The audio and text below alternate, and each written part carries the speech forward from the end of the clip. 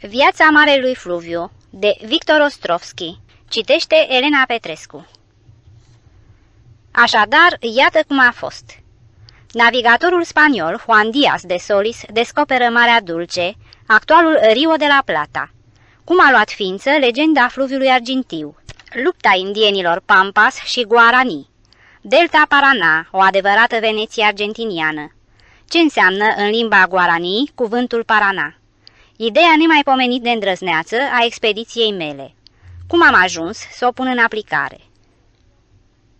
Rio de la Plata În spaniolă, Rio înseamnă fluviu, La Plata, argint. Prin urmare, fluviul argintiu. Un fluviu neobișnuit, poate cel mai lat fluviu din lume și, în același timp, poate și cel mai scurt. Lungimea lui nu poate fi măsurată, căci uneori apele lui sunt purtate până departe în largul oceanului, alteori oceanul intră în fluviu și îi schimbă direcția cursului. La vărsare, lățimea lui numără aproape 200 de kilometri, la început peste 50. Stând pe terasa celei mai înalte clădiri din Buenos Aires și privind spre fluviu într-o zi senină, abia dacă pot zări la orizont, întinzându-se asemenea unui fir subțire, malul opus al Uruguaiului. Aici, la înălțimea periferiilor marelui oraș, începe Rio de la Plata. Apele fluviului argintiu nu sunt nici de cum argintii. Tulburi de un galben murdar sunt saturate cu particule microscopice de pământ fertil, smulse tocmai din îndepărtatul podiș brazilian, din Mato Grosso. Prin urmare, de unde numele de argintiu? Asupra fluviului planează de demult legenda argintului, legendă care a dat numele apei și a pus amprenta pe istoria ținuturilor din jur și a rămas într-un nume de țară cu rezonanță latină, Argentina. Când Columb a întreprins călătoria sa cu corăbile spre apus, urmărise să ajungă pe cale maritimă până în Indii, în insulele Mirodenilor, la acea bogăție prețuită pe atunci, tot atât de mult ca și aurul. Dar continentul descoperit nu era presărat cu flori și nici nu te desfătea cu miresme. Era pur și simplu o barieră care îți închidea drumul spre apus. Alți navigatori, din Spania și din Portugalia, au plecat pe urmele lui, gândind să înconjoare obstacolele, să ocolească acea Americă descoperită și să caute drumul maritim, mereu spre apus. Unul dintre aceștia a fost navigatorul spaniol Juan Díaz de Solis, aflat în slujba regelui, care și-a purtat corăbile de-a lungul țărmului spre sud. A mers ce a mers până când a dat de capătul acestuia. Linia joasă a malului cotea brusc spre vest. Așadar, aici, a gândit el, aici este capătul sudic al continentului barieră. Și Solis a luat drumul spre vest. Vântul bătea dinspre est. La început, navigatorii n-au observat curentul, dar culoarea apei dincolo de bord a prins să se schimbe deodată, valurile înalte ce se rostogoleau băteau într-un galben murdar. Au legat o găleată și au cufundat-o în apă. Apa era dulce. În dreapta corăbiei, la orizont, se desfășura linia țărmului, în stânga însă te întâmpina pustietatea nesfârșită a apelor. Atunci, Soli s-a spus, am intrat într-o mare necunoscută și, beneficiind de privilegiul descoperitorilor, boteză acea apă cu numele de Mar Dulce, Marea Dulce. Aceasta s-a întâmplat în luna ianuarie a anului 1516. Așa a fost descoperit actualul Rio de la Plata, care mai înainte, pentru o scurtă perioadă de timp, s-a numit în cinstea descoperitorului Rio de Solis. Mergând de-a lungul coastei, azi am zice de-a lungul coastei uruguaiene, Solis a dat de o insulă situată la 180 de kilometri de începutul apei galbene al Mării Dulci. Această insulă își mai păstrează și azi numele de Martin Garcia. A fost prima denumire geografică în aceste ținuturi. Întovărășit de șase marinari, Solis a coborât pe uscat, dar nu s-a mai întors pe vas. Până în zilele noastre, istoricii se întreabă dacă primii spanioli, care au acostat pe țărmul lui Rio de la Plata, au fost numai omorâți sau au fost și mâncați de indieni. Dar acest mărunt fapt istoric nu pare să fie de mare importanță. În schimb, mult mai semnificativă este răspândirea celei de-a doua legende, legenda groazei. Din relatările conquistadorilor spanioli, aflați pe cuprinsul Americii Centrale, și mai apoi din vremea cuceririi Imperiului Incașilor, se știe că simpla apariție a zeilor albi cu bărbi stârnea panica și groaza localnicilor. Pentru indienii de atunci, animalul necunoscut, calul, era ceva supranatural, iar călărețul, un balaur cu patru picioare și două capete, care semăna foc și moarte. Se știe că datorită acestui fapt au reușit europenii, cu forțe atât de puține și într-un răstimp atât de scurt, să ia în stăpânire terenuri întinse, să frângă puternicul imperiu al incașilor, să distrugă vechea lor civilizație și să pună mâna pe aur, pe foarte mult aur, datorită acelei groaze legendare. Cu totul altfel s-au petrecut lucrurile pe țărmul de vest, pe întinsurile nesfârșite, străbătute de apele Marelui Fluviu, unde își aveau sălașul triburile de indieni, pampas și guarani. Descriind istoria cuceririi Imperiului Incașilor, unul dintre istorici a scris următoarele. Dacă Atahualpa, conducătorul incașilor, s-ar fi aflat în fruntea unor luptători ca cei din tribul Pampas sau Guarani, soarta învingătorului Pizarro cu siguranță ar fi fost alta. Indienii din Pampas nu au creat nimic care să poată aminti în vreun fel în alta civilizație a incașilor. Nu aveau niciun rege, judecător și preot, cum era Inca, nu aveau nici măcar vreo formă de o rânduire statală. Nomazi de stepă, ei trăiau în clanuri dispersate, libere și se uneau numai în fața unei primejdii comune. Iubeau însă libertatea mai presus de orice. Asta e. Dragostea aceea de libertatea lor era sălbatică. Războinici și vânători, înarmați cu lănci din trestie coligua, tare și flexibilă, sau din bambusul tacuara, cu boleadora surile lor, nu se lăsau copleșiți de frică, auzind trăsnetul albilor, nici nu o rupeau la fugă, îngroziți, la vederea balaurilor cu patru picioare și cu două capete. Luptau. Boleadora surile lor, răsucite deasupra capului și aruncate fără greș la țintă, le serveau nu numai la doborârea cămilei guanaco, o specie sud-americană, sau să-l oprească din goană, imobilizându-l pe Nandu, struțul din Pampas, ci erau folosite tot atât de bine și ca armă de temut în lupta cu călăreții. Speriați de boleadoras, caii se răsturnau și atunci lupta se încingea pe pământ. Legenda groazei nu a prins rădăcini pe țărmul Marelui Fluviu, nu a constituit aici arma omului alb. Pentru a înțelege mai bine lucrurile, e de ajuns să amintim numai câteva fapte istorice. Marele conquistador Francisco Pizarro a început lupta și a învins pe incași în răstim de câțiva ani. A murit apoi la Lima, în 1541. Din Imperiul Incașilor rămăseseră atunci numai ruinele, învinși nu mai opuneau nicio rezistență. Juan Diaz de Solis a fost primul care a început lupta cu indienii triburilor Pampas și Guarani pe malurile Marelui Fluviu. A dispărut în anul 1516. Lupta a durat nu ani, nici zeci de ani, ci câteva veacuri. El ultimo soberano de la Pampa, ultimul suveran al Pampei, considerat în tinerețea lui spaima coloniștilor și a multor orașe, vestitul Nomun Cura, în limba indiană talpă de piatră, a murit în anul 1910. Nu, aceasta nu este o greșeală de tipar.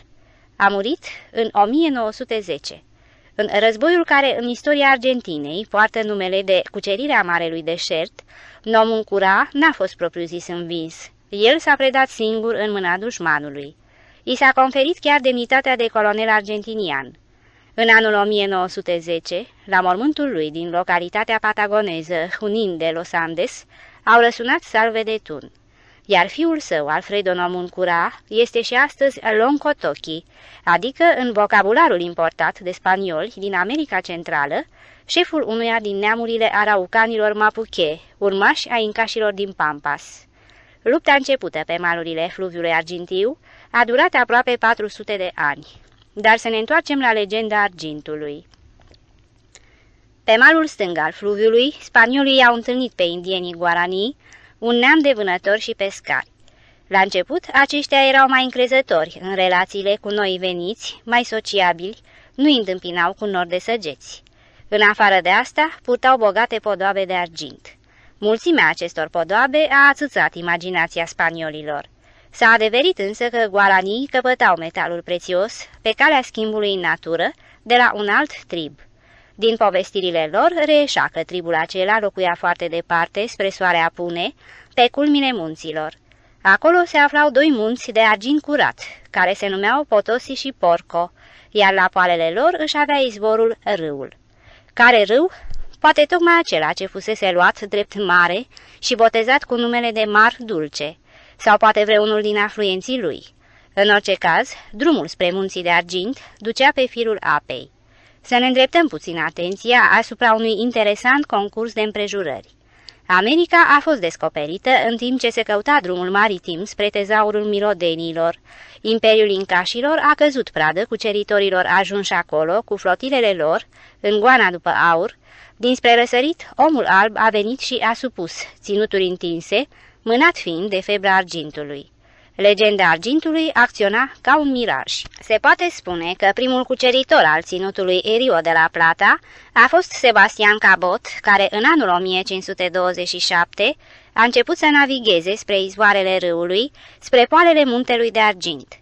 Împreună cu doi navigatori, el a ajuns până mai sus de locul unde astăzi se află orașul Rosario, unul dintre cele mai mari orașe ale Argentinei. Aici a întemeiat prima așezare, Santi Spiritus. În drumul său puteau fi văzuți din ce în ce mai mulți indieni, purtând podoabe de argint. Legenda argintului își găsea, prin urmare, confirmarea în realitate. Stimulat de acest fapt, Cabot și-a urmat călătoria mai departe. Din însemnările sale știm că, după grele încercări, a ajuns până la bifurcarea fluviului și că a ales brațul dinspre apus. Curentul era slab, iar apele tulburi, larg revărsate, le înlesneau navigarea, în schimb de pe țărm îi pândea moartea, indienii, precum și sumedenia de animale de pradă, mai cu seamă jaguarii, pe atunci luați drept tigri. Echipajul a fost decimat de nu știu ce boli necunoscute, de arșițele insuportabile, precum și de acel aer rău, cum îl numea Cabot în însemnările sale. Acum știm că brațul acela de apus, pe care a apucat-o Cabot, era râul Paraguay. Pentru el însă era fluviul argintiu. Febra argintului a fost atât de mare, încât ea a lăsat urme chiar în primele hărți alcătuite. Paraná, Paraguay, Pilcomayo, Bermejo, toate purtau pe atunci numele de râul argintiu. Până și lanțurile munților cordilieri și anzi erau numiți munții de argint. Iar unul din cele mai tinere orașe ale Argentinei, capitala provinciei Buenos Aires, care nu a împlinit încă 80 de ani de existență, poartă numele de orașul de argint, La Plata. Cabot s-a întors în Spania în anul 1530. Când pornise expediția pe drumul argintului, echipajul lui numărase 200 de marinari. Au rămas în viață numai 20. S-au întors însă cu argintul pe care l-au dobândit de la Guarani. Astfel a pătruns în Europa legenda argintului. Despre acele vremuri apuse și despre legendele Marelui Fluviu discutam atunci în Delta Parana, în căsuța profesorului Rehnievski. Era o noapte năbușitoare, umedă. Calendarul indica luna noiembrie, dar aici, în emisfera sudică, era primăvară. Dincolo de geamurile larg deschise, prevăzute cu apărători împotriva țânțarilor, se întindea întunericul de cerneală, străbătut de cântecul răsunător al broaștelor. Ca și cum milioane de ciocănele de argint ar fi bătut într-o mică nicovală de argint. Cântecul acela de broaște venea de sus, căci acolo acești cântăreți, spre deosebire de confraților din Europa, locuiesc în pomi. Sub pardoseala casei curgea râul, valuri ușoare se loveau de prag plescăind. Un râu sub dușumea? Chiar așa. E ceva obișnuit în delta Parana.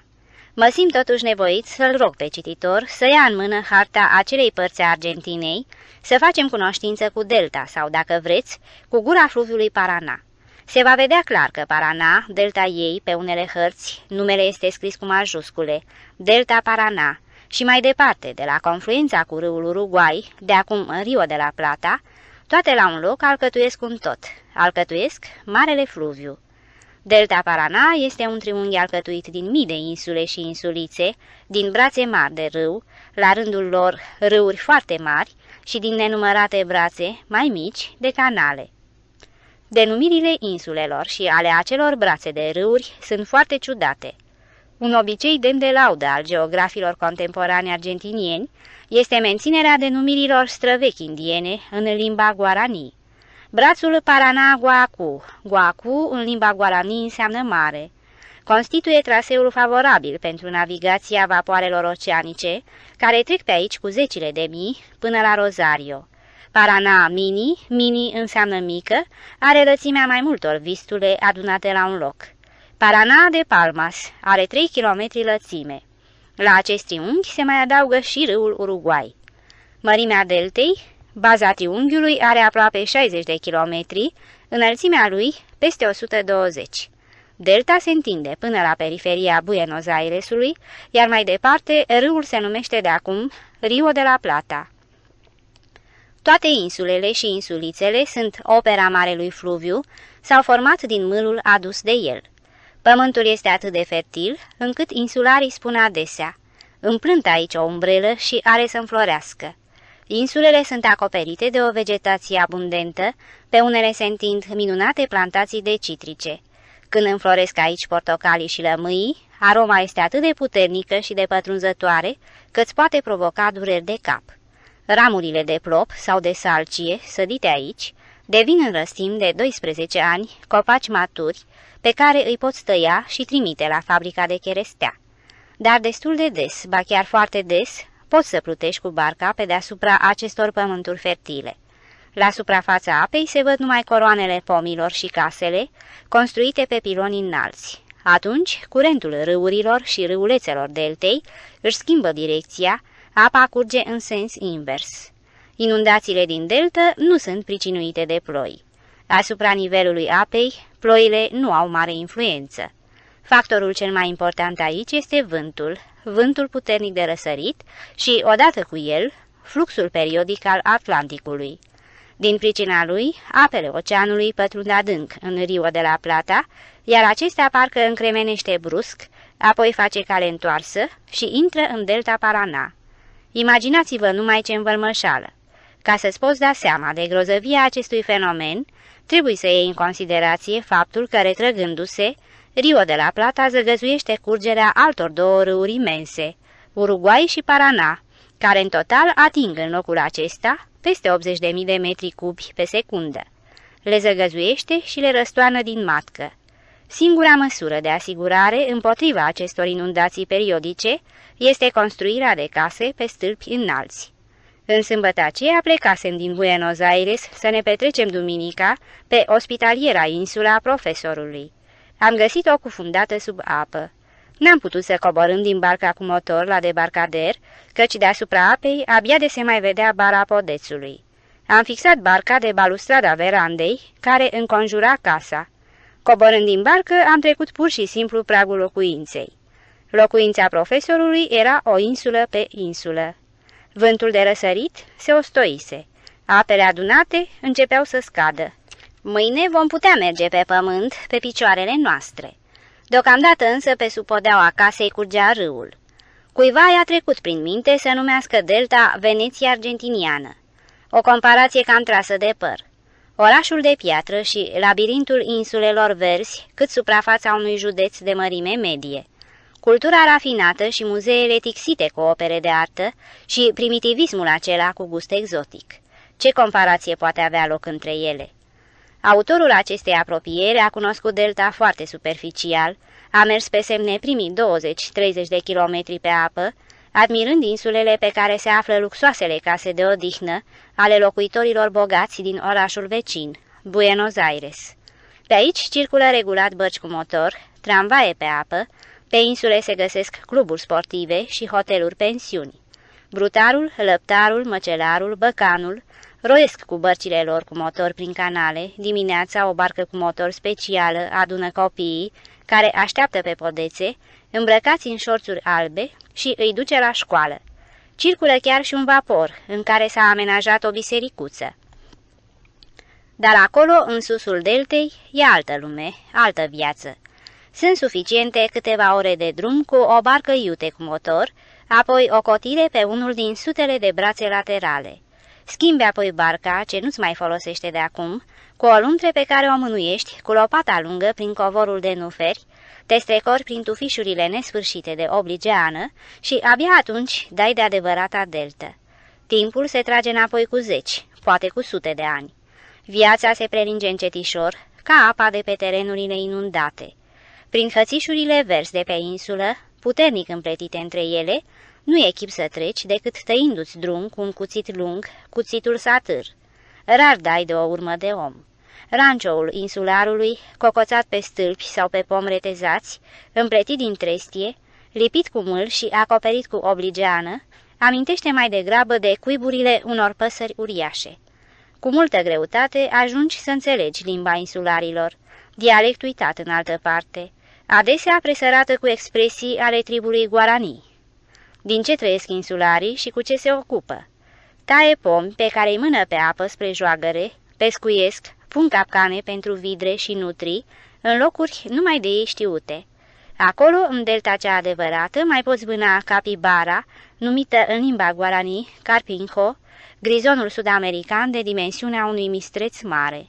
Mai auzi și azi câte o povestire despre întâlniri cu jaguari uriași. Puține trebuințe au oamenii aceia ai apei și ai pământului, căci majoritatea timpului o petrec mai mult în luntre decât pe picioare. Trăiesc cam așa cum trăiesc păsările cerului. Vâslesc până la delta de jos, cea civilizată sau chiar mai departe, până la continent. Transportă pește, lemn, blănuri de nutrie, împletitură de obligeană și cumpără ierba mate, petrol. De foame nu mori acolo pe insulă, te hrănește râul. Căsuța profesorului e situată între partea civilizată a deltei și delta adevărată, la hotarul dintre două lumi. Cei cinci prieteni adunați în ea, în noaptea aceea de primăvară, formau un colectiv destul de neobișnuit. Gazda, renumit om de știință, cunoscut bacteriolog, este una dintre figurile cele mai remarcabile din câte mi-a fost dat să întâlnesc în viață. Polonez născut în insulele Madagascar. Își petrecuse copilăria împreună cu tatăl său, inginer explorator, în Patagonia. Absolvise două facultăți în Argentina, este membru al Academiei Medicale, conferențiar la universitate și director al Institutului de Bacteriologie. Înfățișarea, înălțimea 2 metri, părul alb, des, tunsarici, ochii verzui de pisică, un nas imens și un simț al umorului încă și mai mare. O inepuizabilă energie și dorință de viață. Ducea o viață dublă. Cinci zile pe săptămână, muncă științifică epuizantă. În schimb, sâmbăta și duminica era totdeauna în deltă, în acea libertate de insulă, de viață sălbatică. Poate de aceea, cu toți cei peste 60 de ani ai lui, era totuși tânăr. Juan, ofițer superior la prefectura marină, mai bine zis în detașamentele de graniță de pe traseul fluvial. L-am poreclit în glumă Dumnezeul și țarul deltei, căci nu era un fitecine printre autoritățile de acolo. Acum însă, în concediu, ținuta lui lejeră, șortul rupt și cămașa descheiată la piept, nu mai aminteau cu nimic de înalta lui funcție, era pur și simplu un minunat tovarăș de drum. Ruben, mecanic de automobile, cunoscător neîntrecut în materie de motoare de orice fel, proprietarul unei bărci cu motor, cu totul speciale, cu care lua parte la concursuri. Victorio, singurul insular autentic dintre noi.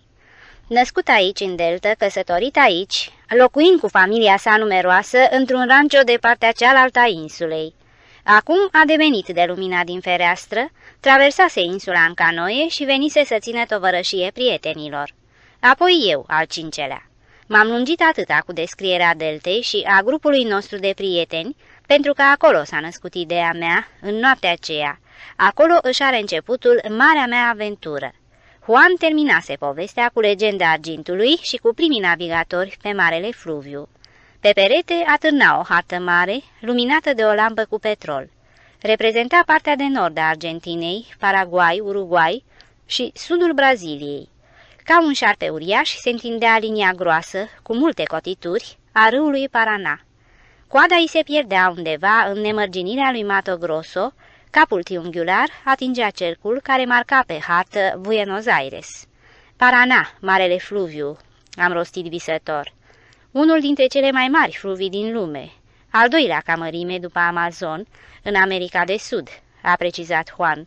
Dar voi știți ce înseamnă cuvântul Paraná? am întrebat. Nu știa nimeni.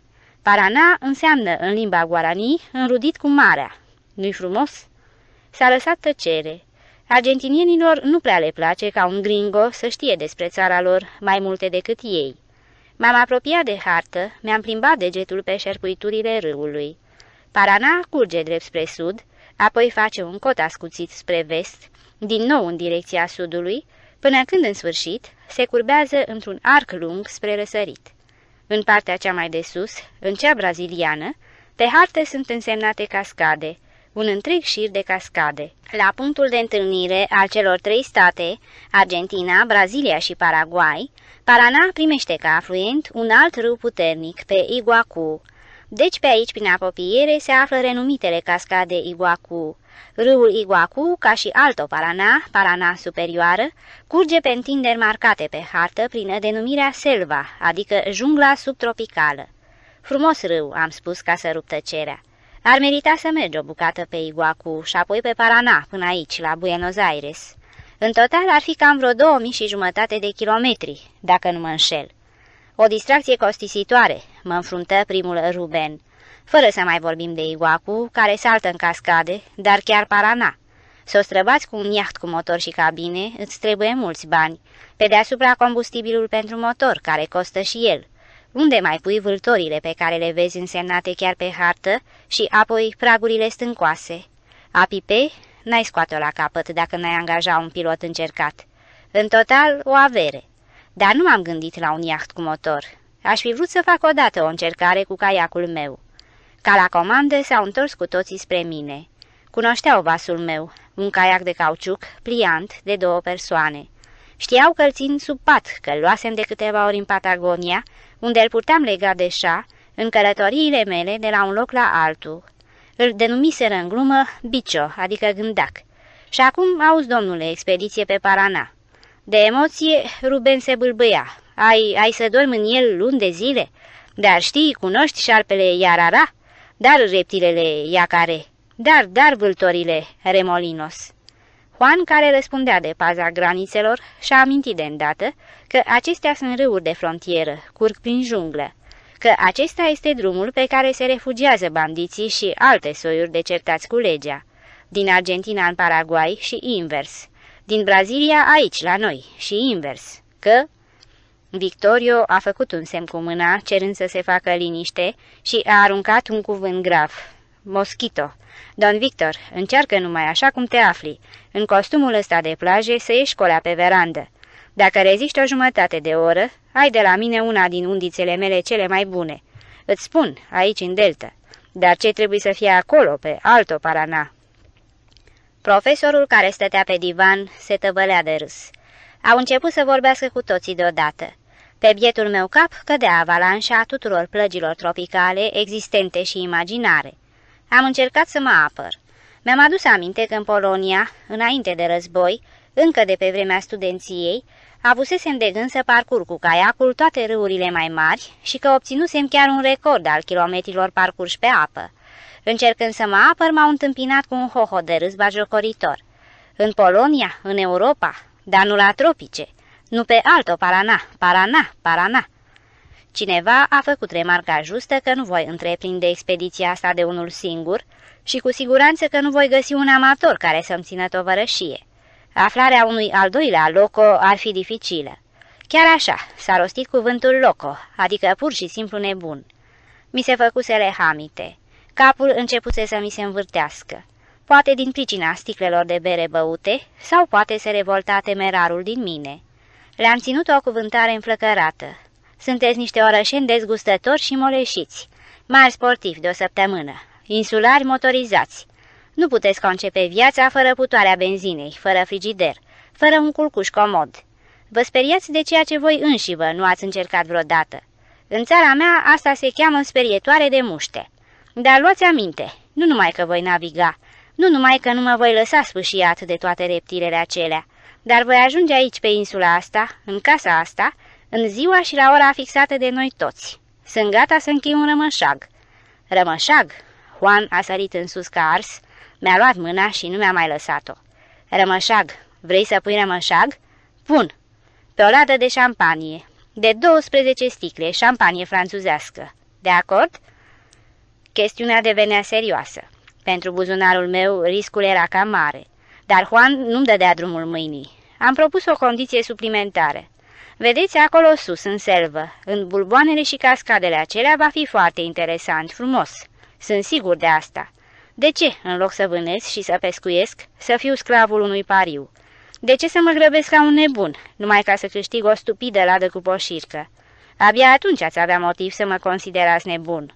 Propun deci ca pe Iguacu și pe Parana superioară să fiu stăpân pe timpul meu. Voi naviga sau mă voi opri, când și unde voi pofti. Iar când voi ajunge pe cursul mijlociu al Paranei, să zicem în orașul Corientes, va fi probabil jumătatea drumului meu, voi trimite o telegramă cu data și ora sosirii. Ca să aveți timp să puneți poșirca la gheață. Vom bea, sunt sigur de asta, dar pe banii dumneavoastră. Cu asemenea rămășac voi fi de acord. Va fi o expediție și o acțiune sportivă, iar pe deasupra îmi va procura și emoția unui pariu. Profesorul s-a ridicat în toată lungimea lui de 2 metri și ne-a despărțit mâinile cu mare gravitate. Rămășagul a fost încheiat. Atunci, înclinându-se și privindu-ne cu ochii lui galben mijiți, gazda a zis în polonă. Cuvântul a fost rostit, leagă iapa de gard.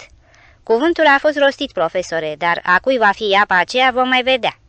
N-am închis ochii până dimineața. Aveam capul plin de proiecte și probleme legate de expediție. Trebuia să mă grăbesc. Se apropia sfârșitul lui noiembrie și luna cea mai păcătoasă, cu arșița cea mai mare acolo la tropice, este ianuarie. Tovarășul de călătorie și echipamentul Pe tovarășul meu de călătorie îl găsesc într-un salon de bal. Un absolvent din prima promoție a școlii de marină comercială polonă formează echipajul meu. Neajunsurile și calitățile vasului, adică ale caiacului pliant un cort tropical proiectat special. La despărțire obțin de la Juan un permis de liberă trecere să-l arăt subalternilor săi de la punctele de graniță fluvială. Mi-a fost într-adevăr greu să găsesc un tovarăș de expediție. Natural, voiam ca acesta să fie un compatriot și puțin mai tânăr, căci aveam să tot dăm din lopeți un timp destul de îndelungat. Nu prea se iveau amatori. Tocmai îmi venise ideea desperată să dau un anunț la ziar, când iată-l că mi iese în cale calozul cel mare. Și unde credeți? Într-un salon de bal. M-am dus la balul polonezilor. Distracția era întoi, orchestra cânta acuiaviac, alternându-l cu tangoul argentinian și cu samba braziliană. La o măsuță, singur, singurel, cu o sticlă de coniac în față și cu o cafea care sărăcise, stau un ins mai în vârstă, cu o figură teribil de plictisită.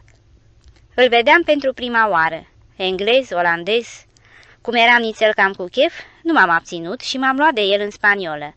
Senior, aici toată lumea se distrează, iar dumneavoastră stați așa de posomorât?" Își ridică spre mine ochii albaștri, senini și se oțărâ în cea mai curată limbă polonă. Așa îmi place mie, ce-ți pasă?" M-am cam fustăcit, dar el, ca și cum nu s-ar fi întâmplat nimic, îmi zice. Așează-te, eu te cunosc pe dumneata, inginere. Am fost cândva la o conferință a dumitale. Am auzit că ești în căutarea unui tovarăș pentru expediția cu caiacul pe râurile Iguasu și Parana. Dacă locul este încă liber, aș merge cu plăcere cu dumneata. Surprins de oferta neașteptată, îi pun o întrebare prostească. Dar știți să navigați? Navighez bine. Trageți cu pușca tot atât de bine? Se uită la mine lung, mijindu-și ușor ochii, dar fără să clipească. Acum pricep, știu că asemenea ochi nu-și greșesc ținta. Dar ce profesie aveți? Marinar. Și deodată, luminat de un zâmbet plăcut, îmi explică. Am terminat școala de marină comercială. Asta a fost de mult. Am intrat în anul 1920. Prima promoție de absolvenți. Acum sunt armator. Am un vapor frigorific care face curse în Pacific, între Chile și porturile Ecuadorului. Am la dispoziție câteva săptămâni libere. Deci...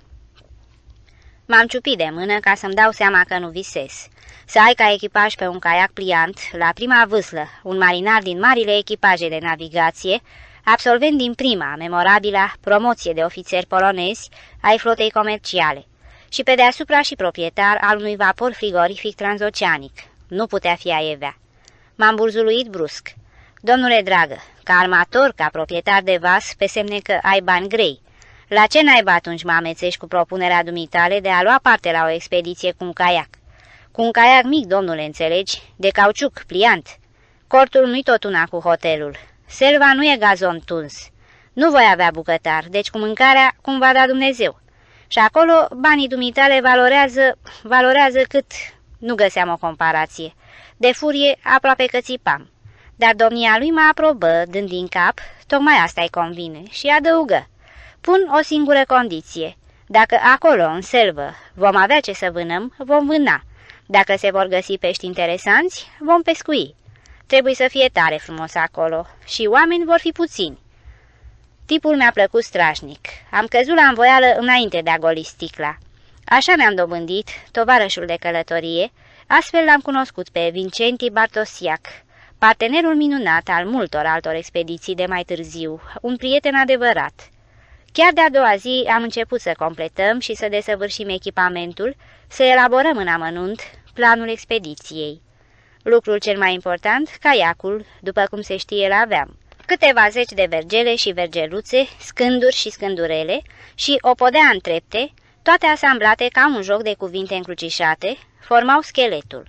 L-am îndesat înăuntru și apoi am întins interiorul galoșului, adică al pânzei cauciucate.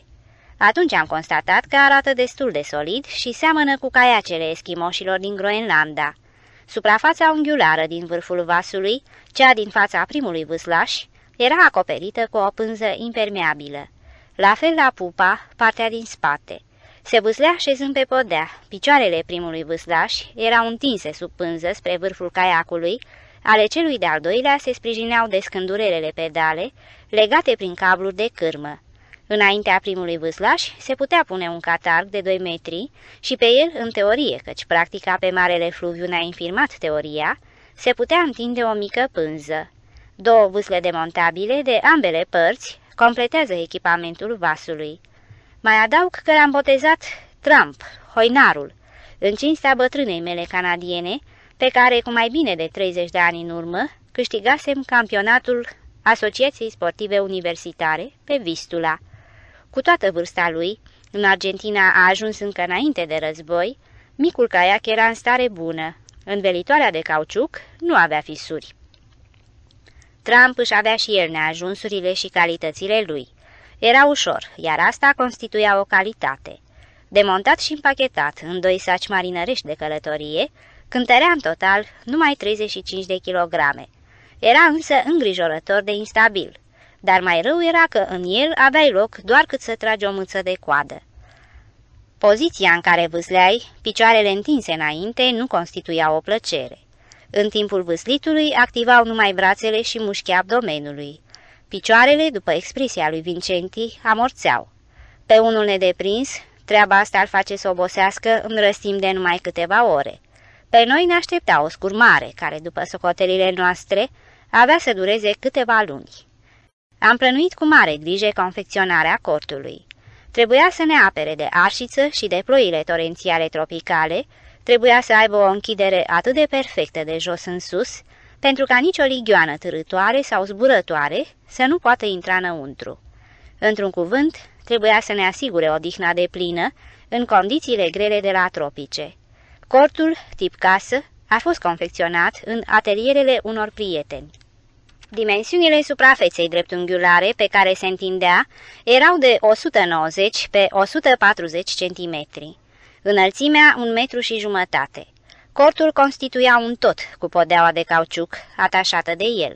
Se desfășura și se monta repede pe două bare de aluminiu sau pur și simplu pe două jumătăți de vâslă.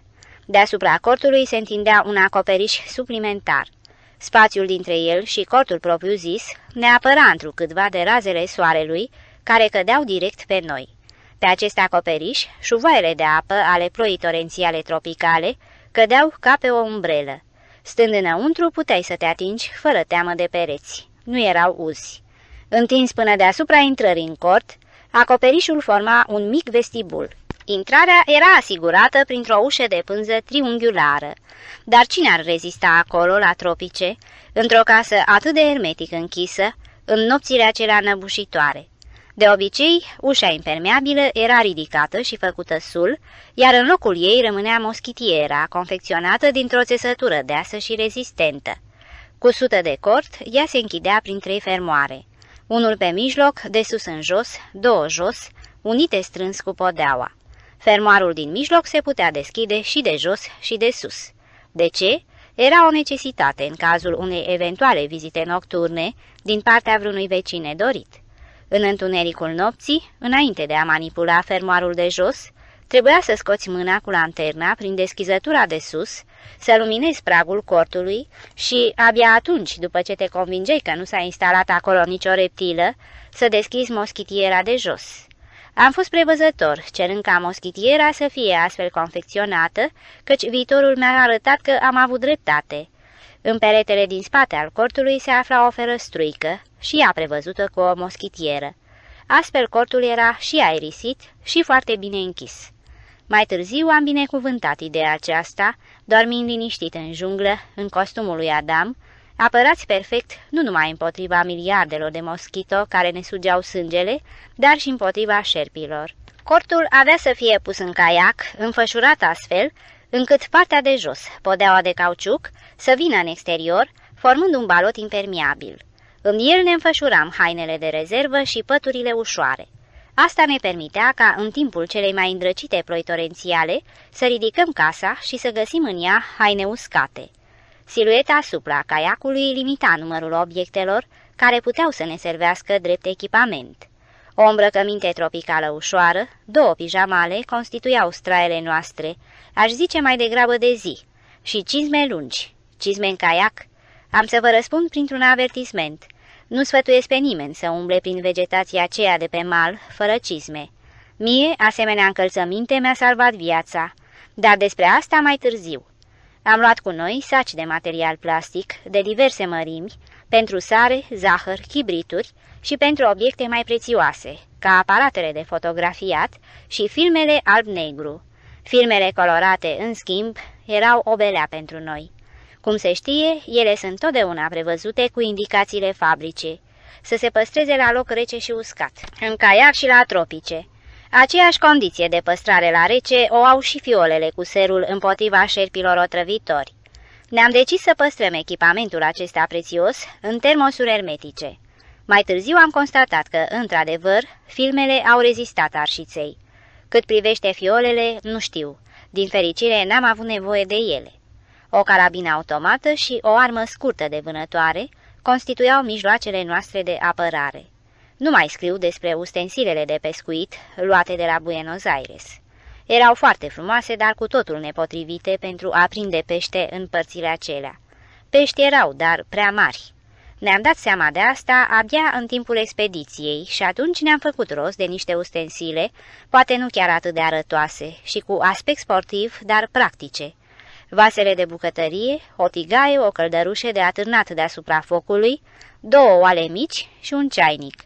Un ceainic mare care până la urmă se dovedi aproape universal și de neînlocuit. Acum, pur și simplu, nu mai concep o expediție fără un asemenea ceainic. Atârnat deasupra focului sau așezat pe cărbuni, fierbeam în el ceaiul, cafeaua, diverse supe, fasolea neagră, maniocul, precum și ierba mate. În timpul zilei, în caiac, păstram în el băutura pregătită de dimineața, noaptea în cort ne-a stâmpărat setea, fără să mai fim nevoiți să ieșim afară. Iubit și neprețuit prieten este ceainicul. O ustensilă la fel de universală și de neînlocuit era cuțitul satâr, lung de o jumătate de metru, greu și ascuțit. Slujea la tăierea desișului verde de sub cort, la croirea unei poteci, în învălmășarea plantelor de pădure încălcite, la curățatul cartofilor. Cu el omoram și peștii mai mari. Ca armă, satârul avea de asemenea meritele lui. Aici putem încheia lista echipamentului nostru. Rămânea o singură chestiune deschisă. Cum vor încăpea toate astea în caiac? Dar ne-am zis cu nepăsare. O scoatem noi la cap. După ce am studiat harta, ne-am alcătuit planul de acțiune și am stabilit traseul. Prin râulețul de frontieră San Antonio, atât de frumos desenat pe hartă, vom naviga spre nord, până la confluența cu Iguasu. Apoi, pe cursul acelui râu, prin jungla sălbatică, până la vestitele cascade Iguasu. Pentru această parte a expediției am prevăzut o vânătoare în junglă și o mie și una de peripeții. Apoi am plănuit, tot pe hartă, transportarea caiacului și a întregului calabalâc pe mal până la poalele cascadelor. Ei, și mai departe aveam să mergem pe râul Iguasu până la confluența cu Parana superioară, după care drumul era absolut simplu, pe Parana până la Buenos Aires. Anticipez puțin lucrurile și, suspinând cu tristețe, spun că harta este hartă, iar realitatea cu totul altceva. Frumosul traseu închipuit de noi a fost respins de realitate și întors pe dos. Vincenti, așa cum am amintit, dispunea numai de câteva săptămâni libere. Bineînțeles, voia să profite de ele cât se putea mai bine. Așadar, să vâneze și să se aventureze în jungla de pe malurile râului San Antonio și ale lui Iguasu. Apoi avea să navigheze cu mine cât mai departe i-ar fi permis timpul. Tocmai acea parte a expediției noastre nu ni se contura cu destulă claritate. Amândoi presupuneam că după ce ne vom despărți, voi găsi cu siguranță un alt tovarăș de călătorie. În cel mai rău caz, intenționam să merg mai departe de unul singur. Vicec mai avea o sumedenie de treburi de rezolvat înainte de plecarea noastră spre vest. Ca să nu pierd timpul, m-am decis să plec la Misiones, luând cu mine vasul. Acolo, cu sprijinul prietenilor mei, coloniștii polonezi, aveam să mă orientez pe teren, profitând de experiența indigenilor, să completez echipamentul, să fac rost acolo de serul împotriva șerpilor veninoși, la Buenos Aires curios lucru nu se găsea, și să mă instruiesc o scurtă perioadă de timp, adică să învăț să-l injectez. În urmă aveam să-i telegrafiez lui Vicec și să-l aștept la aeroportul din Posadas, dar asta abia atunci, când totul avea să fie încheiat la ultimul nasture. Mai înainte de plecare, am băgat într-un plic planul expediției noastre și i l-am trimis lui Don Juan, Jan Sihovski, prietenul meu și unul dintre cei mai vechi coloniști polonezi din Misiones. Printr-o telegramă l-am anunțat când voi sosi și l-am rugat să vină să mă ia de la gară, pe mine și caiacul meu. Pe peronul din Buenos Aires, rămasul bun a fost destul de sărbătoresc. Echipamentul strâns, așezat în fața vagonului, nu arăta deloc exotic. Erau pur și simplu patru saci mari marinărești. În doi din ei se afla vasul demontat, în ceilalți întregul nostru bagaj. Mai tropical arătam eu însumi, în niște pantaloni albi de pânză, într-o cămășuță oarecare și o haină ușoară de vânt, ținând în mână vâslele strânse, arma de vânătoare și undițele. Pentru călătoria cu trenul, care avea să dureze 48 de ore, prietenii mi-au dăruit o sumedenie de delicatese și băuturi, nu neapărat lipsite de alcool. În ultima clipă, la despărțire, s-au abținut cât au putut să nu facă observații ironice și zeflemisitoare. S-au mulțumit să dea din cap cu gravitate. Trebuie însă să nu-l nedreptățesc pe Juan, care, așa cum a spus, ca să-mi facă viața mai ușoară în apele de frontieră, mi-a dat un fel de scrisoare de liberă trecere, adresată tuturor posturilor de grăniceri de pe fluviu. Ca șef, le ordona să-mi acorde tot sprijinul de care aveam nevoie. Pe deasupra îmi dărui și o banderolă de grănicer, care trebuia să fie semnul cel mai concludent că expediția se afla sub protecția șefului. La plecare nu am prețuit gestul acesta, dar mai târziu mi-am schimbat părerea și i-am fost recunoscător. Numai ce s-a pus trenul în mișcare că am și aruncat totul de pe mine. Începuse arșița, îngrozitoarea arșiță, și era abia prima jumătate a lunii decembrie. Don Juan Cum l-am cunoscut pe Don Juan, adică pe Jan Sikovski? Coloniștii polonezi în Tierra Colorada din Misiones trasează cele din tăi jaloane, cele mai grele. Ian Sikovski, ucenic fierar, constructor al primului strung din Argentina. Cum a proiectat și construit digul de beton armat, centrala de apă, instalațiile de irigare a orezăriilor, întreprinderi industriale și turbine de apă, având ca studii numai două clase de școală primară. Familia lui Don Juan, pământ din Polonia la mormântul lui din Tierra Colorada. Figura lui Ian Sikovski se leagă strâns cu aventura mea pe Marele Fluviu, dar nu numai atât. Viața și în special realizările lui aici, în Misiones, pot constitui tema unei cărți aparte, plină de interes. Ele constituie o pagină de glorie, nu numai pentru colonia poloneză din Argentina, dar chiar și pentru provincia Misiones. Pe Panian, sau cum îl numesc plin de respect argentinienii Don Juan, îl cunoșteam de multă vreme. În 1950, colonia poloneză din Misiones, de pe așa numitul Tierra Colorada, adică Pământul Roșu, a sărbătorit a 50 aniversare de la sosirea primei grupe compacte de emigranți, agricultori din Polonia. Evenimentul a fost celebrat cu o însuflețire nemaipomenită și cu deosebită mândrie. A fost o adevărată întrunire a țăranilor polonezi, a copiilor și nepoților lor, din coloniile, așezările și poienele mai apropiate sau mai depărtate. La festivitățile care au durat câteva zile, au luat parte autoritățile argentiniene și întreaga societate din Posadas, capitala provinciei. La masa festivă, primarul orașului Posadas li s-a adresat celor câteva sute de reprezentanți ai agricultorilor emigranți. Ați fost sarea pământului în patria voastră. Sunteți acum sarea Tierei Colorada. Și le-a făcut o plecăciune adâncă.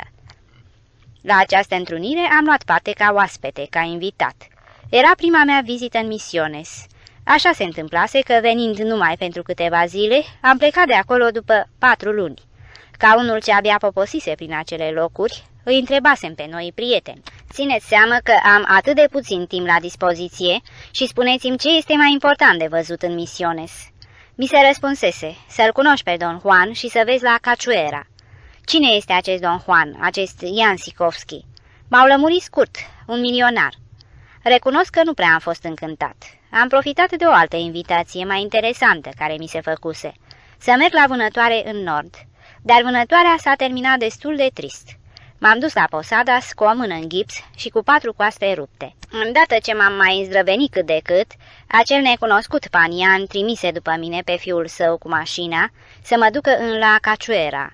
După câteva ore de mers ne-am oprit, cu un vesel semnal de claxon, în fața unei case frumoase, inundată de o mare de flori exotice.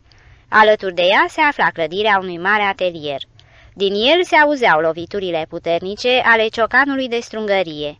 E tata," spuse Edmundo, lucrează tot timpul." În pragul atelierului, într-un combinezon de lucru, mânjit cu un soare, cu ochelarii de protecție ridicați până la beretă, mă salută Panian cu o frază pe care nu o voi uita niciodată. Se bucură inima mea că îi este dat să vă întâmpine în pragul casei mele. Suna puțin tel cam biblic. În anul 1900, din îndepărtatul Podole, venise aici un grup de câțiva emigranți polonezi, agricultori. Printre ei se afla și moralul Sikovski. Ianic avea pe atunci 11 ani. Educația lui școlară luase sfârșit acolo, în Podole, și se rezumase la câteva clase primare. Din Posadas, de unde acum se ajunge cu automobilul în trei ore, pe atunci au mers pe jos, în urma căruțelor aduse din Polonia. Au mers trei săptămâni. Se poate spune despre ei pe drept cuvânt că au fost pionierii care au trasat primele jaloane. De atunci totul s-a schimbat prin părțile acestea. Nu mai sunt pădurile, nu mai sunt întinsele țari sălbatice și părăginite. În ce condiții grele a trăit grupul acela de țărani polonezi. Doi ani au trecut până când au gustat pâinea. Se hrăneau îndeosebi cu manioc. Trebuiau să se apere cu arma în mână de bandiți. Muriseră mulți din cei dragi, secerați de boli necunoscute sau omorâți de șerpi otrăvitori. Ianic a făcut ucenicie la un fierar bătrân. Ferecau căruțele după modelul celor poloneze, cunoscute până azi în misiones sub numele de Caros Polacos. Ian Sikovski își amintește totdeauna cu simpatie de bătrânul fierar care l-a învățat meseria. Avea 18 ani când, trecând pe lângă un atelier oarecare din Posadas, observă prin ușa deschisă un strung în funcțiune. Strungul era importat din Germania. L-a privit îndelung, a mai venit și a doua zi să se uite la el. Proprietarul, amabil, l-a lăsat să intre înăuntru, să-l privească de aproape, ba chiar să și lucreze la el puțin. Întorcându-se la fierărie, Ianic, nici una, nici două, s-a apucat să-și construiască un strung al lui. Nu e un bazm și nici povești pentru copii. Un flăcău, fără nicio pregătire tehnică, ucenic de fierar, și-a făcut un strung. Așa a apărut primul strung construit în Argentina. Mărimea lui era de 2 metri și funcționa cu precizie. Nu conținea nicio piesă cumpărată. Toate elementele componente, roțile, discurile, șaibele, le făcuse Ianec cu mâinile lui. Le-a dat formă, le-a bătut, le-a pilit, le-a șlefuit. Prima instalație de ridicat greutăți a fost din lemn. dintr-un lemn tare ca fierul, din tropicalul Quebracho. Cu mult mai târziu a fost înlocuit cu oțelul. Strungul lui Don Juan își are gloria lui pe deplin meritată. Inginerii vin să-l vadă, să-l împrumute pentru expoziții. Nu este o piesă de muzeu. Din potrivă, funcționează până în ziua de azi. La strungul acesta și în atelierul acesta a luat ființă o instalație complicată pentru măcinarea ierbei de pe plantațiile la Caciuera. Era folosită nu numai la măcinat, dar și pentru decorticarea orezului. Apoi, fabricile de scrobeală. Toate acestea erau opera lui Panian, în cel mai curat înțeles al cuvântului. Frumoasele locuințe din la Caciuera au interioare moderne. Te izbește în primul rând funcționalitatea construcției, faptul că s-a folosit materialul de construcție corespunzător condițiilor climaterice. Cu asemenea proiecte nu s-a rușinat nici chiar un arhitect cu experiență serioasă. Și toate acestea au luat naștere în capul lui Pan Ian. Totul, inclusiv complicata instalație de conducte de apă, este executat sub supravegherea lui de gospodar. La Caciuera înseamnă, în dialectul local, cascadă. Estansia are cascada ei. Căutând surse de energie pentru moară și pentru instalația de decorticatorezul, Panian a zăgăzuit un râuleț învolburat ce trecea prin apropiere, numit cu un nume indian răsunător, Cimirai. După elaborarea planului de stratificare a văii, a proiectat și a construit un dig pe toată lărgimea ei. A zăgăzuit apele râului, obținând un lac artificial. Din el, apa curge printr-un canal. A obținut o cădere de apă de câțiva metri, unde a instalat o roată de fier, cu diametrul de 3 metri și jumătate, care învârtea rotorul dinamului. Dezvoltându-se, instalațiile industriale necesitau tot mai multă energie și randamentul roții era insuficient. Atunci, Panian a proiectat și construit o turbină cu apă. Întreaga estansia a fost electrificată. Orașul Apostoles, al doilea ca mărime în Misiones, se dezvoltă și reprezintă un centru important pentru coloniile și așezările de agricultori din împrejurimile lui. Este străbătut de două alei principale. Una se numește Polonia, cealaltă Ucraina. Orașul a fost întemeiat cu 60 de ani în urmă de către emigranții polonezi și ucrainieni pe ruinele unei așezări de misionari iezuiți. De la Apostoles până în la Caciuera sunt aproape 200 de kilometri.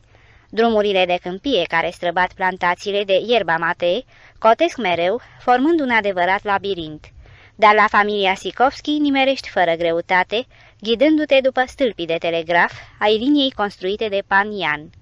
Avea dreptate ziaristul argentinian, scriind despre Ian Sikovski articolul intitulat polonezul care construiește Argentina. Cu câțiva ani în urmă îl adusesem în la Caciuera pe redactorul șef al revistei lunare americane Magazin Geografic Național. Frank Shore venise cu avionul în Argentina, o străbătuse în lung și în lat, ca să scrie un reportaj amplu și bogat ilustrat. Un capitol întreg din acest reportaj era închinat colonistului polonez Jan Sikowski. Menționez că după aceea Panian a avut multă bătaie de cap. A fost asaltat cu scrisori din Filipine, din Florida, din Canada și din Africa, ce mai din toată lumea. I-au fost trimise și niște grăunțe cu rugămintea să ne încerce în pământul din Misiones. I se cereau sfaturi în situații dificile ce priveau diverse plantații. Era consultat în probleme de instalații industriale. Cineva îl întreba care este tipul cel mai potrivit de acoperiș pentru construcțiile din regiunile tropicale. Societatea de Geografie i-a trimis o diplomă de onoare. Pentru mine, ca inginer, personalitatea lui Panian a fost și va rămâne pentru totdeauna o enigmă. La întrebarea cum a putut omul acesta, care nu cunoștea nici cele mai simple calcule fracționare, să proiecteze roțile zimțate pentru transmisii complicate, cu o extraordinară precizie, fără cea mai mică greșeală, tot așa cum, neștiind să deseneze, a făcut planul de amenajare în terasă a pantei văii cu ajutorul instrumentelor de măsurat, confecționate tot de el. Cum a proiectat și a construit digul din beton armat? Cum a putut, fără să cunoască statica, să ridice acoperișuri cu schelet metalic deasupra uriașelor construcții de uscătorii și depozite? Îmi este greu să găsesc un răspuns. Extraordinara putere de observație i-a permis să tragă concluzii care să corespundă realității. A înțeles mecanismele, a văzut construcția cu ochii imaginației. Una dintre săturile fundamentale ale personalității lui Pan Juan este hărnicia. Inactivitatea nu numai că îl plictisea, dar s-ar fi simțit pur și simplu bolnav dacă n-ar fi lucrat. O zi obișnuită în la Caciuera începea după ritual, încă înainte de răsăritul soarelui. În dormitor, între paturi, era pusă o sobiță cu gaz, pe care se fierbea apă pentru mate. Fiertura aromată era servită soției la pat. În scurtă vreme apoi, toată familia începea să bea mate. Atunci se vorbea despre munca în estansia, în întreprinderile industriale, se alcătuia planul zilei. Când soarele care răsărea se uita pe fereastră, în atelier se auzea de acum ciocanul lui Panian sau ticăitul zgomotos al motorului care învârtea strungul. Și tot așa până la prânz, iar după aceea până în amurg. Seara, instalându-se în fotoliu, cu piciorul bolnav întins, bolnav încă din tinerețe, când mâna buștenii pe marele fluviu, Panian se cufunda în lectură. Avea o bibliotecă destul de mare. În problema plantațiilor de pe pământul roșu din Misiones, Don Juan era considerat un fel de oracol. Despre el se spunea, aude cum crește ierba. Dintr-o singură privire putea să aprecieze ce cultură se potrivește mai bine pământului respectiv. A fost consultat cu prilejul înființării unor mori de ierba, plantă supranumită în Misiones, aurul verde, la construirea unor instalații complicate de irigare a orezăriilor. De multe ori a făcut pe judecătorul, iar sentința pe care o dădea era primită fără discuție. Hotărau caracterul său cinstit și înțelepciunea sa de viață. În limba spaniolă, cuvântul don are altă rezonanță decât senior și decât polonezul pan. Adresându-te cuiva prin don, scriind don înaintea unui nume, îi arăți respect, considerație. Este greu de explicat această particularitate a limbii spaniole, atât de bogată în nuanțe subtile și care nu are nimic comun cu mania titlurilor, căci titlul Don nu este moștenit prin naștere, ci se obține prin propriile merite. Lui Ian Sikovski nu îi se adresau altfel decât cu Don Juan. Așa îi spuneau cunoscuții și rudele lui numeroase, tot așa îi spuneau și muncitorii agricoli, peonii, și nu îi se adresa altfel nici guvernatorul. Familia lui Don Juan, patru fii și tot atâtea fiice. Să mai adăugăm numărul mereu crescând de nepoți și strănepoți. Soția, doamna Bronislava, a venit cu părinții în misiones, în același timp când a venit și tatălui Ian Sikovski, în anul 1900. S-au căsătorit când ea avea 15 ani. Nu știa nici să citească, nici să scrie. S-a apucat singură să învețe ca să poată să învețe pe copii. Toți au primit educație iar nepotul de frate al lui Don Juan, de a cărui educație s-a ocupat, a ajuns într-un post foarte important. Iulian Sikovski a fost numit ministru al economiei atunci când teritoriul Misiones a dobândit statutul de provincie a Republicii Argentiniene și ca urmare s-a bucurat de o oarecare autonomie. Adaug că astăzi, când apare a doua ediție a cărții de față, fiul lui Don Juan, Iosef Albin Sikovski, îndeplinește funcția de ministru al agriculturii în guvernul din Misiones, în natalul său, Tierra Colorada. Cititorul să nu fie supărat pe mine că în cartea despre Marele Fluviu am introdus povestea lui Ian Sikovski. Marele Fluviu spală Misiones, rupe și duce bucățele din pământul roșu până departe, în ocean. Iar pământul din Misiones, când va ajunglă pustie, a fost trezit la viață de familiile Sikovski, Pielinski, Rakovski, Vișnevski, ca să nu-i mai enumăr pe toți. Natural, nu numai ei, dar ei au fost aceia care au trasat cele din tâi jaloane în condițiile cele mai grele. Sunt cunoscute în patrie faptele domnilor Balceri în Brazilia, dar prea puțin se știe despre coloniștii polonezi din Misiones. Fie ca istoria lui Don Juan să servească spre amintirea tuturor acelora pe care soarta i-a smuls de mult din pământul strămoșesc și i-a aruncat aici, la tropice. Oamenii aceia destoinici au transmis vigoarea lor copiilor și generațiilor următoare, au devenit sarea tierei Colorada. Ghicesc întrebarea cititorului. Oare noile generații nu și-au pierdut particularitățile etnice? Oare mai vorbesc în limba noastră? E o problemă dificilă și nu poate fi explicată pe scurt. Generația a doua mai vorbește într-o câtva limba polonă, a treia însă nu. A rămas vie legătura care poate fi numită glasul sângelui. Fiii și nepoții de colonos polacos își afirmă pretutindeni originea lor poloneză. În timpul ultimului război, în Argentina nu lipseau voluntarii pentru detașamentele poloneze ce se formau pe lângă aliați. Erau peste 2000 și jumătate. La Casa Centrală Polonă din Buenos Aires se află o placă de marmură. Pe ea este o listă lungă, cu numele celor care nu s-au mai întors, iar dintre ei, mulți sunt născuți aici, în Misiones. Ian Sikovski a murit nu de mult. A lucrat aproape până în ultima clipă. L-au înmormântat pe o colină, de unde poți cuprinde cu vederea valea, digul și cascada, la Caciuera, plantația verde de ierba. Când am plecat să vizitez bătrâna țară, familia lui Panian mi-a transmis rugămintea lui. Am adus un pumn de pământ din Polonia. L-am depus la Tierra Colorada, pe mormântul lui Don Juan, al lui Ian Sikovski. Proba focului pe Parana Caiacul meu este numit galuș de cauciuc. Părerea lui Don Juan. O să vă dea gata arșița acolo pe Parana. Ambiție zgândărită și excursia cu luntrea la pescuit. Cât pe ce să fac insolație. Sunt gata să amân expediția pe toamnă. Ideea lui Panian și toldoul deasupra caiacului salvează situația. Pavilionul marinei comerciale poloneze. Ajunul Crăciunului în la Caciuera. Lalo sau asigurarea echipajului de schimb.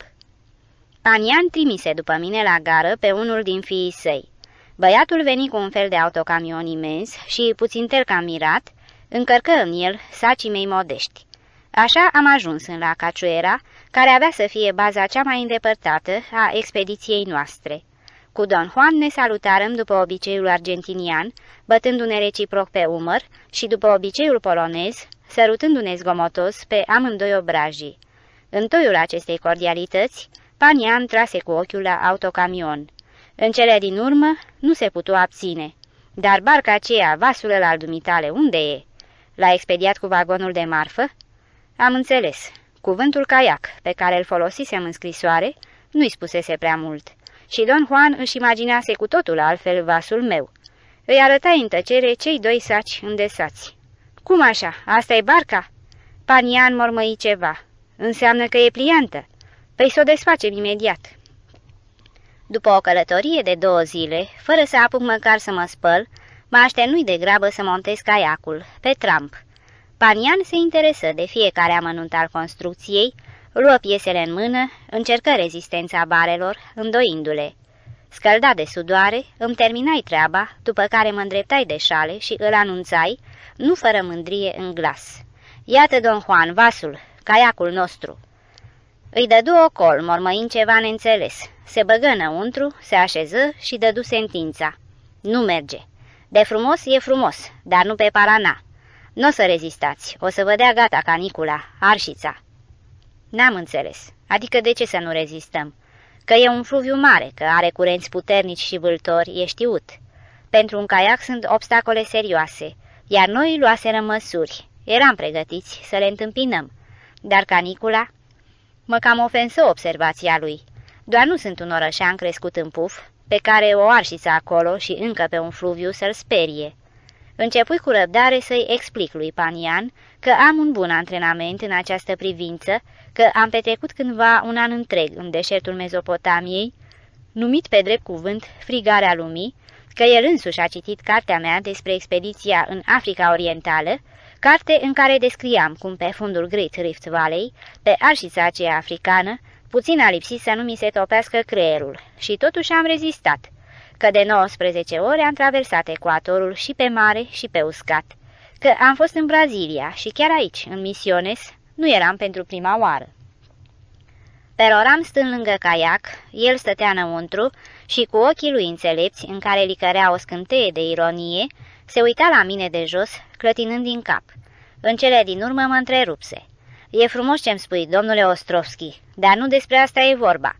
Eu nu cunosc Africa și nici pustiul ăla de care îmi vorbești. Știu însă ce înseamnă Parana. Ai fost în misiones și ai pescuit în Parana, dar niciodată vara. Și acum vine vara, peste câteva săptămâni, va fi arșița cea mai cumplită. Soarele arde atunci așa de tare că te ia groaza. iar undele apei dau reflejo, cum am zice în polonă, scânteiază atât de puternic că te orbesc și fac să-ți fiarbă sângele. Asta nu mai știți. În galoșul ăsta de cauciuc va trebui să stați vreme îndelungată fără să vă mișcați. Și asta e cel mai rău, să dați numai din vâsle și nimic altceva. O să vi se coacă creierul și să-mi fie cu iertare. O să aveți fundul opărit încă din prima zi. Nu, ăsta nu este un vas pentru Parana. Acesta a fost verdictul autorității, al omului care, oricum, avea mai mulți ani de experiență decât aveam eu de viață. Nu mă dădui însă învins. Dacă dumneavoastră mă speriați așa de tare, atunci am să fac o probă. Mai înainte de a telegrafia lui Vincenti, voi pluti câteva zile cu caiacul pe Parana, undeva prin apropiere. O să vedeți că nu o să-mi dau duhul. Se însufleți deodată, așa cum era obiceiul, și preluă comanda. Mâine e duminică. Voi merge cu dumneata, Victor, pe Parana. Dumneata vei pescui, iar eu, tocmai bine, voi supraveghea montarea unei pompe. Trebuie să pompeze apă la o rezării. Galoșul ăsta, fui să-mi fie cu iertare. Vasul ăsta rămâne aici. Acolo, la câmp, locuiește un peon, un negru din Paraguay. E un pescar atât de pasionat încât va lăsa totul ca să meargă cu dumneata. Are și o barcă, nițel mai mare decât a dumitale. Dar, râse și ret, Parana e aceeași. Te vei amuza puțin și vei încerca pe propria-ți piele. Carolina, dragă, pregătește-ne mâncare pentru o zi întreagă și frigiderul cel mic cu câteva sticle de bere. O vom porni dis de dimineață, înainte de ora patru. N-am mai avut nimic de spus. Am plecat pentru Neric cu un mic autocamion. Ne-a condus la Alo, fiul cel mai mic al lui Panian, pe care nu trebuia să-l roci prea mult. Era și el pescar pasionat. Aerul era proaspăt. Panian se înfășură în cața veica sa, eu, un pic demonstrativ, îmi luai o cămașă de lână. Chipurile ne duceam să încercăm marșița. Am luat de asemenea, pentru orice eventualitate, legăturica cu pijamaua de vară. Când am ajuns la Parana, trecând peste haturi, începea să se lumineze. Peonul paraguaian, ca un adevărat pescar, nu dormea. Meșterea ceva la barcă. Era o barcă cu fundul plat, mare, destul de grea, cu două vâsle. O a treia servea de cârmă la pupa. O, asta e barca adevărată," își dădu cu părerea Pamian. Nu pierdeți timpul, porniți repede, până să răsară soarele. Eu am să vă aștept aici pe mal și, între timp, am să cercetez pompa." La despărțire, Panian își scoase uriașa pălărie paraguaiană de pai și îmi propuse. Să le schimbăm, domnule Victor. Asta o să-ți vină mai bine." Pornirăm. Eu vâsleam. Paraguaianul cârmea, Lalo meșterea ceva la uneltele de pescuit. Eram foarte bine dispus. Ziua se anunța frumoasă. Domnea o tăcere desăvârșită și răcoarea plăcută a zorilor dinaintea răsăritului. Lat de peste 5 kilometri, Parana fumega ușor în ceața dimineții. Apoi se polei deodată în strălucirea soarelui care răsărea.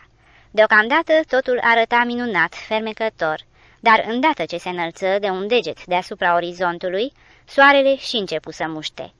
Cunoșteam trecerile acelea bruște de la noapte la zi, când așa numita oră cenușie nu există sau se poate calcula în minute. Acesta este tropicul. Și doar suntem pe fluviu, de jur împrejur apă cât vezi cu ochii. Aruncai de pe mine cămașa de lână care mă ocrotise de umezeala nopții. După o clipă, meditam dacă n-ar trebui să mă despart și de restul veșmintelor. Soarele, răsărit la ora cinci și jumătate, ca un glob înroșit în foc, se înălța drept în sus, cu o iuțeală de necrezut. Vâsleam încet, drămuindu-mi puterile. Jose, așa se numea paraguaianul, cârmea puțin pieziș pe lângă curent, ca să nu ne poarte departe. Undeva, la mijlocul râului, trebuia să fie niște stânci sub apă. Acolo aveam să aruncăm ancora și să încercăm să pescuim. La ora 8 era foarte, dar foarte cald. La nouă aș fi ieșit bucuros din propria piele. Am aruncat ancora, deși Jose protesta că până la stânci mai avem mult, iar aici cu siguranță că nu o să găsim pește. Trei ore de vâslit mă obosiseră într-atâta că nu mai eram în stare de nimic. Nu atât vâslitul, cât mai ales căldura. Din ambiție n-am acceptat să fiu schimbat la vâslă, pentru că doream să-mi verific rezistența la arșița de pe Parana. Lalo și Jose, amândoi născuți aici și rezistenți la canicula tropicală, nu mai puteau nici ei. Se dezbrăcară și săriră în apă. Din nou, ambiția nu mă îngădui să le urmeze exemplul. Îmi veneau în minte cuvintele lui Don Juan. iar din galoșul ăsta al dumitale nu poți nici măcar sări în apă, căci se răstoarnă. Așadar n-am sărit, hotărât să-mi verific rezistența până la capăt. Îmi cufundam de spălăria de pai în apă și, așa, șiroind, mă puneam pe cap. Mi-am scos pijamaua, am udat-o și am îmbrăcat-o, dar numai după o clipă o simțeam pe mine ca o compresă fierbinte. Temperatura apei, ceva în genul unei supe bine încălzite. O zi de arșiță fără vânt, liniștită, pe parana superioară, este ceva atât de fantastic că nu poate fi comparată cu nimic. Un amestec îngrozitor de jar și o lumină orbitoare. Soarele se înalță repede pe cer și pe urmă parcă atârnă deasupra capului. Umbra corpului dispare. Venind dinspre zenit, arșița devine aproape palpabilă, îți dă impresia că topește aerul încremenit în nemișcare. Iar fața netedă a apei, fără nicio unduire, ca o oglindă uriașe, reflectă razele perpendiculare. Fluviul are o respirație de foc. Sclipirile lui, greu de suportat, te obosesc și te frig în același timp. Nu puteam pescui. Lalo, cufundat în apă, se ținea de bord cu o mână și o schimba mereu, atât de tare se încinsese scândura. Își exprimă părerea destul de personală că pe o asemenea dogoare și peștele, chipurile, caută răcoare pe fundul apei și nu mai are nici poftă de mâncare. În ce mă privește, nu mi-ar da de pescuit. Sincer să fiu, eram foarte neliniștit de starea mea sufletească nenorocită. Se părea că dreptatea era de partea lui Don Juan. Nu o să rezistați în galoși, o să vă înnăbușe canicula. Într-o barcă mare, comodă, puteam să-mi schimb poziția, să mă mut de pe o bancă pe alta, dar nici așa nu era chip să reziști. Dar mite în caiac. Îndată după ora 10 am propus cu sfială să ne întoarcem, că tot nu prindem nimic, nici așa. N-a protestat nimeni. Ca să-mi păstrez onoarea neștirbită, m-am încăpățânat să vâslesc tot eu și la întoarcere. Nu vreau să chinuiesc cititorul cu povestirea suferințelor mele. Eu însumi îmi amintesc fără nicio plăcere de acele momente. Adaug numai că uitasem cu desăvârșire de picioare. Fiind desculți, mi se prăjiseră, făcându-se roșii caracul. Mult timp după aceea n-am mai putut umbla decât în sandale. În capul meu bătea fără încetare un clopot mare. Și totuși vâsleam. Lalo mă stropi pe față cu apă caldă din fluviu. A bătut, Jose renunțase, se vede, la lupta cu curentul, cârmea cum îi venea, permitea fluviului să ne ducă în jos.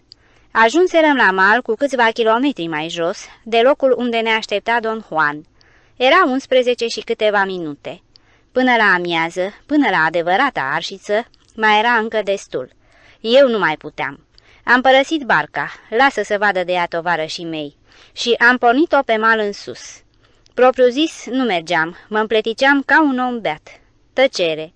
Orgie de străluciri și dogoare infernală. Nici o pată de umbră. Nu aveam putere să intru în peretele de verdeață, ce se afla alături, să-mi croiesc drum prin desișuri. Aveam impresia că trec printr-un coșmar. M-am târât deci pe plaje, pe fundul bălții uscate și tare ca piatra, care mi-ar da tălpile ca un grătar încins. Nu aveam la mine ochelari de soare și acest strălucitoare mă împungeau în ochi. Nu, așa ceva nu mai întâlnisem nici în deșertul irachian. La un moment dat m-am împiedicat de un butuc și am căzut. Zăpăcit, zăceam ca un pește scos din apă, respirând greu.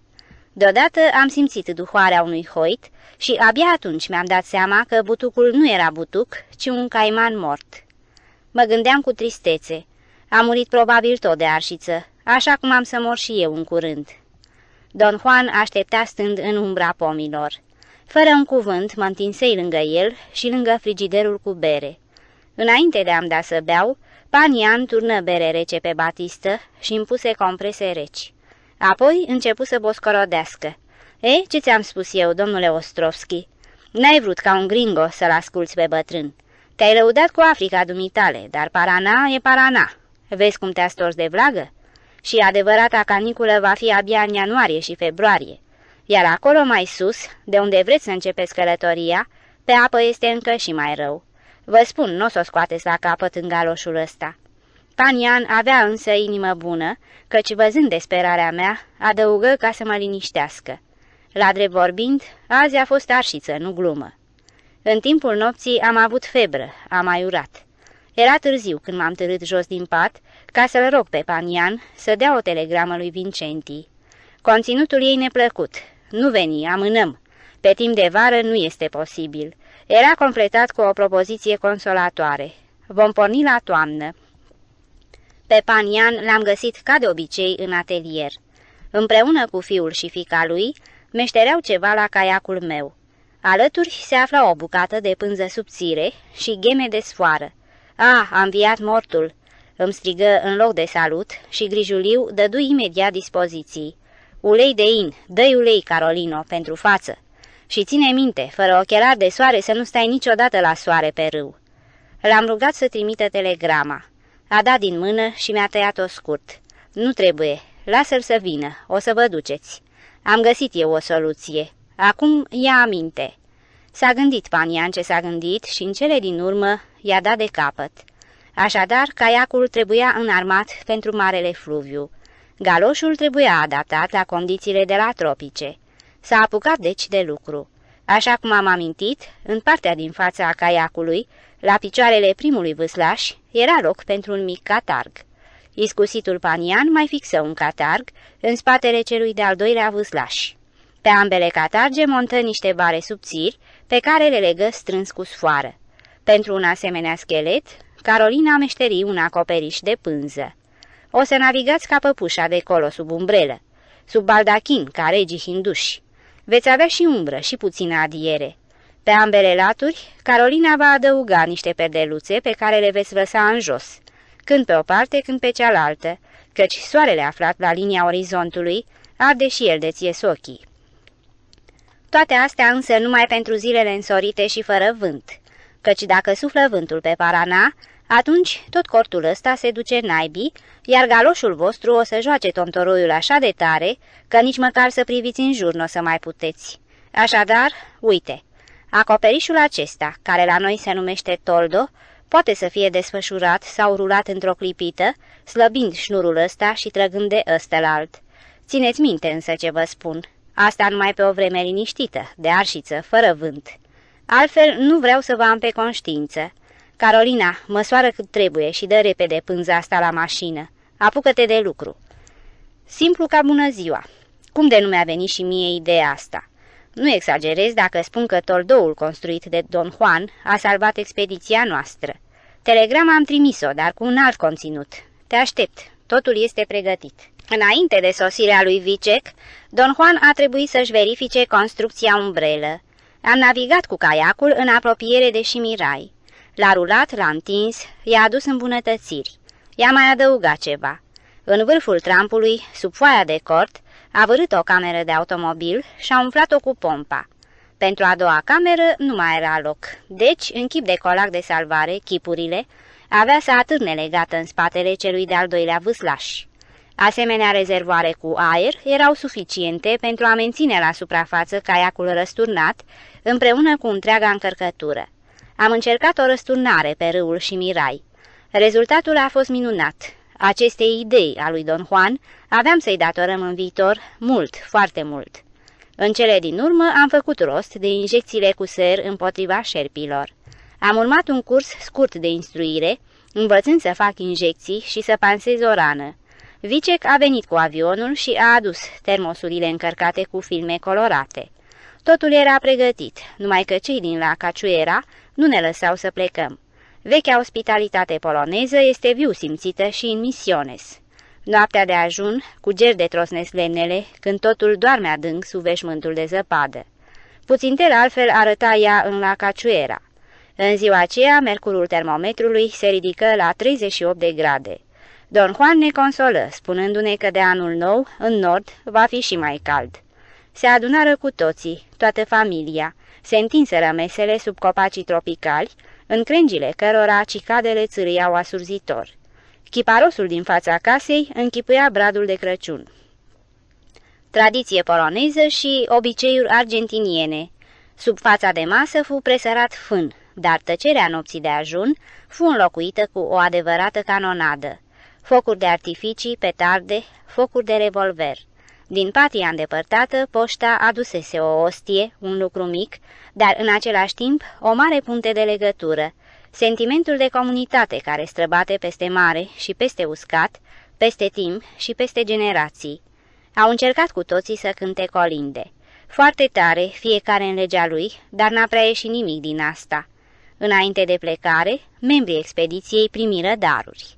Când Panian află că Vice a absolvit o școală de marină, că a fost ofițer în marina comercială, hotărâ că trebuie să purtăm pavilionul marinei comerciale poloneze. Calorina ni l-a cusut după indicațiile lui Vicec. Până la punctul stabilit pentru începutul expediției noastre, până la râul San Antonio și Iguasu, mai aveam de străbătut aproape 500 de kilometri prin toată provincia Misiones, parcurgând limba îngustă de uscat, ce se întinde între Brazilia și Paraguay. Ultimele ore petrecute în la Cachoeira aduseră dezlegarea problemei care mă chinuia de la începutul cunoștinței mele cu Vicec. Așa cum am mai amintit, el dispunea de timp limitat și avea să mă părăsească după o lună de zile. Unde avea să se întâmple asta, nu știam. Dar iată că Don Juan, care se angajase cu atâta suflet să mă ajute, îngădui fiului său mai mic, lui Lalo, să mă întovărășească până la capăt. Am stabilit că schimbarea echipajului se va face pe Parana superioară, sus în insula Corpus Christi, la 250 de kilometri mai sus de Posadas. Lalo avea să ne aștepte acolo la un termen stabilit, timp de câteva zile. Băiatul se înțelege, era încântat, mama lui mai puțin, dar mie mi se luase o piatră de pe inimă. Compadre și pescuitul pe Iguasu Selva împiedică accesul spre râul Iguasu. Compadre și rancioul lui din pădure, șarpele de casă, câinii de vânătoare, brazilianul Cabol Cobornovski, în jurul unui foc de noapte, în selvă, vânătoare pe râu, cea mai mare sălbăticiune a mea, compadre. Obstacolele evite la început prezic totdeauna un bun sfârșit. Nu te necăji, Victor. Asta era opinia lui Vincenti față de greutățile neașteptate ce se abătuseră pe capul nostru. Într-adevăr, situația nu era prea veselă. În primul rând, n-am găsit râul San Antonio.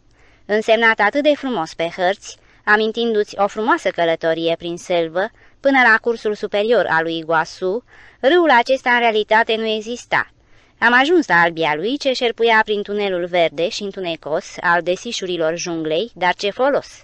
Era fără apă.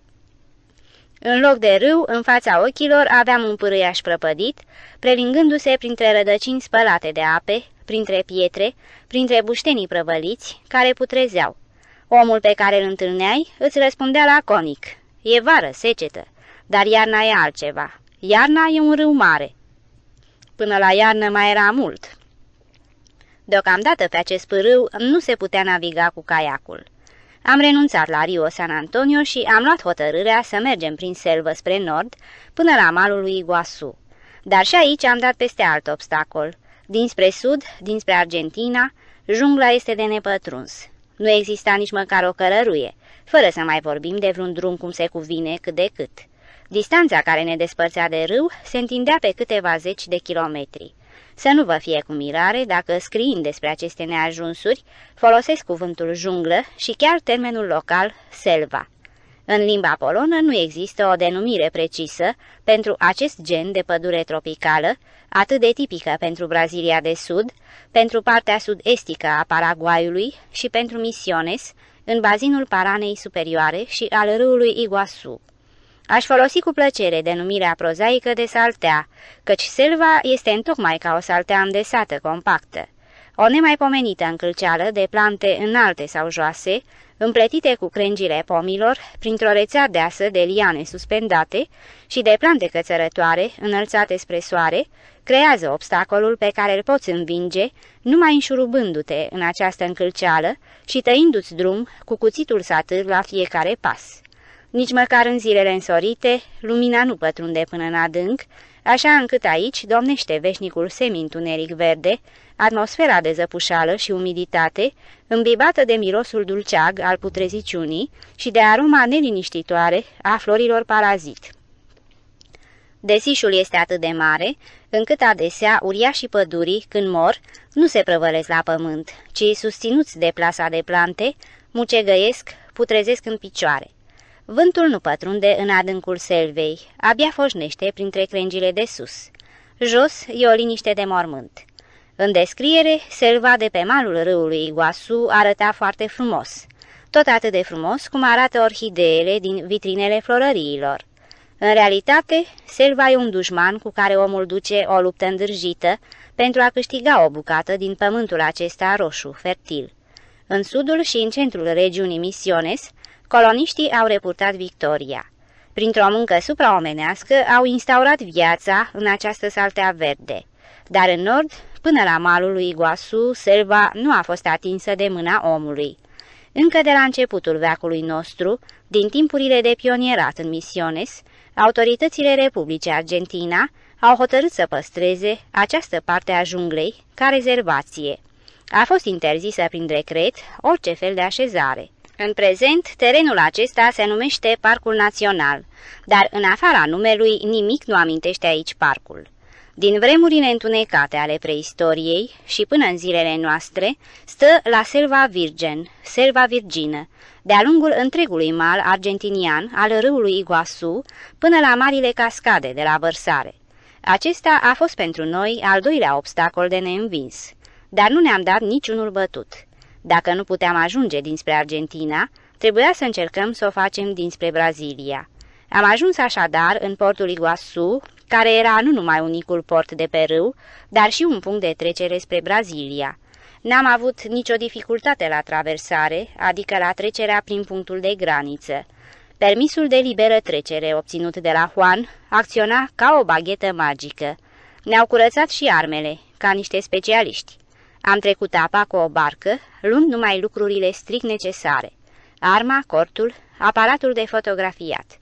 În timpul ultimei mele vizite în Brazilia, în aceste locuri făcusem cunoștința câtorva familii de agricultori polonezi așezați prin păduri. Mă împrietenisem atunci cu jerzile, iar acum tot către el ne îndreptam pașii. După căldurosul salut de bun venit și după ce băurăm câteva cești din tradiționala mate, îi explicară lui Jerzi pricina sosirii noastre neașteptate. Voiam să ajungem la malul lui Iguasu, mai sus de marile cascade, și să navigăm sub curent, care acum probabil nu este prea puternic, până la vărsarea lui San Antonio. Astfel vom cunoaște acest traseu pe apă, măcar în direcția inversă de cum intenționasem noi. Și în primul rând doream să petrecem acolo câtva timp, la vânătoare. Seara, Jerzy convocă în rancioul lui un adevărat consiliu de război. În afară de fiii și de socrul lui, mai chemă și doi vânători. Încă o dată se adeverea vechea judecată că experiența cea mai prețioasă este aceea pe care o capeți pe propria-ți piele. Aflarăm că vânătoarea, atât în jungla de aici, cât și în cea din lungul malului lui Iguasu, nu se poate face altfel decât cu câinii. Se înțelegea desigur cu câini special dresați. Nu aveam câini și nimeni dintre cei prezenți nu avea.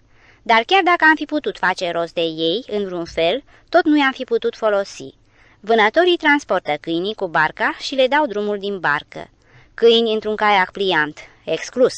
Cineva a făcut timid propunerea, dar dacă i-am trimite la compadre.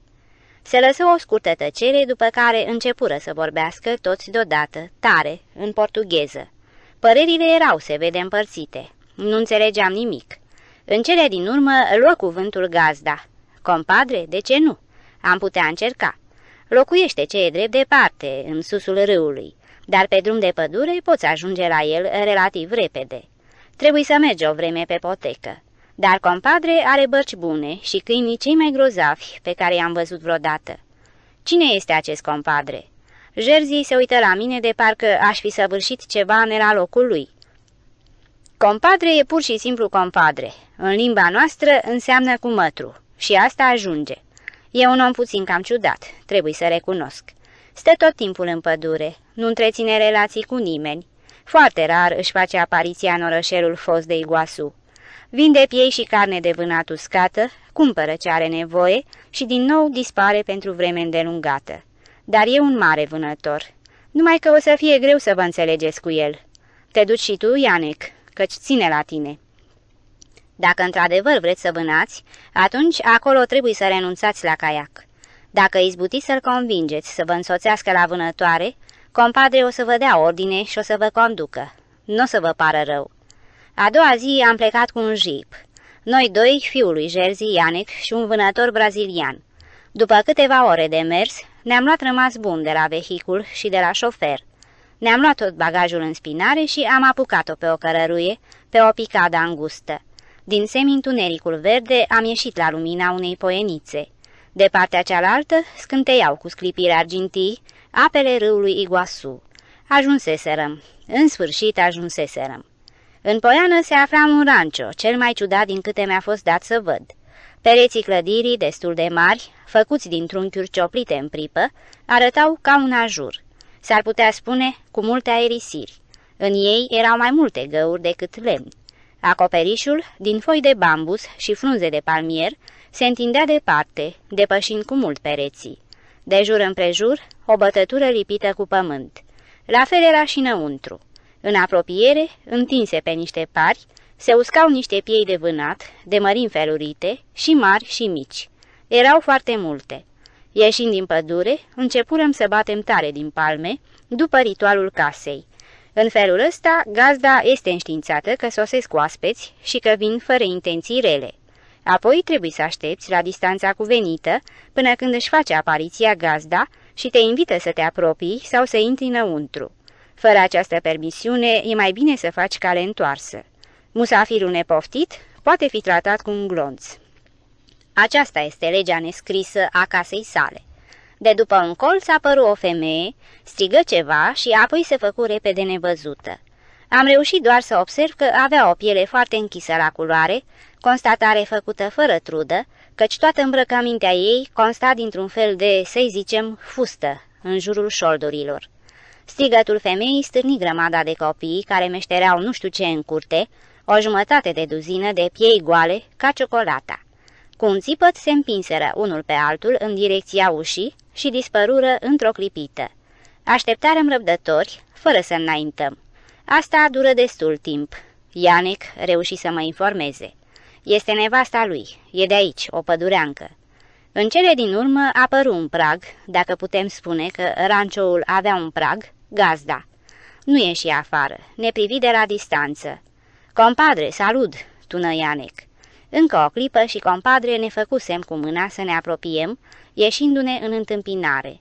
Îi strânse mâna lui Ianic și se bătură îndelung pe umăr.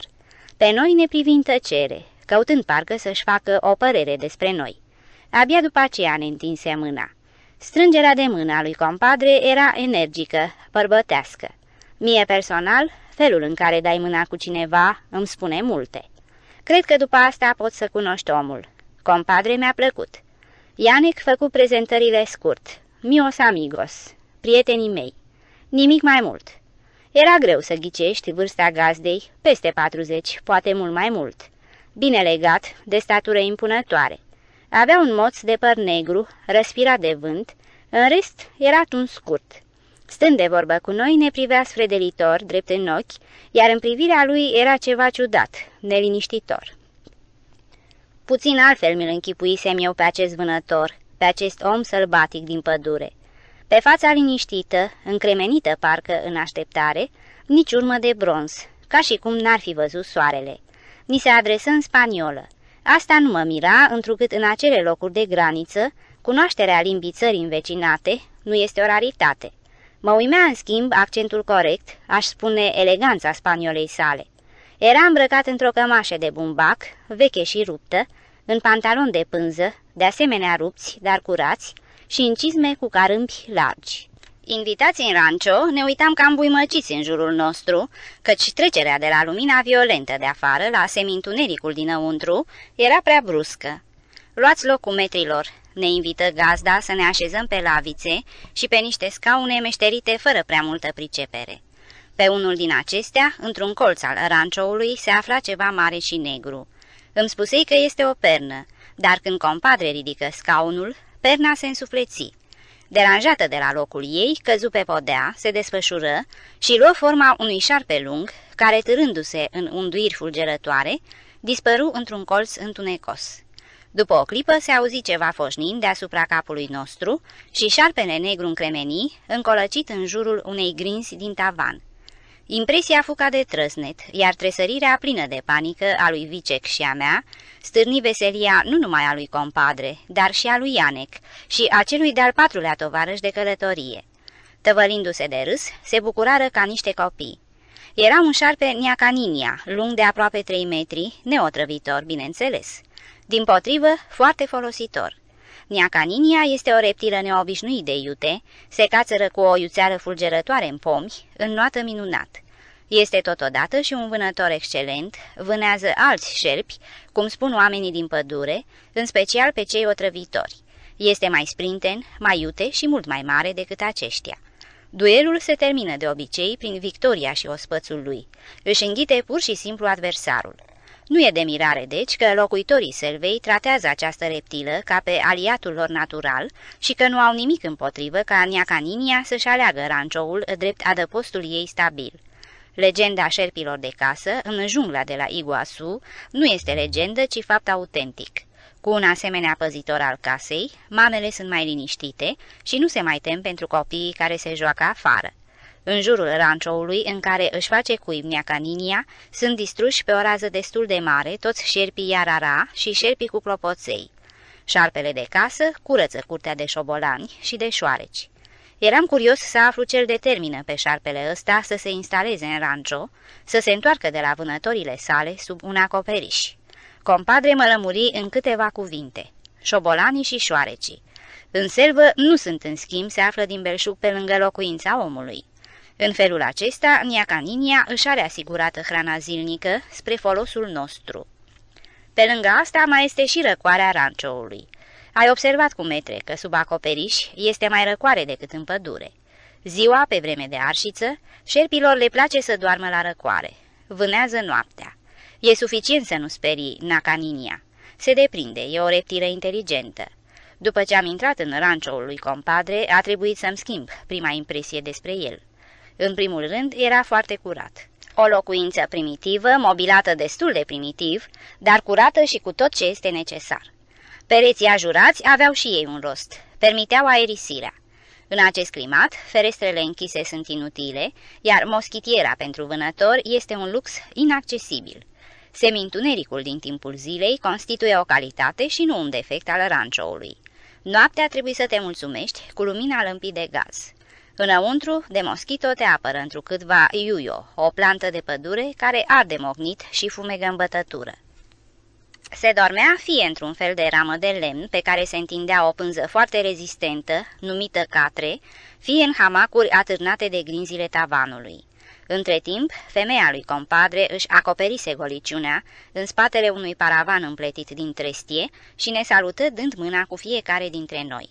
După care se apucă în grabă să pregătească o gustare, trebăluind, bineînțeles, afară, la foc.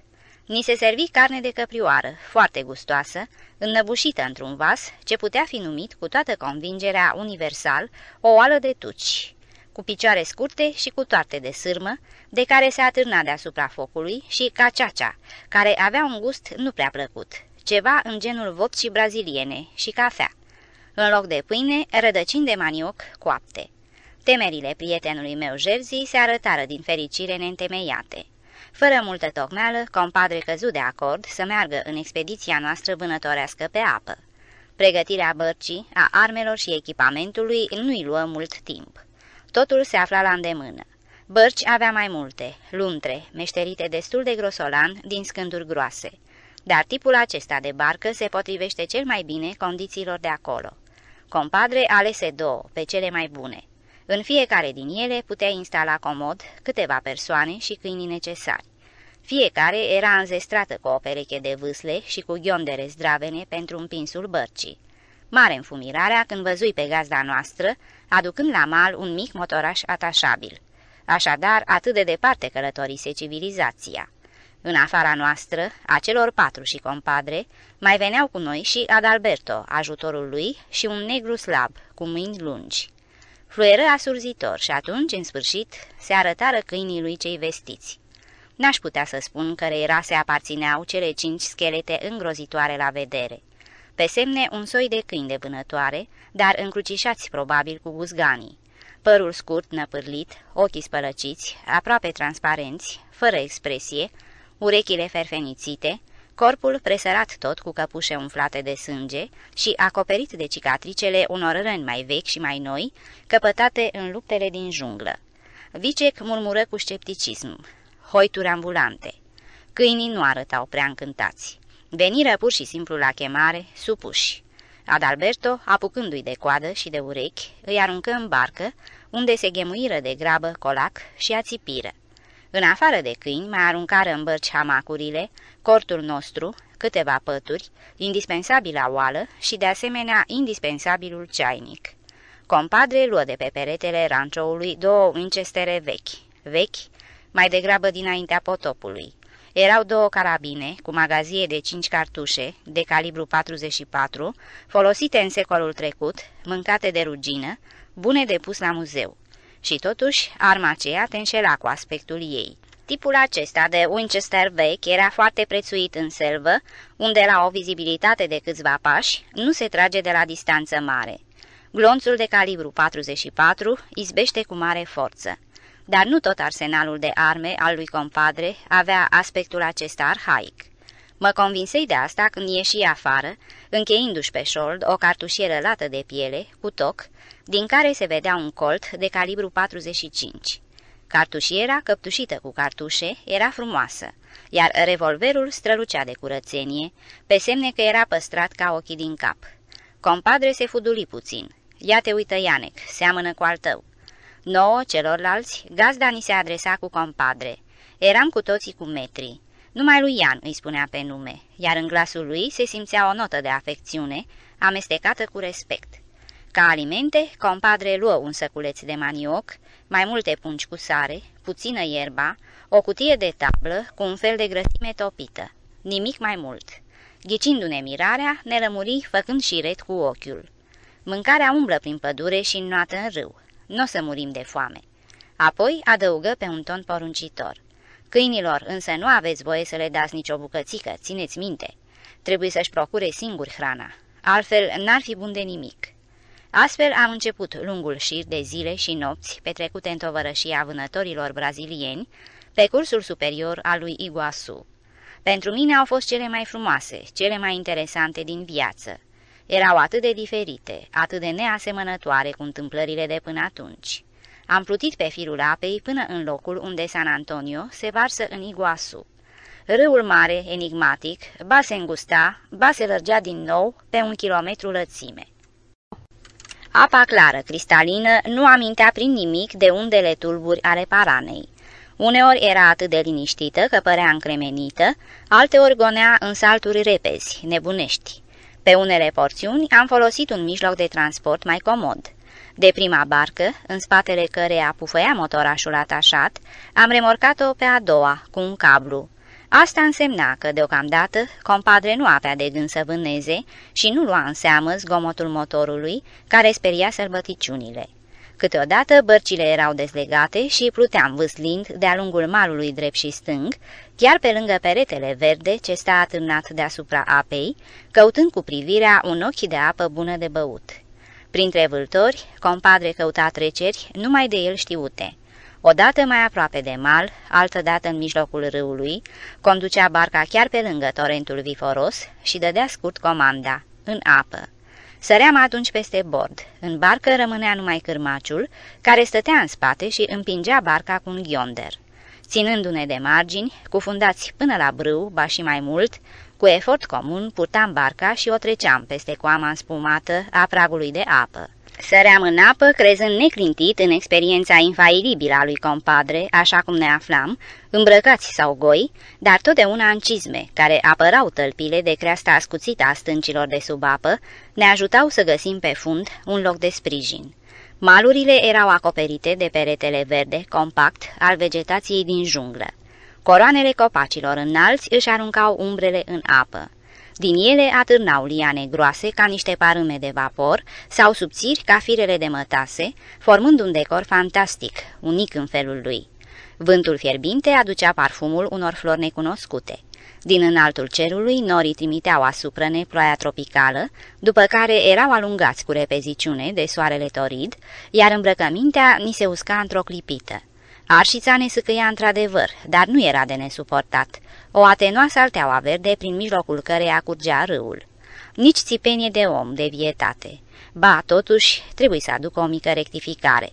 Într-una din zile, la începutul expediției noastre, de după o cotitură a râului, se arătară capetele unor animale plutind în direcția curentului, unul înainte, patru puțin mai în urmă. Păreau că urmăresc ceva, căci înaintau foarte repede. Compadre se ridică în picioare, fulgerător de iute, și își încordă privirea. Mai pe urmă se ivi o barcă. Cineva vâslea din toate puterile, altcineva, stând în picioare în vârful bărcii, ținea în mână ceva ce semăna de departe, cu o prăjină lungă. Fața lui compadre încremeni de încordare, ca la un animal hărțuit, apoi se destinse într-un zâmbet larg și prietenul nostru strigă cât putu de tare. Tito! Tito!" Bărbatul care stătea în picioare dădu din mână fără să ne dea atenție. Era, se vede, preocupat din calea afară de capetele care înnotau înaintea lui. Nu vâzliți, așteptăm să se apropie. Ăsta este Tito, cel econom. Uitați-vă cum se vânează pe Iguasu. Înnotând de-a curmezișul râului, animalele purtate de curent erau destul de aproape. În față, o frumoasă căprioară tânără, în spatele ei, câinii. Într-o clipă, câinii depășiră animalul, îi tăiară drumul spre mal. În curând îi ajunse și barca și acum puteam vedea deslușit. Ceea ce eu luasem drept prăjină în mâinile celui ce sta în picioare în vârful bărcii era o ostie lungă, la capătul căreia se afla tridentul lui Neptun. Un strigă sălbatic de triumf și tridentul se înfipse în spinarea căprioarei. Urmă o scurtă răsucire, să nu piardă vânatul. Ridicarea sălbăticiunii în barcă nu mai era o problemă. Ne apropiarăm de ei până când bărcile se ciocniră. Câinilor care se învârteau prin jur, vânătorii nu le dădură nicio atenție. După o vreme, înnotară spre pietrele de pe mal. De acolo lătrară spre noi îndârjit, revendicându-și parcă niște drepturi. Lindo venado, spuse compadre, cercetând frumoasa căprioară. Apoi, cu repulsie parcă, se îndreptă spre vânătorul care ne privea în tăcere. Oameni buni, acesta este Tito. Abia atunci, cel pe care îl numise Tito, trase ostia, care stătuse mereu înfiptă în căprioara ucisă, mormăi ceva către compadre și se așeză în barcă. Mă uitai cu plăcere la silueta aceea pitorească, înaltă, spătoasă. Cămașa descheiată lăsa să se vadă pielea arsă de soare și pieptul respirând din greu. În jurul șoldurilor avea cartușiera și un revolver mare. Pe cap, o pălărie de paie colorată. Ochii albaștri, foarte albaștri, aruncară asupra noastră, odată și încă o dată, priviri lipsite de încredere. Nici nu ne salută măcar. După ce schimbară câteva cuvinte în portugheză, compadre se mută în barca lui, iar nouă ne ordonă să vâslim în urma lor. Coborârăm împreună lângă pietre și lângă câinii care lătrau furios. Fără să piardă o clipă, vânătorul se apucă să jupoaie căprioara. Înțelesei graba. Câinii își așteptau răsplata cuvenită și, din considerente pedagogice, trebuia să le dea cât mai degrabă. Lucru curios, câinii noștri, ațățați la început de strigăte și de cele ce se petreceau pe râu, se culcară din nou, manifestând cea mai mare nepăsare. Pe semne, codul câinilor de pe aici prevede. Nu eu am vânat, deci nu mi se cuvine. Urmăream cu plăcere mișcările vânătorului, în care se puteau vedea eficiența, economia, iscusința și un instinct de răpitor, ca la pisică. Exact așa mi-am închipuit eu un cabolco brazilian, mi se adresă Vicec. E un exemplar minunat. Exemplarul, intrigat se vede de limba străină pe care o auzea, întrerupse pentru o clipă spârtecarea animalului și îl privi pe Vincenti pe sub sprâncene. Aveam mare poftă să-i fac o fotografie, dar, recunosc sincer, mă temeam cumva de reacția lui. Mă adresai deci lui compadre în spaniolă, cu rugămintea să-l întrebe dacă n-ar avea nimic împotrivă și așa mai departe. Tito nu se întrerupse din treaba lui de măcelar. Abia când câinii își căpătară porția și într-o clipită o înfulecară lingând apoi sângele de pe piatră, se îndreptă de șale și răspunse privindu-mă drept în ochi. Așa, domnule, vorbiți omenește în polonă. Sunt Bornovski." În selvă nu trebuie să temi de nimic și cu atât mai mult nu trebuie să-ți arăți uimirea.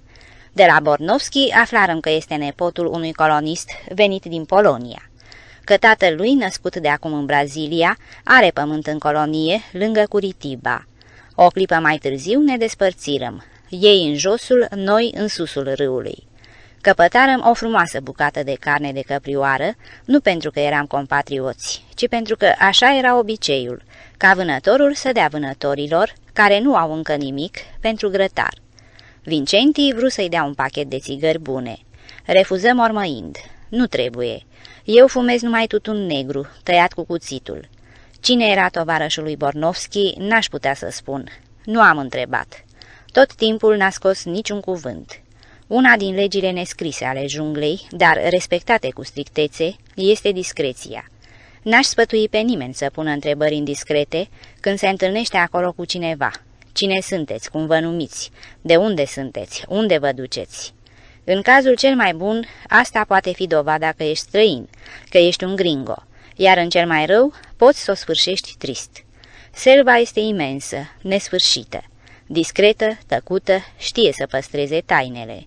Autoritățile nu se prea avântă cu plăcere în adâncul ei. Ea reprezintă marginile cele mai îndepărtate ale Argentinei, Paraguayului, Braziliei. Frontiera statelor o constituie râul care curge prin junglă. Uneori viața te pune în situații în care preferi să nu te arăți în fața oamenilor. Unor asemenea condamnați le convine singurătatea junglei. Pentru ce dar să-i inoportunezi? Ce va considera el că trebuie spus, îți va spune și singur, iar asta trebuie să-ți ajungă. Nu fi nerăbdător. Îl vei cunoaște mai bine, te vei împrieteni cu el, poate vei afla mai mult. Celui întâlnit acolo spune amigo sau mai simplu compadre. Într-una din nopți l-am cunoscut pe Vili și iată cum. Căutam un loc unde să întindem cortul, să atârnăm hamacurile și să aprindem focul, ceea ce nu este prea ușor de găsit în jungla deasă de pe malul râului. Găsirea unui asemenea loc îți ia o grămadă de timp. Compadre însă cunoștea râul mai bine decât își cunoștea buzunarul de la pantalonii rupți. Pentru el nu exista taină pe Iguasu, așa încât în pădurea, care la prima vedere părea monotonă, ochea ceea ce niciunul dintre noi nu putea să observe. O cotitură a râului, care pentru noi era la fel cu o sută altele, un pârâiaș, coama verde a vreunui gigant profilat la orizont, totul era pentru el un indicator de drum. Nu se înșela niciodată. Anunța. După a doua cotitură vom înopta pe malul drept. Sau ne prevenea. Străduiți-vă, vâzliți mai tare. Peste două ore vom putea așeza tabăra pe malul brazilian. Ne povestim mult despre frumusețea locului unde aveam să poposim. Frumos nu din punctul de vedere al peisajului, ci pentru că acolo, în apropiere, se afla adăpătoarea tapirilor. Presărai sare și apoi puteai să-i vânezi printr-o cursă de noapte. Exact în locul acela l-am întâlnit pe Vili. Își atârnase aici hamacul și se gospodărea. Arăta nițel cam ciudat, Vili ăsta. Pălăria lui neagră, cu boruri largi, părea crescută pe cap. Nu scotea niciodată, nici chiar când dormea. Vili purta barbă, iar de sub pălărie porneau în ambele părți perciuni lungi, ondulați. Întreaga lui avere se afla într-un sac. Avea o pușcă nemaipomenită, cârpită și întărită cu sârmă, și un cățeluș mititel. Ne ajută să întindem cortul și să atârnăm hamacurile. Ne spuse că, observându-ne pe râu, pusese la fiert, în oală, un pum de orez și că reușise să pregătească o bucată de carne uscată, șarchi. Cu alte cuvinte ne invita la cină. Unde și în ce împrejurări îl cunoscuse compadre pe Vili, nu ne spuse. Când ne aflarăm amândoi între patru ochi, făcu unele mărturisiri laconice. Vili este evreu, rabin sau nu știu ce fel de preot de-al lor. Natural a fost. E un băiat tare de treabă. Știe să vorbească în diverse limbi. Nu-l întreba prea multe. Era se vede ceva ce-l determina pe compadre să mă prebină. Nu-l întreba prea multe. Într-adevăr, Vili era un tovarăș minunat. Petrecurăm în tabără două nopți. Descoperirăm că noul nostru prieten cânta frumos. Ne cântă cântece braziliene și ceva trist în limba idiș. Odată îi scăpă mărturisirea că era născut în Cipru. Atunci, compadre nu se putu abține. Cum Vili, credeam că ești născut în Germania. Poate și în Germania, se învoi Vili, dar se întristă pe dată și, spunându-ne noapte bună, se urcă în hamacul său. Atâta știu despre Vili. Repet, era un însoțitor minunat. Și încă o întâlnire cu un om al pădurii. De fapt, pe el personal nu l-am văzut, ci numai urmele sale. Într-o zi, arșița ne sâcâia cumplit. Parcă n-ar fi fost de ajuns, în cale ne ieși un lung șir de vâltori, iar pe deasupra ni se mai strică și motorul. Ca să ne mângâie pe semne, compadre ne anunță. Încă puțin, încă două ceasuri și vom avea o surpriză grozavă. Apă rece direct de la frigider. Știți cu metrilor, asta o spunea pentru mine și pentru Vicec, că și în selvă poți avea frigider? Debarcarăm pe o plajă miniaturală, numai de câțiva metri pătrați, dar destul de bună pentru a trage barca acolo. Malul era înalt, râul spăla colinele pe care creștea bogat vegetația junglei. Dinspre plajă duceau în sus urme de pași lăsate pe pământul roșu. Mai sus, într-o mică poiană, dădurăm peste o colibă de bambus. Lângă focul stins se aflau câteva trunchiuri de copac, cioplite cu iscusință. Compadre se uită în colibă, scormoni în foc și făcu constatarea. A plecat de câteva zile, încă înaintea ultimei ploi. Nu știam despre cine era vorba, dar spuse în glumă. Și a luat și frigiderul cu el, nu-i așa, compadre? Nu, nu l-a luat. Ascultă. Și compadre ridică tainic un deget. În apropiere susura ceva, ca și cum ar fi fost apa de la un robinet prost închis. La marginea poienei, chiar lângă colibă, se afla un bambus așezat vertical pe un suport. Din el curgea firicelul de apă. Am pus mâna și de îndată am retras-o cu mirare. Apa era într-adevăr rece, ca de la gheață. Treaba era simplă. Ceva mai sus era un izvoraș care pe semne ieșea de la o mare adâncime. Enigmaticul personaj captase apa de izvor și o dusese spre tabără printr-un adevărat sistem de conducte, cioplite cu pricepere din bambus. Ei vezi ce ți-am spus?" se bucură compadre. Pe semne că a lucrat de s-a spetit. În schimb, nu mai are nevoie să umble după apă. Azi vom înopta aici." La tabără nu puteai ajunge decât dinspre râu, în pădure nici urmă de trecere. Compadre ne explică că el, personajul, are câteva asemenea locuri, cu colibe și, în genere, amenajate.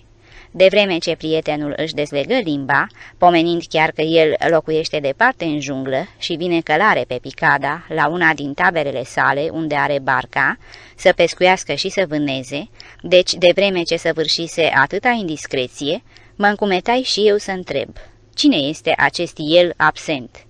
Vedeți, timpuri vechi aparțin aproape istoriei. Țineți minte cum a început războiul în Europa? Ei bine, atunci, în decembrie 1939, erau și pe aici bătălii. În apele uruguaiene, în apropiere de Montevideo, crucișătoarele engleze au atacat nava germană Graf von Spee. Odată cu ultimul vas distrus, nemții s-au necat în apele neutre, iar echipajul navei Graf von Spee a fost dus în lagăr în Argentina, neutră în acel timp. Nu le era prea rău marinarilor acolo, totuși să stai așa și să aștept sfârșitul războiului. Câțiva au fugit. Unul dintre ei a ajuns aici, în Brazilia. Și când Brazilia le-a declarat nemților război, el s-a retras în junglă. Selva îi tăinuiește pe toți. Trebuie numai să știi să trăiești în ea, să o înțelegi. Iar el a îndrăgit viața de pădure și râul nostru. Face socoteala, câți ani au trecut. Războiul s-a sfârșit, putea să se întoarcă la ei lui sau măcar în lumea civilizată. N-a vrut și nu vrea. Pe semne că este bine aici, a devenit un alt om. Compadre tăcu o clipă, apoi își termină povestirea. A devenit un om al pădurii. Mult aș fi dat să mai aflu ceva despre acest Robinson contemporan. Compadre însă amuți. Nici coliba nu lăsa să se vadă mai mult. Iată, de stâlpii ăștia își agăța probabil hamacul, câteva bidoane de tablă pentru petrol indicau că stăpânul colibei avea barcă cu motor. Două dintre ele erau chiar pline, lăsate de rezervă, și nimeni nu se atingea de ele. Erau păzite de legea junglei, care spune, e voie să te atingi de un lucru străin numai atunci când ești presat de nevoie, când te pândește moartea. Nopțile în selvă, la foc, pe malul râului. N-am să le uit niciodată. Erau prea frumoase ca să le irosim dormind. Preferam să ne odihnim în timpul zilei, mai ales în bărci, în umbra lianelor atârnate ca niște sălcii plângătoare. Noaptea mâncam. Focul de tabără. Deasupra lui, pe un trepied, oala de tuci atârnată de o vergea fixată pe două crăcane. Ceva bolborosește în ea vreo mâncare obișnuită, de obicei giso, bucățele mărunte de carne, cu grăsime și cu orez sau fasole neagră, fierte mai înainte. Alături, în spuza trasă de o parte, se coc rădăcinile de manioc, pâinea noastră. De jur împrejurul focului, locul este curățat, sunt așezate pături și aduși încă din timpul zilei bușteni putrezi pe care stăm. În apropiere se află cortul. Printre pomi, hamacurile întinse. Toate acestea la un loc formează locuința noastră. Pereții ei sunt întunericul dens care ne înconjoară. Stele scânteietoare sunt nu numai acolo sus. Ard și se sting prin coroanele pomilor, în desișul mai întunecos decât noaptea, se urcă în sus și cad desenând drumuri luminoase, se aprind și se sting în iarbă. Licuricii. Mii de licurici, aceste insecte tropicale, a căror lumină constituie o enigmă încă nedeslegată de savanți, iar pentru noi înseamnă farmecul nopților petrecute în selvă. De sus străbate țârâitul de nedescris al cicadelor. Țâț, țâț, țâț, ci, ci, țâț. De seara până dimineața nu-și întrerup nici măcar o clipă cântecul executat pe diverse tonuri. Mă urc în hamac, sigur că nu este prea comod, dar dacă te obișnuiești, nu-l mai schimb nici pe salteaua cea mai moale și mai grozavă. Stau culcat în întuneric și îi privesc în liniște pe prietenii mei strânși lângă foc. Ciudat colectiv. Pe ce fel de drumuri a mai purtat soarta până când s-au întâlnit aici întâmplător? Sunt apropiați, dar ce-i leagă oare? Vicec stăturcește, cel mai aproape de foc, privește țintă jarul. Îmi amintesc că nu de mult avuseserăm o controversă, dar în cele din urmă ne împăcaserăm. Fără oboseală și fără plictiseală, poți privi numai norii care călătoresc pe cer, valurile mării și focul acela arzând. Acel om din lumea largă, proprietarul unui vapor, care acum își face cursele pe nu știu ce ocean, vizitatorul frecvent al hotelurilor și cluburilor celor mai luxoase, privește acum la foc și nu se plictisește. În partea cealaltă, nițel mai în umbră, s-a instalat tovarășul capitanului nostru, Adalberto. E așa de negru că nu se vede. Îi ghicești prezența mai degrabă după strălucirea dinților, când râde. Vili stă încovoiat, cuprinzându-și genunchii cu mâinile și se leagănă trist.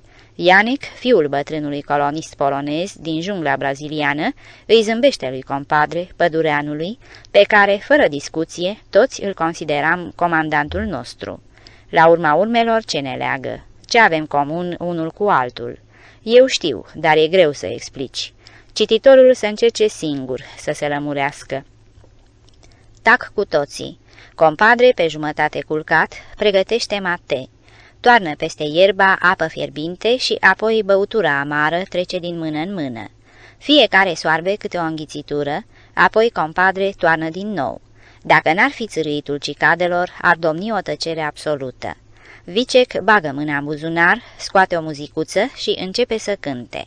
Învățase încă din vremea când urma școala de marină. Acum, în selva braziliană, cântă cuiaviacuri, dansuri populare poloneze.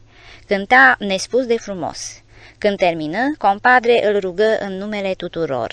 Mas, mas, încă, încă. E un virtuos vicec ăsta, chiar și cântecul argentinian, în media cana, îl cânta minunat. În urmă își șterse muzicuța, o băgă în buzunar și spuse, Ei, compadres, acum e rândul vostru." Capitanul nostru se ridică în capul oaselor și rostește ca o poruncă. Adalberto, începe! Liniștea de o clipă este ruptă de țipătul sălbatic, vibrant al lui Adalberto. Pege, el surubii! Tăcere și din nou țipătul, de data asta în registrul de bas profund al lui compadre, pe un ton întrebător. Chetal, consurubii? De partea cealaltă a focului, mult mai încet, răspunde Adalberto. Comi el surubii. Acel ultim I îl ține mult, din ce în ce mai încet, până se stinge în surdină. Izbucnește o veselie generală. Cititorul nu înțelege nimic? N-are a face, nu-i neapărat necesar. Nici o melodie, E așa, un fel de dialog intonat. Cu cât e mai tare, cu atât mai bine, în câteva propoziții. Conținutul? Adalberto e un pescar pasionat. Iguasu nu e prea bogat în pește, dar el o ține într-una că va pescui cu siguranță un surubi mare, un pește din familia somnului, care viețuiește numai în râurile de aici. Așadar se laudă. Am prins surubii. Compadre îl întreabă bajocoritor. Ce ai făcut cu surubii? Am mâncat surubii, sfârșește trista Alberto. asta e tot. Primitiv? Cu siguranță. Dar ne bucurăm cu toții ca niște copii. Mai apoi, nerugat de nimeni, începu să cânte Vili.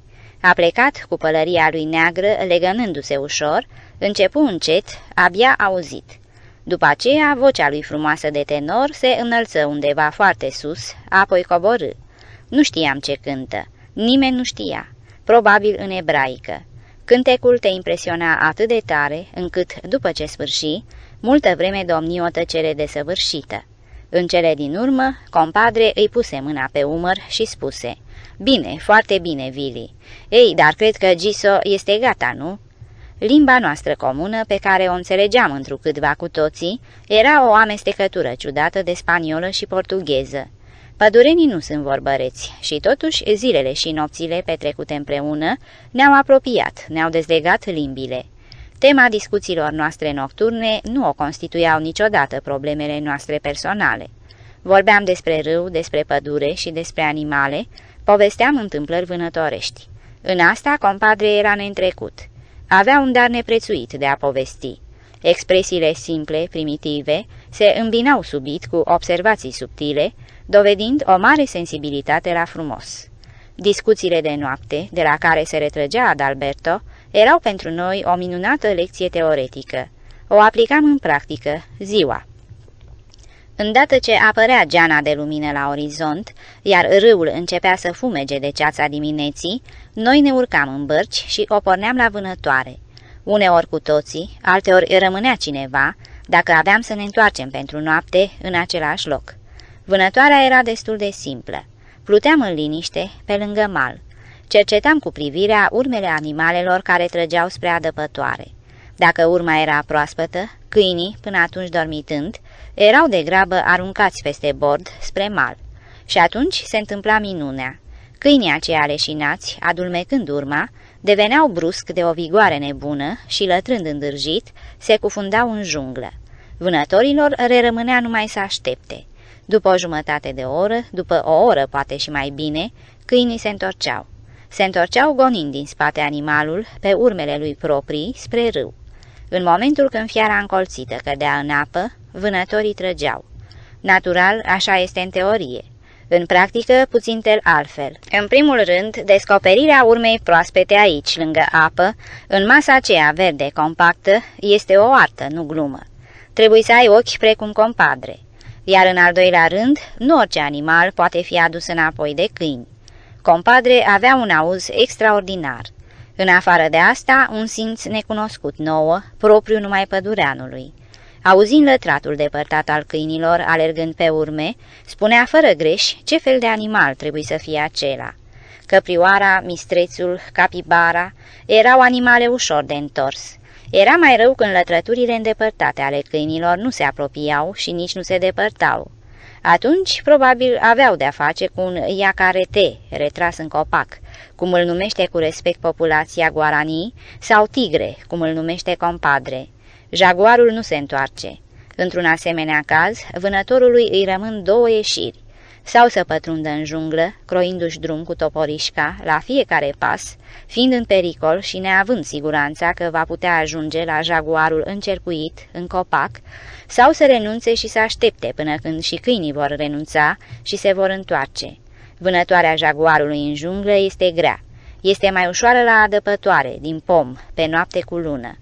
Mai este un animal care nu fuge de câini și nu se întoarce pe urmele sale. Blândul furnicar. Animal greoi, cu botul lung, asemănător întrucâtva cu ursul, în fond, în spaniolă este numit oso hormiguero, ursul furnicilor, inofensivul locuitor al selvei nu fuge de câini, pentru că nu are nicio șansă de fugă. Așadar, se apără, se poate spune, până cade. Mulțumită labelor dinainte, cu ghiare pe care le poate invidia chiar și tigrul bengalez și înzestrate de natura mamă cu o putere neobișnuită, lupta este îndârjită. Deseori se întâmplă ca acel câine care se apropie de el prea mult să fie spâșiat în bucăți și nu puțin se întorc târându-se scărmănați strașnic. Să împuști din barcă animalul care iese din desiș nu este așa ușor.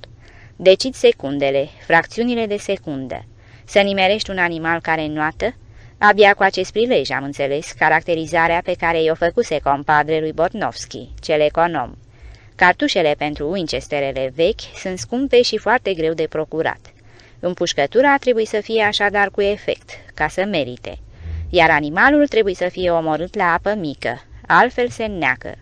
Cu mult mai economicos este să urmărești căprioara cu barca și să o lovești cu lancea harpon. Mai economicos și mai sigur. E mai rău cu capibara. Ținta este îngreuiată de faptul că această creatură, și de apă și de uscat, se dă la fund pe o mare distanță. Omorât într-o apă adâncă, iese la suprafață după trei zile. Natural, carnea nu mai poate fi bună, dar pielea nu-și pierde valoarea. Prelucrată bine, în Argentina are faima de cea mai bună acoperitoare pentru șeile tip criollo. Acestea sunt confecționate din piei de oaie puse una peste alta, cu părul la suprafață. Pe o astfel de șa se stă ca într-un fotoliu, dar în călătoriile mai lungi, din cauza căldurii te opărești ușor și atunci folosești acoperitoarea din piele moale de capibara. Vânatul cel mai prețios este anta sau tapirul. Rudă îndepărtată cu elefantul, ajunge la o mărime însemnată. Este un animal inofensiv și cu totul lipsit de apărare. Pentru carnea lui delicioasă și pentru grăsime, constituie vânatul cel mai râvnit de vânători și de aceea a fost distrus pe suprafețe întinse. În Argentina, tapirul este pus sub protecția legii. Aici însă, în selvă, pe Iguasu, mai trăiesc încă destui, iar legea protecției este departe. Odată, ascultând lătratul câinilor, compadre preciză scurt, Anta. Ne pregătiră febril de tragere. Uriașul animal, adesea depășind 200 de kilograme, aruncat parcă de o catapultă, ieși din desiș și se prăvăli în râu ca o torpilă. După el se avântară în apă câinii, dar urma se pierdu. Tapirul nu numai că noată excelent, dar se scufundă teribil de bine, schimbând direcția sub apă. Vânătorul care pândește în barcă joacă propriu-zis la loterie. Depinde unde scoate tapirul capul să respire. Câinii dezorientați roiesc pe râu fără rost, așteptând și ei apariția vânatului. De două ori ni s-a întâmplat să nu avem noroc. Corpul tapirului abia se vedea. O trâmbă de apă zvârlită în sus și așteptare încordată. Nimic, nimic, până când hăt, la depărtare de vreo sută de metri, dincolo de raza unei împușcături sigure, se arată capul animalului. Câteva secunde și din nou se dă la fund. A doua oară, cufundarea durează mai puțin, dar tapirul se răsucește sub apă și iese la suprafață, amăgindu-i pe vânător și pe câini. După trei asemenea cufundări, înnoată cu capul la suprafață, dar departe, foarte departe, îndreptându-se spre malul opus. Nu mai puteam trage. Câinii au încercat să-l ajungă, dar fără rezultat. Epuizați de goana fără rost, nu l-au putut prinde din urmă. Un punct negru a pătruns în junglă și a dispărut. Câinii s-au întors. Direct din apă i-am ridicat în barcă. Erau vizibil rușinați. Compadre n-a suduit, nu s-a plâns, numai dinții îi străluceau într-un zâmbet larg.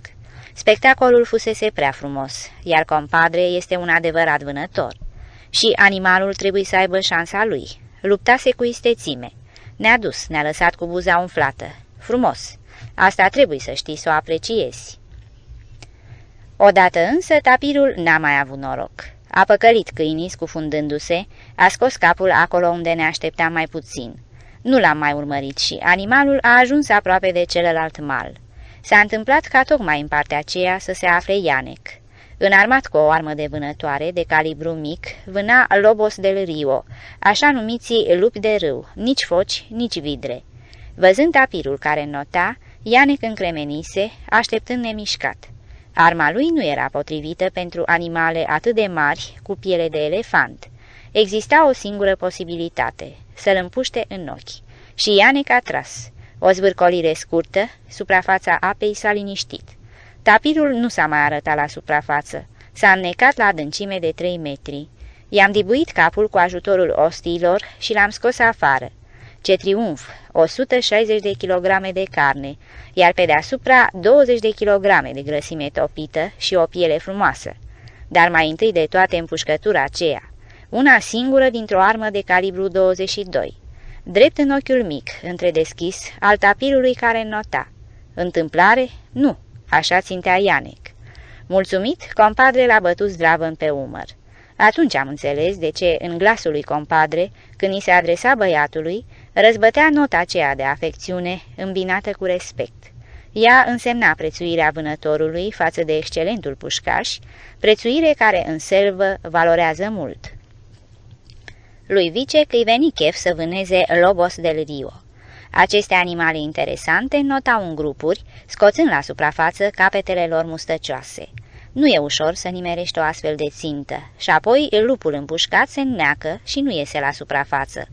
Vânatul pierde în adânc, se pierde bunătate de blană. Poate îl voi dezamăgi pe cititor, dar nu voi socoti câte animale am vânat. Nu stă în obiceiul meu, nici în al lui Vicec. Bucuria noastră o constituia în primul rând selva primitivă, râul și oamenii de acolo. Compadre avea dreptate spunând că mâncarea umblă prin pădure și înnoată în râu. Nu știam ce e foamea. De asemenea, nu voi ști să descriu gustul mâncării din carnea de vânat, preparată în maniera junglei. Carnea venado, de căprioară sau carnea jabali, de mistreț, înnăbușită în oala de tuci, friptă pe cărbuni sau pregrătarul din bambus tacuara. Carne și sare, nimic mai mult. Pofta noastră de lup ținea loc de condimente și, credeți-mă pe cuvânt, ne plăcea grozav. Chiar carnea uscată de tapir, tare ca talpa. Deși trebuie să mărturisesc cinstit, când i-am servit pe prietenii mei la Buenos Aires cu o asemenea cearchi de tapir, nu s-au arătat prea încântați. Îi lipsea se vede condimentul acela atât de important. Pieile și carnea îi se cuveneau lui compadre, căci el era nu numai conducătorul nostru, ci și tatăl unei familii pe care o hrănea jungla. Trăiau cu ceea ce le oferea ea. Animalul ucis era jupuit, sfârtecat, iar fâșiile de carne erau atârnate de crengile pomilor, unde se uscau pur și simplu la soarele tropical. Așa se prepara acea șarchii, un fel de conservă ce servea drept provizie pentru zile negre. Dar cea mai mare sălbăticiune socotesc că eu am vânat-o. Și iată cum. Câinii, aruncați din barcă, se făcură nevăzuți în junglă și nu se întoarseră multă vreme. Eu și compadre, moleșiți de arșiță, trăserăm barca la umbra lianelor și ancorarăm la mal. Goi pușcă scurtam din așteptarea noastră, îndeletnicindu-ne cu o treabă foarte utilă, și anume căutându-ne reciproc. O mică explicație. Pielea omului din junglă nu este câtuși de puțin catifelată și frumoasă ca alabastrul. Din potrivă arată groasnic. Numai în filmele cu Tarzan și în alte asemenea producții exotice, eroii încântă ochiul spectatorilor cu pielea lor catifelată și lucioasă, sub care joacă de încordare mușchii bine legați. Realitatea e cu totul alta. Nenumăratele insecte târătoare și zburătoare îți pătrund în piele, se înfig în ea și își depozitează ouăle în corpul tău viu de înțepătura microscopicilor mbaracui, care nu se văd cu ochiul liber, se umflă glesnele picioarelor și mâinilor.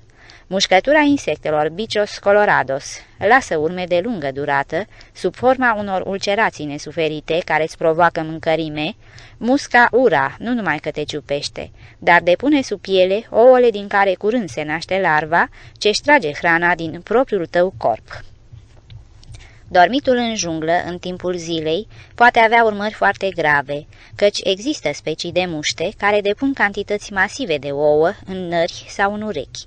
Omul nu simte că poartă în sine incubatorul larvelor lacome, care se strecoară în corp, tot mai adânc și mai adânc, provocând o grea boală, un dezechilibru mortal. Puricii de pământ, picas, iau cu asalt chiar și piciorul apărat de încălțăminte, pentru a găsi sub unghii cuibul viitoarelor generații. Nu se pot enumera diferitele specii și varietăți de paraziți. Trebuie totuși amintit acest revers al medaliei, pentru că nu totul arată atât de idilic, atât de roz. Aceasta este realitatea. La acest mozaic ce ți se încrustează în piele, se mai adaugă inevitabilele zgârieturi, uneori greu de vindecat, pline de puroi. Nu, niciunul dintre noi nu semăna cu o frumusețe de ecran.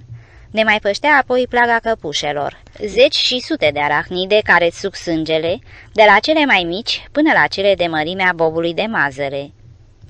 Tocmai acest serviciu colegial de a ne smulge unul altuia căpușele din piele, îl numisem căutare reciprocă. Trecu un timp îndelungat, căutându-ne astfel cu atenție, în tăcere. Deodată compadre mă întrebă, Victor, pentru prima dată îmi spunea Victor, ce părere ai despre Malaparte?" Am încremenit, am înlemnit. Omul acesta sălbatic din junglă, bărbatul indienei despuiate și tatăl unei jumătăți de duzine de piei goale ciocolatii, Capitanul nostru, compadre, întreabă de mala parte. Viața mă învățase că nu se cuvine să mă minunez de nimic. Silindu-mă să adopt tonul cel mai indiferent, îi răspunsei după o clipă. Dar de ce mă întreb despre asta? Fiindcă vezi, când Malaparte a scris caput, am avut impresia că este un mare talent. În schimb, cartea următoare, Pielea, mi-a lăsat o impresie dezgustătoare. E o porcărie. Vânatul încetase deodată să mă mai intereseze. N-au decât să latre câinii, n-au decât să abată spre noi ciorpofti, căprioară, mistreț, chiar și jaguar. Eu îl vânesc pe compadre. Poate zilele și nopțile acelea petrecute împreună, poate întâmplările trăite în comun, poate apariția noastră subită în poiana lui, poate, în fine, n-are importanță ce anume, dar vine odată o clipă când omul simte nevoia să se destăinuiască, să vorbească altuia despre sine. Așa era și cu compadre. În înaltul cerului norii se târau agale. Undeva, dincolo de râu, prietenii noștri urmăreau sălbăticiunile hăituite, se auzeau împușcături. Câinii noștri pe semne că se depărtaseră mult pe urmele animalului, căci nu li se mai auzea lătratul.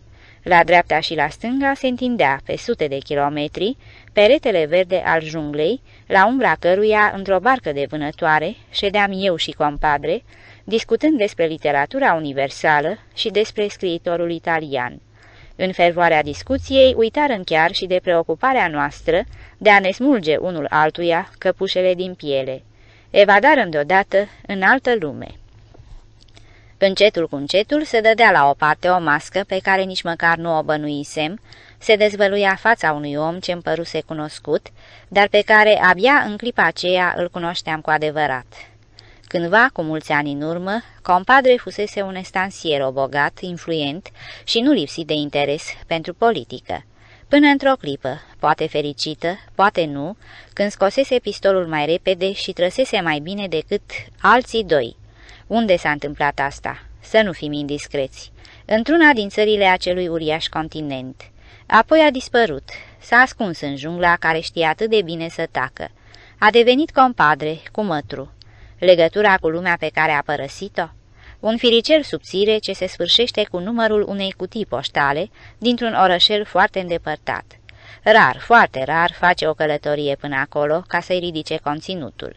În viața lui cea nouă a intrat fără rămășițele trecutului, a devenit pur și simplu un alt om. Se simte bine astfel? E o chestiune personală. Când am revenit seara în tabără, omul acela era din nou numai compadre. Istorisirea ascultată în pădure a rămas taina noastră. Atitudinea mea față de compadre și a lui față de mine nu se schimbase cu nimic. Afară doar de faptul acela mărunt că acum îmi zicea Victor. Dacă scriu despre lucrurile acestea, vă rog să mă înțelegeți bine, o fac numai pentru că am aflat.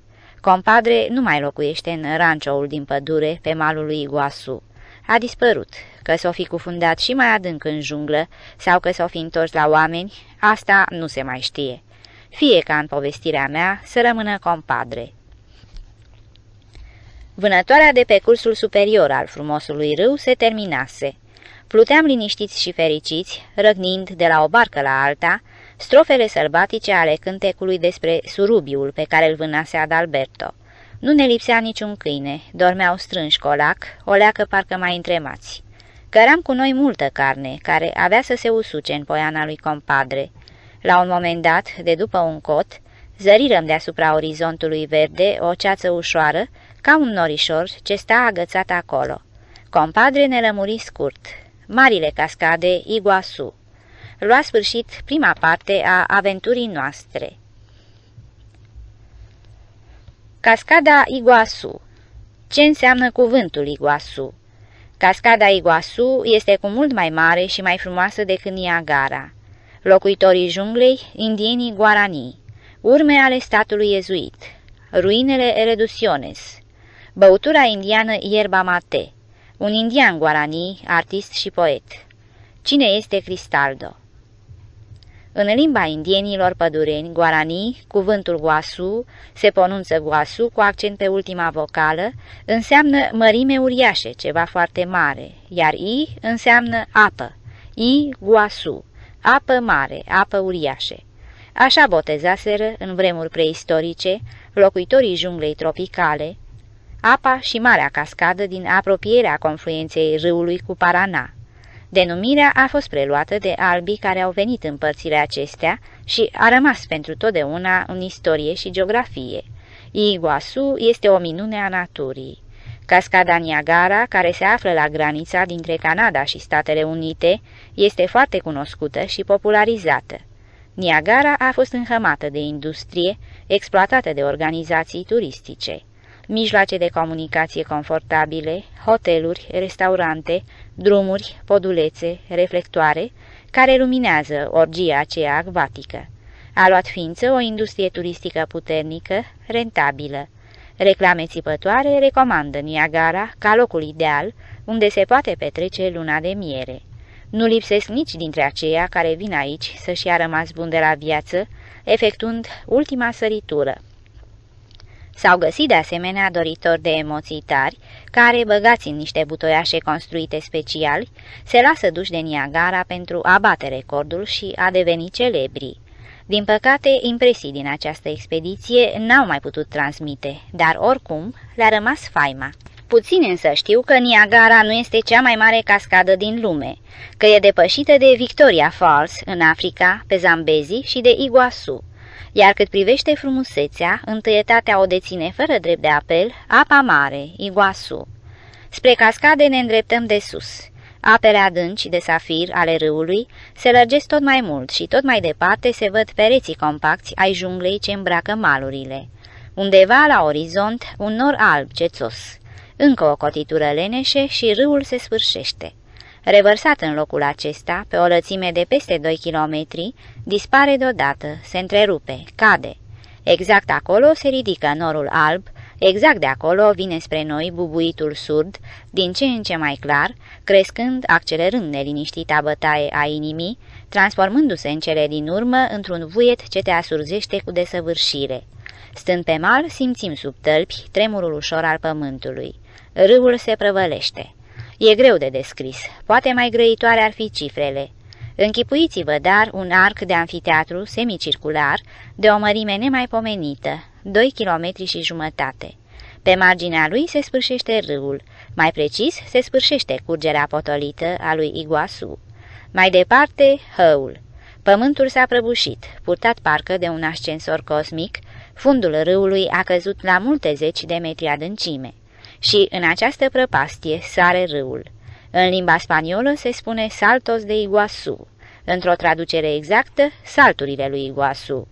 Cuvântul salt este cât se poate de potrivit în cazul acesta, căci apa nu se revarsă, nu cade, ci sare în două salturi uriașe. S-a calculat că la un debit mare de apă, deasupra pragului stâncos, trec 7000 de metri cub de apă pe secundă. E greu de imaginat, dar gândiți-vă, 7000 de metri cub pe secundă înseamnă cam 10 vistule la un loc, așa cum arată ea lângă Varșovia. Aveți în față tabloul unei asemenea vistule înzecite, sărind în abis. Specialiștii socotesc că exploatarea hidroenergetică a cascadei s-ar exprima în cifra de 2500 MW.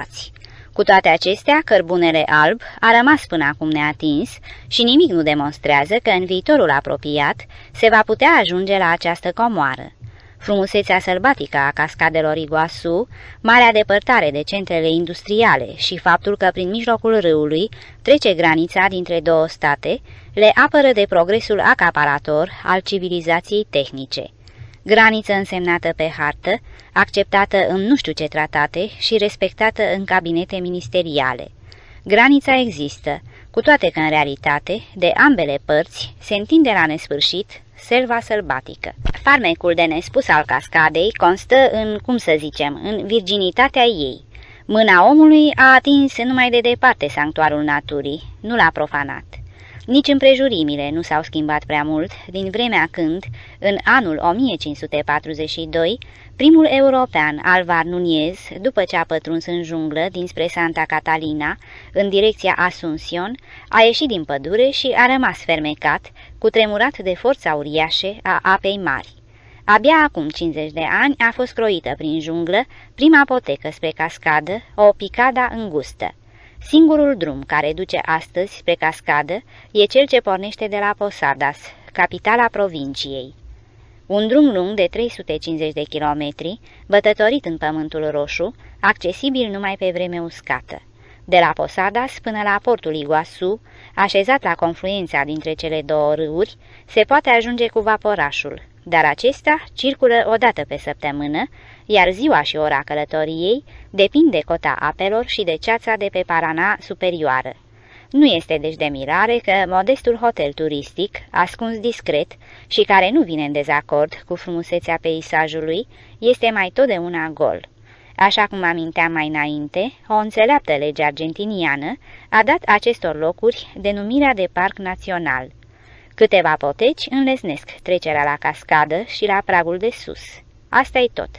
De jur împrejur se întinde jungla seculară, frumoasă, sălbatică, inaccesibilă. Afundându-te în penumbra ei verde, trebuie să ai ochii și urechile deschise. O creangă atinsă din neatenție poate să prindă viață brusc și să curgă din copac cu unduiri de șarpe. În desișuri îți ajunge deodată la ureche grohăitul mistreților sau te întâlnești cu blândul furnicar, arătând ca o fiară antediluviană care mătură pământul cu vârful stufos al cozii. Papagalii, strecurându-se printre coroanele pomilor, te asurzesc cu țipetele lor aruncându-se din creangă în creangă, chițăind și plescăind, câte o familie de maimuțe aferate călătorește de aici colo. Pe sus, în sunete prelungite, cântă perechi păsările absurde.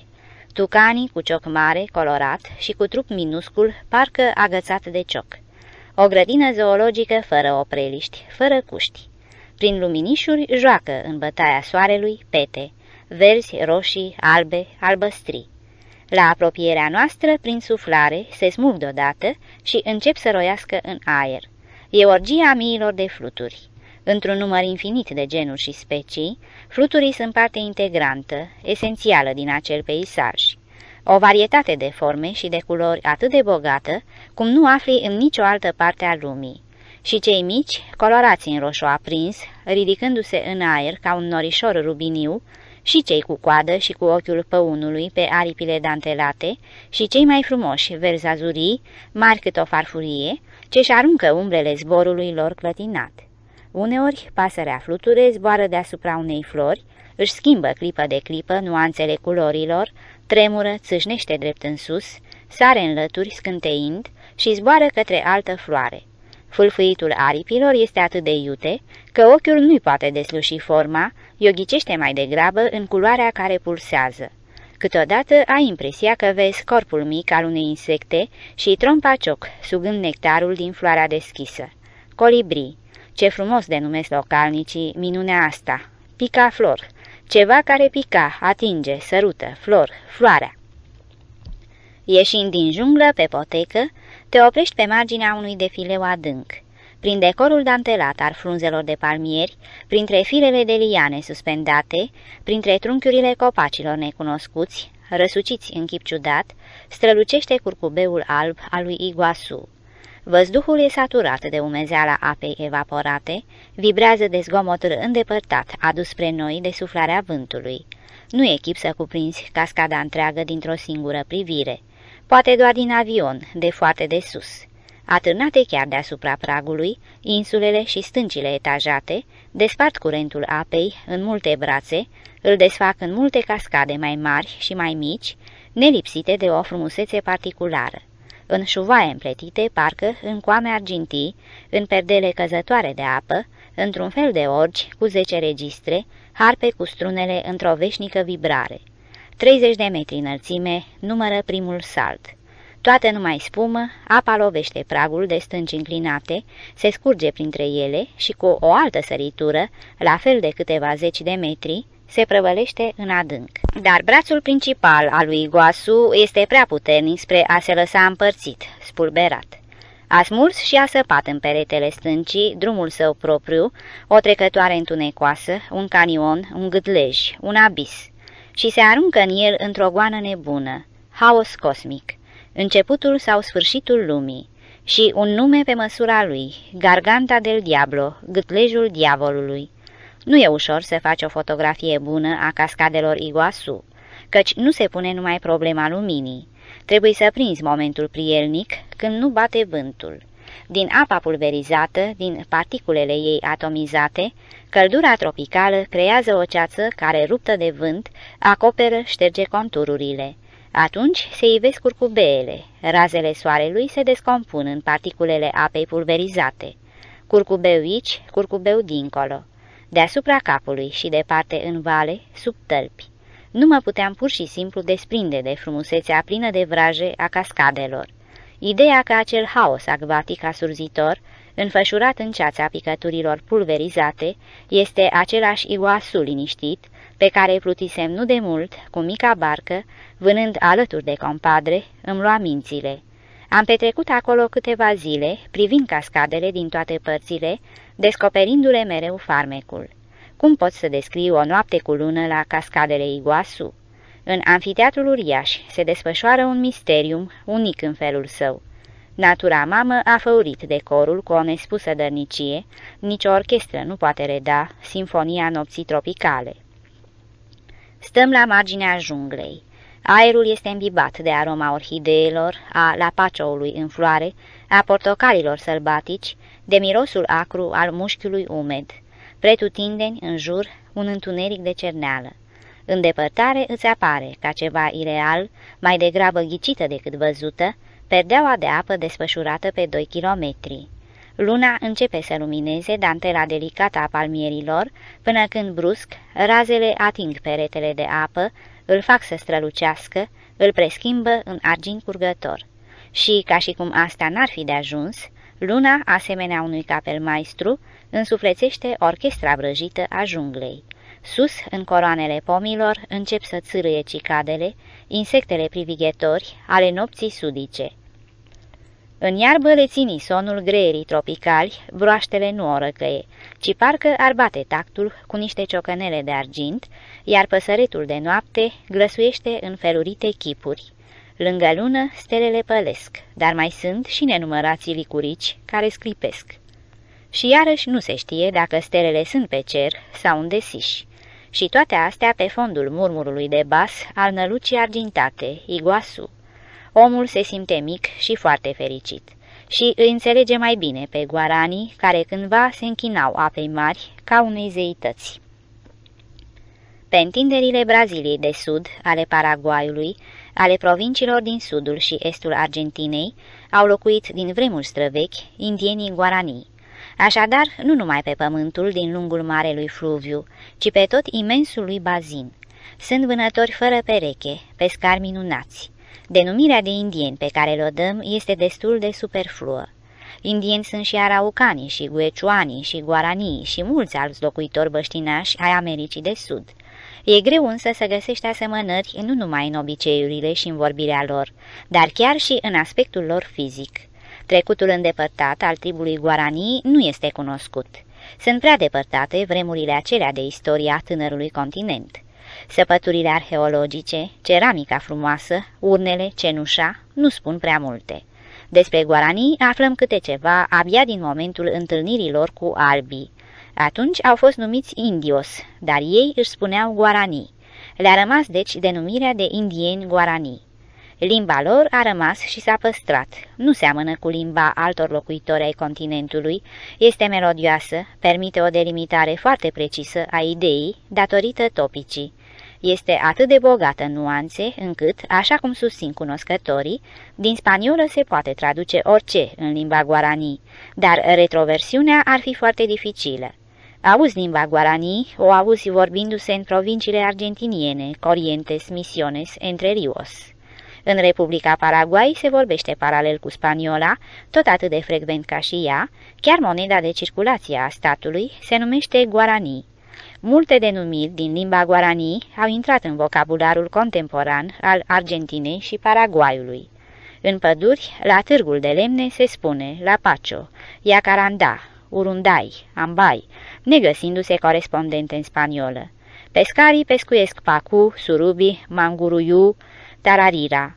Navigând pe marele fluviu, treci pe lângă așezări ca Itusaingo, Itati. Poți să-ți farmi embarcațiunea de pragurile stâncoase a Pipe. Secolele al XVII-lea și al XVIII-lea au constituit o perioadă însemnată în istoria indienilor guaranii. Politica de atunci a viceregilor spanioli tindea să așeze pe indieni în locuri dinainte stabilite, să le pună frâiele noi organizații statale, natural odată cu convertirea la credința creștină. Sarcina aceasta a fost preluată de iezuiți. Părinții ordinului i-au convertit pe guaranii și au înființat, acolo unde își duceau activitatea de misionari, colonii agricole sau așa numitele reducciones. Istoria nu vorbește prea mult despre metodele folosite, dar faptul rămâne fapt. Guaranii nu numai că au primit botezul, dar și-au luat rămas bun de la viața liberă, seminomadă, supunându-se rigorilor aproape mănăstirești ce li se impuneau. O disciplină de fier în cele mai mici amănunte regla cursul zilei și al nopții. Totul se petrecea la sunetul clopotului.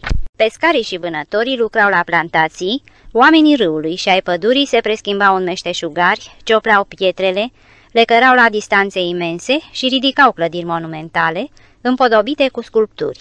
Călătorul poate să mai admire și astăzi urmele muncii gigantice, ruinele redusionesurilor, printre care crește abundenta vegetație tropicală.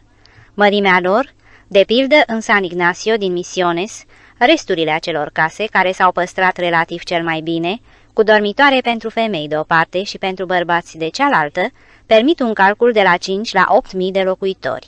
S-au păstrat și zidurile înalte ale unei biserici uriașe, o curte interioară pietruită, patio, construcții gospodărești. O asemenea așezare era probabil condusă de cel mult cinci părinți ai ordinului. În acele vremuri se intensificau interesele coloniale. Plantațiile din Brazilia centrală și de nord aveau nevoie de mână de lucru, iar mâna de lucru o constituiau în acel timp sclavii. Marfa vie își avea și ea prețul ei. Principalul furnizor al acesteia era continentul negru, Africa.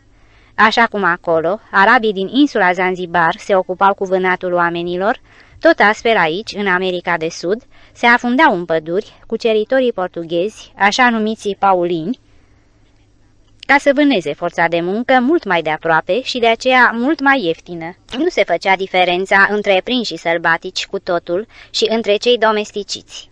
În anul 1631 a avut loc un adevărat exod dinspre nord spre sud. Prin jungla virgină au migrat 15.000 de guarani, care acum erau convertiți la creștinism și stabiliți în Redusiones. Au traversat râul Iguasu în apropiere de cascade, au ajuns la teritoriile care azi constituie provincia argentiniană Misiones.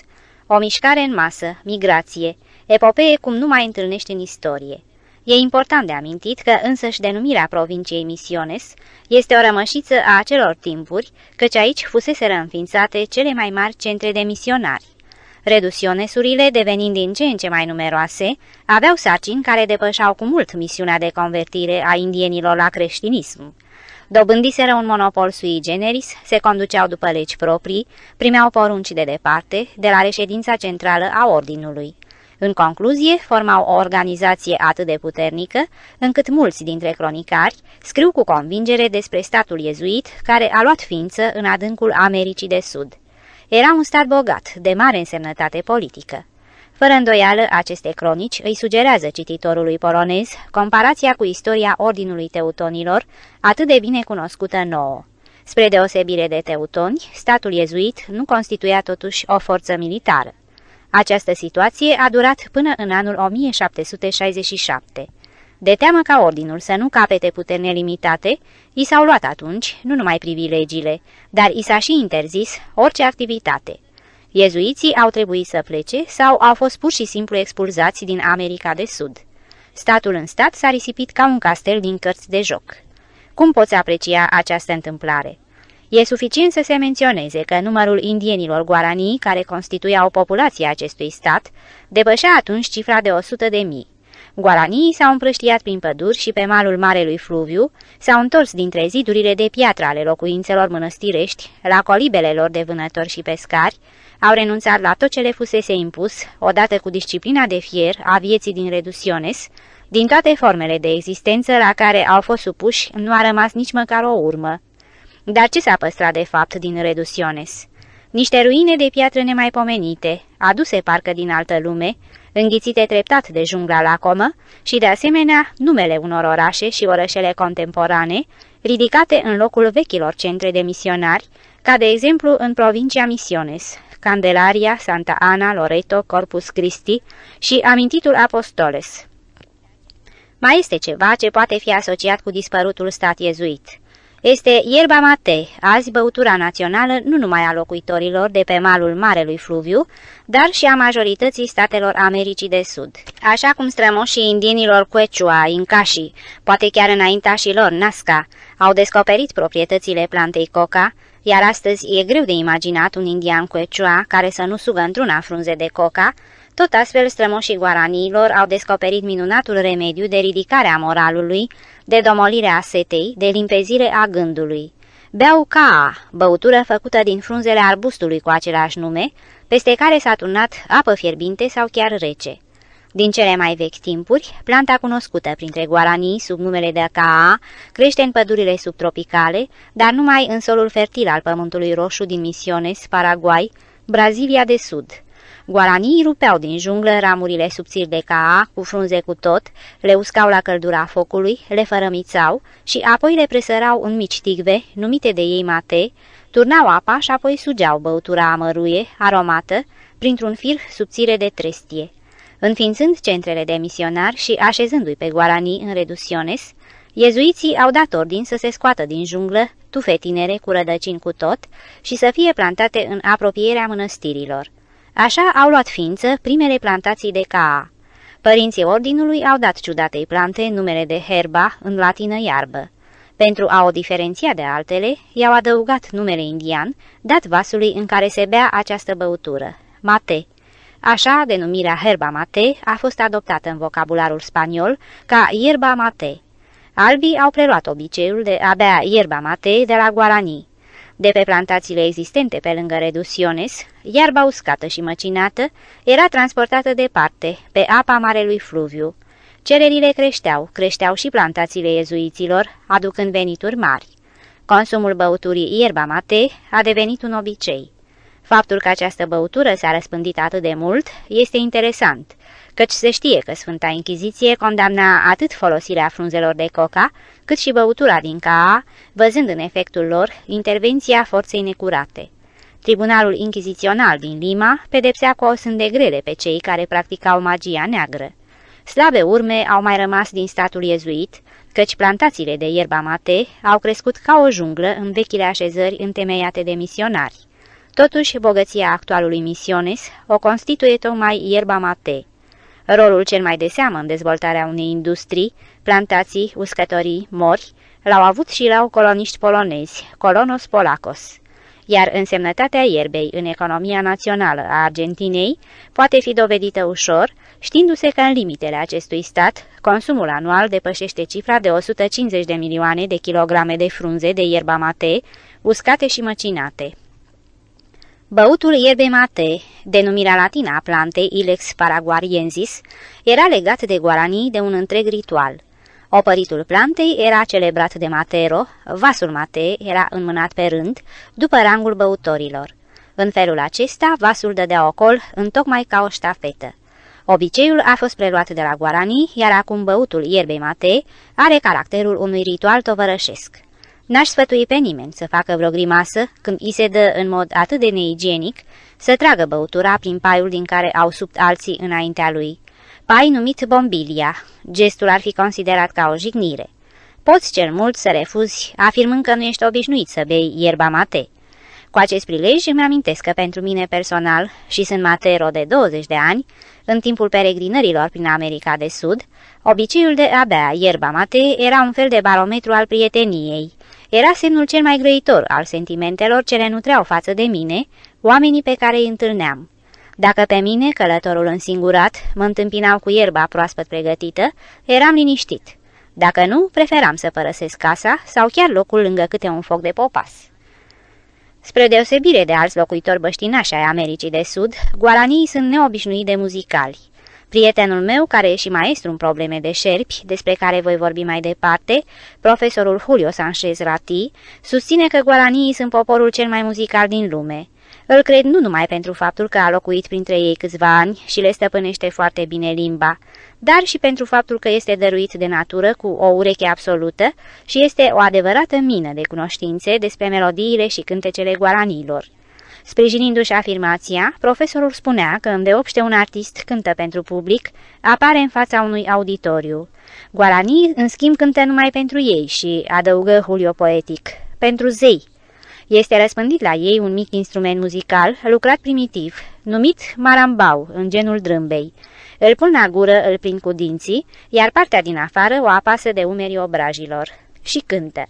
Dar cântărețul aude datorită vibrațiilor umerilor obrajilor, aude cu urechea interioară. Am văzut eu însumi asemenea muzicanți muți. Cădeau în extaz. Cum trăiesc acum guaranii? Ce nivel de civilizație au atins? La întrebarea aceasta nu găsesc un răspuns atot cuprinzător. Am întâlnit în adâncul pădurilor guaranii care mai vânează cu arcul cu săgeți, la fel ca înaintașii lor. Cunosc de asemenea printre ei persoane cu studii universitare și artiști de mare clasă. Cu unul dintre aceștia am făcut cunoștință și m-am întâlnit chiar pe Marele Fluviu. Nu mi-amintesc bine dacă fusesem invitat sau pur și simplu m-am alăturat și eu grupului vesel care pregătea în pădure un asado, adică o spăț. Numele vine de la carnea friptă pe grătar. Era noaptea, într-o poiană, în apropierea cascadelor Iguasu. În vale curgea râul, de pe malul opus, paraguaian, un vânt ușor aducea mireasma dulceagă a junglei în floare, amestecându-se cu mirosul cărnii. De jur împrejurul focului stăteau jos sau în picioare oamenii pădurii, coloniști, pescari și tăietori de lemne paraguaieni, de la abatajul din apropiere. Nu știu cu ce ocazie se organiza acea sărbătoare, acel ospăț nocturn în pădure. Era de ajuns că eram primit în cercul celor ce petreceau. Era și Matero. Mate trecea din mână în mână, adăugându-i se mereu apă fiartă. În urma ei venea sticla cu vodcă tare paraguaiană, cana. Era și o chitară. Hohote de râs, sincere din toată inima, întrerupeau cântecele solo sau un cor. Așteptam fără grabă ca Asado să se frigă așa cum se cuvine, sau cum se zice acolo, al punto. O atmosferă prietenească, de destindere, o petrecere gălăgioasă, parcă te-ai fi aflat într-un grup de copii mari. Deodată cineva strigă cu glas tare rugător, Cristaldo. Într-o clipă, strigătul fu repetat din diverse părți. Cristaldo, Cristaldo. Chitaristul întoarse chitara și, bătând cu degetele în cutie, strigă de asemenea. Numele Cristaldo începu să fie scandat ca la meciurile de box. De partea cealaltă a focului, un bărbat se ridică în picioare. Se vedeau numai cămașa albă, pantalonii de culoare deschisă și dinții strălucitori. Fața neagră se topea în întuneric. Ridică mâna în semn de salut și ceru să se facă liniște. Gălăgia se întrerupse, tăiată parcă de un cuțit. Era surprinzătoare trecerea de la forfota aceea veselă la liniștea cea mai desăvârșită. Numai în coroanele pomilor, parcă și mai tare țârâiau cicadele, iar în iarbă cântau greierii. Pe fondul acestei muzici, vocea lui Cristaldo recita versuri compuse de el. Vorbea în ele despre pădure, despre selva lor, despre viața oamenilor de acolo, despre tăietorii de lemne. Vorbea nu numai cu cuvintele, întreg corpul și fața ei se mișcau. Veni mai aproape de foc, își arătă trăsăturile tipice de indian, în care se reflecta toată gama sentimentelor. Fața lui concentrată se încorda de efortul luptei și se lumina de triumful izbânzii. Ascultătorii priveau la Cristaldo ca fermecați. Artistul vorbea despre pământ, despre Tierra Colorada, din care crește atât de abundent pădurea. Îndoi genunchii se aplecă, mângâie parcă cu palmele pământul dătător de viață și își coborâ glasul, ascultând cum încolțesc ierburile. Apoi se îndreptă, se încordă, crescu, iar glasul său răsună ca un tunet când povesti despre coloșii pădurii, care își înalță coroanele pe zeci de metri spre soare. Treptat, versurile sale se auziră tot mai încet, cântând selva adormită și totuși plină de viață. Imită cu note melodioase glasurile nopții, apoi amuții, iar parma lui ridicată dirija privirea ascultătorilor în sus, acolo unde cicadele îl îngânau cu cântecul lor. Apoi au venit în selvă oamenii ca să taie drum, să întemeieze o viață nouă. Se auzeau glasurile tăietorilor de lemne, care munceau îndârjit, aproape îi vedeai cum se luptau din răsputeri cu trunchiurile tari ca fierul ale copacilor la pacio, cu ebracio. Răsunau loviturile sacadate ale securii, ceah, ceac, ceah, ceac. Dar colosul pădurii nu se lăsa înfrânt, sta în picioare, până când, în sfârșit, prin efortul comun al brațelor, al întregului corp, cocra, a, ah, se prăvălea trunchiul puternic, se frângeau crengile, se rupea rețeaua de liane, gemea pământul. Tăcere și deodată un nemaipomenit strigăt sălbatic de triumf. Piu, piu, piu, a... Acesta este Sapucai, strigătul străvechi al neamului Guarani, strigătul de triumf, de bucurie. E atât de impresionant că simți cum te trec fiorii. Declamația se termină.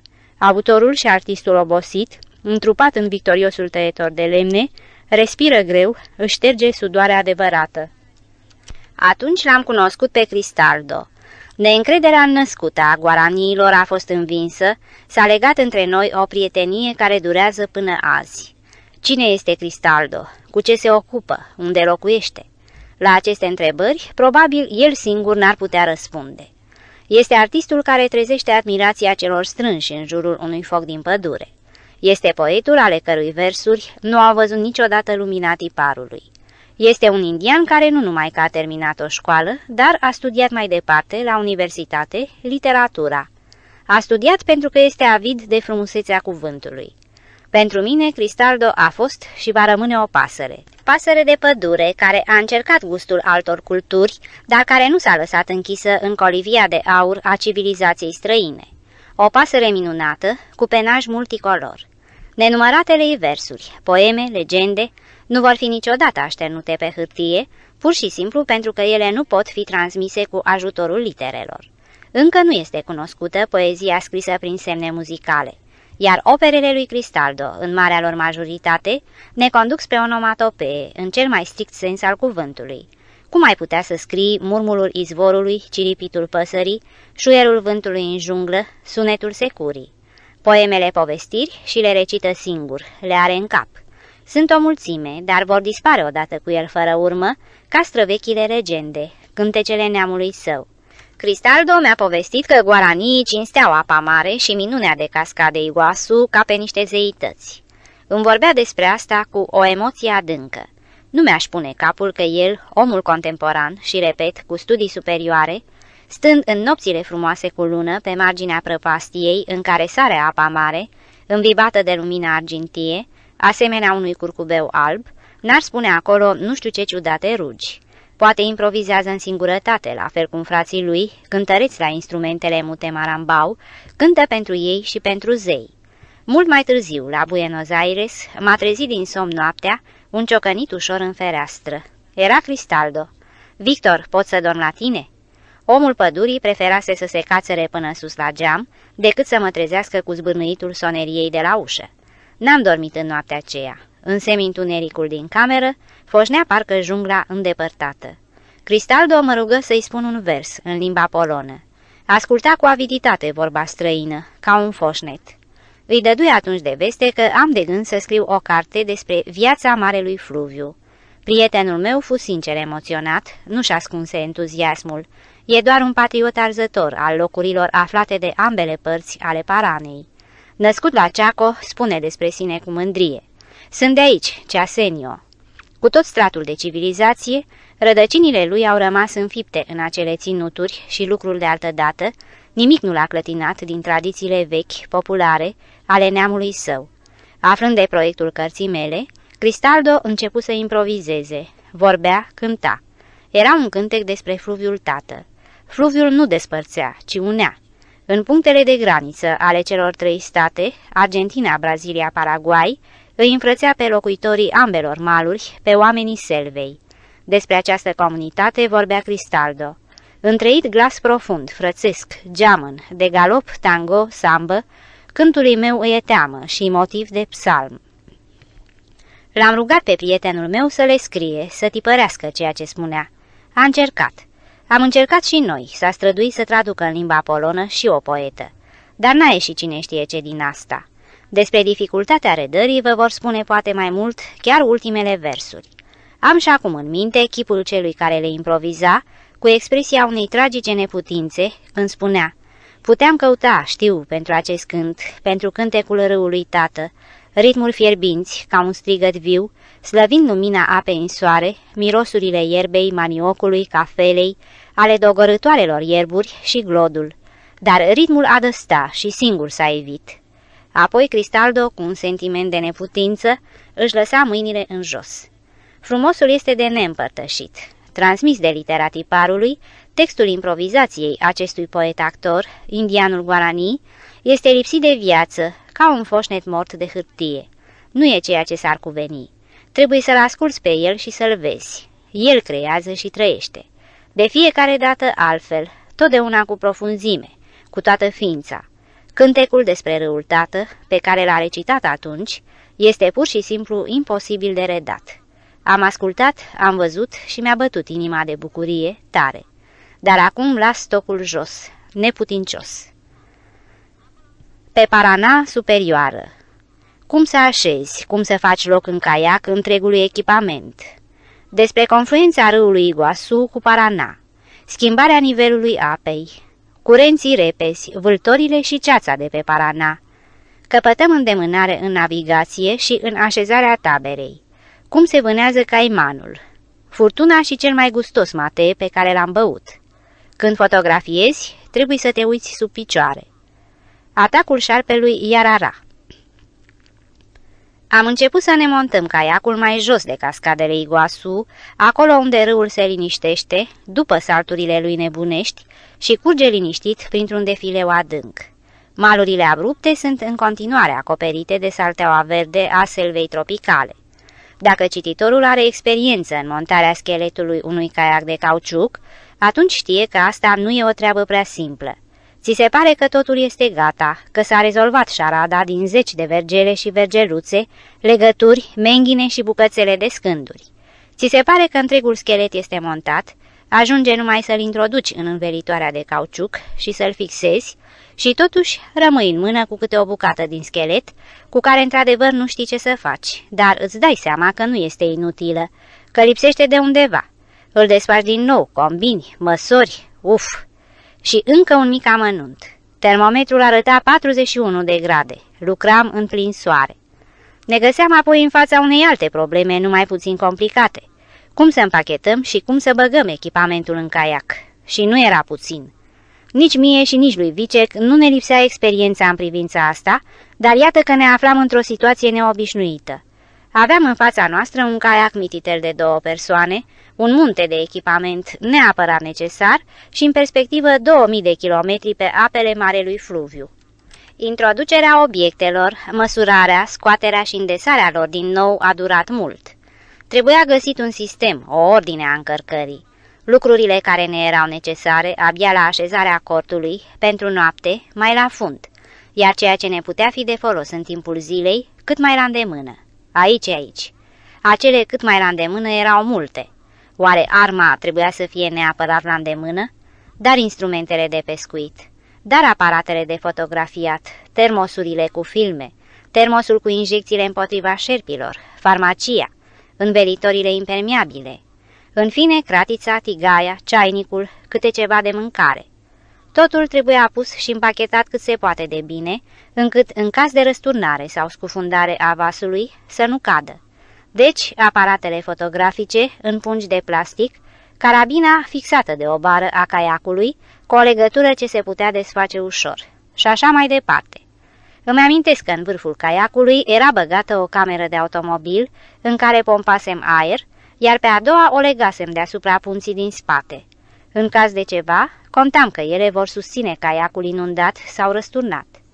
Cortul înfășurat strâns îl vârârăm sub puntea de la pupa, salteaua de cauciuc și învelitorile fură puse pe fundul caiacului și ne serveau drept locuri de șezut. Cu acoperișul de pânză, invenția lui Don Juan, cu pavilionul grănicerilor fluviare argentinieni, darul prefectului C, pe catarg și cu pavilionul marinei comerciale poloneze la pupa, trampul nostru arăta destul de impunător. Natural, asta numai dacă îl priveai de aproape, căci în largul apelor Paranei, aspectul lui era mai degrabă mizer. Privind la caiac cu ochi critic, unul dintre locuitorii de pe mal îi strigă hâtru porecla Bicio Colorado, căci cauciucul avea culoarea roșie, iar Bicio înseamnă gândăcel. Anticipând, pot spune că gândăcelul și-a luat examenul cu 10+. Plus. Odată lansat pe Iguasu, a rezistat la toate peripețiile. L-am strâns și l-am împachetat în saci, abia după 2000 de kilometri, la Buenos Aires. Primul port cu care am avut de-a face a fost Puerto Iguasu. Un port ciudat, căci, imaginați-vă numai, râul curge prin defileul adânc, sus pe malul înalt se află o așezare, de unde un drumeac coboară în pantă spre râu. La capătul drumului, o mică platformă de piatră. Aici trag bărcile și lotcile. Dar în lungul drumului, care coboară în pantă spre apă, sunt, la diferite niveluri, mai multe asemenea platforme capete de pod. La 5 metri mai sus, la 10 metri mai jos, la 15, 30. Acesta este portul Iguasu, iar aceste platforme construite din piatră, situate la diferite înălțimi pe panta defileului, sunt cheiurile portului pentru diversele nivele ale apei, care uneori depășește chiar și 30 de metri. Acum apa este mică. Stând pe prima platformă, ne uităm la instalațiile portoare, care atârnă deasupra noastră, dar nimeni nu pariază că peste câteva zile locul acesta nu se va mai afla la 30 de metri adâncime sub apă. Nivelul râului Iguasu, în locul acesta, nu depinde deloc de nivelul apei în cursul ei superior. Alto Parana, aflat în apropiere, este aceea care comite șotia. După ploile torențiale tropicale, în bazinul superior, apa crește subit și atunci, pur și simplu, ține în loc râul Iguasu, care se varsă în ea. Fluviul umflă râul. Sosirea noastră în port provoacă senzație, căci pe aici nu s-a mai văzut un asemenea vas. Își au rămas bun de la noi cu căldură, într-un fel sărbătoresc. Un pescar ne propune în glumă să luăm la drum peștișorul pe care l-a pescuit peste noapte și pe care l-a adus în port. Peștișorul are peste 2 metri lungime și cântărește 100 de kilograme. Un exemplar frumos de manguruiu, Mă gândesc cu ușoară neliniște la ustensilele noastre de pescuit pe care le-am procurat încă de la Buenos Aires. Oare n-or fi prea delicate? Câțiva kilometri de apă curată, albastră, pe Iguasu și ne vărsăm în Paraná. Mai precis, ne vărsăm în Paraná, odată cu râul Iguasu. Zece kilometri încă mai curge râul în interiorul fluviului și apele nu se amestecă. Văsnind la confluența a două curente, cufundăm vâsla dreaptă în apele galbene, tulburi ale Paranei, iar stânga în valurile limpezi, străvezii ale lui Iguasu. Apele tulburi ale Paranei nu desemnează un fluviu murdar, ci indică faptul că aduc cu ele particule din pământul fertil, ros de ploi, de pe platoul brazilian. Plutim acum printr-o vale adâncă, plante viu colorate acoperă povârnișul, aceeași junglă tropicală. Am trecut de punctul de confluență, un triunghi format de râuri, unde se adună granițele Braziliei, Argentinei și Paraguayului. Acum malul drept aparține Paraguayului. Nu ne interesează. Pe el nu se văd oameni și dacă nu sunt, nu există interdicții și complicații grănicerești. Malurile sunt la fel, aceeași junglă le îmbracă. Sus, pe fundalul cerului, ca o dantelă delicată, se profilează vârfurile palmierilor și ale lapacioului, mai jos, panajele tufișurilor de bambus se apleacă spre apă. Nu avem prea mult timp să admirăm frumusețea văii. Râul, vâslitul, cârma ne țin mereu privirea concentrată. Aici nu mai este plutirea leneșă, domoală, nu mai este împingerea cu vâslele. Trebuie să ai ochii larg deschiși, atenția încordată. Uneori trebuie să ții barca în frâu. Ordinele capitanului, ale mele chipurile, trebuie să fie îndeplinite fără întârziere și fără tocmeală de către echipaj, adică vicec. Cu dreapta mai tare, tare, cu stânga, contra, împreună, înainte, mai tare, mai repede. Uf, calm, cu putere. Dacă aș vrea să compar cursul superior al Paranei cu Dunaiec, care își face drum printre pieninii, aș săvârși o greșeală. Greșeală de proporții, 100 de Dunaic la un loc, 500 de Dunaic, poate și mai mult, nu știu. După confluența cu Iguasu, Parana Superioară este un fluviu mare, dar închis între maluri înalte, nu curge pe întinderi mari. Se ridică, ajunge până la jungla care îmbracă pantele abrupte și pătrunde în vegetație sau scade dezvelind malurile stâncoase, goale, ieșiturile stâncilor, plajele nisipoase. Lărgimea e diferită, un kilometru sau mai puțin, doi kilometri ori mai mult. Sunt porțiuni unde apa este liniștită, îți dă impresia că stă pe loc, unde adâncimea măsoară câteva zeci de metri, sunt praguri de stânci prin care apa se strecoară în spumată cu o rapiditate nebună. Azi, dacă vrei să navighezi pe ea, n-ai să poți, căci caiacul se va fărâma, iar pânza cauciucată va fi sfâșiată cu siguranță. Dar mâine, dacă se adună apa, poate că nici n-ai să-ți dai seama când te-a furat curentul și te-a făcut să zbori pe deasupra obstacolului stâncos. Vârtejurile de apă Exact despre ele mi-au pomenit la Buenos Aires prietenii mei când mă preveniseră să nu fac expediția cu caiacul. Stând pe fundul caiacului, de departe nu vezi remolinoul, abia când ești aproape de tot. Cu mirare și ce să mai vorbim, cu spaimă, vezi că suprafața apei cade parcă în formă de pâlnie într-un loc și se învârtește. Dacă te uiți prea mult sau observi prea târziu, atunci te-a și prins și caruselul acela turbat te-a și înghițit. Am văzut din răsputeri ca să ne smulgem dintr-o asemenea prăpastie, să ne cățărăm la nivelul normal al râului. Din fericire, am reușit. Vâslele s-au îndoit, dar n-au plesnit. Bineînțeles, trebuia să fi plutit pe curentul principal al apei, dar, ghici ghicitoarea mea, unde era acel curent principal? Căci îți face pozne ciudate, se învârtește și se întoarce. Insula. Jos stânci, sus junglă. Ca un vârf de vapor, stâncile despică apa care năvălește peste ele. Dar pe care parte a insulei să treci? Pe unde să o ocolești? Spre malul paraguaian sau spre cel argentinian? N-ai prea mult timp să meditezi. Curentul te duce nebunește. Niciun semn, cel puțin de la înălțimea punții noastre, nu se vede. De câte ori nu s-a întâmplat ca, navigând pe un traseu greșit, unii să nimerească într-o capcană adevărată. Insula este mare, o ocolești liniștit, pentru ca brusc să-ți dai seama că râul începe să se frământe și să facă spume la pragurile subacvatice, care leagă insula cu malul printr-un coridor de stânci. Dacă vâltorile amenință cu sfărâmarea caiacului, dacă nu poți să-ți găsești o cale mai ferită de pericol, atunci ce-ți rămâne? Să te întorci și, în sudoarea frunții, să vâzlești pe lângă torent. Și pe lângă ce torent? Ajungi din nou la capătul insulei pentru ca să o ocolești iarăși pe partea cealaltă, pe partea curentului principal. Nu, nu ne puteam plânge de lipsă de impresii. N-aveam când să ne plictisim. Un râu atât de capricios nu mai văzusem în viața mea. Plutitul ăsta îl puteai numi pe drept cuvânt galop de cavalerie, dar și un râu la fel de frumos era greu să mai întâlnești. Vrăjmășia torenților lui repezi, pericolul vâltorilor, liniștea de somn a coturilor adânci, jungla sălbatică, cățărându-se pe malurile înalte, insulele pitorești și insulițele, totul la un loc formează un tablou minunat, iar pe deasupra îți dă garanția unor trăiri neobișnuite.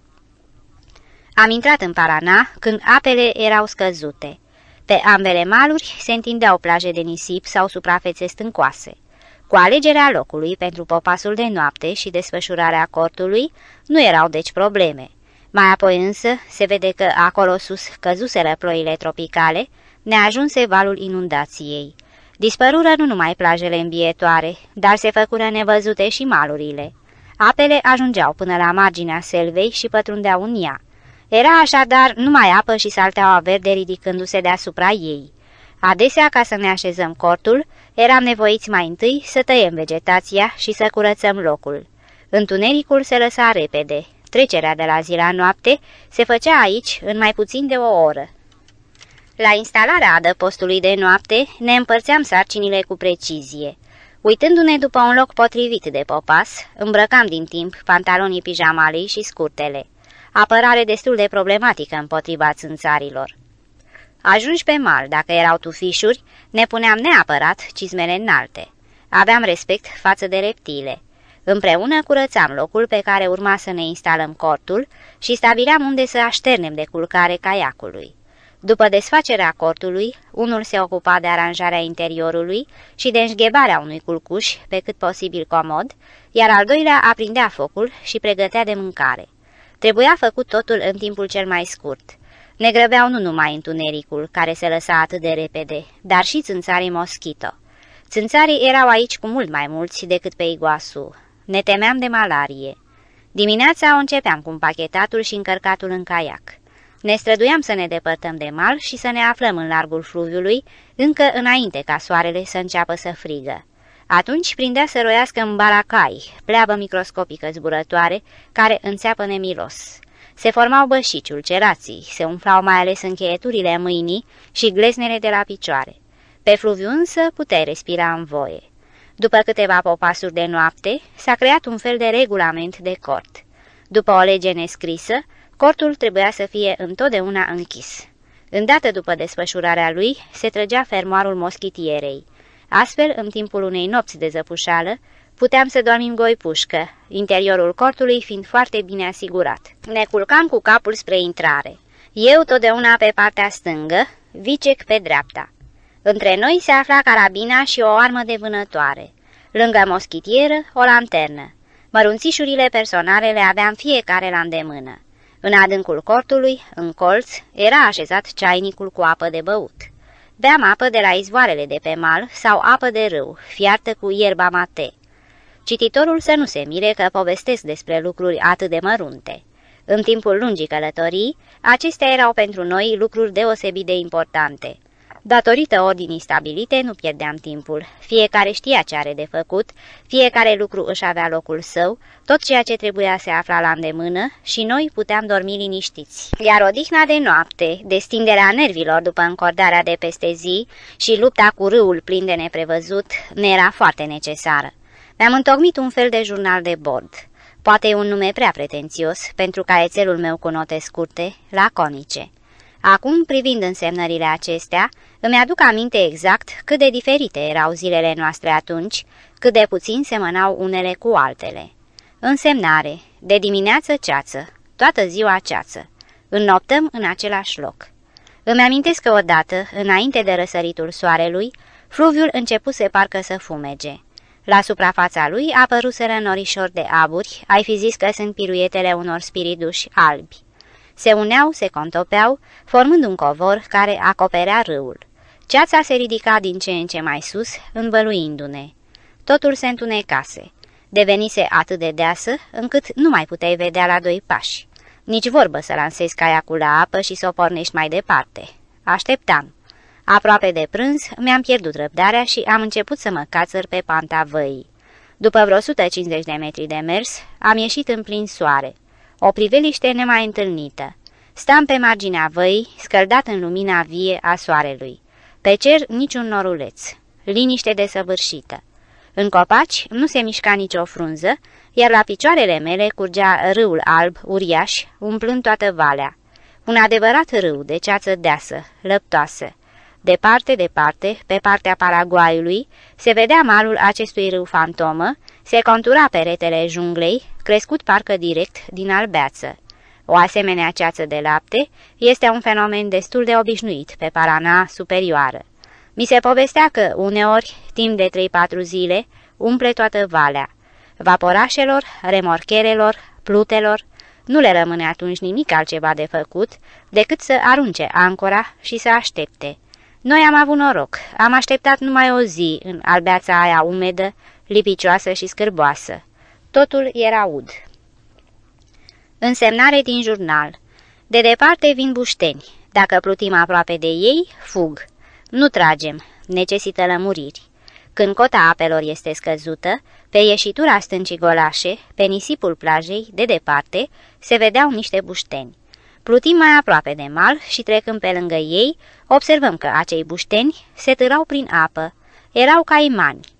De prezența acestor reptile, care trăiesc și pe apă și pe uscat, fusesem avertizat încă de la Buenos Aires, căci aici, pe marele fluviu, nimeni nu se teme de ei. Se hrănesc cu hoituri. Nu trezesc teama pur și simplu pentru că nu atacă și sunt prevăzătoare, la modul cel mai laș.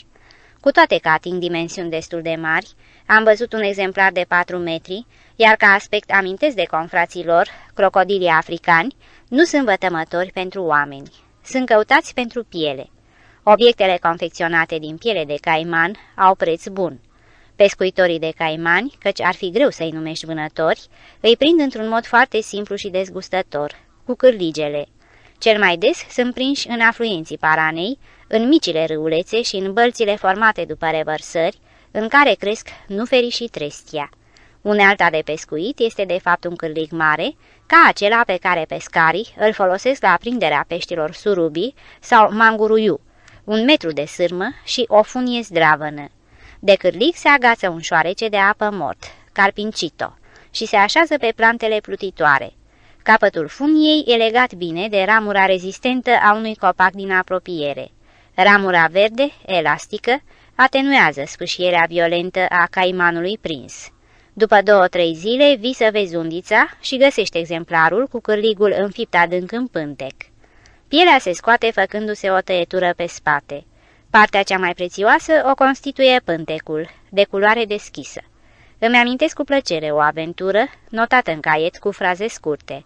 De dimineață s-a întețit vântul. Rio Picado. Ploaie torențială. Cel mai bun mate pe care l-am băut vreodată. Într-adevăr, vântulețul de dimineață se întețise, până când, în sfârșit, după spusele lui Vicec, a atins intensitatea furtunii. Ridica valuri înalte, dar scurte.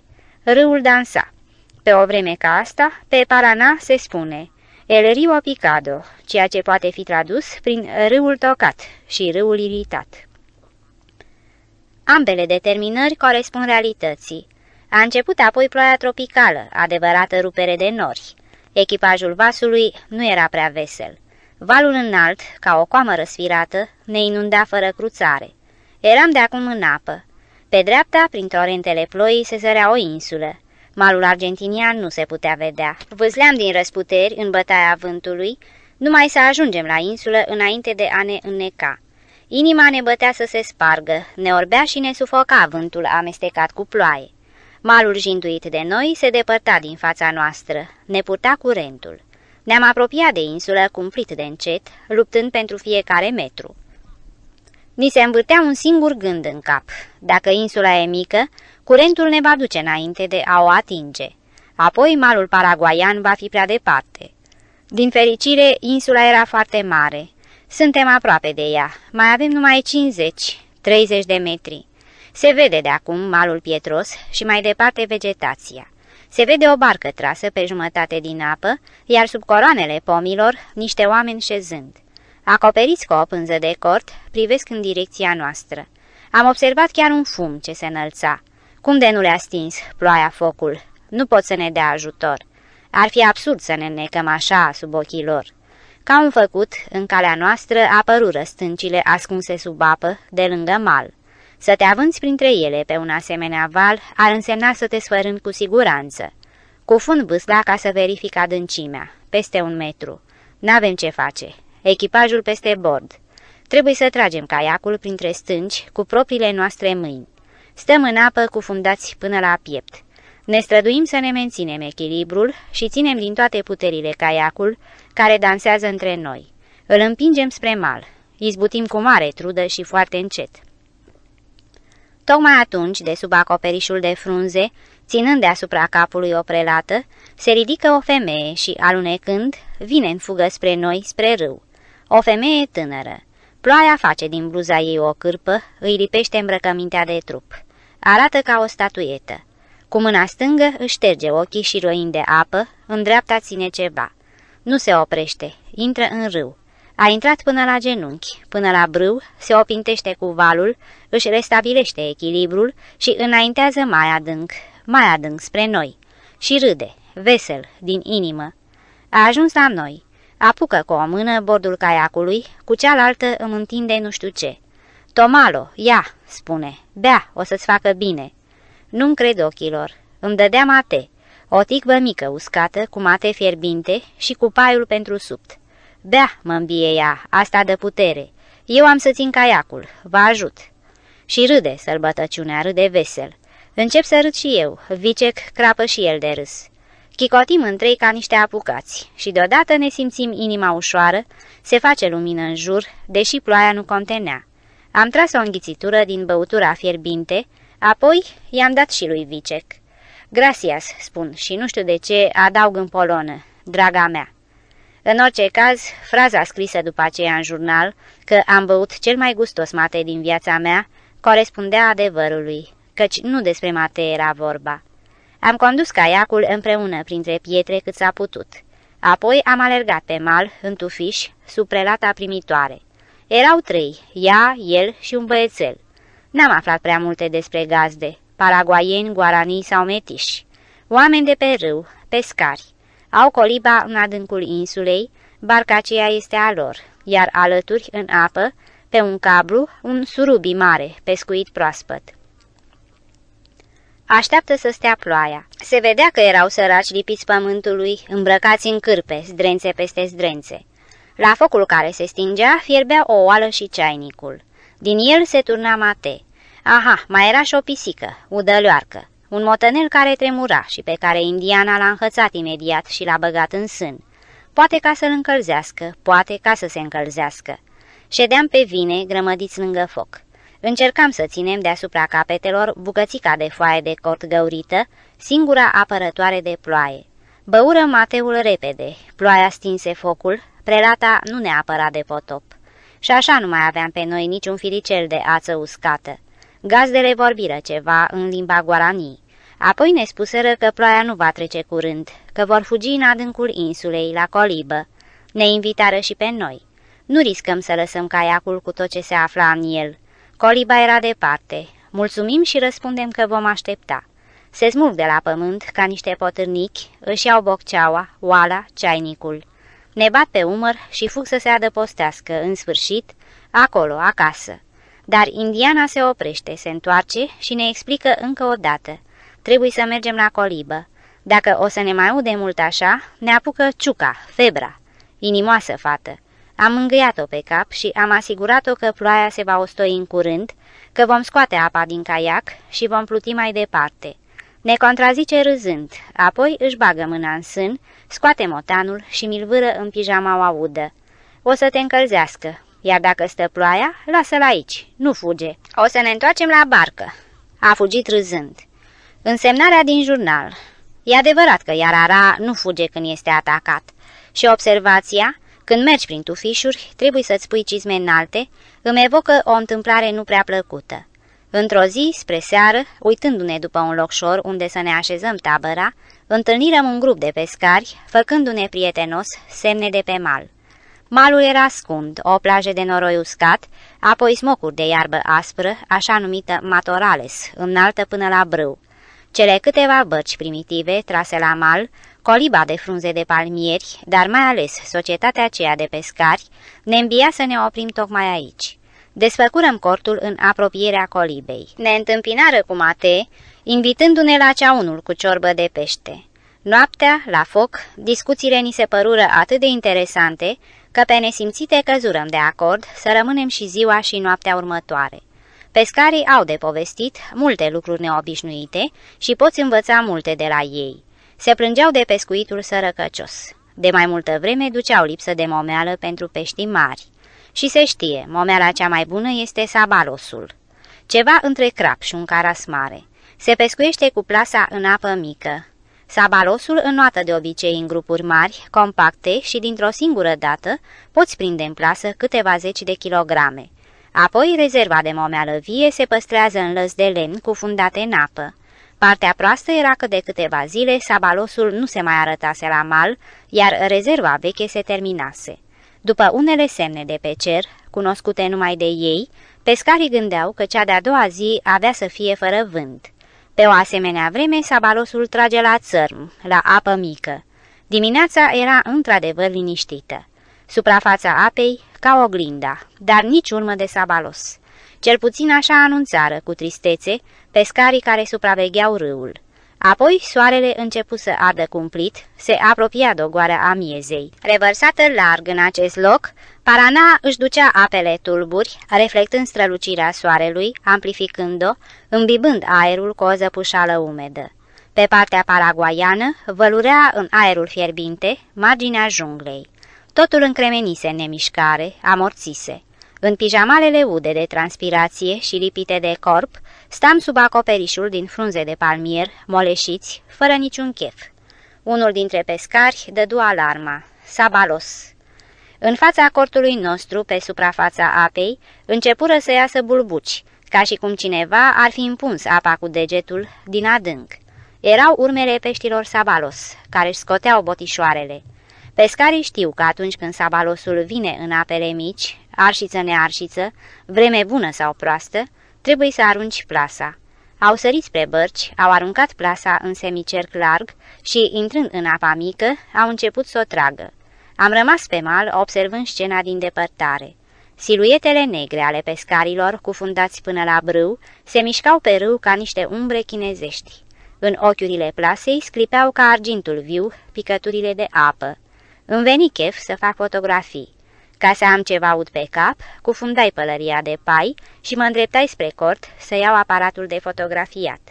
Pământul încins mă frigea la tălpi, așa încât hotărâi să încalți vechile mele cizme înalte, care îmi serveau la călărie și la peregrinările prin desișuri.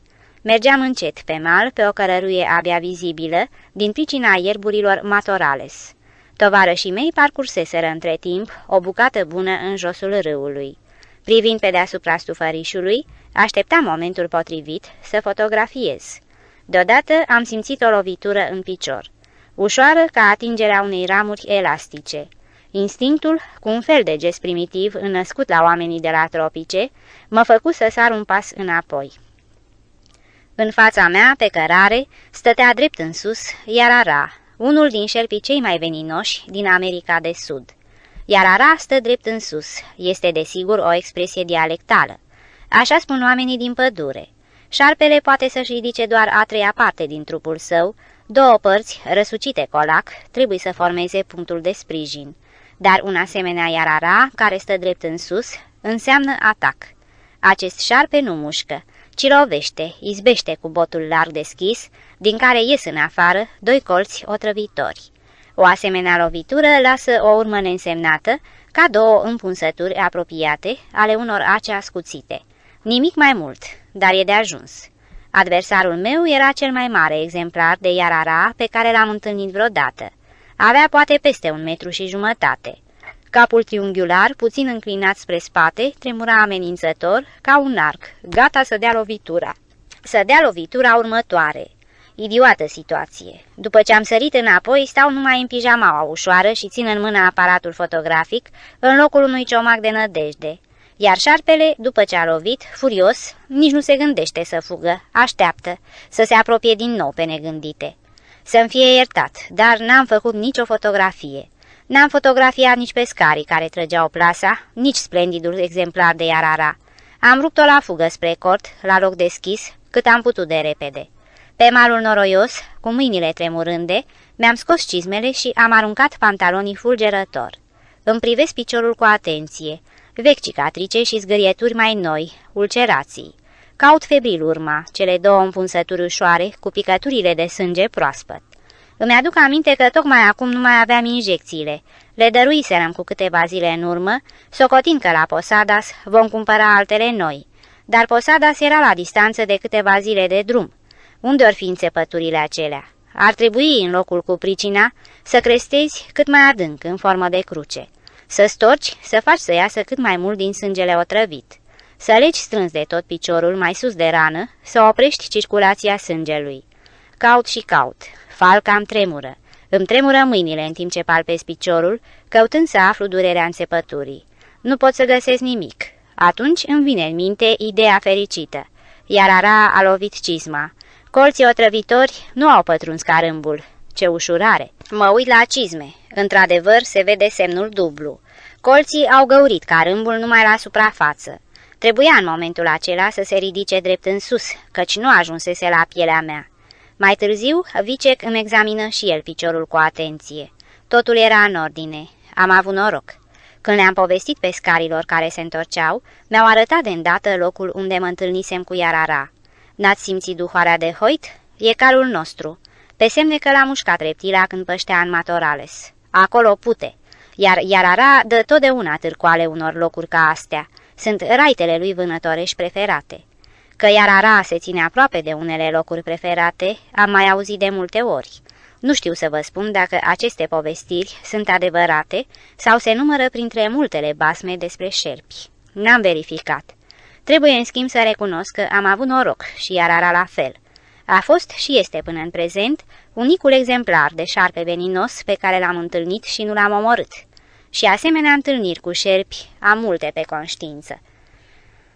Dacă șarpele poate fi păros. Oaspeți nepoftiți, noaptea pe insulă. Trebuie să preîntâmpin pericolul.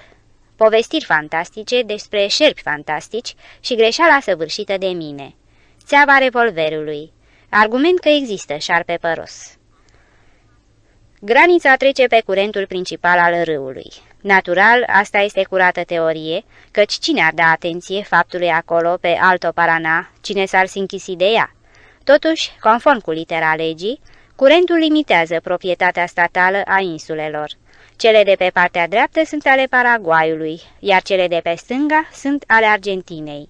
Oamenilor de pe râu, din categoria cărora și noi făceam parte, le este absolut indiferent.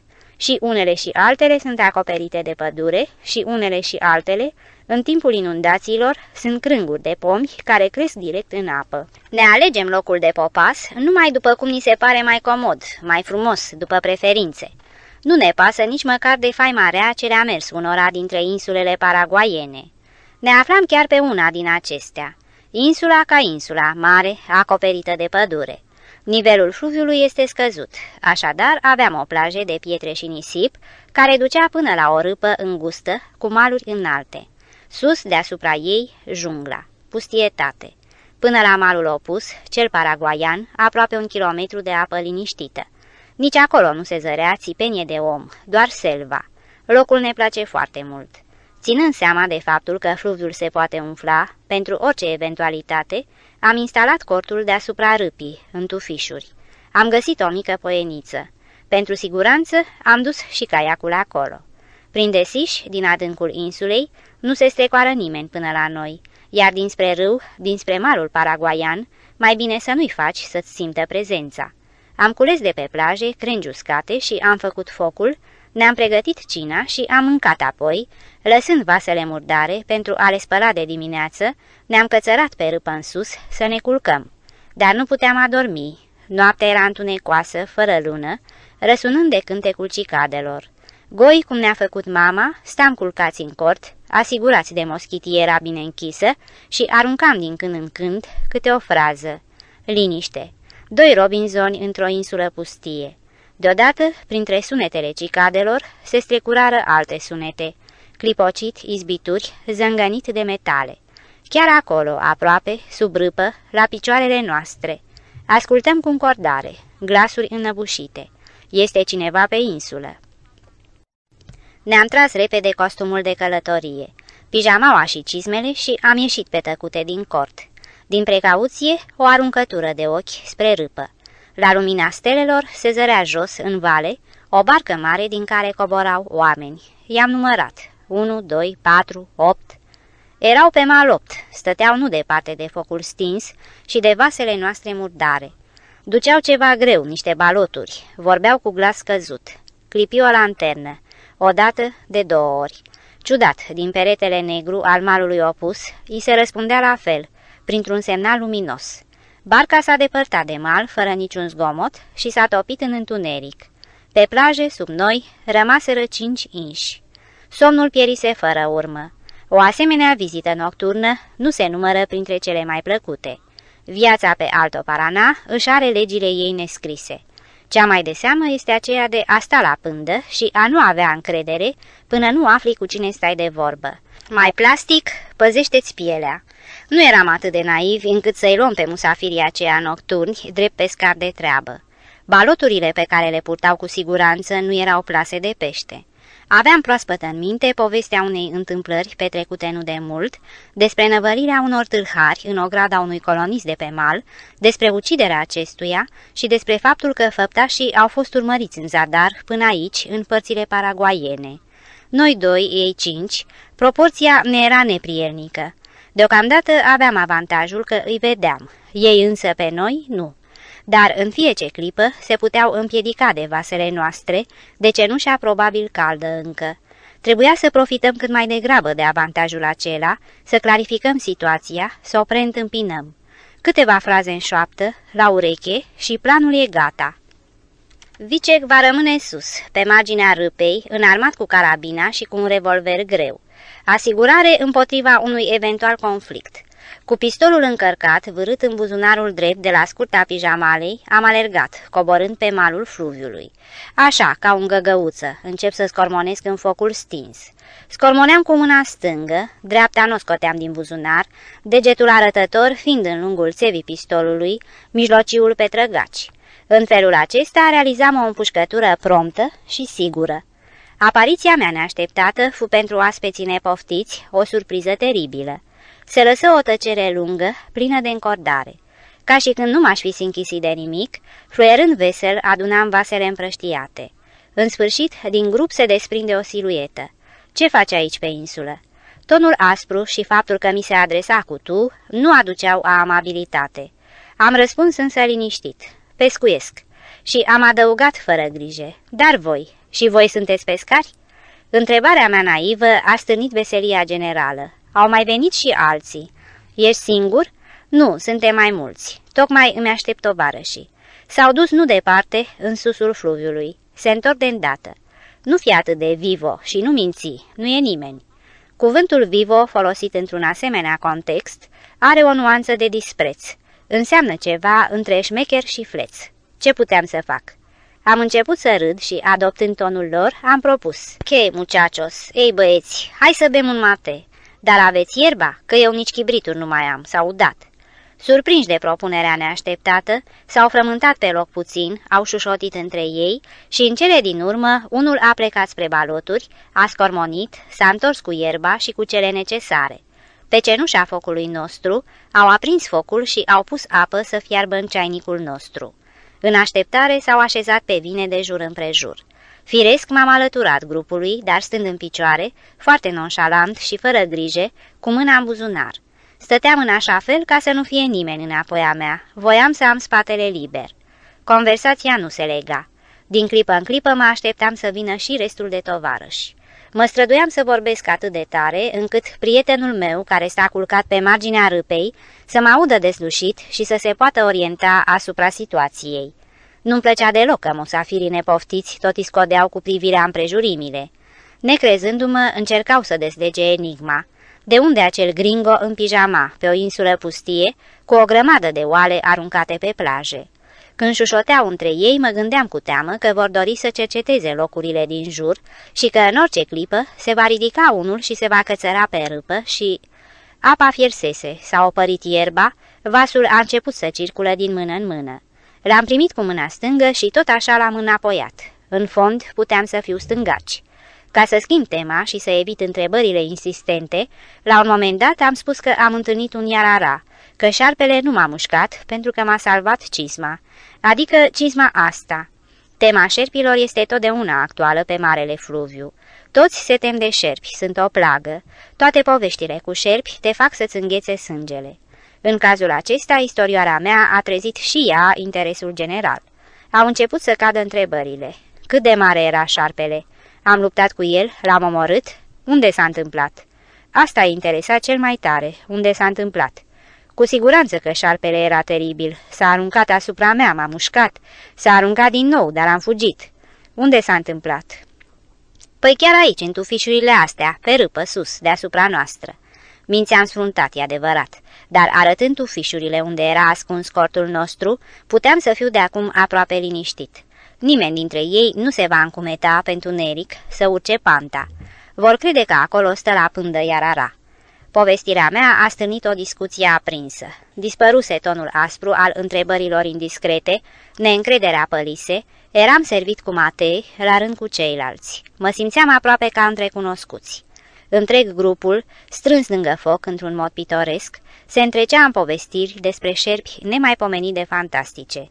Era grozav de amuzant și, stând deasupra lor, nu mă mulțumeam să-i ascult, ci mă alăturam discuției tovărășești. Atmosfera se înfierbântă, reptilele semănau moartea într-o clipită. Nici n-a apucat să strige că a și căzut mort. În toiul povestirii, dimensiunea șarpelui întâlnit creștea, iar curajul și abilitatea luptătorilor atingeau culmi de eroism. Unul descrise întâlnirea cu o reptilă care, după părerea lui, era o încrucișare macabră între șarpele coraliu cu șarpele cu clopoței. Toată adunarea asculta cu sufletul la gură despre jivina lungă de 3 metri, acoperită cu solzi de culoare roșu-negru-alb, cu coada terminată în huruitoare. Susținea că huruiala aceea se auzea de la cel puțin o jumătate de kilometru, că mergea atunci călare, iar jivina a sărit fulgerător de repede în grumazul calului. Am reușit să-l dobor. Numai așa se face că stau acum de vorbă cu voi. Reptila a sărit peste mine, a nimerit pe cal. Am săvârșit o greșeală. L-am contrazis.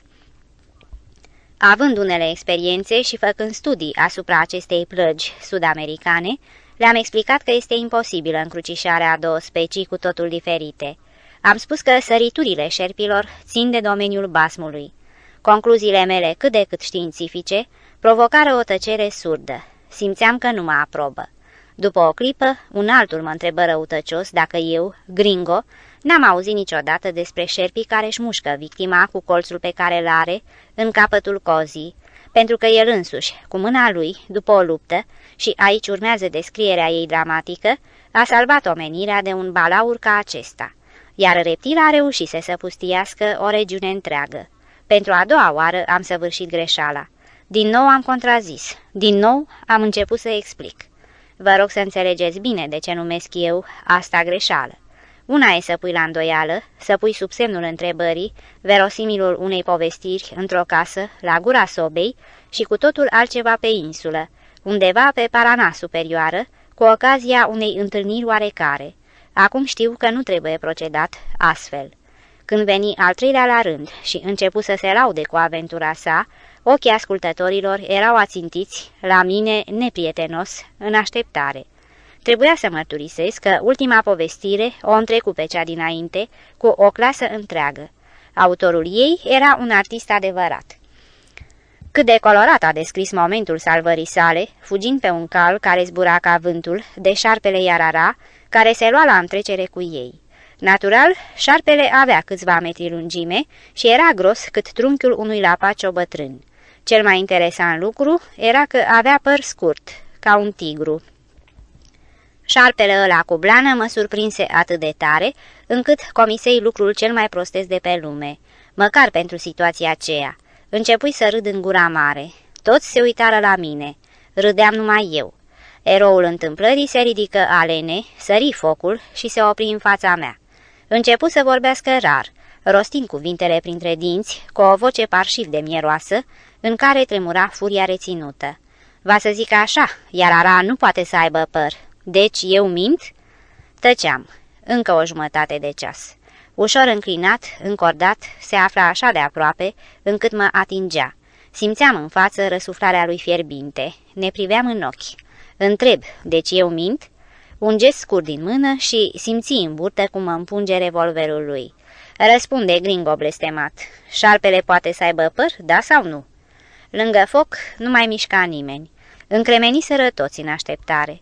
Știu că cele mai savante discuții academice pot să ducă la nesfârșit disputa, fără să se ajungă la o opinie aprobată unanim. În cazul nostru însă, desfășurarea originală a părerilor trebuia rezolvată cât mai rapid. Argumentul rece care mă împungea sub coaste avea și el greutatea lui. Jocul nu merita un sfârșit cu lumânări.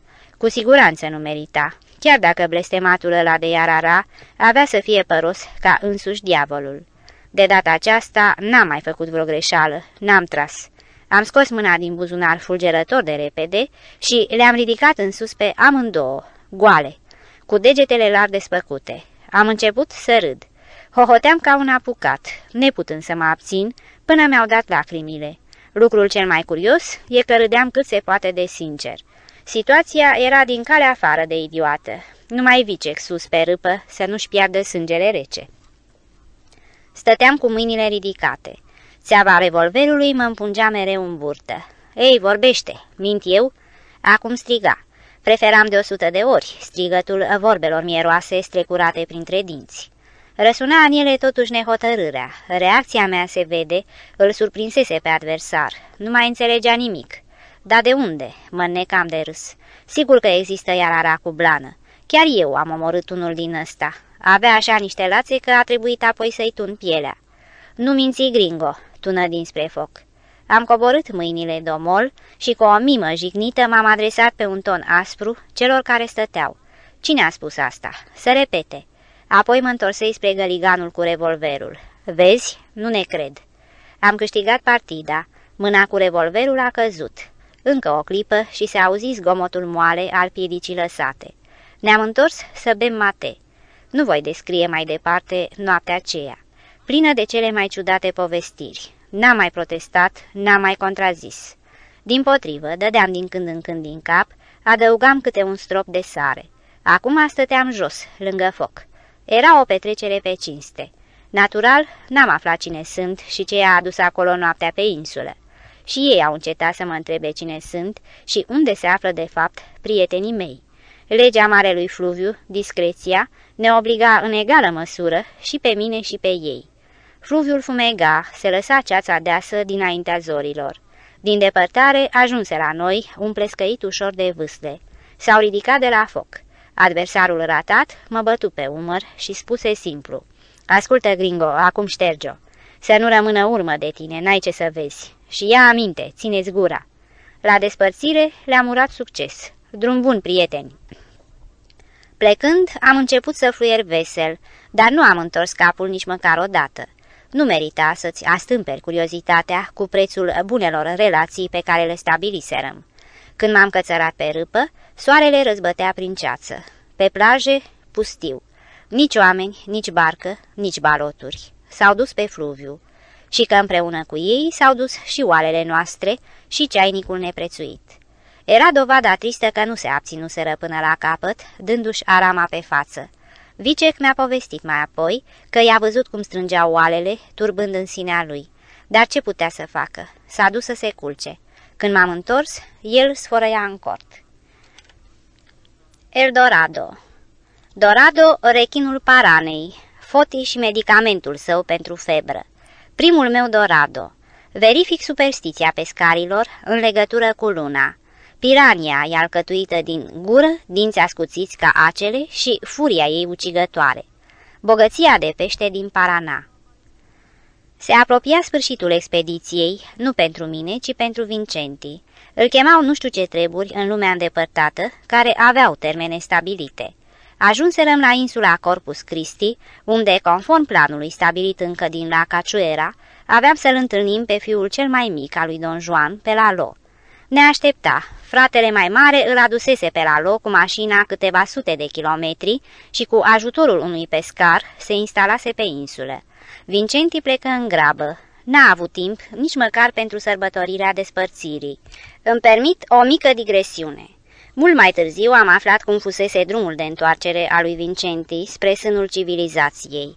Cu o barcă de pescari până la malul fluviului, o bucată de drum cu bagajul în spate până la șosea, goană nebună cu automobilul până la Posadas, apoi direct la aeroport.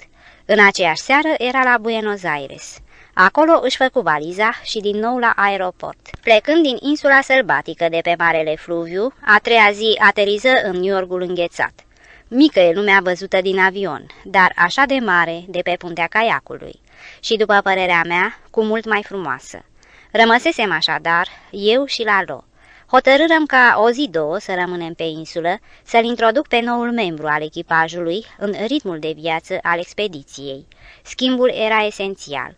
Despre Vincenti, marinar adevărat și om cu multă experiență de viață, căpătată în lume, am scris. Lalo era născut și crescut în Misiones, nu scosese nasul mai încolo de pământul roșu. Experiența necesară nu-i lipsea nici lui. Ca misionero, sută în sută, era frate cu jungla, cu fluviul. Împlinise 20 de ani, frumoasă vârstă. Era un băiat înalt și voinic, ca toți cei din familia Șicovski. Lat în spete, puternic ca un taur, cu mișcări domoale, leneșe parcă. Dar asta numai în aparență. Fiecare mișcare înceată a lui era bine chipzuită, avea un scop, era necesară. Trăsătură caracteristică oamenilor pădurii, crescuți odată cu natura primitivă. Poate s-ar pierde pe străzile unui mare oraș, dar nu în pădure, nu printre bulboane și torenți. Era și un pescar pasionat, pescar adevărat de pe Parana superioară, nu așa unul de ocazie. Peștele deveni acum pasiunea noastră cea mare. O seară întreagă am vorbit despre Eldorado. Dorado, în limba spaniolă, înseamnă aurit, strălucitor. Citisem în lucrări de specialitate, în limba engleză, despre pescuitul peștelui de aur, care trăiește în special în Parana Superioară și în Uruguay. Faima lui ajunsese până hăt departe. Îmi impuneau nespus fraze ca, cu cât cunosc mai bine, mai îndeaproape Dorado, cu atât îl respect mai mult. Despre viața și obiceiurile lui se știe foarte puțin. Niciodată Dorado n-a fost pescuit în mare sau la vărsarea fluviului la Plata. Chiar dacă în vocabularul pescarilor de mare se întâlnește denumirea de dorado, acesta este o specie care are numai solzii de culoarea aurului, amintind de adevăratul dorado, care trăiește exclusiv în marile fluvii ale Americii de Sud. Dorado sare, iar salturile lui în aer nu înseamnă goană după insecte. Asta o face pur și simplu de plăcere. Chiar micul dorado de 5 kg sare la o înălțime de 5 picioare, iar când țâșnește poate ridica, fără greutate, 50 de iarzi de sfoară. Descrierea pescuitului cuprindea numai unealta o undiță specială, lungă, o vârtelniță mare, pe care se aflau cel puțin 100 de metri de fir de nylon, numărul 90, și așa mai departe. De la Lalo am aflat că Dorado e vestit nu numai pentru carnea fragedă, gustoasă, ci în primul rând pentru faptul că e un răpitor feroce, luptând îndârjit și până la ultima suflare. În apele tropicale i s-au dat multe porecle. El tigre, tigrul, el tiburon, rechinul, el pirata del Paraná, piratul din Paraná. Indienii guaranii îi spun într-un fel foarte ciudat. Cel mai viguros mascul al râului. În concepția lor, acesta este un nume care face cinste. După Lalo, modul cel mai grozav, care produce emoții nemai întâlnite și cel mai familiar de a prinde dorado în Paraná, este pescuitul cu mâna, cu ajutorul unei funii trase de barcă. Parâma asta trebuie să aibă cel puțin 100 de metri lungime. La capătul ei, o sârmă de oțel, neapărat de oțel, lungă de un metru și apoi peștișorul de metal. De ce sârma trebuie să fie neapărat de oțel? Foarte simplu. Ascuțiți ca un ferăstrău, dispuși în două șiruri, dinții lui taie sârma de fier sau de aramă, ca pe un fir de iarbă. Momeala de metal să nu fie nici ea oricum, ci fixată cu un cârlic puternic, să numere vreo 30 de centimetri lungime. Dorado nu se lăcomește la pește mic. Povestirile erau mai mult decât ispititoare. Și apoi să călătorești pe marele fluviu și să nu prinzi Dorado ar însemna să pierzi ocazia unei aventuri minunate. Obstacolul principal în realizarea visului acestuia era totuși caiacul nostru. Pur și simplu nu se potrivea pentru un asemenea gen de pescuit. Era prea mic. Dacă am trage o astfel de funie după noi și dacă peștele prins ar fi de o mărime considerabilă, atunci răsturnarea și baia forțată ar fi sigure. Cu Dorado nu e de glumit. Doar se știe, e rechinul paranei. Ce era de făcut? Lalo veni cu o idee. Nu trebuie să ne grăbim. Avem timp. Trecem pe malul argentinian. Acolo, nu departe, este un fel de port de pescari sau o așezare de-a lor. Putem să lăsăm caiacul în siguranță la ei, împreună cu toate boccelele. La câțiva kilometri de acolo, pe uscat, locuiește Foti. El are pe fluviu o barcă cu motor. Are ciudățenile lui, e drept, de pildă nu bea apă. Dar Foti este pescarul pescarilor. Se zice despre dânsul că știe anume vrăși și formule magice pentru Dorado. Dacă îl găsim acasă și dacă îl convingem să facă împreună cu noi o expediție de câteva zile cu barca lui, atunci, cu siguranță, nu ne întoarcem cu mâinile goale. Cine e Foti? Nume destul de ciudat. Am aflat că asta este o poreclă, dar numele și prenumele lui sunt atât de greu de pronunțat că niciun argentinian nu le spune. El zice că e cazac, că s-a născut pe Don. Când a venit, Poate numai bătrânii își mai amintesc. În orice caz, este de aici, om al fluviului. Planul suna ispititor. Am acceptat. Întâlnirea și cunoștința cu Foti, în clipa de față marele meu prieten, a fost destul de neobișnuită. După ce am lăsat caiacul în port, am pornit pe jos până în satul unde își avea locuința. O căsuță de lemn, lângă un atelier universal de reparații. Pe pereții camerei, arme agățate, unelte de pescuit, piei. Am reușit să observ fotografia veche, ștearsă, a unui tânăr într-un costum rusesc, caracteristic. Probabil Foti, în urmă cu câți ani. E greu de ghicit vârsta gazdei, așa e cu oamenii de pe râu. Ar putea avea 60 de ani sau poate mult mai mult. Nu te îndoiai însă că poate să întreacă pe mulți tineri. Ascultăm ohorât discursul meu și propunerea unui pescuit în comun cu barca cu motor. Mă pipăi îndelung cu ochii lui albaștri azurii, fără să clipească, apoi vorbi tărăgănat. Dorado e un pește greu de prins. Pescuitul lui poate să dureze mult. Febra mă scutură, apa de râu îmi face rău. Ca antidot, ca doctorie, am nevoie de vin, vin alb, o duzină de sticle. Îl aprob cu zel. Sigur că da, apa de râu nu vindecă febra. Vinul alb merge foarte bine la pește. Am mai putea lua, afară de vin, și o băutură mai tare. Să ne arate numai de unde, în ce loc se poate procura și ne aprovizionăm cât ai clipi. Auzind acestea, fotită cu o clipă, după care rosti scurt. E în ordine. Pe insula mea, adică paraguaiană, dar a mea, așezăm tabăra.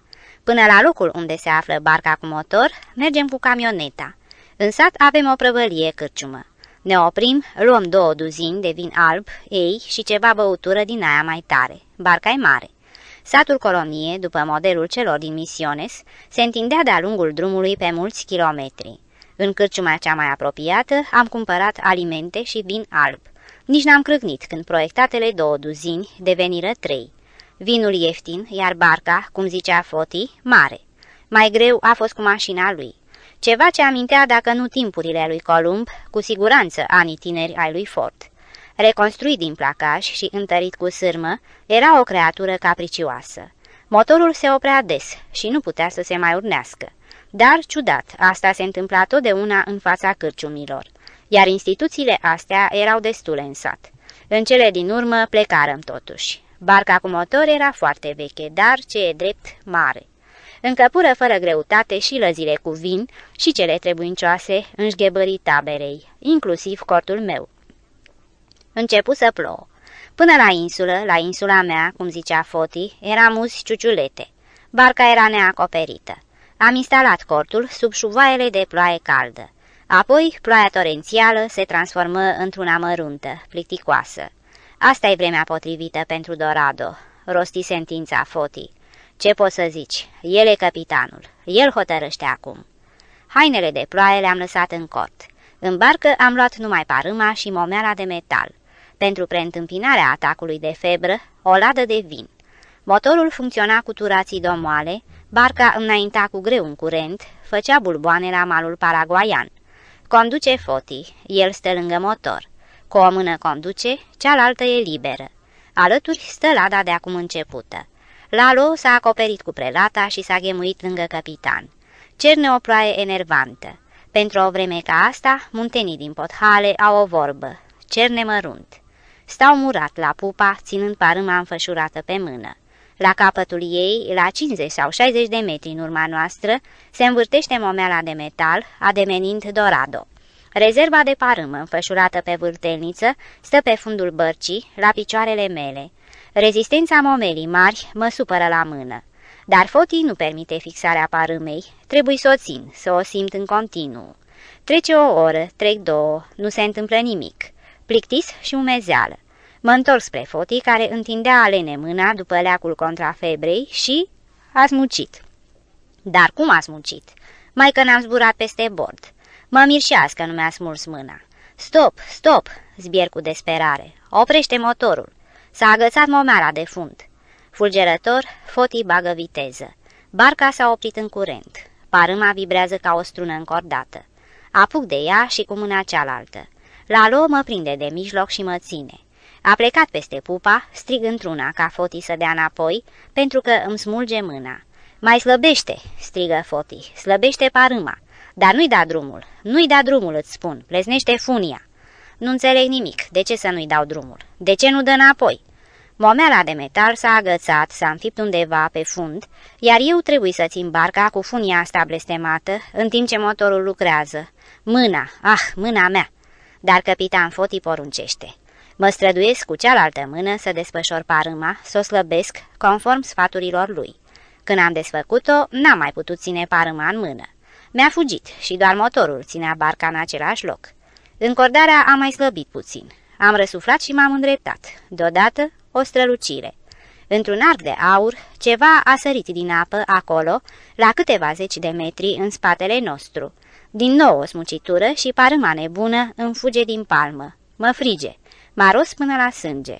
Lalo sare în ajutor, apucă de parâmă. Lasă-l, lasă, zbiera Foti.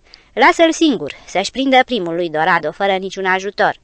Singur, sau să-l ia naiba de gringo blestemat. Nu-l ajuta. Vârtelnița cu rezerva de parâmă sare pe fundul bărcii, se desfășoară. Ajunge oare rezerva? De durere îmi mușc buzele, dar știu, nu voi da drumul. Pentru nimic în lume nu voi lăsa din mână parâma. Acolo, în cârlig, luptă Dorado, primul meu Dorado. Cât de mult a durat hărțuiala, nu știu să spun. Poate 20 de minute, poate o jumătate de oră, poate și mai mult. Până azi mi-a rămas vie amintirea durerii, dar și a bucuriei. Cu mâinile sângerânde, strângeam parâma când se mișora încordarea, o slăbeam când bătăiosul pește fugea cu o nouă smucitură.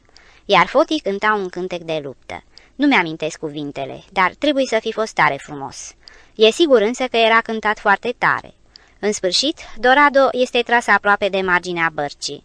Respiram greu, vedeam negru în fața ochilor. Eram fericit. Veni momentul important. Foti încetă cântecul. Se înarmă cu o ostie. A plecat peste bord, așteptă clipa potrivită și, deodată, înfipse ostia adânc, trase și aruncă trofeul în barcă. Monstrul de aur încă mai lupta. I-au rămas urmele dinților pe banca de lemn a bărcii. Trebuia acționat cu lovituri de topor. Trofeul fu apreciat cu pricepere și cântărit pe un cântar cu arc. 20 de kilograme," anunță Foti. A început-o bine, gringo." Apoi, despundând o sticlă tărie, o întinse spre mine. Bea, Victor." Prima dată când îmi spunea pe nume. Îmi tremurau mâinile, n-aș fi reușit să țin paharul. Din sticlă era mai ușor. Cârligul, înfipt adânc în gâtleș, natural, a trebuit să-l scot singur. Pe momeala tare, din bronz, Dorado își lăsase urmele dinților. Probabil mai reușise să închidă gura și să farfece cu dinții. Foti mă sfătui să scuip peste momeala strălucitoare, ca să am noroc. Mormăi și un descântec știut numai de el. Am lăsat din nou parâma. Lalo, de asemenea, de partea cealaltă a pupei. Acum o să ia, proroci capitanul nostru. Începutul a fost bun. De unde știa că va începe să ia, n-am întrebat. Ploicica deasă se prefăcea din când în când într-o ploaie torențială, tropicală. Suprafața apei se acoperea atunci de bășici săltărețe, parcă se afla în fierbere. Singura acoperitoare pentru trioul nostru era casca de plută de pe capul lui Foti. Dar cui păsa de asta? Peștele mușca. Conducând barca cu măestrie printre torenți, când în susul, când în josul fluviului, Foti își trata febra și cânta un cântec improvizat de el. Ei, Parana, râu fără margini! Pescuind amândoi în cele câteva ore care au urmat, am reușit să mai scoatem încă nouă exemplare de pește regal. Fiecare din ei luptase ca un adevărat mascul al paranei. A fost minunat, în total 145 de kilograme. Uzi, mânjiți de sângele peștilor și al nostru, cu mâinile rănite, îmbătați de o bucurie sălbatică, pierdusem noțiunea timpului. Poate să înțeleagă asta numai acela care a trăit asemenea emoții, care a simțit cu mâna lui, cum luptă Dorado la celălalt capăt al parâmei, a văzut țâșnirile de aur, salturile peștelui, care vrea să se elibereze. Seara era încă departe, când o întâmplare neprevăzută puse capăt pescuitului. Doi Dorado înghițiseră aproape în același timp amândouă momelile. După opinia lui Foti, provocară un adevărat circ. Prin săriturile și smucelile lor bruște, încurcară parâmele atât de tare că nu puteai ține prada dublă în mâini. Suntem nevoiți, deci, să lăsăm parâmele în mânerele de la bordul bărcii. Dar atunci se întâmplă un dublu salt, dublă smucire. Parâmele groase nu rezistară, plezniră în aceeași clipă. Se duseseră amândoi peștii de aur. Nu voi scrie ce înjurături ne-a fost dat să auzim din gura lui Foti. Caldele cuvinte la adresa peștilor Dorado și a noastră, și care aparțin vocabularului oamenilor de pe Marele Fluviu, nu pot fi tipărite. De furie se vede, îl apucă febra și trebuie într-una să întindă mâna după doctorie. Ploaia se oprise, vântul străpunsese norii. Ne-am întors într-o dispoziție minunată.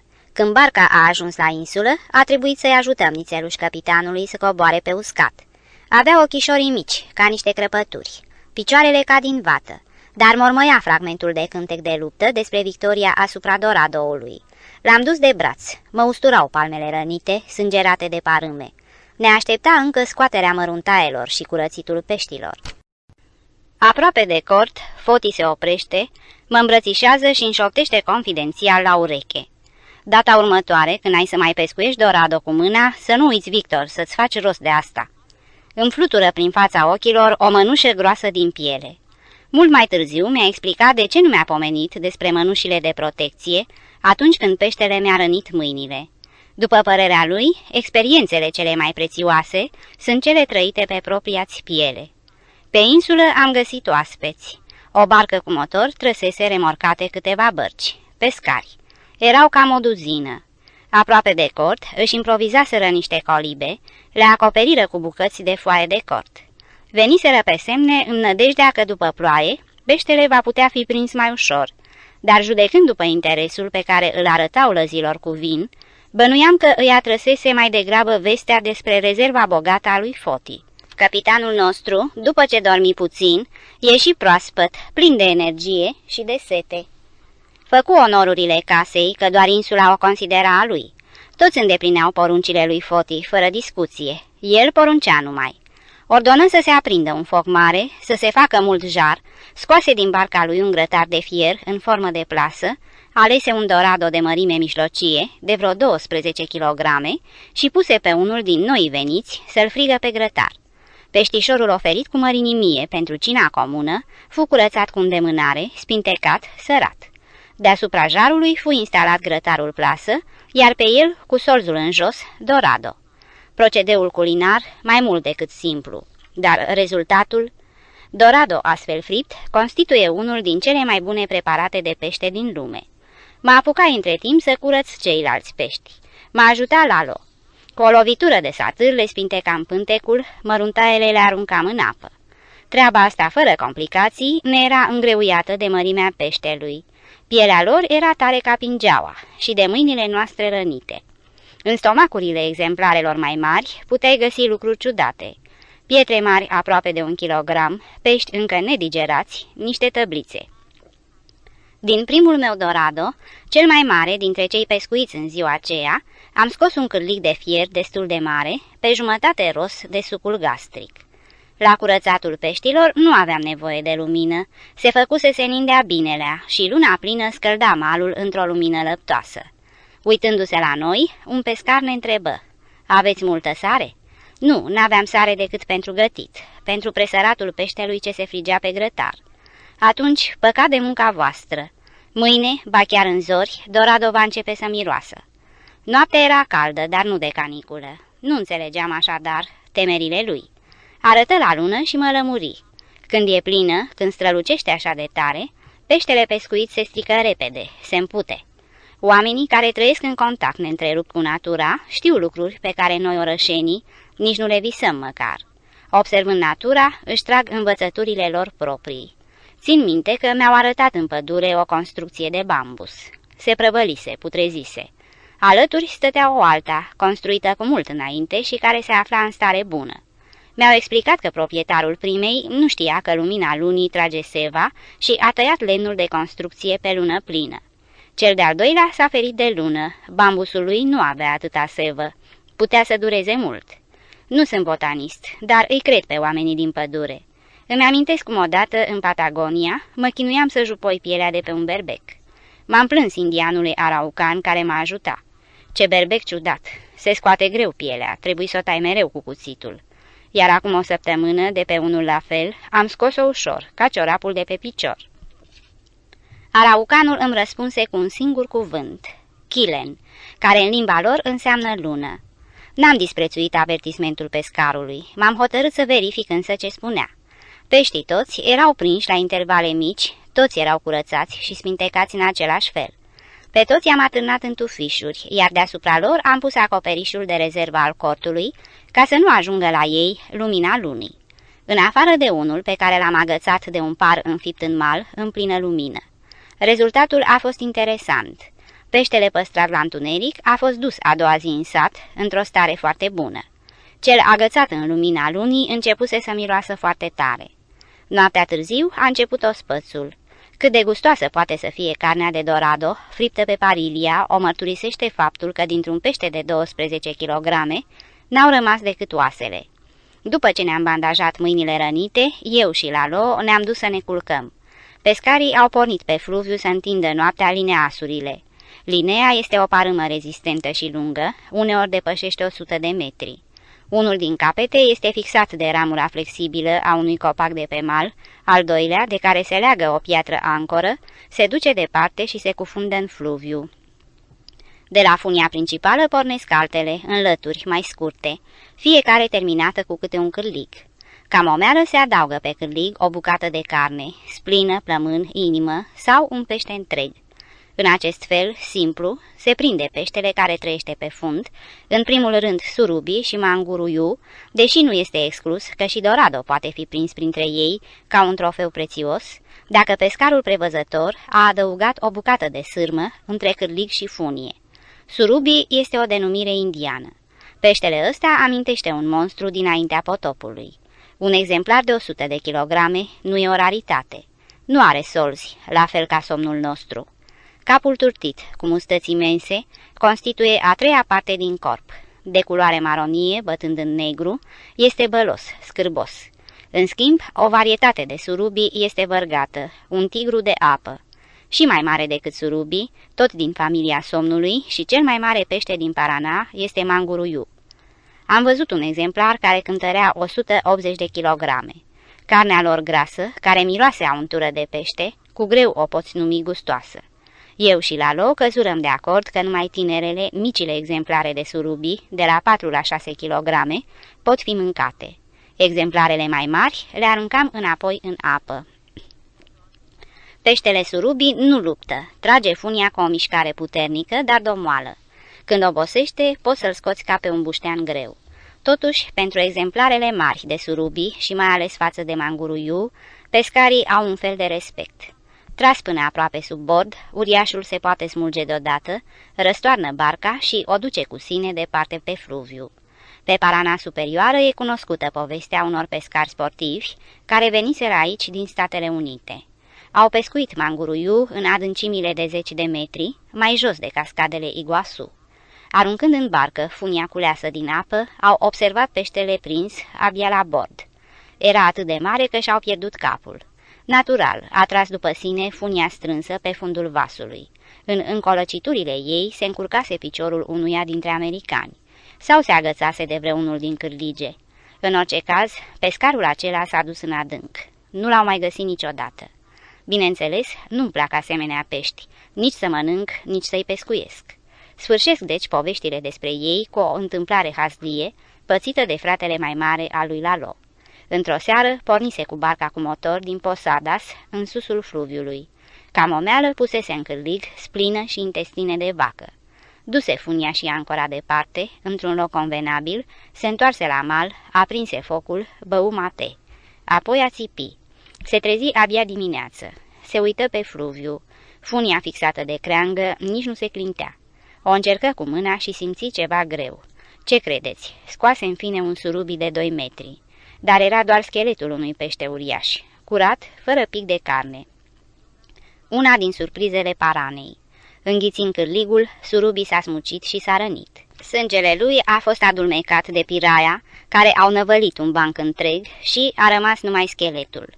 Piraia, luați separat, nu sunt periculoși, în schimb, un grup de asemenea pești pot nu numai să dea gata, dar să și toace cu dinții victima.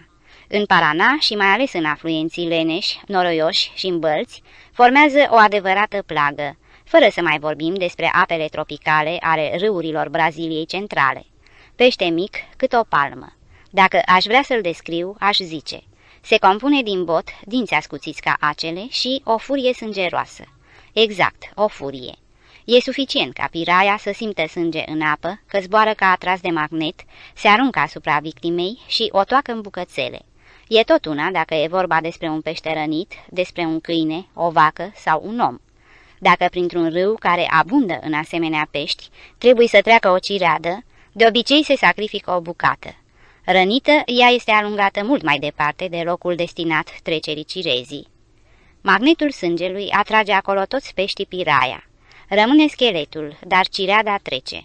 Soarele era sus când pescarii porniră din nou pe fluviu să verifice lineasurile puse noaptea.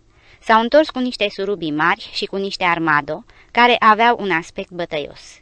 Armado înseamnă înarmat și, într-adevăr, natura a înarmat acest pește cu ghimbi care îi țâșnesc prin toate părțile.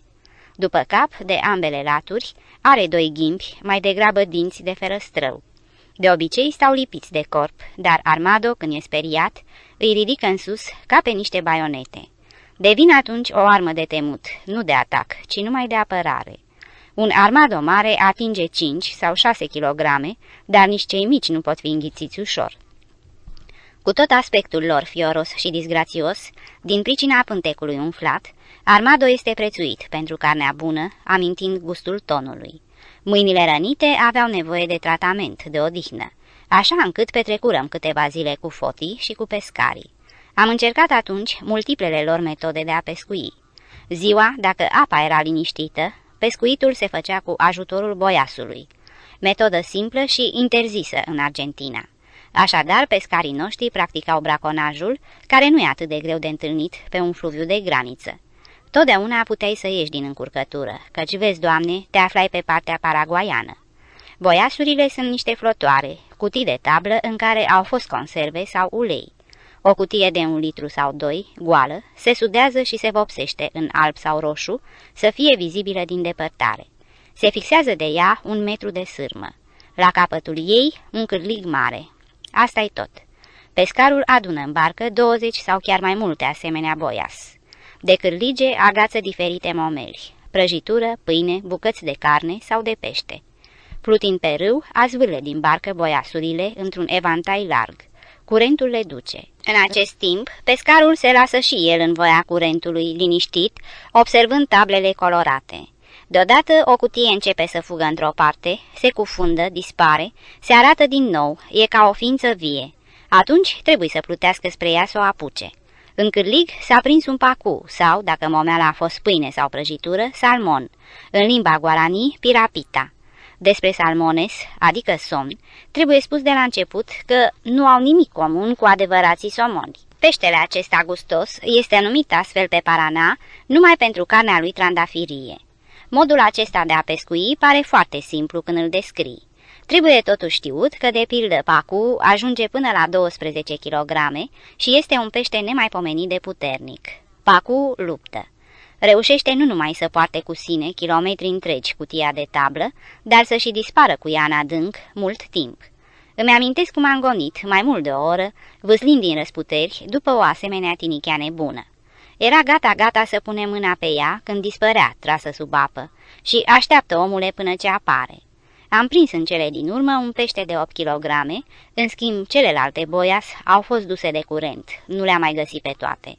Am văzut altădată cum 10 cutii au început să joace în același timp, după care boias să gonești. S-au împrăștiat în toate părțile.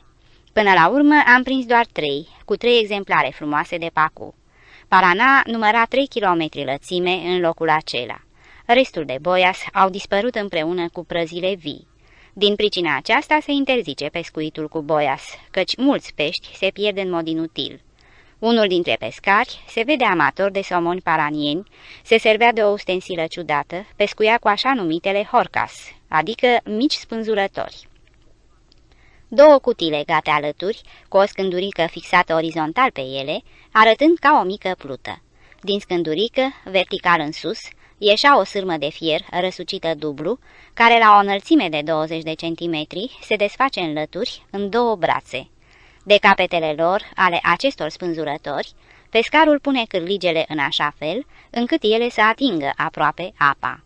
Leagă de ele, printr-o sârmă, prăjitură sau pâine moale.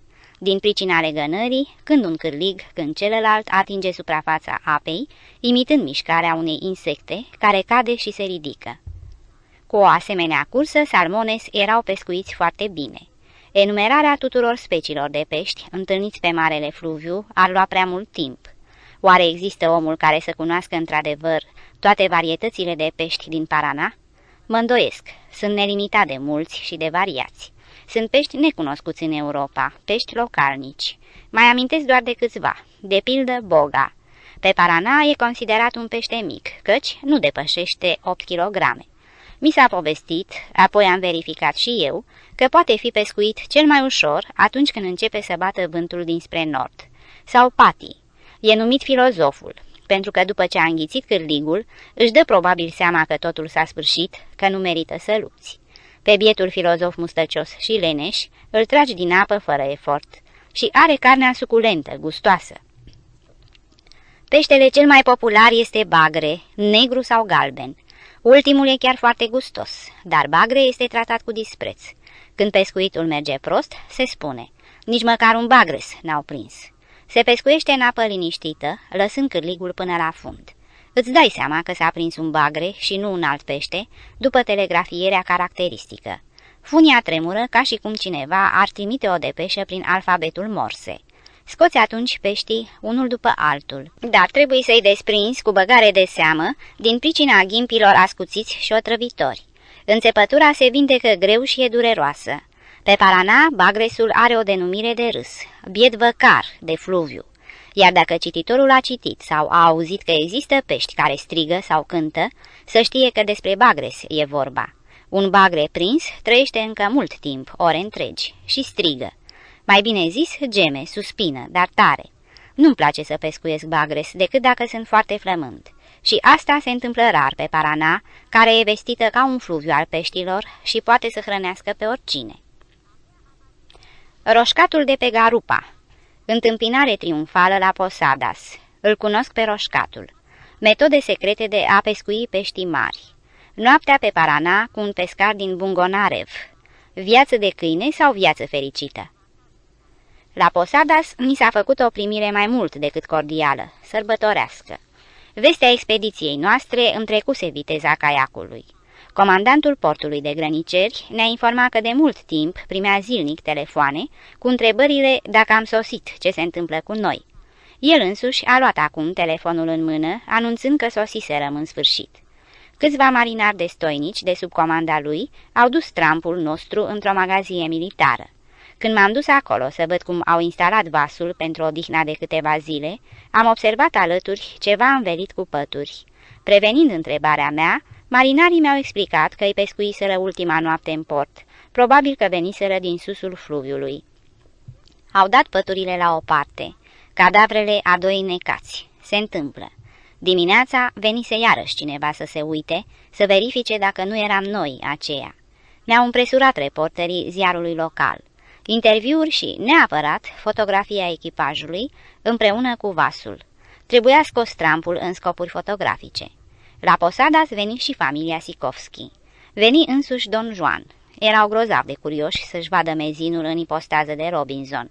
Lalo avea însă multe probleme de rezolvat în Posadas și prin împrejurimi. Zice cântecul despre marinari că în fiecare port au câte o drăguță. Lalo probabil trecea acum drept lup de fluviu. Îmi prezentă câteva fete frumoase, pe fiecare în parte drept logodnică. Popasul nostru în port se prelungi. Recunosc, nu-mi plac orașele. Dar Posadas, fiind legat de fluviu, este nu numai capitala provinciei Misiones, ci și portul cel mai mare. Oraș hinterland al coloniilor și așezărilor acelei provincii de agricultori, cap de cale ferată, care face legătura cu lumea mare. La Posadas pătrund vapoarele mai mici din Parana inferioară. La începutul veacului, aici au venit emigranții, agricultori din Polonia. Strada care dă spre port se numește Alea Coloniștilor. Și tot aici, în anul 1950, a avut loc Congresul Agricultorilor Polonezi, stabiliți în Tierra Colorada. În Posadas sunt multe prăvălii poloneze. Se află și o uniune a polonezilor cu sediu propriu.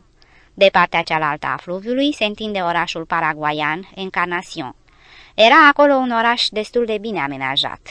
Era căci într-o noapte tornado, suflul turbat al furtunii, a smuls apa din fluviu și printr-o trombă sau baluriaș s-a abătut asupra portului și l-a spulberat. Mai dăinuiesc și azi jalnicele ruine. Nocturnul tornado a făcut multe victime, dar din Posadas, despărțit de port prin lățimea de 3 km a Paranei, nimeni n-a văzut nimic. Vestea a ajuns abia dimineața. Ciudate lucruri se mai petrec pe Marele Fluviu. Dinspre părțile paraguaiene vin în fiecare zi la posada spre cupețele, cu bărcile cu motor sau cu luntrele. Au chiar un târg al lor pe mal. Stând pe vine, cu pălării bărbătești de pai, cu țigara în gură, vând niște ierburi ciudate, tutun negru presat și alte mărfuri exotice. Între ele vorbesc în limba guarani. În oraș e mare circulație de vehicule. La volan vezi adesea femei în pantaloni și cămăși bărbătești. Sunt soțiile și fiicele coloniștilor. Un amestec nu numai de naționalități, dar și de rase, care îți sare în ochi mai puternic decât oriunde în altă parte. Au un stil comun, pionieresc. Ce-ar mai fi de spus despre Posadas? Doar faptul că nicăieri nu ne-au săcăit noaptea țânțarii ca acolo. Tângeam după cortul nostru cu moschitiera închisă perfect. Mă sufocam și tușam din pricina fumului din cameră, căci se ardeau substanțe insecticide și cu duhoarea lor se alunga plaga. Lalo ceru concediu. Nu voiam să pierd timpul în oraș, visam mereu recentul pescuit de Dorado. Începui să caut un tovarăș cu barcă cu motor sau cu o luntre solidă, ca să merg la pescuit câteva zile. N-a ieșit nimic. Sau nu aveau timp, sau luntrele era în reparație, sau îi împiedicau alte motive importante. Câteva persoane mă îndreptară spre Peliroho, adică spre Roșcatul. Îmi spuseră că e un om ciudat, aproape mut, dar pescar neîntrecut. Chiar și atunci când toți se întorc cu buza umflată, el are totdeauna de vânzare câteva exemplare frumoase. Și mai spuseră, poate dumneavoastră o să vă înțelegeți cu el, vă e compatriot. Ultima informație a avut greutate. Am aflat cum se ajunge la el, am împachetat în rucsac câteva lucruri și o moschitieră împrumutată.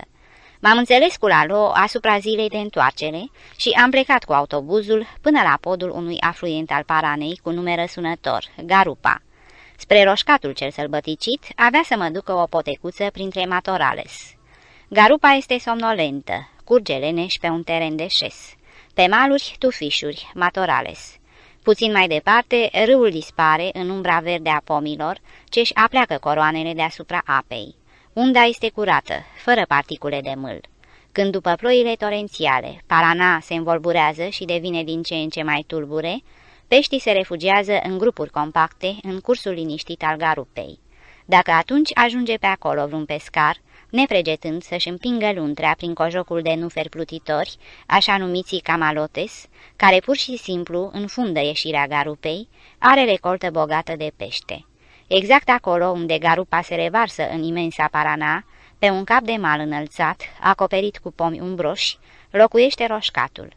A știut unde să se așeze acel om al râului, are la alegere și imensitatea Paranei și liniștitul Garupa, cel bogat în pește. A știut unde să-și înfigă rădăcina, dar n-a știut să se gospodărească. Coliba, acoperită cu stuf, are găuri în loc de ferestre, o prelată atârnată închipuie intrarea, câțiva câini mușcați de gângănile tropicale, un căluț răpciugos cu ajutorul căruia cară peștele la distanțe mai mari și singurătatea, rar stingerită de venirea vreunei ființe, nedorite de altfel, care se apropie cu barca din cealaltă parte, cea paraguaiană. Acum știu, roșcatul iubește singurătatea. În acest loc retras, uitat de Dumnezeu și de oameni, s-a înfundat de mulți, mulți ani. A devenit ciudat, aproape fără grai, în această pustietate. Eram tare curios să-l cunosc pe compatriotul acesta. Am mers mult pe potecuța ce se pierdea printre matorales. Ținând strâns în mână un ciomag, priveam atent sub picioare. Lichidasem câțiva șerpi care mi ieșiseră în drum. Ajung în fine la colibă. Câinii săriră la mine lătrând. Gospodarul nu se mișcă. Ședea cu picioarele larg desfăcute pe o buturugă mică. În foc fumega un butuc putrezit remediul cel mai bun împotriva țânțarilor. Roșcatul bea mate. Am știut dintr-o dată că e el. Cămașa descheiată nu-i acoperea pieptul bronzat, acoperit de păr des roșcat. Barba nebărbierită de multă vreme avea reflexe arămii. În coama roșcată ruceau șuvițe argintii și ochii aceia, albaștri deschis, aproape albi. Înfipți în mine, cercetători, grei, întorcându-mă parcă pe toate fețele. Am ieșit din tufiș și m-am oprit fără să spun nimic. Dură mult tăcerea așteptării. Chiar și câinii încetară să mai latre. Împotriva obiceiurilor locului, gazda mi se adresă primul. Bună seara, prietene! Fără să se ridice, îmi întinse mate. Bună seara, răspunse în polonă. Ce mai faceți? Mâna care mă întindea mate rămase spânzurată în aer, ochii albi mă măsurară din creștet până în tălpi de câteva ori. După o clipă, destul de lungă, din pieptul lui voinic, roșcatul bolborosi. Ce, dumneavoastră, sunteți polonez? Luați loc!" Am tras mai aproape butucul pentru ca fumul să alunge țânțarii și din partea mea m-am așezat în tăcere. De câteva ori, vasul cu mate a trecut din mână în mână. În cele din urmă nu m-am abținut. Am aflat despre dumneavoastră în Posadas. Mi-au spus că prindeți dorado frumoși. Am câteva zile libere. Am venit ca să vă cunosc, să văd. Se poate?" Ridică ceainicul care fierbea, adăugă atent apă în mate și, fără să se ridice, mi-l dădu pe deasupra focului. Am băut. A sorbit și el odată, de două ori, prin pai. Din nou a bolborosit ceva în pieptul lui și a mormăit. Se poate. Așa a fost cunoștința mea cu roșcatul, primul pas spre prietenia de mai târziu. Se numea Vincenti, numele de familie nu-l cunosc, n-am căutat să-l aflu. Cine e și de unde a venit, mi-a spus mult mai târziu. Povestea vieții lui Vincenti am descălcit-o încet, ca pe un fir de pe un ghem încurcat, cu opinteli, cu noduri, în timpul celor câteva zile când am pescuit împreună noaptea, plutind prin întunericul paranei, să cercetăm omelile sau șezând lângă foc în așteptarea zorilor. Mă temeam să nu-l sperii cu întrebările, ca pe o pasăre temătoare. Mă temeam de tăcerea, care, după vreun cuvânt indiscret, cădea ca o cortină grea și ne despărțea pe multe ore. Vreți să dormiți înăuntru sau să vă scot un catre aici sub pom?" Interiorul colibei nu era prea atrăgător. Sfida orice concepție despre o locuință omenească. Am călcat pe o broască râioasă de mărimea unei farfurioare, în așternut se scărpinau câinii plini de căpușe, în acoperișul din trestie se gospodăreau șopârlele și șoarecii. Am adus un catre sub pom. Arăta ca un pat cu picioare scurte. Am atârnat moschitiera pe ramuri și mi-am acoperit culcușul așternut regesc. Vremea era de aur. Când se întunecă, roșcatul, tăcând în continuu, se apucă să pregătească cina. I-am oferit sprijinul meu, amintindu-i de alimentele aduse de mine. A dat din mână. Pe un par așezat orizontal între crengi, atârna un pacu mare, curățat de măruntaie. Tăie din el cu cuțitul câteva bucăți frumoase și le aruncă în ceaun. Îl stropi cu puțină apă și adăugă ulei dintr-o cutie. Mai puse câțiva pum de orez, ardei roșu, piper și sare. Acoperit cu un capac de fontă, ceaunul început să sfârâie. Așteptarăm, fumând în liniște. Vincenti tăie cu cuțitul un sul de tutun negru presat, îl măcină în mână, răsuci un cartuș mare. În loc de hârtie, folosi frunză de porumb uscată și netezită. Am tras și eu. Am văzut stele verzi, a început să mi se învârtească capul. Mi-era rușine să o arunc, așa că am fumat cu grijă. Uitându-se cum mă chinuiesc, Vincenti găsi cu cale să-mi explice. E din partea cealaltă. Mi l-a adus un cunoscut paraguaian. E un tutun tare, bun. Poate la început vă face rău, dar după aceea vă obișnuiți. Mie îmi place. S-a găsit și o a doua lingură. Mâncarea de pește cu orez am servit-o direct din ceaun. Era grozav de gustoasă. Vincenti pusese piper din belșug. Când scosei din rucsac sticla de vodcă, se înclină cu respect, dar dădu din mână cu dispreț spre păhărelul întins. Dădu capul pe spate, duse sticla la gură și mult timp o ținu astfel. Apoi se scutură mulțumit și mi-o întinse. Îi urmai pilda. Nu ne venea să ne culcăm. Era târziu când gazda spuse. Mă duc pe râu să verific espinele surile. Pe urmă trebuie să curăț peștele de măruntaie și în zori să-l duc la drum. Ei, Acelei suna a invitație, iar observația cu privire la curățatul măruntaelor și ducerea peștelui la drum însemna că era sigur, va fi pește. Avea o barcă mare, grea, cu câteva vâsle. O trăserăm pe apă și roșcatul început să scoată, dintr-un fel de dulap de lemn cufundat în apă, sabalos. Îi arunca în luntre încă vii. Era multă momeală din asta. Și fiecare pește, cântărit din ochi, avea de la o jumătate până la un kilogram. Nu m-am abținut și l-am întrebat surprins dacă pune în cârlig bucăți așa de mari. Mă lămuri la comic. La pește mare se lăcomește un pește mare. Cei mici pentru mine n-au importanță. Vincenti avea câteva espineles, unele ancorate în apropiere de curentul principal, aproape în mijlocul marelui fluviu, altele mai aproape de mal, în ape mici sau repezi. Odată punea momeala într-unele, altădată în altele.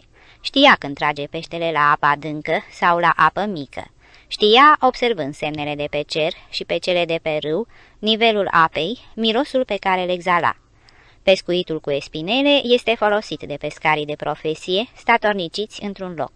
Sârmele groase de aramă sau de bronz, care sunt mai bune, numărând câteva sute de metri lungime, sunt ancorate permanent sau cel puțin pentru un timp îndelungat. Ambele capete sunt fixate de ancore de piatră grele, deasupra cărora plutesc cutii mari de tablă sudată. Pe această sârmă groasă, întinsă și susținută de flotor, la distanțe de câte 10-15 metri, se leagă un metru de frânghie rezistentă. La capătul care atârnă în curent, încă o bucată de sârmă și un cârlig mare. În aceste cârlige se pune peștele momeală. În torenții repezi trage dorado. În apa lină și mai aproape de fund, surubi sau manguruiu. Am luat aminte la metodele secrete ale roșcatului. La capătul fiecărei parâme laterale fixa trei lănțișoare de metal, două identice mai scurte, unul mai lung, fiecare prevăzut cu un cârlig zdravăn. Am înțeles de ce sacrifica pentru momeală numai bucăți mari de sabalos întregi. Fiecare pește stătea pe trei cârlige. Cel de pe lanțul mai lung, roșcatul îl înfigea în cap, celelalte două cârlige mai scurte, pe ambele părți ale corpului. Momeala astfel agățată stătea în apă, o mișca curentul și arăta însuflețită.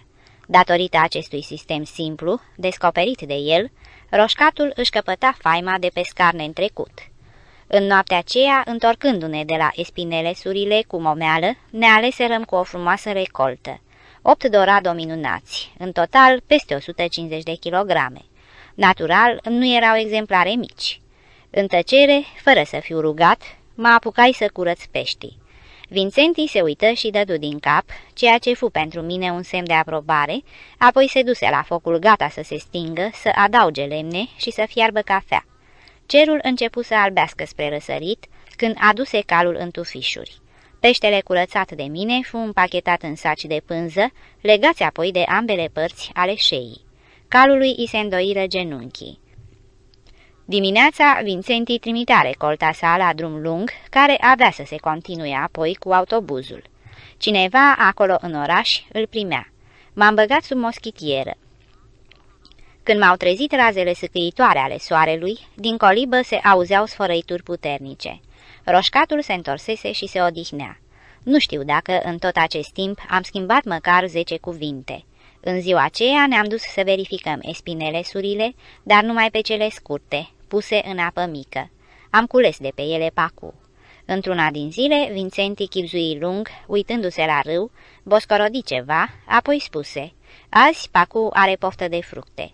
Nu știu ce anume îi trădase lui pofta peștelui, dar după ce a pus în fiecare cârlig fructe sălbatice, ce semănau cu niște mandarine mici, rezultatul a fost extraordinar. Pacu erau atât de mulți că nu i-am putut lua pe toți în barcă. Petrecându-le sfoara pe sub bronhii, atârnarăm restul pe același spinel. Aici stau ca la cămară, mă lămuri Vincenti. Mâine sau poate mai târziu îi luăm. Pentru a pescui Sabalos cu plasa, sunt necesare două persoane. O asemenea plasă comună avea Vincenti cu vecinul său. Pescarul Jose, un brazilian vesel și tânăr, plutea undeva în susul râului. Împinserăm în trei barca printre camalotes, care creșteau la vărsarea garupei, pentru a trage plasele în apa ei curată de câteva ori. Roșcatul și Jose se băgară în apă până la subsuori. Când am vrut să le ajut, Vincenti mă respinse scurt. Dumneavoastră nu. N-aveți cizme." Mai târziu, după ce au ieșit la mal, Jose și-a zvârlit galoșul plin de apă și mi-a arătat talpa deformată cu o cicatrice mare. Rana se vede că durase mult până să se vindece. Era urmarea loviturii unui pește, dată cu coada, care se termina într-un spin. Vincenti adăugă și a zbierat de durere ca un bou, s-a tăvălit, s-a așezat în cap. Apoi s-a cangrenat, s-a infectat. Raia, pește din ordinul Batoidea, de obicei trăiește în mări, totuși se întâlnește și în apele calde ale Paranei și încă în asemenea cantități, încât e considerat o plagă. Are capul turtit, în formă de disc sau romboid. Raia de apă dulce nu e periculos prin curentul electric, ca unii confrați ai lui din mare, în schimb lovitura cozii, terminată într-un ghimpe de os ascuțit, însoțită de secreția veninoasă, distribuită de glandele situate în apropiere, provoacă într-adevăr o durere infernală, iar rana se vindecă foarte, foarte încet. E greu să observi un raia cenușiu, plat, care se odihnește pe fundul apelor mici. Pe unul din ăsta călcase Jose înotând cu plasa. N-a protestat când Vincenti a povestit despre răgnetul lui, tăvărirea și statul în cap. El însuși a adăugat că durerea te făcea pur și simplu să-ți iei câmpii. Și doar nu sunt muiere, nu mă tângui pentru orice. O, iată! Arătă pulpa celuilalt picior. O cicatrice vindecată, în formă de cruce, o tăietură adâncă, până la os. M-a mușcat un șarpe cu clopoței. Eram singur, n-aveam doctoria. N-am ezitat nicio clipă, am tăiat, am crestat piciorul cu cuțitul satâr. Am stors atâta sânge încât mă gândeam, mor. Și crede-mă, nici n-am crâcnit măcar. Îl cred pe Jose, e un om tare, neînfricat. A tras plasa împreună cu roșcatul în cotul noroios al garupei. Deodată începu să fiarbă. Au ținut cât au putut, dar n-au scos-o la capăt. Partea din mijloc a plasei s-a cufundat și s-a făcut ferfeniță. Un iacare trezit de pe fund o fi făcut un asemenea pocinog. Judecând după clocotul apei, trebuia să fie foarte mare. Să tragi cu plasa spre tine un asemenea monstru, bâr, și nici măcar n-au sărit pe mal. Numai Jose a început să înjure, într-o ciudată amestecătură spaniolo-portugheză, să tune și să fulgere. Iar Vincenti se scărpina în capul roșcat, uitându-se la jalnicele resturi ale plasei. Repet, Jose nu era un fricos, dar se ținea la distanță de raia. Nu știu cum se întâmplă, că mie îmi reveni curățatul peștelui.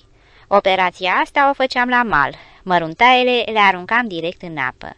Vorbărețul de Jose, uitându-se la îndeletnicirea mea, îmi arătă râul. Ia uite-te câte jivine s-au adunat. Le-a demenit cu mațele. În apa tulbure, chiar lângă mal, forfoteau raia. Corpurile lor lătărețe se unduiau, devorau măruntaiele de pește. Când după aceea am căsăpit bestile una după alta cu săgețile, Jose nu mai putea de bucurie. Avea cu ele răfuieli vechi și dureroase. În cele din urmă, roșcatul își deslegă limba. Asta s-a petrecut într-o noapte fără lună, în zăpușala aceea tropicală. Dinspre apa caldă ca supa nu venea nici cea mai slabă adiere. Vâslea Vincentii. Nu puteam înțelege cum, în întunericul acela, pe un fluviu mare, numărând câțiva kilometri lățime, conducea totdeauna barca fără greș, la geamandură. La întrebarea cum face, după ce se orientează, a tușit, s-a foit puțin, mormăind. Păi știți, după stele. Așa și acum, vâslind după stele, izbi cu barca în geamandură, se aplecă, ridică cu ghionderul sârma cufundată, o petrecu peste vârful bărcii. După o clipă, sârma zbârnâia. Cablul de bronz ancorat în depărtări, întins de barca purtată de curent, se încordase ca o strună. Vibra, suna pe un ton jos, de bas. Cântă, cântă frumos," spuse roșcatul. Apucați vâslele, căci aici curentul e puternic. Barca poate să smulgă espinelul, prea cântă. Apucai vâslele. Nu vedeam ce face roșcatul îngenunchiat în vârful luntrei, dar ghiceam după vibrațiile espinelului. Când săltă cablul și, ținându-l în mână, trecură în lungul lui cu barca, se lăsă tăcerea. Când îl puse din nou pe vârful bărcii, răsună iarăși pe râu tonul de bas. Nemaipomenită impresie. La un moment dat, Vincenti mă chemă în ajutor. Se întâmplase ceva.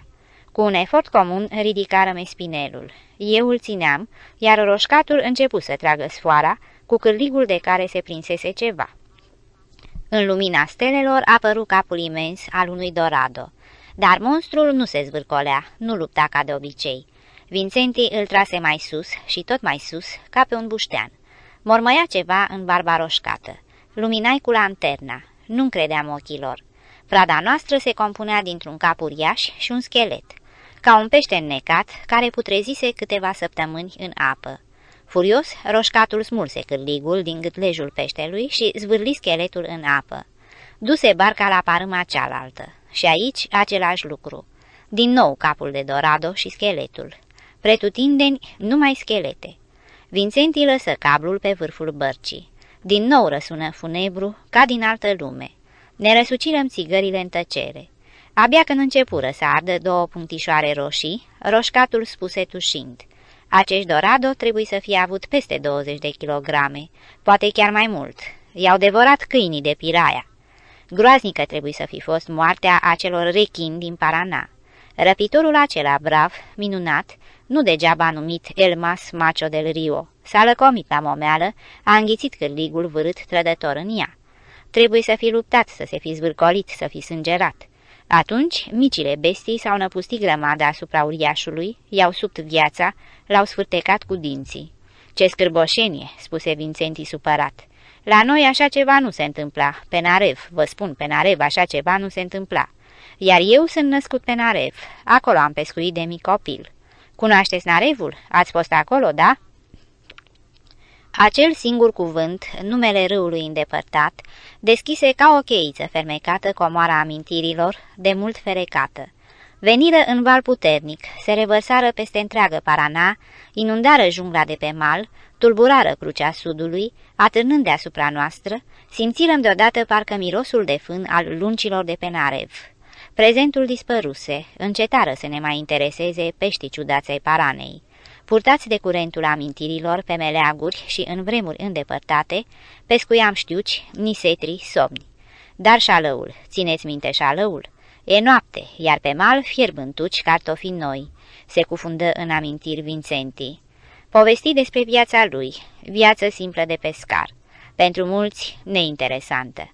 Trecuse de 60 de ani. Uitându-mă la torsul lui vânjos, la mușchitari jucând sub piele, gândeam. Câți din anii aceștia i-a petrecut sub acoperiș și câți pe râu? Începuse să pescuiască de mic copil. Erau cinci frați. În colibă era strâmt, avea o palmă de pământ, numai din pescuit era greu de trăit. După ce a fost în armată, în Varșovia în 32, Vicec plecă în lume. Încercă de toate, dar pescuitul îl avea în sânge, nu-l putea uita. Auzi că în Argentina este un râu mare, plin de pești, așa că debarcă la Buenos Aires, cu 35 de ani în urmă. Orașul, știți, e strâmt, oameni mulți. Am plecat, dar, fără întârziere, să caut. Să caut fluviul. Îl cunoașteți, la Plata. Nu seamănă cu alte fluvii, ăsta e mare. Nu-i vezi malul celălalt. Când e vânt, se ridică valul, nu poți ieși cu barca în larg. Limbajul ichtiologilor nu-l cunoșteam, dar mă înțelegeam cu pescarii. Lucram atunci cu băieții care se angajau cu ziua la dusul plaselor pe râu. Erau apoi trase la mal cu caii. Erau niște plase așa de mari că uneori nici patru cai nu puteau trage. Pești mulți, de tot felul, frumoși. Și știți unde se ducea peștele? În nu știu ce ulei, ba chiar în făină ziceau că îl transformă. Cine a mai auzit să faci făină din pește? Asta se numește pescuit? Ei, și apoi oamenii erau prea mulți, așa că am apucat-o în susul fluviului, în susul Paranei, până nu departe de orașul Santa Fe, unde am început să pescuiesc singur. Îmi plăcea acolo. Am învățat câteva metode, am mai combinat și singur, ba espineles, ba lineas. Pește era destul. Câteodată prindeam surubii de trei ori mai mari decât somnii noștri. Dar carnea lor nu e bună, miroase a untură de pește și era prea multă agitație pe fluviul cel mare. De câteva ori, vapoarele mi-au rupt espinele surile. Dar cel mai rău era cu oamenii. Oamenii din apropierea marilor orașe, știți, nu sunt buni. Atunci am plecat mai departe și mai departe, în susul fluviului, până m-am stabilit aici. Își dezlegase limba taciturnul. L-am ajutat cu întrebări. Cum trăiește el în locul ăsta izolat? E bine, liniște. Paraguaienii din partea cealaltă ce-au să-mi ia. Până la drumul unde trebuie să duc peștele, nu e mult. Iar potecuța printre matorales, ați văzut-o singur. Nu prea se aventurează încoace, se tem de reptile. Deci poți să trăiești. Pescuitul, ca și vânătoarea, este o artă veche, își are începutul în leagănul omenirii. Este o artă dificilă. Niciun manual, nici chiar experiențele proprii culese pe cele patru continente pe unde am umblat, nu mi-au îmbogățit cunoștințele în domeniul acesta atât de mult ca nopțile și zilele petrecute cu roșcatul. Era un adevărat fenomen, dăruit cu un fel de instinct acvatic sau cum să-l numesc. Râul și viața lui nu aveau taine pentru el. Cunoștea nu numai obiceiurile peștilor, dar și suferințele lumii apelor. Astăzi, mă anunță odată, Dorado va veni numai cu curentul adânc, repezit. Azi vor fugi de ciupa sangre.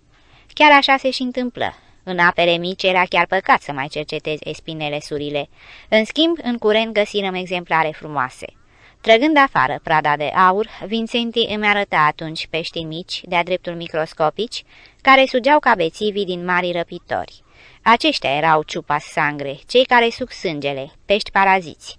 Dar de unde știa el că tocmai azi ei vor amenința Dorado? Partea slabă a lui Vincenti e că disprețuia peștii mici. Natural, determinarea de pește mic trebuie înțeleasă la scara Parana. Trăgând în plasă Sabalos, roșcatul a zvâlea înapoi toate exemplarele mai mici. Nu-i păsa că și acelea au preț bun pe piață. La un dorado, care avea mai puțin de 10 kg, se uita de asemenea cu dispreț, numindu-l mucos sau cu vreun cuvânt mai tare. Erau zile și nopți când pescuitul atingea 200 și 300 de kilograme de pește adevărat. Și mai erau zile când roșcatul nu ieșea pe râu. Nu i se arăta lui perspectiva și basta. Ar fi putut fi bogat. I se plătea bine pentru pește. Ce făcea cu banii, nu știu. Bănuiesc că el însuși nu știa unde și cum dispăreau. Știți, râul înseamnă viață. Așa filozofa pe Parana superioară, pescarul acela născut pe Narev. Vrea să aibă ierba, să soarbă mate și vin, uneori cana. Iar pește este mult, nu murim de foame. Printre matorales se strecura din când în când o femeie cu copiii ținându-i se de fustă, cu un prunc în brațe. Se așeza lângă foc. Ei?" o întreba laconic roșcatul. Scotea din torbă câteva sticle, tutun, și lua banii de pe pescuit. Uneori îi cârpea zdrențele, uneori Vincentii se zborșea la ea, dar astea erau chestiunile lor particulare. Cineva ar putea spune viață de câine. Poate calculați că pescuitul acela, timp de 35 de ani, putea să-i lase ceva mai mult decât zdrențele, ceainicul strâmb, ceaunul dogit, acoperișul de trestie stând să cadă. Poate. M-am împrietenit cu Vincenti. Am mai fost pe la el și după aceea. Și niciodată n-am să uit cum s-a despărțit el de mine atunci, la prima mea vizită. M-a condus până departe prin Matorales. Mergea înainte cu o ramură îndoită în mână, căci... Aici sunt multe reptile, explica, trebuie să fii atent. Și, oprindu-se în sfârșit, rosti fraza de rămas bun. Vă mai întoarceți? Întoarceți-vă. Aici este adevărata viață. Câte ceva despre șerpi. De hobby-ul meu pentru șerpi este vinovat profesorul Julio R. Legende și bazme cu șerpi. Cel mai important e să nu-ți fie frică de reptilă, ne învață Julio. Șarpele cu clopoței, prins în cameră. Trei exemplare simpatice, iar ara, șarpele cu clopoței și șarpele coraliu. Originala și prețioasa bibliotecă a lui Prus Gribovski. Pescuitul este o pasiune a mea, un fel de boală. În peregrinările prin cele patru continente, totdeauna când mă aflam pe malul vreunui râu sau lac, începeam de îndată să mă uit după pești. Mă împrietenisem cu pescarii, mă străduiam să le aprofundez arta, să cunosc metodele locale de pescuit și să le aplic. Așa se întâmplă și în toiul expediției pe Parana. Așa mi se întâmplase și mai înainte pe Eufratul biblic, pe cursul superior al Nilului și pe alte râuri. Iar când vreau să-mi dau seama de unde mi se trage pasiunea asta, cine și unde mi-a transmis această boală a pescuitului, trebuie să mă întorc cu amintirile mult înapoi, până la anii de școală. Primele clase de liceu le-am făcut într-un oraș mare, așezat pe Nipru. Primăvara și toamna mă apuca o febră ciudată. Mă gonea ceva pe malul apei. După atâția ani pot să o recunosc. Un mucos în uniformă elegantă, cu cataramă strălucitoare la cordon și cu ghiozdanul pe umeri, se strecura la periferia cea mai îndepărtată, până la așezările de pescari.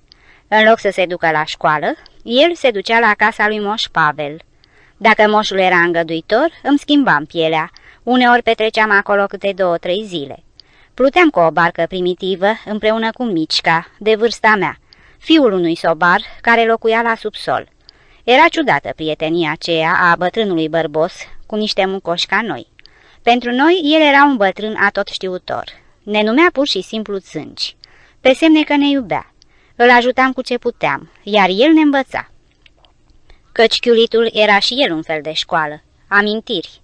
Dumnezeule, câți ani, câte zeci de ani au trecut și doar fumul focului de găteje cheamă cu mirosul lui imaginea nopților atât de depărtate în timp și spațiu, petrecute pe insula bătrânului, discuțiile cu Moș Pavel, chiar și surtucul lui, un cojoc rupt pe care îl cârpea grijuliu cu petice. Întoarcerea arăta mereu în același fel. Pe mișca, taică săul croia cu cureaua, iar bunica mea, care mă creștea, își frângea mâinile de desperare pentru nepotul așa de sălbăticit și semna o motivare către școală, precum că fusese îmbolnav de cutare sau cutare. Pe atunci boleam des. Moș Pavel trezise în mine dorul pescuitului. Pentru toată viața. Mai am o înclinație. Hobby-ul meu, cum se zice azi, sunt șerpii. Și asta e o boală în felul ei. Prietenii mei o numesc chiar ciudățenie, se poate. De ea este răspunzător Julio R., un tip foarte original, dar cu siguranță un om minunat. Locuiește la Posadas. Când mă nimeresc în oraș, îl vizitez totdeauna. Mereu învăț câte ceva de la el. Așa și acum, după întoarcerea din Garupa, de la Roșcatul, n-am pregetat să merg să stau de vorbă cu acest prieten. Avea o casă veche de colonist, tăcută, ca multe altele, cu o intrare fermecătoare, cu un patio mare umbrit îmbibată de o aromă dulceagă și de umezeală. Pe zidurile ce împrejmuiesc patio atârnă bucăți de lemn putrede cu orhidee. În lungul zidurilor, în ghivece și în cutii de tablă, cresc cele mai ciudate exemplare de plante tropicale. Toate sunt aduse din peregrinările prin selvă, le-a cărat acasă Don Julio și le cultivă. Și se pricepe. Se pricepe la atâtea lucruri legate de selvă și de râu, că mult timp mi-ar trebui să le înșirui. Când mă adresez lui, îl numesc cu stimă profesor. Titlu dobândit nu pe calea științei, ci pe întortocheatele poteci ale vieții. Cunoștințe enorm de multe și în continuu aprofundate. Bucuros și cu roadele împărtășește și altora. Mic de stat, în vârstă, poartă totdeauna ochelari întunecoși. E binevoitor față de toată lumea. A trăit mulți ani printre indienii primitivi, adoptat de un trib. Cunoaște câteva graiuri indiene înzestrat cu o ureche perfectă, reușește să reconstituie cântecele și muzica indiană. Sub acest aspect, e o adevărată comoară. Când se așează la pian, poți să-l asculți ore întregi. Este botanist, zoolog, dar înainte de toate, patriot înflăcărat al acelor locuri. Ochelarii aceia întunecoși pe care nu-i dă jos niciodată, sănătatea șubredă. Cândva mergea adesea la vânătoare. Odată și-a lăsat jos pușca, iar când s-a plecat să o ridice, l-a mușcat un iarara. I-au făcut injecții, tratament. I-au salvat viața, dar, deși a trecut mult timp de la întâmplare, aproape 30 de ani, suferă până azi. Îl deranjează rinichii, ochii îi se înroșesc și îi lăcrimează. Poate că accidentul acela, trista experiență pe propria piele, a fost pricina interesului său pentru șerpi. E lucru cert însă că în clipa de față este unul dintre cei mai buni ofiologi din America de Sud. A lucrat în Butantan, la cel mai renumit institut din lume de seruri împotriva mușcăturilor de șarpe, care se află lângă Sao Paulo, în Brazilia. Dacă cineva propagă furnizarea de reptile vii pentru instituții de acest fel, în scopul preparării serului, acela e Don Julio. El se îngrijește de aprovizionarea cu ser a regiunilor cuprinse de plaga șerpilor. Este organizatorul acțiunii de ocrotire a șerpilor folositori și autorul unei cărți netipărite despre șerpii din acele ținuturi. Îmi permit aici o mică digresiune. De ce n-au tipărit până acum cartea și de ce probabil nu va fi tipărită? În țările latine, în primul rând în Spania și în Italia, este răspândită o curioasă superstiție în legătură cu șerpii. Nu e voie să privești un șarpe, nu e voie să vorbești despre ei. De ce? Fiindcă aduc nenorocire. Vă rog să nu râdeți și să nu vă mirați. Am un prieten italian cu studii universitare care m-ar da numai decât afară din casă dacă aș începe să vorbesc despre șerpi. Poate că ar face apoplexie dacă nevasta lui și-ar cumpăra pantofi din piele de șarpe și cu siguranță ăsta ar fi un motiv de divorț. Nu e un exemplu izolat, ci din potrivă foarte răspândit. Din propria experiență, pot să spun că niciodată n-am putut publica în presa argentiniană reportaje cu ilustrări fotografice despre șerpi. Redacția mi le respingea totdeauna. Un editor mi-a explicat, nu vrem să ne pierdem cititorii. Această fobie, datorită superstiției, se lărgește natural, dincolo de orașe, acolo unde șerpii sunt o realitate și nu un simplu simbol aducător de nenorociri. Dar cărțile nu se tipăresc pentru oamenii din selvă, cu siguranță.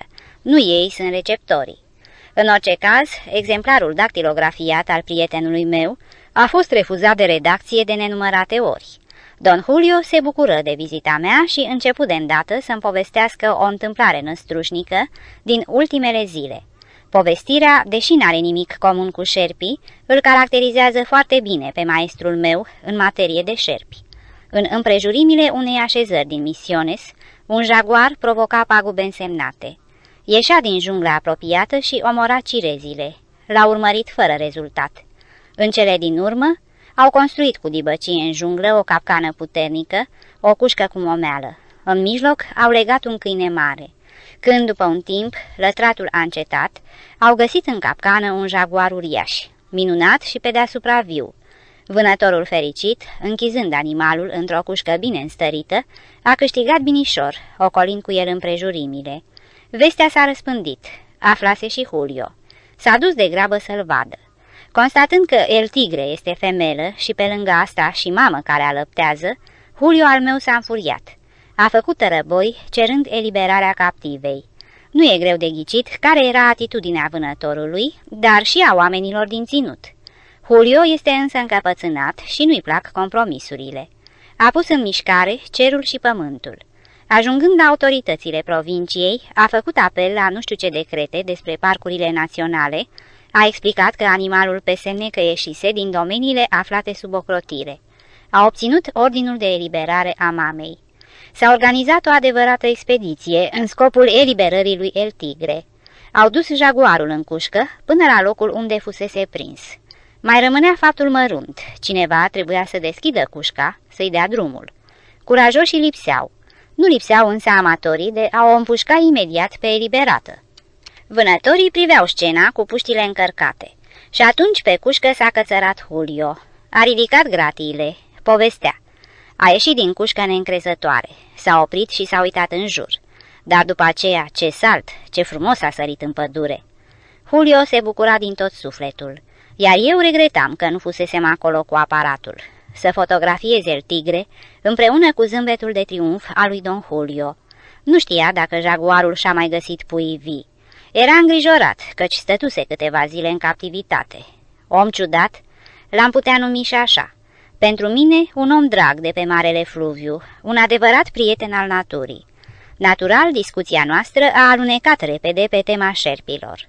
Julio se plângea de lipsa permanentă a serului împotriva șerpilor și încă acolo unde este cea mai mare nevoie, adică în interior, ba chiar aici, în capitala provinciei. Cu câteva zile înainte, aduseseră în Posadas o fată tânără din colonia japoneză, mușcată de șarpe în coapsă. În primul rând, povestea Julio, nu se știa ce specie era șarpele, iar în al doilea, în tot orașul nu se găsea injecția.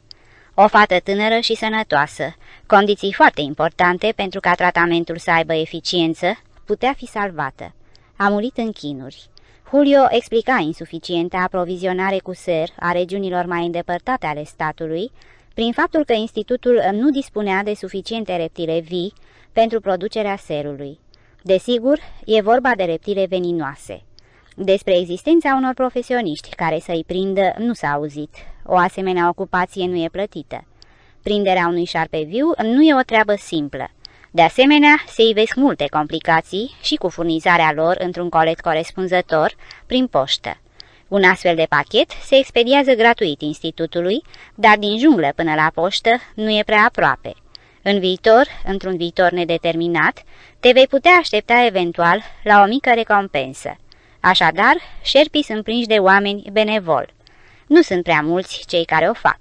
Îmi aduc aminte de o întâmplare petrecută sub ochii mei. Un colonist care trăia în pădurile din Misiones, disprețuind și refuzând recompensa mizeră, se strădui să prindă un șarpe viu și să-l trimită unde trebuia. A avut însă greutăți cu împachetatul corespunzător. Într-o zi aduse la oficiul poștal o ladă improvizată. Așteptând la coadă, la ghișeu, o lăsă pe masă. Lada fu împinsă, căzu și se deschise. Toți cei prezenți în oficiu săriră pe mese, iar pe podea se plimba un splendid iarara. Nefericitul de expeditor, ședea și el pe masă, fu avertizat categoric că dacă mai apare încă o dată la poștă cu Lada, de atunci n-a mai trimis asemenea colete. Cei mușcați de șarpe cer adesea ajutor vracilor, dar tratamentul lor Prietenul meu îmi povestea cu indignare cum un astfel de vrăjitor a omorât un băiat tânăr. Fusese mușcat la mână, deci avea mari șanse de salvare. Vraciul i-a dat să bea un pahar mare de petrol lampant. Pe semne, băiatul s-a apărat cât a putut. Salvatorii binevoitori l-au întins pe masă și i-au turnat cu forța petrolul pe gât.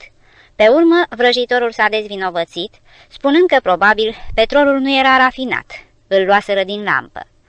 Așa cum am mai spus, Don Julio fusese cel care mi insuflase hobby-ul pentru șerpi și asta nu ca unui amator. M-a învățat și m-a îndemnat să mă apuc serios de ceea ce s-ar putea numi probabil meseria de a prinde șerpi. Am avut o asemenea perioadă în viață și nici acum, deseori, nu-mi pot refuza plăcerea asta. Și nu o singură grădină zoologică a profitat de ea.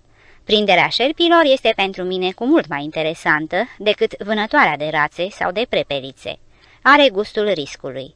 Sălbăticiunea nu este lipsită de apărare. Care altă făptură de pe lume mai trezește atâta teamă, groază, oroare ca șarpele, despre care se mai povestesc atâtea basme și legende? Șarpele este simbolul răutății, perversității și totodată al înțelepciunii.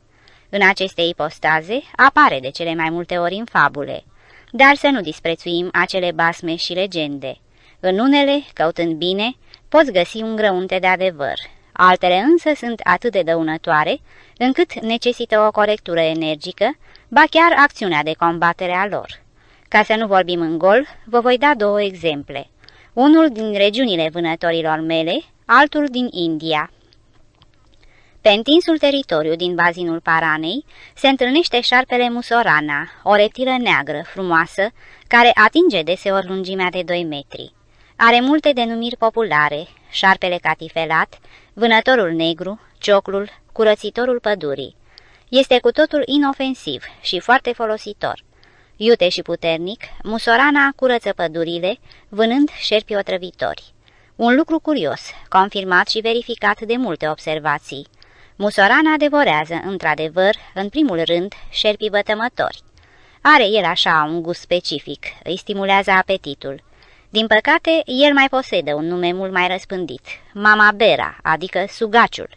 Legenda, o legendă cât se poate de dăunătoare, spune Mama Bera simte când îi se apropie unei femei sorocul de a naște și începe să-i dea târcoale.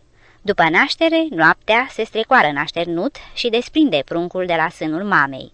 Ca să liniștească, îi dă să sugă coada sa, iar șarpele însuși bea laptele mamei. E adevărat, nimeni n-a văzut așa ceva, pentru că, viclean ca un șarpe, comite faptul numai atunci când mama doarme adânc, dar așa trebuie să fie, de vreme ce atâția copii se usucă de foame. Așa spune legenda și asta este convingerea celor mai mulți. Ca rezultat, o ființă atât de folositoare, de prietenoasă, este urmărită, stârpită. Multă apă va mai curge pe Parana până când dispozițiile de ocrotire vor fi înțelese și respectate cum se cuvine. Și mai tragică în consecințe este legenda hindusă despre șarpele din genul Naha, vătămătorul șarpe cu ochelari. Zice legenda, Buddha, călătorind prin Indii, obosit, se culcă să se odihnească. A țipi, răsări soarele, se înălță sus pe cer, dar Buddha dormea mai departe. Când se trezi, văzu o cobră care se ridicase deasupra lui și, lățindu-și gâtul ca o umbrelă, arunca umbră pe capul sfântului, îl ocrotea de razele soarelui. Recunoscător, Buddha atinse cu două degete gâtul umflat al șarpelui cu ochelari, îl binecuvântă. Urmele degetelor lui au rămas pe veci întipărite pe pielea șarpelui. Este ființa sacră, aleasă de cel prea înțelept. Este vorba despre cobra, șarpele cu ochelari, unul dintre cei mai veninoși de pe fața pământului. Dar în India e considerat șarpe sfânt. Nu e voie să-l omori. E suficient să citezi o dată statistică. Peste 300 de mii de mușcați de cobră anual. Cu siguranță cititorul a auzit despre șerpii care, atacând, sar. Natural, asta e numai o legendă. Ca să lovească cu colții otrăvitori, în timpul atacului sau apărării, șarpele trebuie să aibă oarecare punct de sprijin. Abia numai o treime din corpul său îl poate ridica în sus. Restul este încolăcit, servește drept sprijin pârghiei care lovește. Știind asta, poți fără teamă să stai lângă reptila încolăcită, la o distanță, să zicem, egală cu jumătate din lungimea lui. Dar există un dar, o fărâmă de adevăr, cuprins în legenda despre șerpi. E vorba despre iuțeala neobișnuită, fulgerătoare, a loviturii. Frica are ochii mari și după aceea povestește despre săritura șarpelui. De câteva ori am făcut experiența. Cu un baston de o lungime considerabilă, am întărâtat un iarara strâns colac sau un șarpe cu clopoței. Capul ridicat părea că tremură ca un arc încordat. În același timp, simțeam loviturile reptilei în celălalt capăt al bastonului, dar fără să le văd. Erau atât de iuți că nu le puteai prinde cu ochiul. Vorbind despre săriturile șerpilor, mai aduc încă un exemplu, deși în momentul de față mă rușinez de felul cum am procedat. Mergeam pe o cărăruie de pădure și am întâlnit un exemplar frumos de mama Bera. Neliniștit, speriat, a ridicat capul sus, parcă în așteptarea mea. Aveam o carabină, am făcut prostia și am tras. Sunt un bun trăgător. Distanța era mică, câțiva pași. Am ochit în locul unde se împreună capul cu gâtul. Foc și șarpele a dispărut precum camforul. Pur și simplu s-a dematerializat. Eram convins că am nimerit. Pe cărare am găsit urme de sânge. Dar șarpele, nicăieri.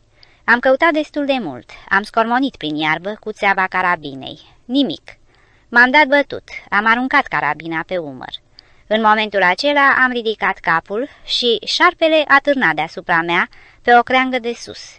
L-am desprins de acolo cu o altă împușcătură. Primul glonț pătrunsese la rădăcina capului și totuși reușise să fugă atât de fulgerător, să se cațăre atât de repede în copac, încât povestea cu a sărit pe creangă ar fi găsit în asta, pentru un laic, forța unei mărturii. Cum m-a mai muștruluit Don Julio când a aflat de această vânătoare. Fiecare întâlnire de-a noastră însemna un schimb de observații culese de fiecare, de experiențe, de dezbateri asupra unor întâmplări cunoscute de noi sau auzite. Ne străduiam totdeauna să ajungem la o clarificare. Cum s-a întâmplat? De ce s-a întâmplat astfel? Chiar și atunci când era vorba de povestiri absurde, ca de exemplu despre șerpii care înțeapă cu un ac veninos situat în vârful cozii. Prietenul meu observă că basmul acesta se datorează probabil unui ciudat obicei al șarpelui coraliu, numit astfel din pricina frumoaselor inele de pe piele, de culoare roșu-alb-negru. Este nu numai cel mai veninos dintre șerpii locului, dar și un laș, demn de dispreț. Cum are ocazia, fuge. În schimb, se strânge ghem, își ascunde capul sub încolăcituri și ridică coada în sus, mișcând-o amenințător. Mișcarea iutea cozii, destul de groase, poate să te înșele. În asemenea situație, e ușor să iei coada drept cap. Apucându-l de un asemenea cap, poți să o sfârșești prin a fi mușcat de adevăratul cap, ascuns printre rotocoale. Iar pentru clarificarea situației, cum anume s-a întâmplat într-adevăr, atunci este prea târziu. Îmi amintesc indicațiile pe care mi le dădea Don Julio când plecam să prind șerpi. Cel mai important e să nu te temi de reptilă. Dacă te vei teme, gestul tău va fi nesigur. Oamenii urăsc creaturile astea, care se strecoară fără zgomot, în tăcere, dând lovitura mortală, dar nu se gândesc de ce șarpele atacă omul. O face numai pentru a se apăra sau dacă este ațățat în mod inutil. Deci nu-l zgândări, atacă-l curajos. Să știi, toți șerpii sunt proști, cu siguranță mai proști decât tine. El are veninul, dar tu ai rațiunea și sângele rece. Asta este avantajul tău. Învățându-mă, dându-mi indicații cum și unde să vânez, arătându-mi cum trebuie să apuc șarpele ca să mă asigur împotriva mușcăturii, profesorul mă avertiza adesea. Trebuie să ai ochii larg deschiși, totdeauna, căci tu te duci să cauți reptila, dar și ea poate să-ți vină în întâmpinare, în clipa când te aștepți cel mai puțin. Scriind aceste cuvinte, îmi amintesc că cel mai frumos exemplar de crotal, o reptilă scârboasă, dar în același timp frumoasă, l-am vânat nu în timpul lungilor căutări prin junglă, ci în camera mea. Dormitam, făcându-mi siesta de după amiază, într-un rancio, în pădure. Arșița era de nedescris. Stam culcat, gol-goluț, pe un pat de campanie. Prin ușa deschisă, un băiețel privină untru și sări ca opărit, țipând. Iarara, iarara! Somnoros m-am ridicat și am văzut un colac imens în colțul camerei. După mărimea și grosimea încolăciturilor, mi-am dat seama că musafirul nepoftit nu este un iarara, ci un șarpe cu clopoței mare. Când m-am foit în pat, șarpele a ridicat coada și a sunat amenințător, ca și cum ar fi vrut să mă avertizeze. Sunt aici. Nu l-am putut prinde viu. Mă stingereau dulapurile, toată mobila aceea incomodă. Șarpele ar fi avut un loc de luptă mai bun, mai mare libertate în mișcări. Carabina era la îndemână. Păcat totuși să distrugi frumusețe de piele, să găurești cu glonțul câteva rotocoale.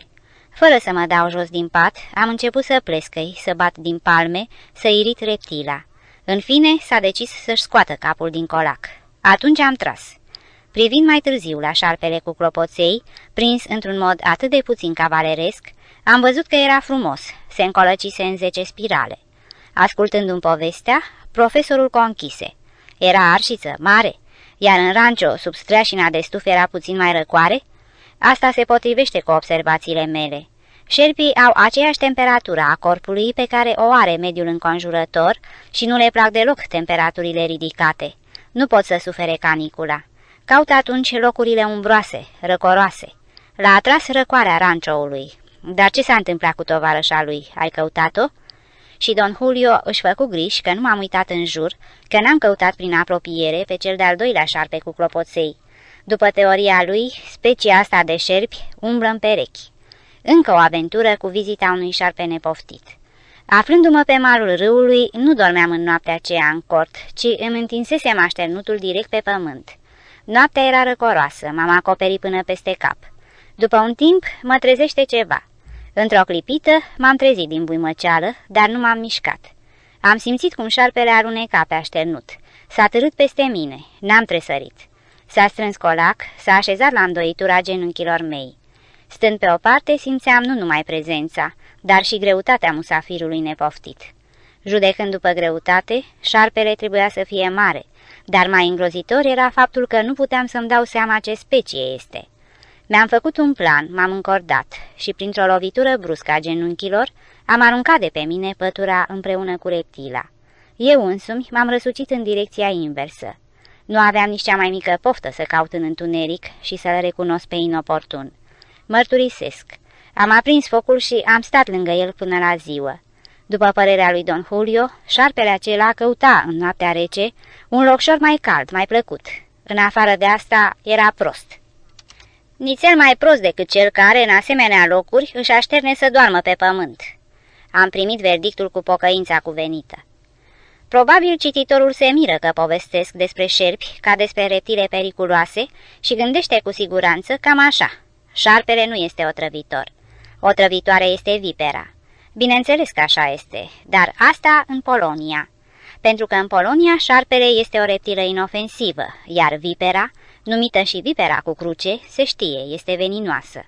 În America de Sud, o clasificare atât de simplă, de populară, nu corespunde adevărului fără să abordăm complicate discuții științifice, în paranteză vorbind, în multe enciclopedii, lămuririle date cu privire la șerpi ar cere o revizuire fundamentală, ne limităm la afirmația, printre cele peste 100 de specii de șerpi care trăiesc aici, există și otrăvitori și neotrăvitori.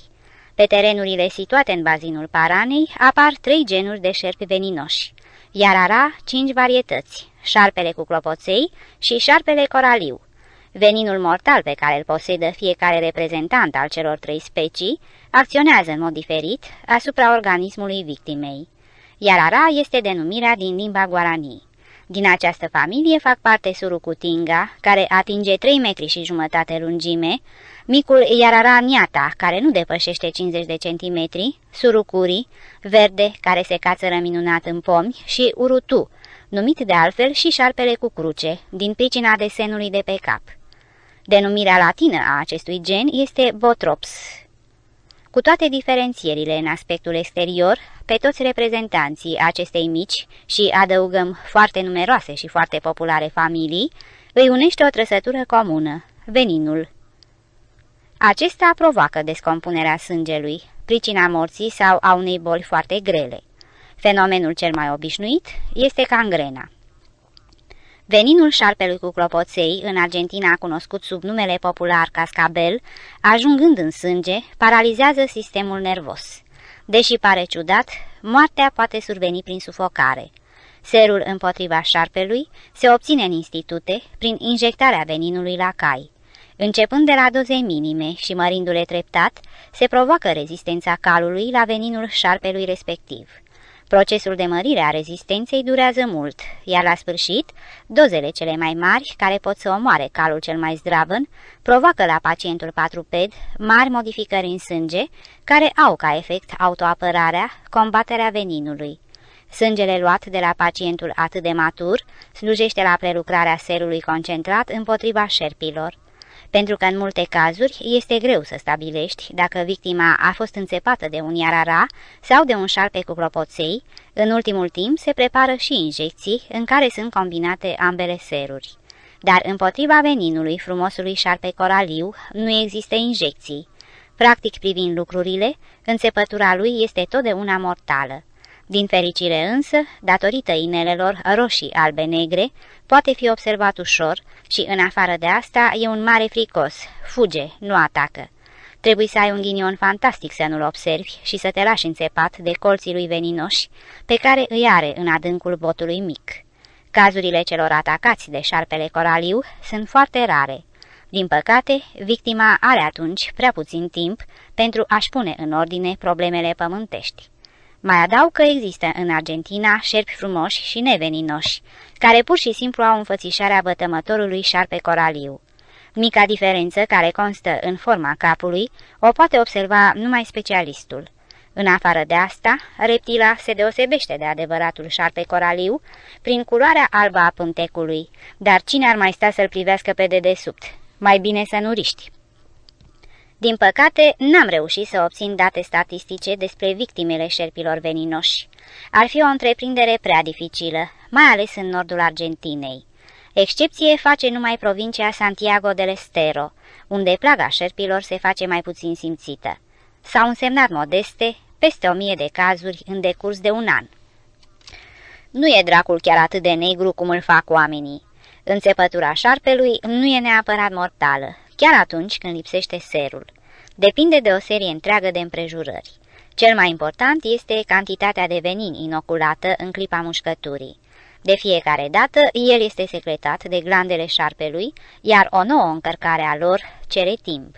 Dacă așadar reptila a mai mușcat pe cineva sau ceva cu puțin timp înainte, ea poate fi numai înarmată, dar e lipsită de cantitatea necesară de muniție. Unii cercetători sunt de părere că șerpii știu să dozeze veninul inoculat victimelor lor. Eu personal consider aceasta ca ceva puțin probabil. Puterea de acțiune a veninului este influențată și de anotimp. Pe timp de caniculă, el este foarte activ. După părerea unor cercetători, veninul este parcă mai puternic, îndată după ce șarpele își schimbă pielea. Nu împărtășesc această opinie. Pur și simplu, după lepădarea pielii, șarpele devine mai agil și vede mai bine. Despărțindu-se de veșmântul vechi, se desparte și de vechile ploape împreunate, în acest timp îngroșate, rigide și mate. Cele noi sunt mult mai transparente. Atacul reptilei este atunci mai periculos. Procentul de mortalitate depinde în mare măsură de locul înțepăturii. E mai ușor să salvezi victima cu rană la talpă sau în palmă decât în coapsă sau la braț. Cu cât e mai aproape de inimă și de centri nervoși, cu atât sunt mai puține șansele de salvare. Înțepăturile în obraz, gât ori sân sunt foarte rare, dar în principiu se sfârșesc tragic. Cunosc un caz când un tânăr alergând s-a împiedicat și a avut nefericirea să cadă drept peste un șarpe cu clopoței. Înțepat în față, a murit în câteva minute. Moartea a survenit din pricina blocării căilor respiratorii. Cred că cititorul s-a săturat de atâtea povestiri groasnice cu șerpi. Trebuie totuși să mai amintesc despre o figură originală, despre un om modest și prea puțin cunoscut, care locuiește de mulți ani în Ceaco.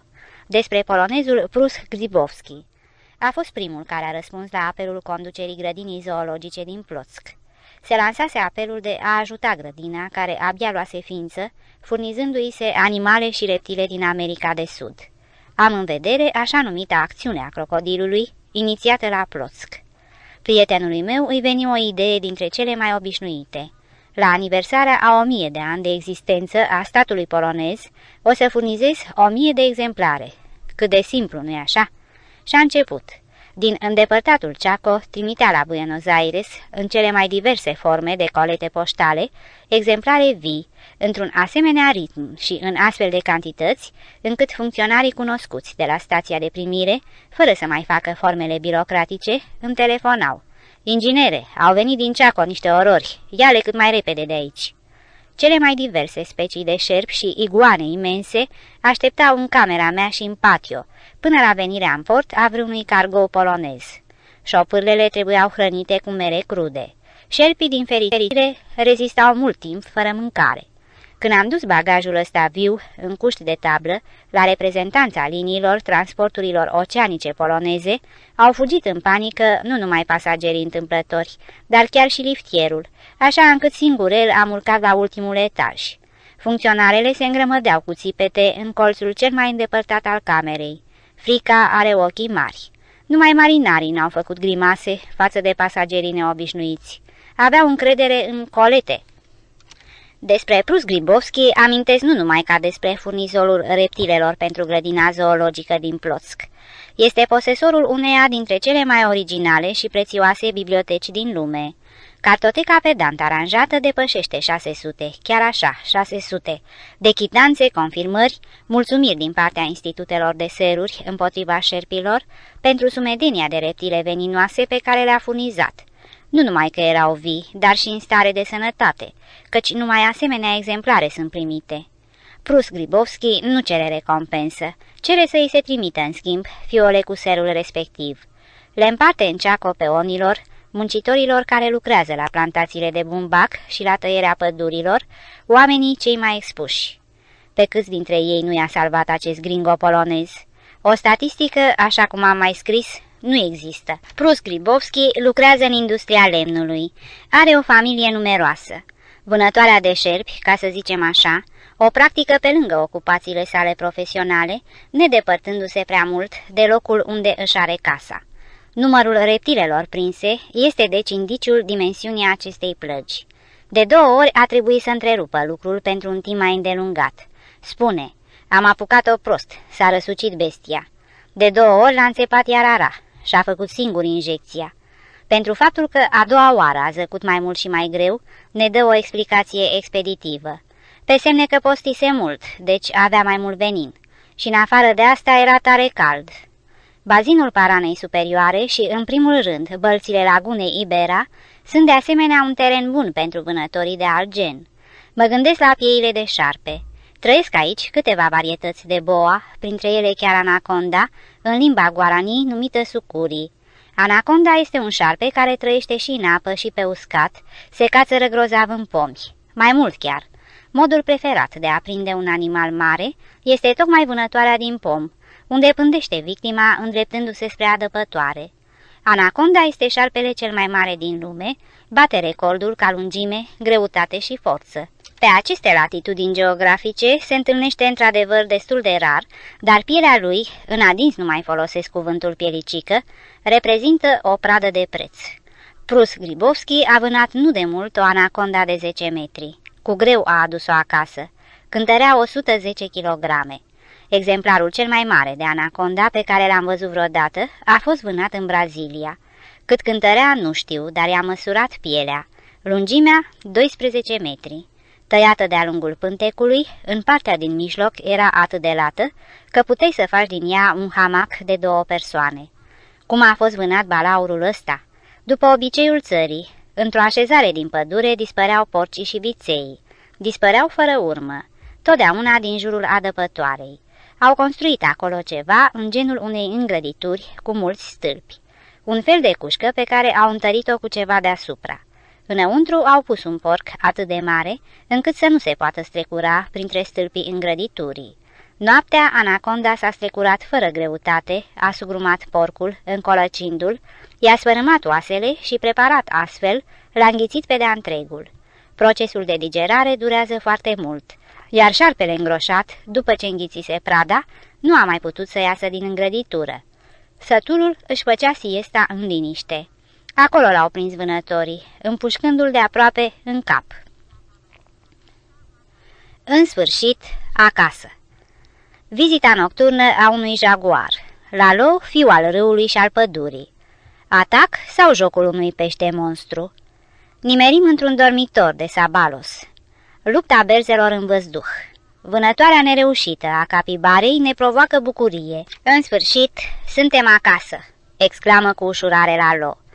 Trase cămașa de pe el, se încovoie, cufundă vâsla în apă, odată, de două ori. Pe spate, sub pielea netedă, bronzată, jucau mușchii, încordați de efort, dispărând când vâslea, făcea arcul în aer, înainte. Privea în jur, își dezvelea dinții într-un zâmbet larg. Era fericit. Eu de asemenea. Brăzdăm la lo, brăzdăm. Armonios, cu mișcări ample, conduserăm caiacul în mijlocul râului ca să prindem firul principal. Ce însemna acel în sfârșit acasă? Plecaserăm din portul Posadas, lăsând în urma noastră larma zilelor petrecute în oraș, cu toate cordialitățile și primirile, cu atmosfera prietenească și familiară, acea pauză în civilizație a aventurii noastre. Eram din nou pe Marele Fluviu, singuri, numai pentru noi, fericiți. Malul se depărtă, dispărură batistuțele fluturate, în semn de rămas bun, atât de sincer. Mulțimea de prieteni, cunoștințe și rude ale lui Lalo rămâneau din ce în ce mai departe. În urma noastră sclipea argintie, urma de o clipă, înaintea noastră se așternea luciul apei liniștite și peste o mie și jumătate de kilometri până la țel. În sfârșit, acasă. În sfârșit, singuri. Marele fluviu, din ce în ce mai larg, din ce în ce mai puternic, malurile lui întinse sau neprimitoare, vasul caragios de mic în imensitatea aceea, cortul așezat noaptea în tufișuri, toate formau casa noastră, și pe vreme bună și pe vreme rea. Și strigătul, în sfârșit, suntem singuri. Cititorul să-l ia ca o scuză a faptului că am trecut cu vederea descrierea orașelor și așezărilor pe care le-am întâlnit. Orașele de pe mal sunt pentru noi numai excrescențe pe drumul de argint, rare oaze de civilizație distribuite la depărtări de sute de kilometri. Au problemele lor, viața lor, atât de diferită de viața Marelui Fluviu. Nu le îndrăgim, acostăm în port, fără tragere de inimă, tratând faptul ca pe o necesitate nu prea atrăgătoare, când trebuie să ne completăm proviziile, să ridicăm corespondența sau să trimitem vești. Trebuie atunci să-ți schimbi pielea, să tragi pe tine haine și încălțăminte mai mult sau mai puțin civilizate. Trebuie să asculți întrebările celor interesați, să le dai răspuns, să le explici cum și de ce. Primul popas de noapte, mai jos de Posadas. Nu prea departe, 30, poate 40 de kilometri, dar deodată altă viață. Staționăm pe o insulă, mare, e însemnată chiar și pe hartă, peste 20 de kilometri lungime și câțiva lățime nici urmă de oameni, iar malul ne îmbie, întinzându-se de-a lungul zidului vegetal. Aducem caiacul, desfacem cortul în apropierea tufișurilor. Un foc mic, o cină fără pretenții, formată din minunățiile dăruite în oraș și apoi să dormi. Noaptea mă trezesc odată, de două ori, niște zgomote ușoare, ceva se mișcă prin apropiere. Cu siguranță nu sunt oameni, poate mistreții au ieșit la adăpat. După o clipă s-a făcut liniște. N-aveam chef nici măcar să mă uit. Și așa noaptea era ca cerneala, nu se vedea mare lucru. Mă întorc deci pe partea cealaltă și mă cufund într-un somn adânc. Ne-a trezit glasul unui om. Soarele se afla destul de sus. Ei, voi de colo, dormiți?" În fața cortului, un musafir, călare. Ariero, un păstor călare. Ne ridicăm din culcuș, somnoroși, ne întindem, îl salutăm pe noul venit. Coboară de pe cal, înconjoară cortul, privește atent nisipul de jur împrejur. L-ați văzut? Nu v-ați gâlțâit?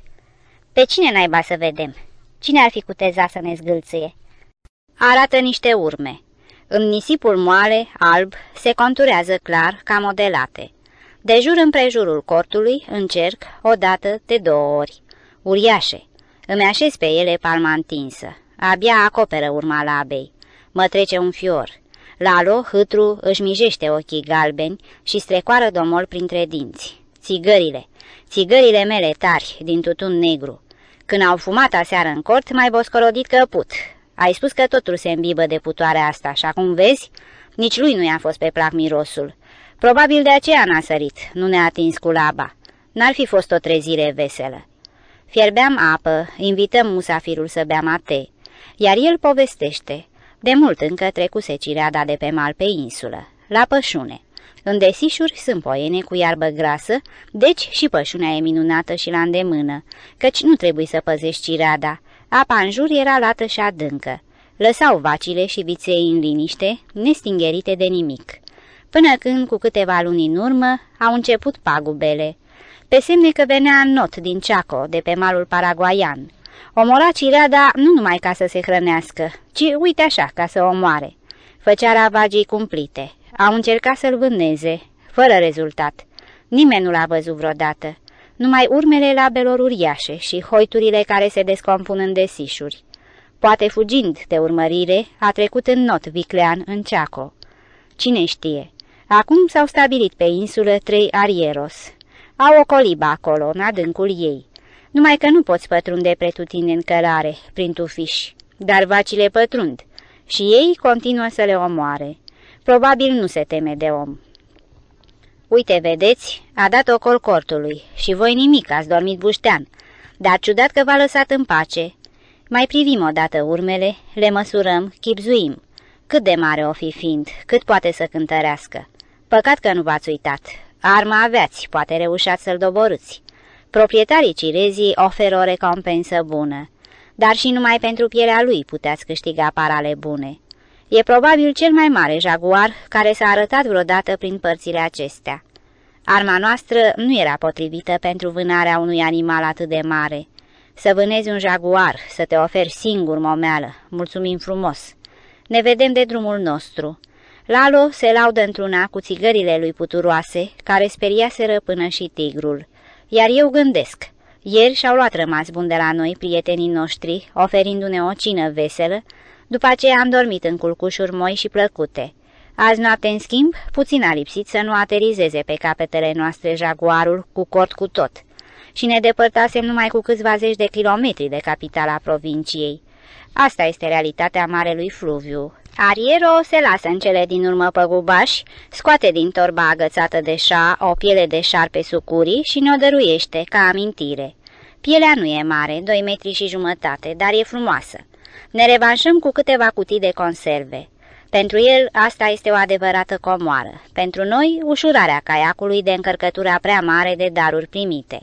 Cordialitatea prietenilor din Posadas ne amenința serios caiacul cu scufundarea și nu vedeam cum, în viitorul apropiat, s-ar fi putut micșora acest balast, deoarece trecusem la cură de pește.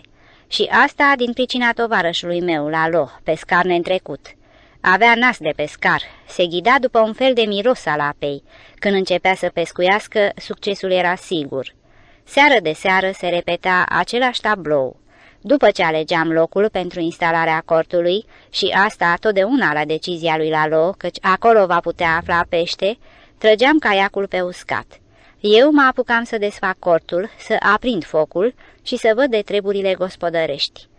Lalo, în schimb, înhăța repede undița ca să pescuiască peștele cel mai bun.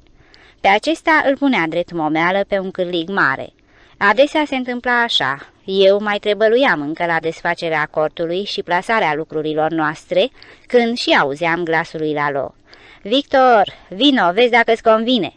Pe mal stătea un surubi sau un patii proaspăt. Sentința mea privea mărimea peștelui căci ce aveam să facem cu o pradă ce cântărea 15, 20, ba chiar și mai multe kilograme. Eram numai doi. Important mai era și gustul peștelui. Un surubi mare, bătrân, leneș, are gust rău. Miroase a untură de pește. Un surubi de 5-6 kg, asta e ceva. Tânăr și gustos. N-ai probleme cu curățatul. Una, două se dau solzii jos, se aruncă măruntaiele, se pune pe jar, cu spinarea pe grătar, parilia. O mâncare să-ți lingi degetele. O duceam bine cu Lalo, ne potriveam ca două boabe într-o păstaie. Înclinațiile comune, un înrudit sentiment față de natura înconjurătoare, pe care nu-l puteam exprima în cuvinte, ne legau, ne înfrățeau cu toată diferența de vârstă și de experiență. Lalo, băiat de pădure, de pe râu, are mișcări domoale, leneșe parcă, pline de un farmec necăutat și totuși atât de vigilente, de precise. Se întinde și ridică carabina, nimic extraordinar, dar degetele s-au adunat acolo unde trebuie, arătătorul este pe trăgaci. Doboară pomul cu toporul greu, fără efort. Loviturile puternice, lente, cad precis. Nu deviază nici măcar cu un milimetru. Leagă nodul, sigur, și îl poate desface pe loc cu o deosebită iscusință. Pe timp de vântoasă, de ploaie, când totul este îmbibat de umezeală, reușește să aprindă focul cu un singur băț de chibrit. Merge prin desiși, aici se apleacă, colo de la o parte o creangă, se înșurubează în verdeață, o străbate. Se culcă să se odihnească, pune capul jos și are ochii deschiși, ascultă.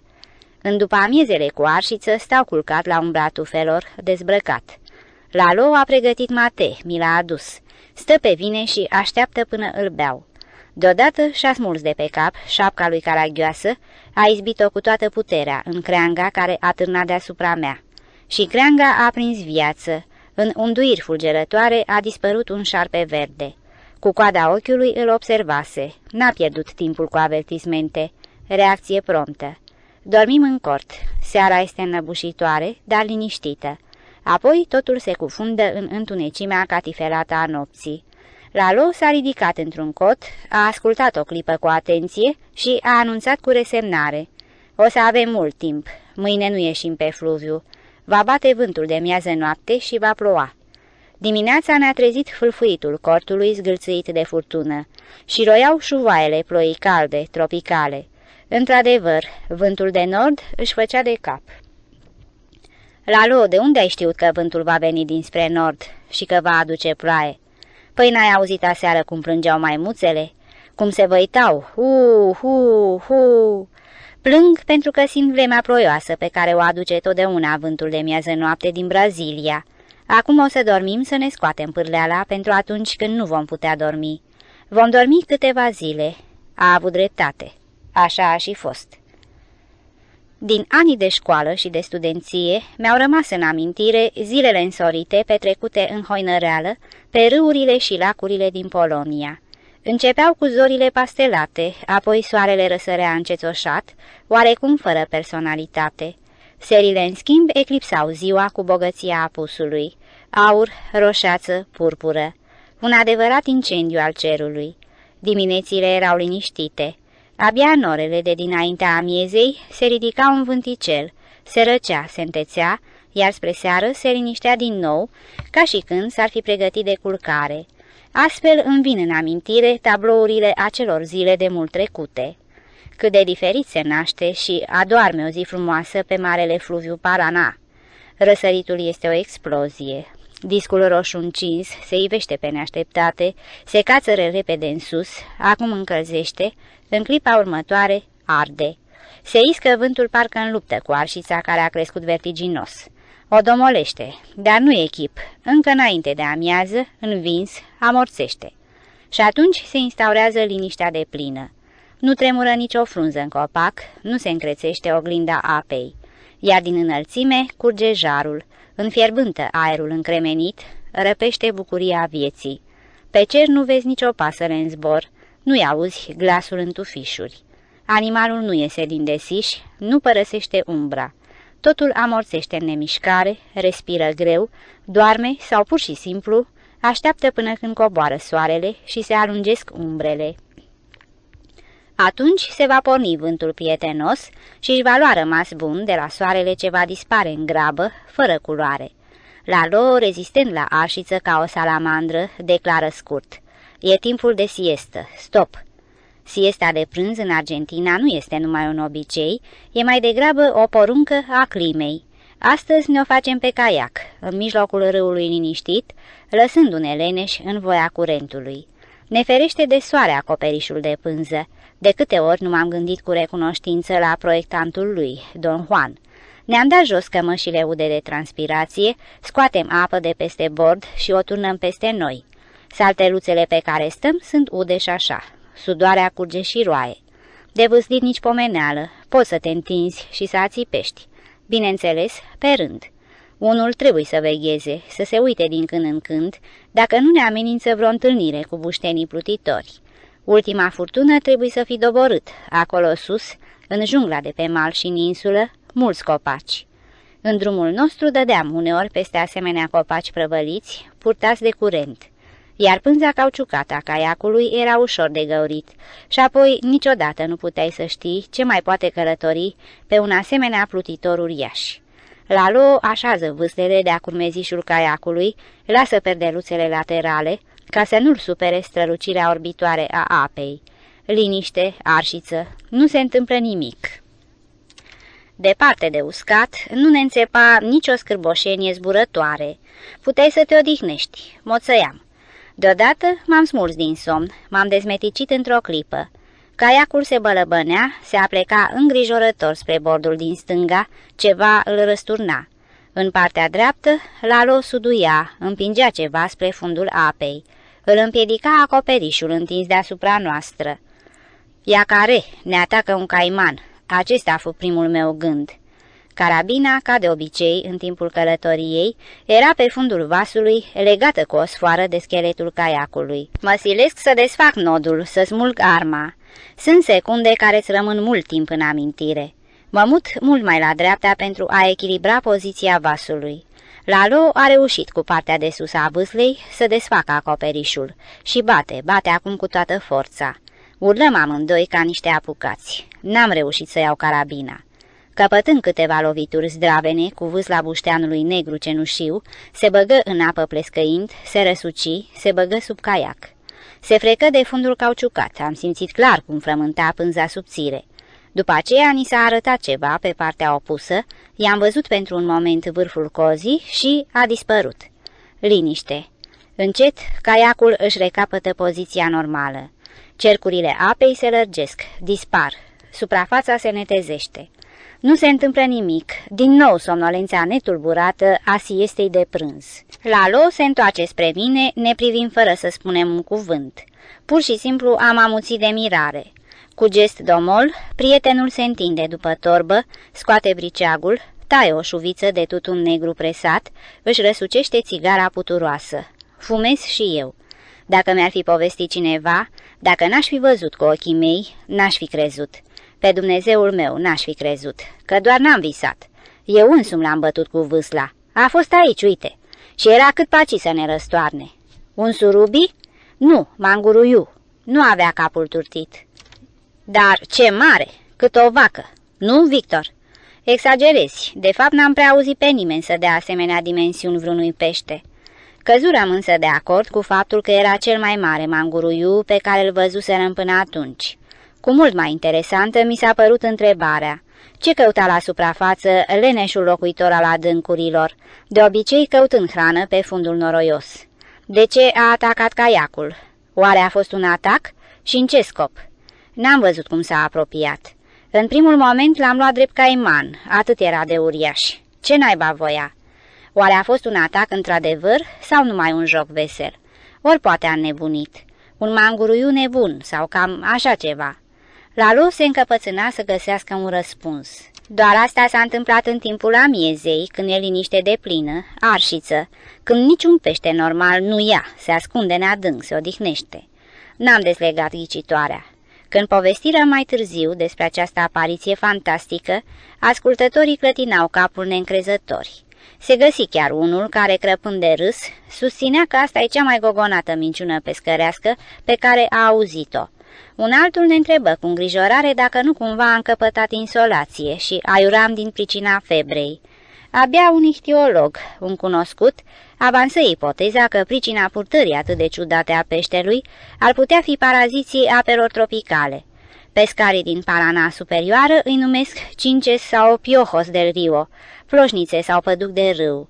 Asemenea ligioane năpădesc cu plăcere exemplarele de pești mari, leneși, care trăiesc pe fund, se înfig în ei, se bagă sub solzi, mușcă pielea, suc sângele, se introduc în corpul viu. Peștele năpăstuit astfel este dezarmat. Singura ușurare pentru el e să se frece strașnic de ceva tare, de stâncile subacvatice, de trunchiuri de copaci înnecați. Asta e, de copaci," spuse ichtiologul. E cunoscut fenomenul că peștii suferinți, acoperiți de paraziți, se freacă de trunchiurile copacilor care plutesc pe râu. S-ar putea ca în cazul vostru, manguruiu, să fi luat caiacul drept un asemenea buștean. Trebuie să fi fost tare mirat, nu mai puțin decât voi, când bușteanul a prins viață și pe deasupra l-a mai și croit cu vâsla. Această ipoteză m-a convins. Îmi amintesc că eu însumi observasem, de multe ori, paraziți pe pești mari, prinși de noi.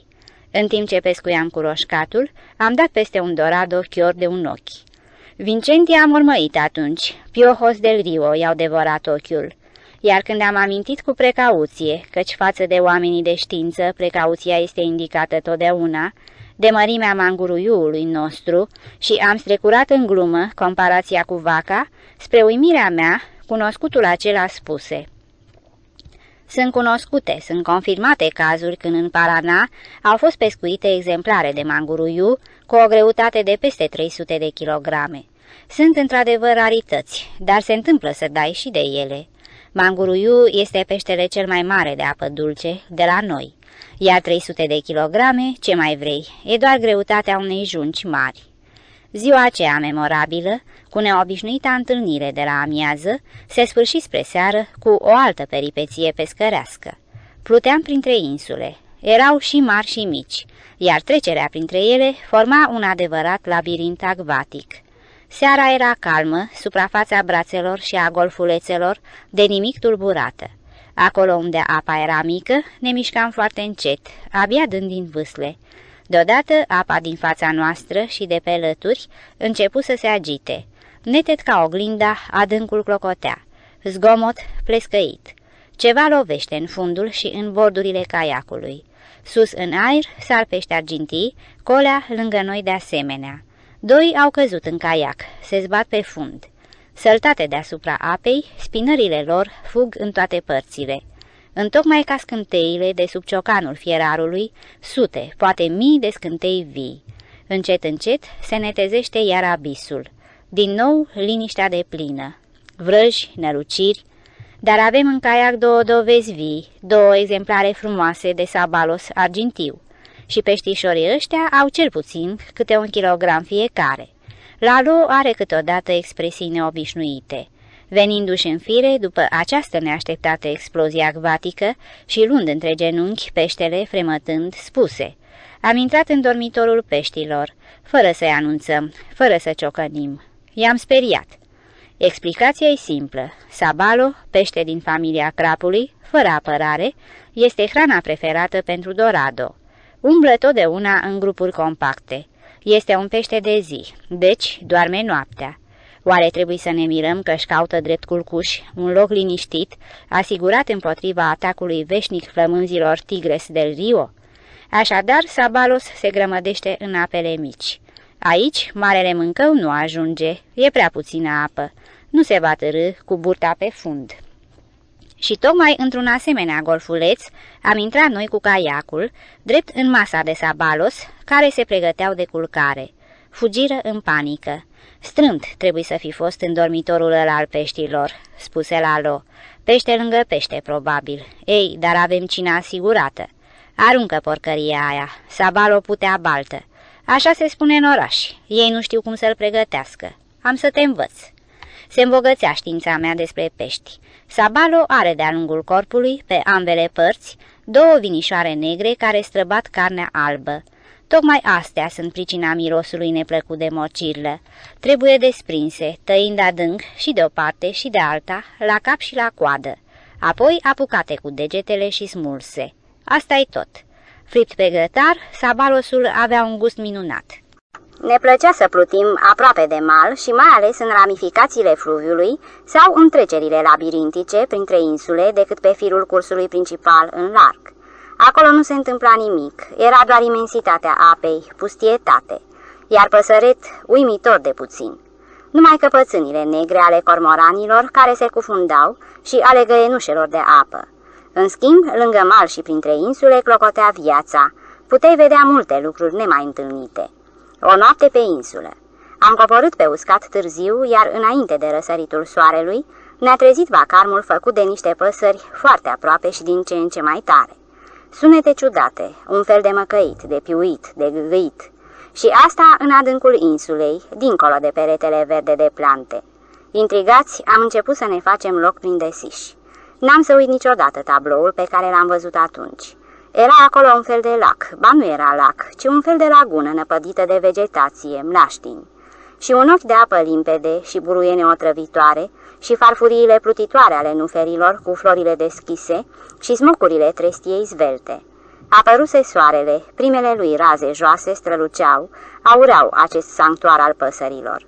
Puzderie de păsăret acvatic. Cele mai diverse specii de rațe, gâște, de bâtlan cenușii sau pestriți, sau de culoarea zăpezii, moțați. Și berzele sud-americane, cu picioarele și cu ciocurile negre. Și niște păsări necunoscute mie, mari, zbârlite, cu ciocuri lungi și cu gulere bogate. Toate se mișcau, pluteau în cârduri împreună cu puii, forfoteau în apele mici, își începeau ziua lor păsărească. Țipau și se băteau frații, era un vacam nemaipomenit. Într-o izolare mândră, udându-și în apă tibile picioarelor lungi, stătea cârdul de flamingo. Siluete conturate, parcă de penelul delicat al unui pictor chinez, sute de frumuseți zvelte. Speriate își fluturau aripile, fugeau pe apă, își luau avânt, atingând încă suprafața cu picioarele, până când se înălțau într-un norișor trandafiriu ce sclipea în soare. Am avut prilejul să privim o adevărată bătălie în aer. Berzele își învățau puii să zboare. Probabil era de acum al doilea ciclu de școlarizare, o clasă superioară, zborul în grup. Pe cer se vedeau cel puțin câteva zeci de familii de berze în același timp. Se țineau separat. Mai jos se roteau școlarii, deasupra lor, cu aripile larg despăcute, tata și mama. Frumoasă priveliște. La un moment dat, în înălțimi, a apărut un punctuleț negru. Creștea văzând cu ochii. Strângându-și aripile, eretele căzu ca o piatră. Atacă o familie de berze care se învârteau deasupra noastră. Ca la comandă, cele tinere se strânseră în zbor, părinții își traseră gâturile spre spate, întinseră ciocurile vertical. Atacul fu respins. Eretele își desfășură aripile, încercă din nou năpustirea. De fiecare dată îl întâmpinau ciocurile ascuțite ale bătrânilor îndreptate spre el. Pământul nu prezenta garanția de salvare, trebuia să se apere în aer. Impresionați de tragedia ce se desfășura deasupra noastră, strigam, dam din mâini, trăgeam focuri de armă ca să-l speriem pe răpitor. Suntem totuși în situația infanteriștilor care trag cu carabina într-un avion. Intervenția noastră nu contează. Năpăstuitorul își repeta atacurile din ce în ce mai întețit. Cum o să se sfârșească? Cine o să reziste? Deodată, spre marea noastră surprindere, un stol de păsări mici, sprintene, lovesc ca un nor în erete. Forfot în văzduh. De unde au apărut? Nu știu. S-a terminat cu o victorie de plină. Atacat din toate părțile, uliul se dădu bătut, părăsi umilit locul de luptă, se retrase. Familia de berze început din nou să se rotească liniștit. Lalo susținea că erau papagali, mă îndoiesc. E adevărat că zboară numai în stoluri, dar ele formează mai degrabă o masă de dăunătoare gălăgioase, care ciugulesc plantațiile de porumb. Nu cred în agresivitatea și cu atât mai puțin în curajul papagalicesc. Micile vitezele păsări dispărură, plecară în urmărirea eretelui. Ai mâncat vreodată carpincio? Cei tineri fripți au un gust minunat. Nu, n-am mâncat. Carpincio, adică capibara, este un grizon, înrudit cu șobolanul de apă, dar prin mărime se poate compara cu un mistreț mărișor. Trăiește în hârtoapele de pe mal, săpându-și la rădăcini vizuine adânci. Lalo se entuziasmă. Ăsta e un deliciu pe care îl poți gusta numai aici, pe Marele Fluviu. În afară de asta, pielea. Nu era nevoie să mă îmbie prea mult. Sunt de acord să vânăm capibara. Dar cum? Câini n-aveam, iar fără ei nu e chip să urmărești grizonul mare în desiș. Singura posibilitate este să întâlnești capibara pe teren deschis. Să întâlnești, adică să observi animalul înainte de a te vedea sau de a te simți el.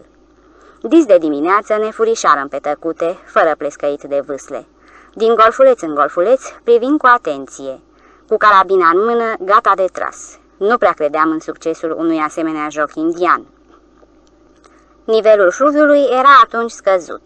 Cojocul verde al insulei se termina cu o râpă abruptă. De la poalele ei până la apă, un cordon lat de plaje. În acest loc, malul insulei se arcuia într-un semicer domol, formând un fel de golf deschis. De la insula la mal, aproape 100 de metri de apă lină, aproape stătătoare. O ramificație, probabil, cu apă mică. Pe plaje, o familie întreagă de carpincios. Ne desparte un spațiu atât de mare că e păcat să-ți faci iluzii în privința unei împușcături cu efect. Vâslim îndărât, ne retragem. Sfat. De animal trebuie să te apropii de sus, printre tufișuri, să te târâși deasupra râpei și să tragi. Îl cobor pe la loc pe mal, se afundă fără zgomot în verdeață, trebuie să ocolească arcul acela mare. Eu rămân în caiac. Sub perdeaua crengilor atârnânde, sunt bine ascuns. Abia după împușcătură, dacă rănit, capibara va ajunge la apă, voi vâsli cât mai iute, poate voi reuși să ajung prada la apă mică. Între timp, eu însumi neobservat, voi avea un minunat punct de observație. Lentilele binoclului îmi apropie scena. Am un spectacol neobișnuit în fața mea, cam palmă. Familia nu simte pericolul, mititeii se joacă de aprinselea. Se gonesc unul pe altul, repede, pe piciorușele lor scurte, se lovesc, se rostogolesc ca niște purceluși jucăuși. Este atâta farmec în mișcările lor stângace. Totul, bineînțeles, se petrece sub ochiul supraveghetor al capibarei mame. Stă lângă puii ce se zbenguie fără grijă, mare cât o scroafă, nemișcată, dar atot văzătoare, cu auzul încordat. Pe spinarea ei se plimbă o pasăre care seamănă cu gaița. Caută cu hărnicie în părul des al capibarei, care nu numai că o tolerează, dar se oferă cu o oarecare plăcere măsurilor de dezinsecție. O adevărată idilă. Încerc să iau prin surprindere singur capibara dinspre fluviu, tăindu-le drumul spre apă. Poate reușesc să ajung cu caiacul la distanța unei împușcături cu pistolul. Îmi așez arma la îndemână și cu mișcări puternice de vâsle gonesc caiacul. Alarmă pe plaje. Capibara mamă alungă mititei spre râu, se aruncă și ea în urmă. Vâslesc cât mă țin puterile. Înțeleg manevra fugii. Vor să traverseze în not pe sub apă brațul care îi desparte de malul propriu-zis. Pe semne cau acolo ascunzătoarea lor, iar insula era doar plaja pentru cei mici. Văd clar petele negre ale frunților străbătând brațul fluviului. Gonesc caiacul în direcția lor. Dispar sub apă. Pentru o clipă apar botișoarele lor negre și din nou se cufundă. Unul dintre prichindei a scos capul chiar lângă bordul caiacului. Speriat parcă, căzu sub apă. Aici, unde este liniștită și străvezie. Văd cum micul animal se scufundă, dă din lăbuțe. Nu schimbă direcția, sunt aici deasupra lui. De îndată va ieși la suprafață. O, acum înnoată în sus. Pentru o secundă îi se arată botișorul și din nou în adânc. O scurtă respirație. Fiind pe post de urmăritor, am ascendent asupra lui. Îl văd continuu, ghicesc și retenia manevrelor naive, lipsite de complicație. Și pot să respir liniștit. El nu. Când ieși la suprafață, încă o dată extenuat, era așa de aproape că îl puteam atinge cu vâsla. Caiacul avântat înainta alături de el. Am lăsat vâsla în furchet, am ridicat pistolul. Nu mă îndoiam de precizia împușcăturii într-o țintă atât de vizibilă. La suprafață înainta căpșorul cu părul ud lins. Îmi imaginez cum se chircește inima în el.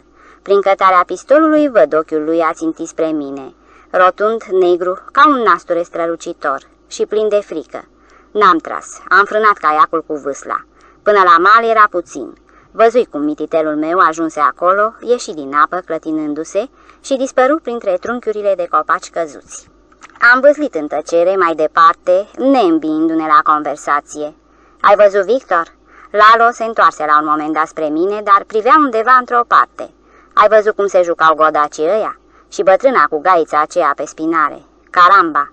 Sudalma spaniolă suna vesel. Acele râuri lungi jucau ca alunele între dinții puternici. N-am gustat atunci friptura de capibara. Ne-am mulțumit cu o cutie de conserve. În pădurile din Misiones și pe insulele îmbrăcate în verdeață am întâlnit coati. Așa numesc guaranii aceste animale interesante. Este ursul cu nas, înrudit de aproape cu ursul spălător din America de Nord, iar de departe, de foarte departe cu ursul. Arată, iertați-mi comparația neștiințifică, ca o vulpe încrucișată cu o maimuță corp de vulpe, blană frumoasă, deasă, urechi sensibile ieșite în afară și un botișor drăguț, terminat cu un interesant nas rât lung și mobil. Coada minunată, stufoasă, o amintește pe cea a vulpii. Labele, în schimb, sunt apucătoare ca la maimuțe. Coati are palme, chiar așa, palme care amintesc mânuțele unui copil. Numai degetele sunt terminate cu gheare puternice. Fuge repede ca vulpea și în același timp se cațără pe copaci cu abilitatea maimuțelor. Animalele acestea trăiesc pe rechi și constituie, s-ar putea spune, ideale cupluri matrimoniale. Cel care se atinge de un coati trebuie să se aștepte la atacul celui de-al doilea, care vine în ajutorul tovarășului, riscându-și chiar viața. Faptul acesta a fost confirmat de multe ori. Părinții nu numai că își hrănesc puii, îi apără și apoi îi învață obiceiurile pădurii, dar își dăruiesc micuții cu jucării. Fiecare coati bătrân, căutând hrană de pate de vizuină, dă peste câte un con mai interesant, peste vreo pietricică strălucitoare sau vreo rădăcină răsucită nu știu cum. O curăță, o spală și o aduce în dar puilor să se joace. Ca și ruda sa, ursul spălător din Canada, Coati are complexe, dacă se poate spune așa, în ceea ce privește curățenia. Un coati care își spală coada, de exemplu, merită să fie privit. Își spală și prada înainte de a o consuma. Oul crud îl spală, îl găurește și, stând culcat pe spate, exact ca un om, îl ține cu labele și îl suge, aruncă coaja goală și începe de grabă să caute apă ca să se spele pe labe. Aceste animale drăguțe se domesticesc repede și ușor. Un coati matur, prins de mine, chiar de-a doua zi a început să mănânce din mână. I-am așezat într-o cușcă mare un lighenaș cu apă. Trebuia să o schimbăm des, căci curățelul se spăla într-una. După o săptămână se simțea ca la el acasă. Ce de bucurii ne mai procura noul locatar. Lalo își privea colegul de branșe. Coati pescuiește și el. Stă la pândă lângă apa liniștită la un pot al râului, ascuns sub rădăcinile spălate de pe mal, ținând nasul deasupra apei. Mijește ochii și cu vârfurile mustăților atinge repetat oglinda râului. Suprafața apei se încrețește ușor, ca după căderea unei insecte. Peștele vine ademenit, iar coatii îl înhață cu laba, fulgerător, și îl aruncă pe mal. Cum se vede, nu-i lipsește viclenia. Într-o zi, în această perioadă de existență paradisiacă, tulburată doar de pleaba dezburătoare și târătoare, ni se arătă un om, pe cer. Un avion mititel zbura în înălțimi, se întoarse, de două col, plecă. A doua zi la fel, a treia zi, Lalo descoperi America. Victor, dar ăsta e avionul din La Caciuera. Cu siguranță, tata a trimis după noi și acum ne caută. Nu aveau cum să observe tabăra noastră printre coroanele larg desfășurate. Scoatem repede acoperișul de pe cort. Așezăm prelata portocalie la un loc deschis. Au observat-o la nu știu câta rotire. Avionul a zburat jos, ne-a făcut semn mișcând aripile, ne-a mai dat odată o col. Pilotul ne-a făcut cu mâna, ne-a indicat direcția malului. S-a îndreptat într-acolo și apoi a dispărut. Lalo susține că l-a recunoscut pe fratele lui mai mare, Toto. Pe semne că au aterizat undeva pe aproape și ne așteaptă. Tragem caiacul în apă și prin labirintul insulelor plutim spre malul argentinian. Într-adevăr, după ce ne cățărăm pe malul înalt al râpei, îl întâlnim pe fratele lui Lalo și pilotul. Avioneta a aterizat ușor pe locul unei foste culturi de orez. Don Juan și toată familia lui Lalo și prietenii din Posadas erau neliniștiți. Nu ne văzuse nimeni, nici mai sus și nici mai jos de pragurile apipe. Așadar, ce s-a întâmplat? Au trimis avionul. De două ori se întoarseră fără nicio știre. Și dacă astăzi n-ar fi fost întinsă prelata aceea colorată, din nou ne-a ajuns brațul civilizației, nu cu mâinile goale. Din micul avion încep să se reverse proviziile. Toto ne explică. Dacă ne-ar fi zărit plutin cu caiacul pe fluviu, ne-ar fi aruncat pachetele direct în apă. Sunt astfel ambalate în săculeți de plastic hermetic închiși, având înăuntru destul aer, că nu s-ar fi putut scufunda.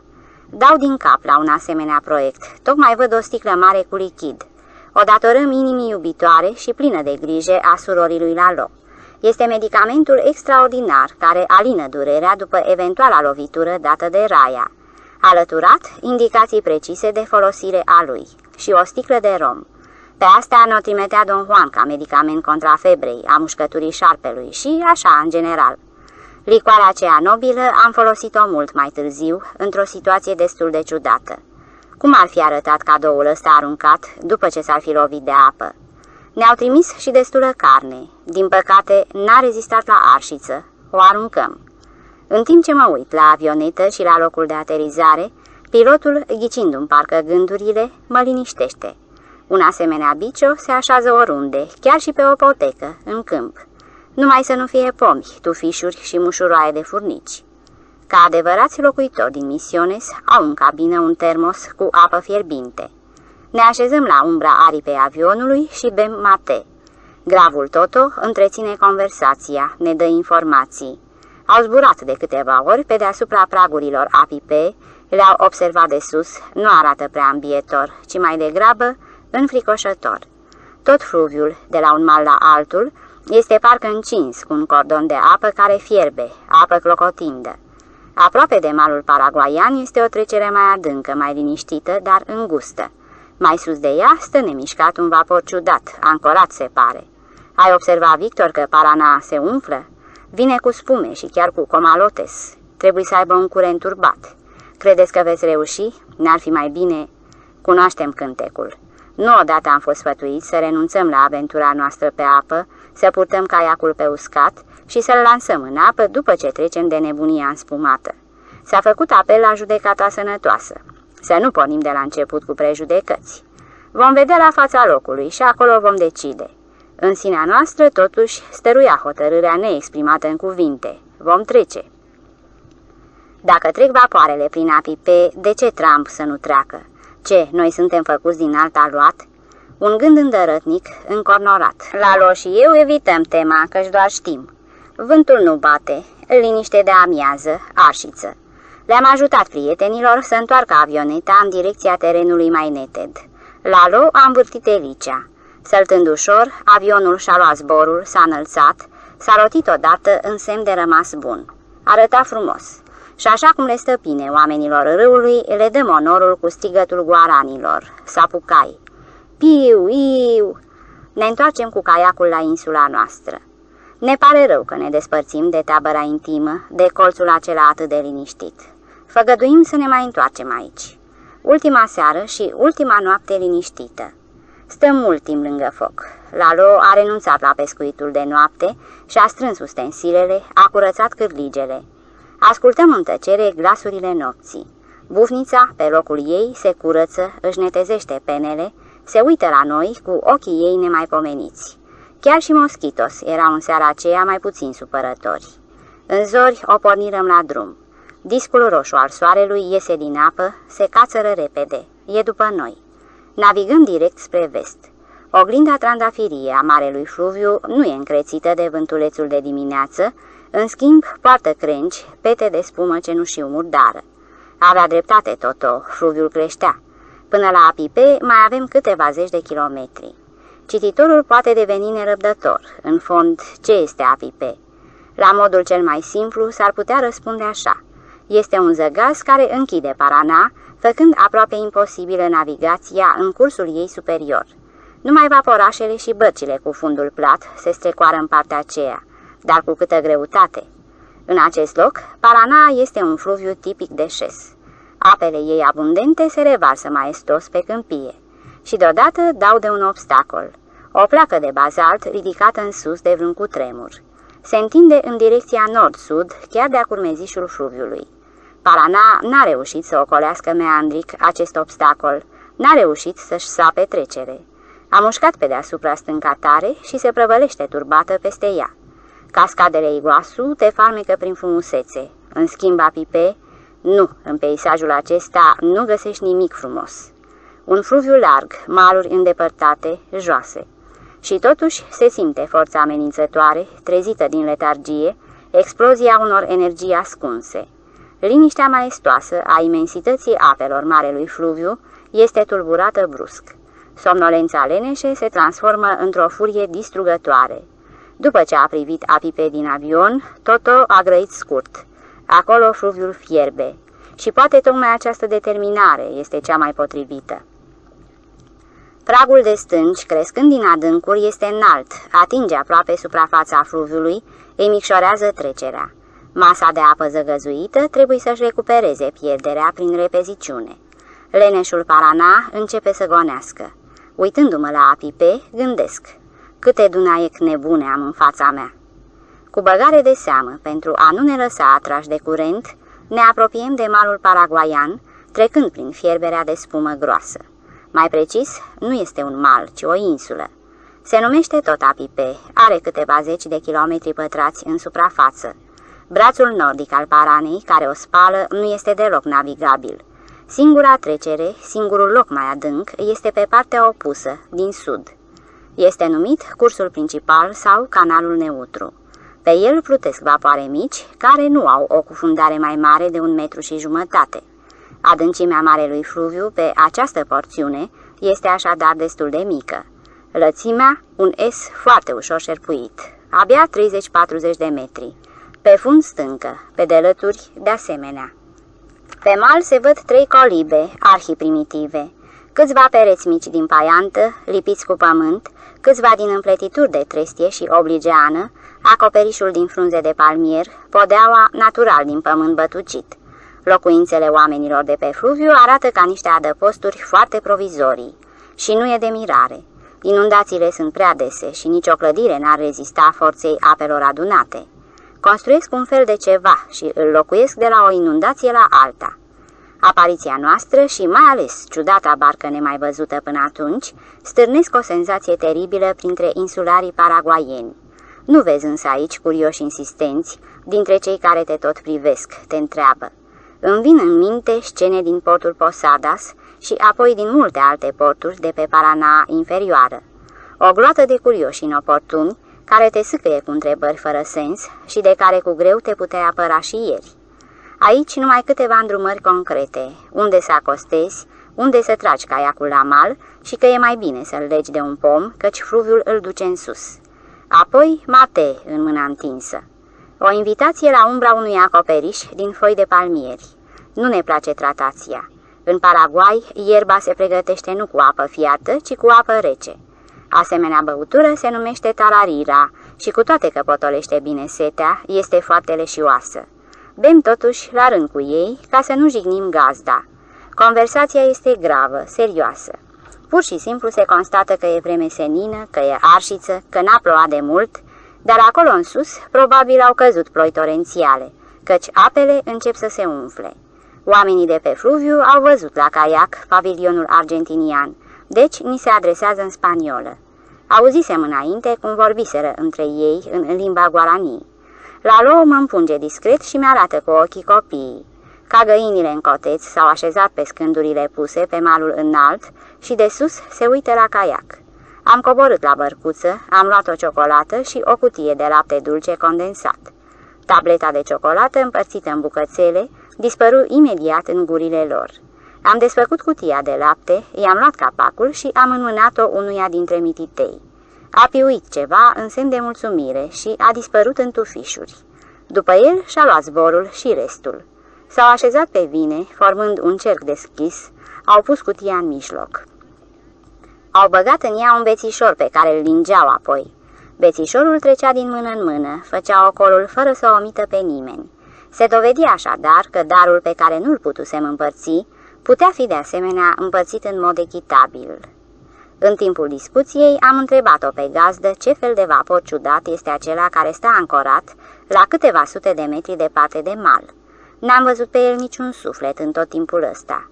Espiador, răspunse unul dintre bărbați, iar după o clipă adăugă, vrând parcă să ne rămurească, Espiador Argentino. Fără voie m-am uitat la bățul înfipt în pământ și la drapelul paraguaian care atârna de el. Suntem în Paraguay, iar acele colibe, acel acoperiș de frunze de palmier, reprezintă portul. Fără glumă, portul Apipe. E drept, nu există vreo instalație care să justifice un asemenea nume, nici măcar urma vreunei punți. Când vreun vaporaș sau barcă cu motor ajunge într-un astfel de port, îi se aruncă pur și simplu de pe mal o scândură și pe ea, în funcție de cota apei pe Parana, se urcă sau se coboară încărcătura în sus sau în jos. Abia acum îmi dau seama că una dintre gazde este polițist, jandarm, în tot cazul o persoană oficială. Îl recunosc după cartușieră și după revolverul care iese afară din teacă. În afara acestui amănunt nu se deosebește prin nimic de ceilalți. Chipul, cu trăsături indiene clare, pantaloni de pânză suflecați până sus și picioarele de sculțe. Paraguaienii se adresează cu comandante, pe reprezentantul autorităților nu-l interesa apariția noastră neașteptată, nici pavilionul argentinian la caiac. Nu ne punea întrebări cercetătoare. Este laconic, respectă obiceiurile care domnesc de-a lungul Marelui Fluviu. Explicația laconică, cum că vaporul acela fără oameni este espiador argentinian, mă cam neliniștea. În spaniolă, espia înseamnă spion, espiar, a spiona. Urâte cuvinte, dar mai ales la graniță au o rezonanță neplăcută. Am riscat o glumă. Mi comandante, oare espiadorul argentinian acostează din când în când în portul acesta?" N-a înțeles și chiar l-a uimit puțin ignoranța mea. Cum ar putea să acosteze aici din moment ce nu navighează? Nu are nici șuruburi, nici roți. Poate numai să se lase în josul fluviului și să tragă alte vase în susul lui. Supraveghează canalul și ajută vaselor care merg împotriva curentului. Fără el nu s-ar descurca. Vaporul care poartă un nume atât de urât este de fapt prietenul celor care forțează pragurile apipe, care merg contra curentului. Pe o porțiune de 800 de metri în lungul fluviului, apa scăzută atinge un metru și jumătate. Atunci îi rumpe, gonește ca nebună, dezmățată, înspumată, deasupra zăgazului stâncos. Din când în când, dintre clocote, apar la suprafață rocile negre. Ancorat, zgâlțâit de curent, espiador stă mai sus de intrarea în canal. Toată mașinăria lui constă dintr-un motor care învârtește o tobă mare. Pe tobă înfășurat un cablu de oțel, lung de un kilometru, fixat la capăt cu o ancoră permanentă. asta e tot. Ca la comandă ni se oferă prilejul de a vedea cum funcționează espiador. Undeva, în josul apei, mai jos de praguri, a sunat odată, de două ori, o sirenă. Îl cheamă pe espiador, ne explicară gazdele. Cu siguranță sunt bărci, veți vedea îndată cum le va trage. Pe punte apărură câteva siluete. Se auzeau niște bocănituri, scârțâituri. Trezit parcă din somn, prin zgomotul acela, vaporul s-a cutremurat și a început să se retragă cu pupa în josul fluviului. Arăta ca un păianjen care coboară pe firul țesut de el, pe cablul desfășurat de pe tobă. Cu băgare de seamă și foarte încet plutea espiadorul pe canal. Chiar de la distanța aceasta se simțea forța înfricoșătoare a curentului, care trăgea vaporul în josul fluviului și încordarea odgonului de oțel. Am mers pe mal pentru a observa întreaga operație. Espiador fusese chemat de două băci cu motor, plutind nu se știe sub ce pavilion, argentinian, paraguaian sau brazilian. Motoare puternice le trăseseră contra curentului, poate pe distanță de sute de kilometri. Dar aici, față de forța uriașă concentrată la apipe, au trebuit să se dea bătute. Ciudat arată acel David Mititel, mergând să despre soare doi goliați. Vârful lui taie valul înalt, s-ar crede că gonește înainte. Când colo se trage înapoi, se pare că s-a desfășurat tot cablul, se află de acum mai jos de apa clocotitoare. Către el vin bărcile și primesc cu supunere otgoanele. Espiador le ia pe otgonul său. Din nou se aude pe fluviu la motorului, mai zgomotos, îndoit parcă. Convoiul suie încet contra curentului. În fața vârfului remorcherului, valurile se înalță și mai sus. Motorul întoarce toba în sens invers, înfășoară odgonul de oțel petrecut prin vârful vasului, trage convoiul în direcția ancorei, acolo, mai sus de praguri. Motoarele bărcilor remorcate lucrează și ele, ajută cum pot. Și cu toate aceste eforturi, totul se târăște cu repeziciunea broaștei țestoase. Mergând încet în lungul malului, depășim cu mult convoiul. Trecerea prin canalul de 800 de metri durează mult, foarte mult. În sfârșit, bărcile trase înapoiază odgoanele cu care au fost remorcate și, ticăind din motoarele lor, navighează mai departe independent. După o muncă grea, espiador, ancorat, cade din nou în somnul său letargic. Nimic nu se petrece în josul fluviului. Echipajul remorcherului lasă bărcuța și, vâslind din răsputeri, se îndreaptă spre noi. Bem împreună mate.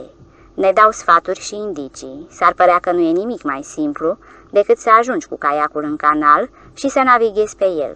Numai că stând în caiac jos de tot, aproape de suprafața apei, nu vom vedea drumul.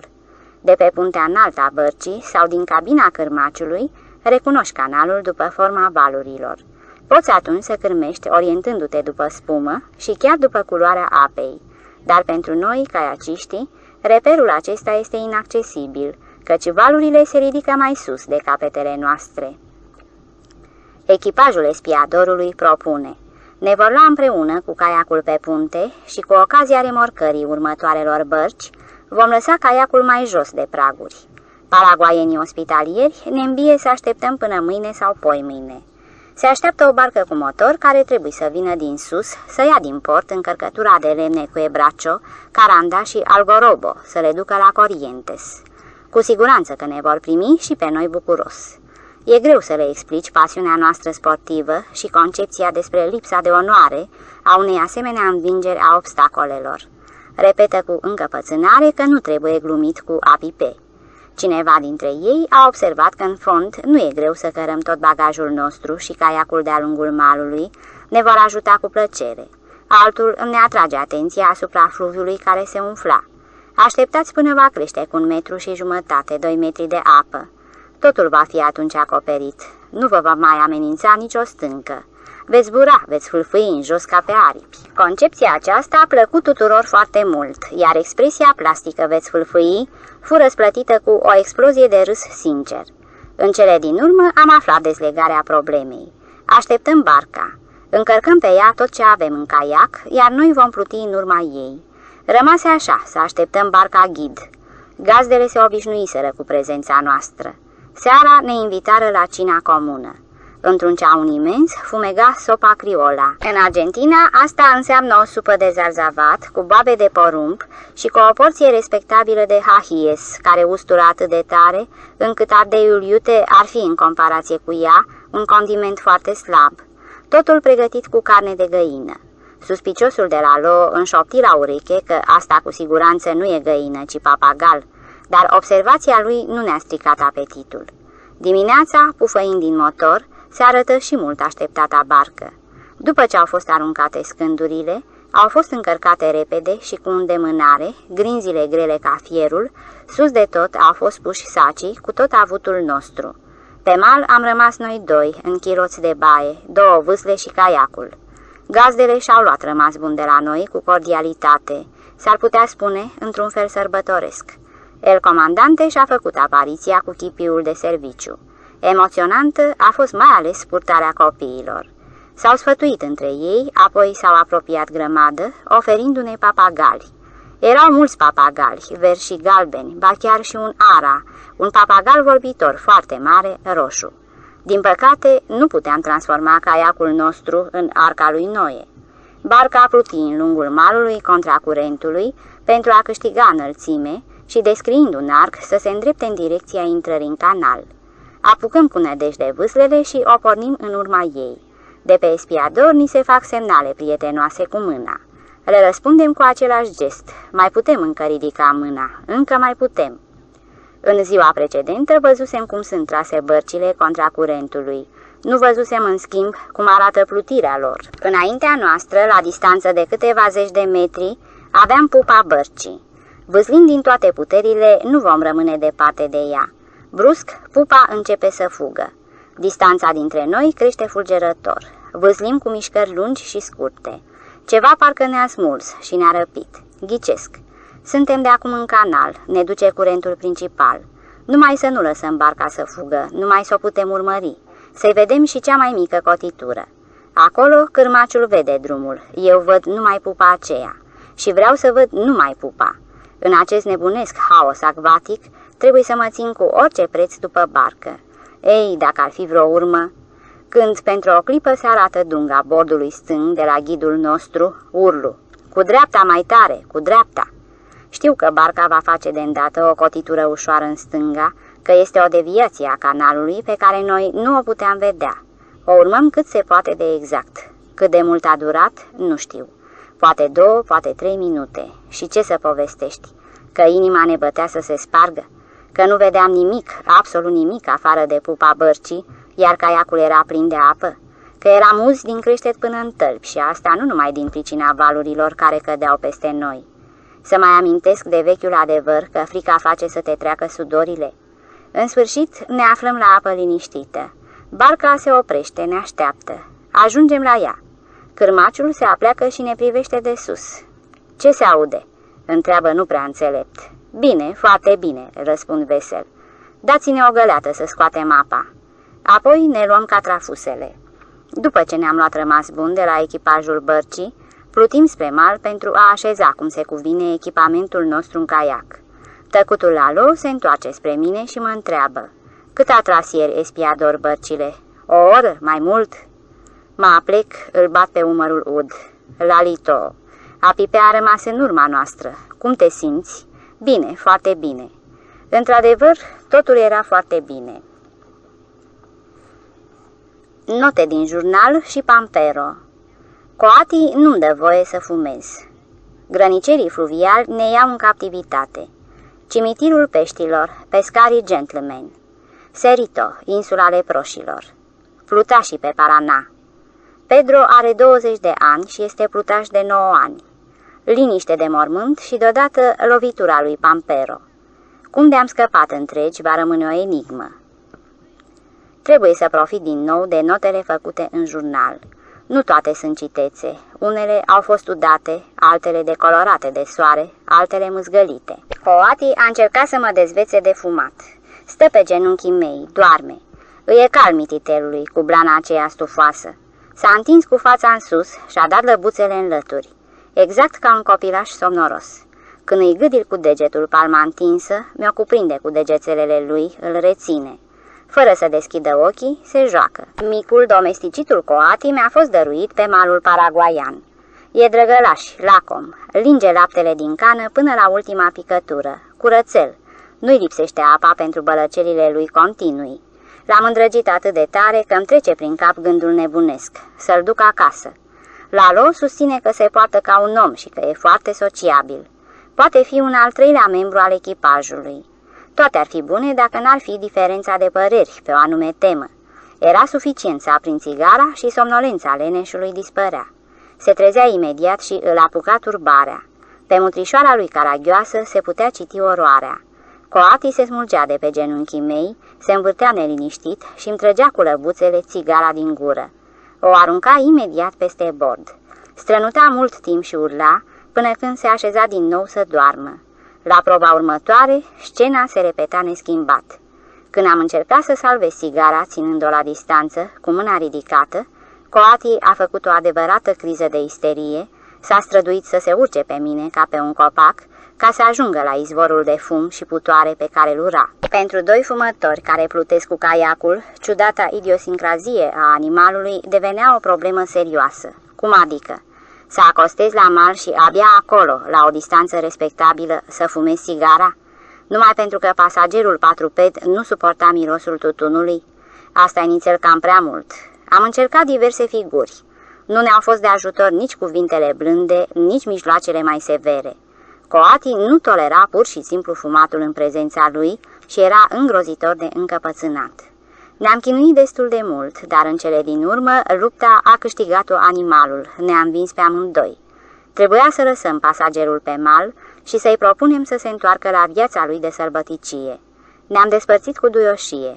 A consumat ultima cutie de lapte. Ne-am aprins sigările, iar el s-a cățărat în copac. Primul conflict la graniță. Suntem luați prizonieri. O însemnare cu rezonanță gravă.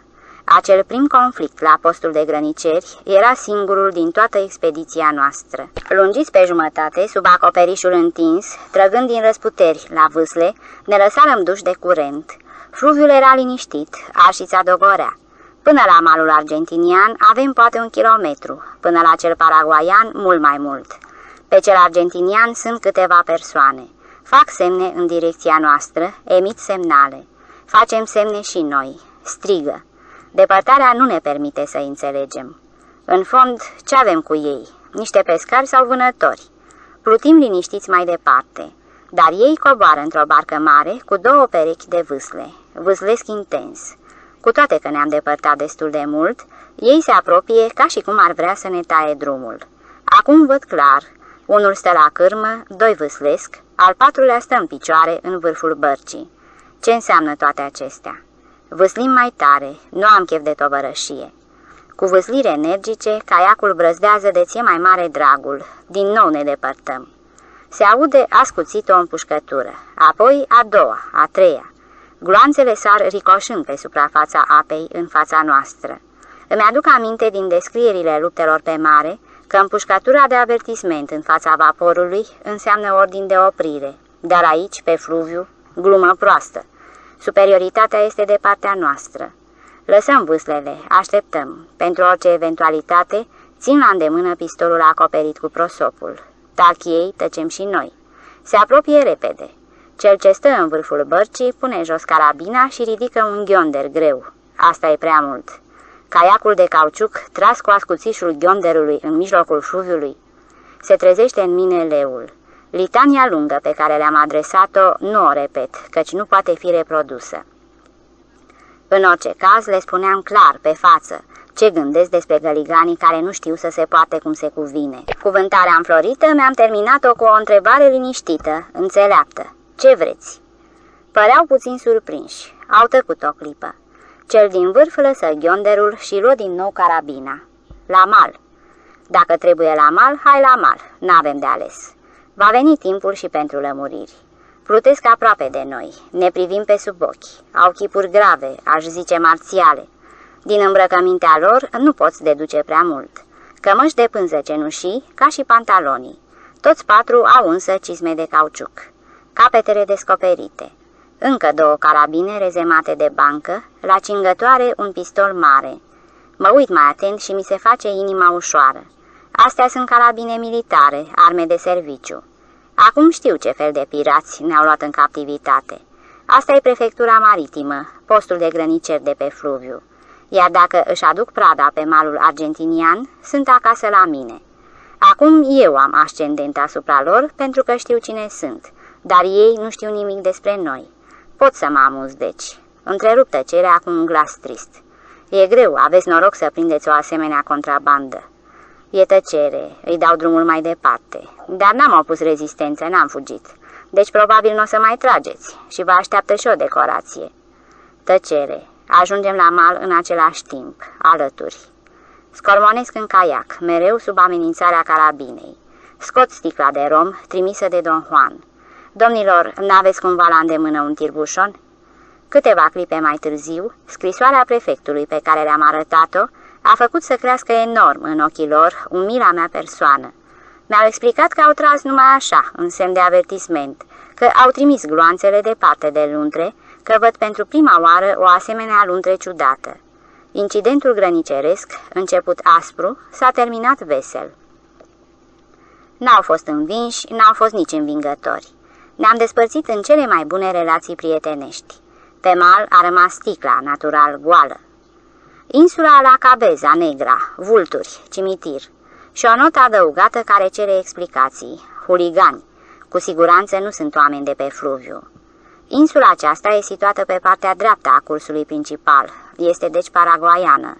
Paranas cade din nou și plutind în apropiere, vedem că malul râpos, acoperit de o pădure deasă, se continuă mai departe cu o plajă nisipoasă, iar pe plaja aceea totul e negru, un peisaj nemai întâlnit. Are loc acolo Parlamentul Păsărilor sau mai degrabă e o academie îndoliată. Participanții au veșminte negre sau foarte închise la culoare. Corbii și vulturii cu gâturile goale, mari ca niște curcani.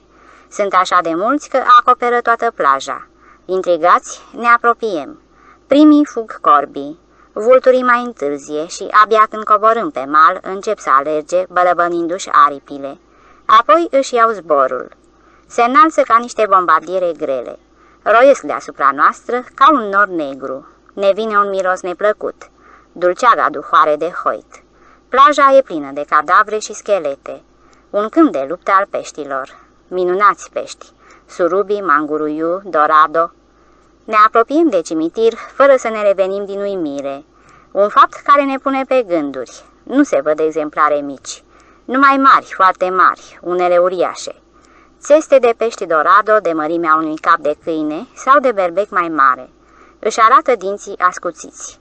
Întâlnim surubii ciuguliți de păsări, lungi de 2 metri.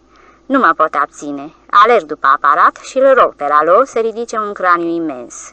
Cu toată scârba îmi împlinește rugămintea, ridică un cap de pește până la înălțimea taliei, dar și așa ceafa lui mai atingea nisipul.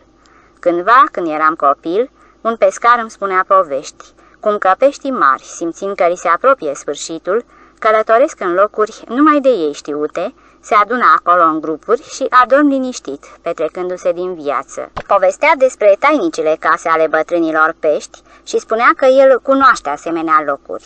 O, așa niște pești poți să prinzi acolo direct cu mâna. Nu prea-l crezusem atunci, iar acum am în fața mea dovada concretă. Probabil aici, în apa aceasta mică, se adunau peștii bătrâni și cei mai mari ca să-și trăiască ultimele zile. Fluviul a scăzut, iar ei slăbiți au rămas pe nisip. Mergând de colo-colo, prin cimitirul acela, la lodă din cap. Pe semne că i-a ajutat cineva. Privește, în fiecare țeastă a rămas parâma petrecută prin bot și bronhii, iar la Dorado, sârma. Toți peștii ăștia au fost pescuiți. Mă uit mai cu atenție. Lalo are dreptate. Ce poate să fie asta? Poate ne va spune ceva insula acoperită de junglă. Ne cățărăm pe râpă. O mică poiană, în mijlocul desișului, arată ca și cum ar fi fost făcută cu ajutorul toporiștelor. Găsim urmele a două corturi. Trebuie să fi stat aici cel puțin câteva zile. Despre acea prezență mai îndelungată ne vorbește cantitatea de cenușe din focul de mult stins, sticlele goale ale unor băuturi scumpe, cutiile goale de conserve, mucurile de țigări de calitate extra fină, cu banderole argentiniene, Așadar, aici au fost argentinieni. Găsim o funie lungă cu niște cârlige impresionante, agățată de crengi. Uitată? Colea sub râpă, urma unei bărci mari. Aici au acostat, de aici au plecat. Dar unde sunt acum? Ce s-a întâmplat cu ei? Pe insulă niciun suflet, numai vântul foiește coroanele copacilor înalți. Ne așezăm, aprindem țigările. Pe plaje vin din nou corbii și vulturii, reîncep ospățul întrerupt. Reflectăm, încercăm să reconstituim faptele. Au fost aici cel puțin șase persoane, pescari, dar nu pescari de meserie. Despre asta ne vorbesc ambalajul scump și sticlele. Cu siguranță au fost argentinieni, iar insula este paraguaiană. Asta n-are importanță. Au stat aici mai mult timp. Au avut o pradă bogată, de-a dreptul un noroc nemaipomenit și brusc, lăsând prada bogată, au dispărut. De ce?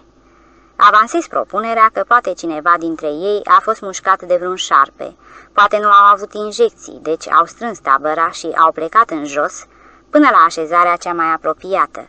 Lalo dă din cap. Într-un asemenea caz, n-ar fi plecat cu toții. Barca lor era probabil cu motor. Era suficient să plece cu accidentatul unul sau doi și n-ar fi pierdut timpul cu strânsul corturilor. Cu siguranță au fost aici oameni cu bani grei. Poate au fost omorâți. Atacurile nu sunt o raritate, spune el. O supoziție cu totul logică. Deci, crimă.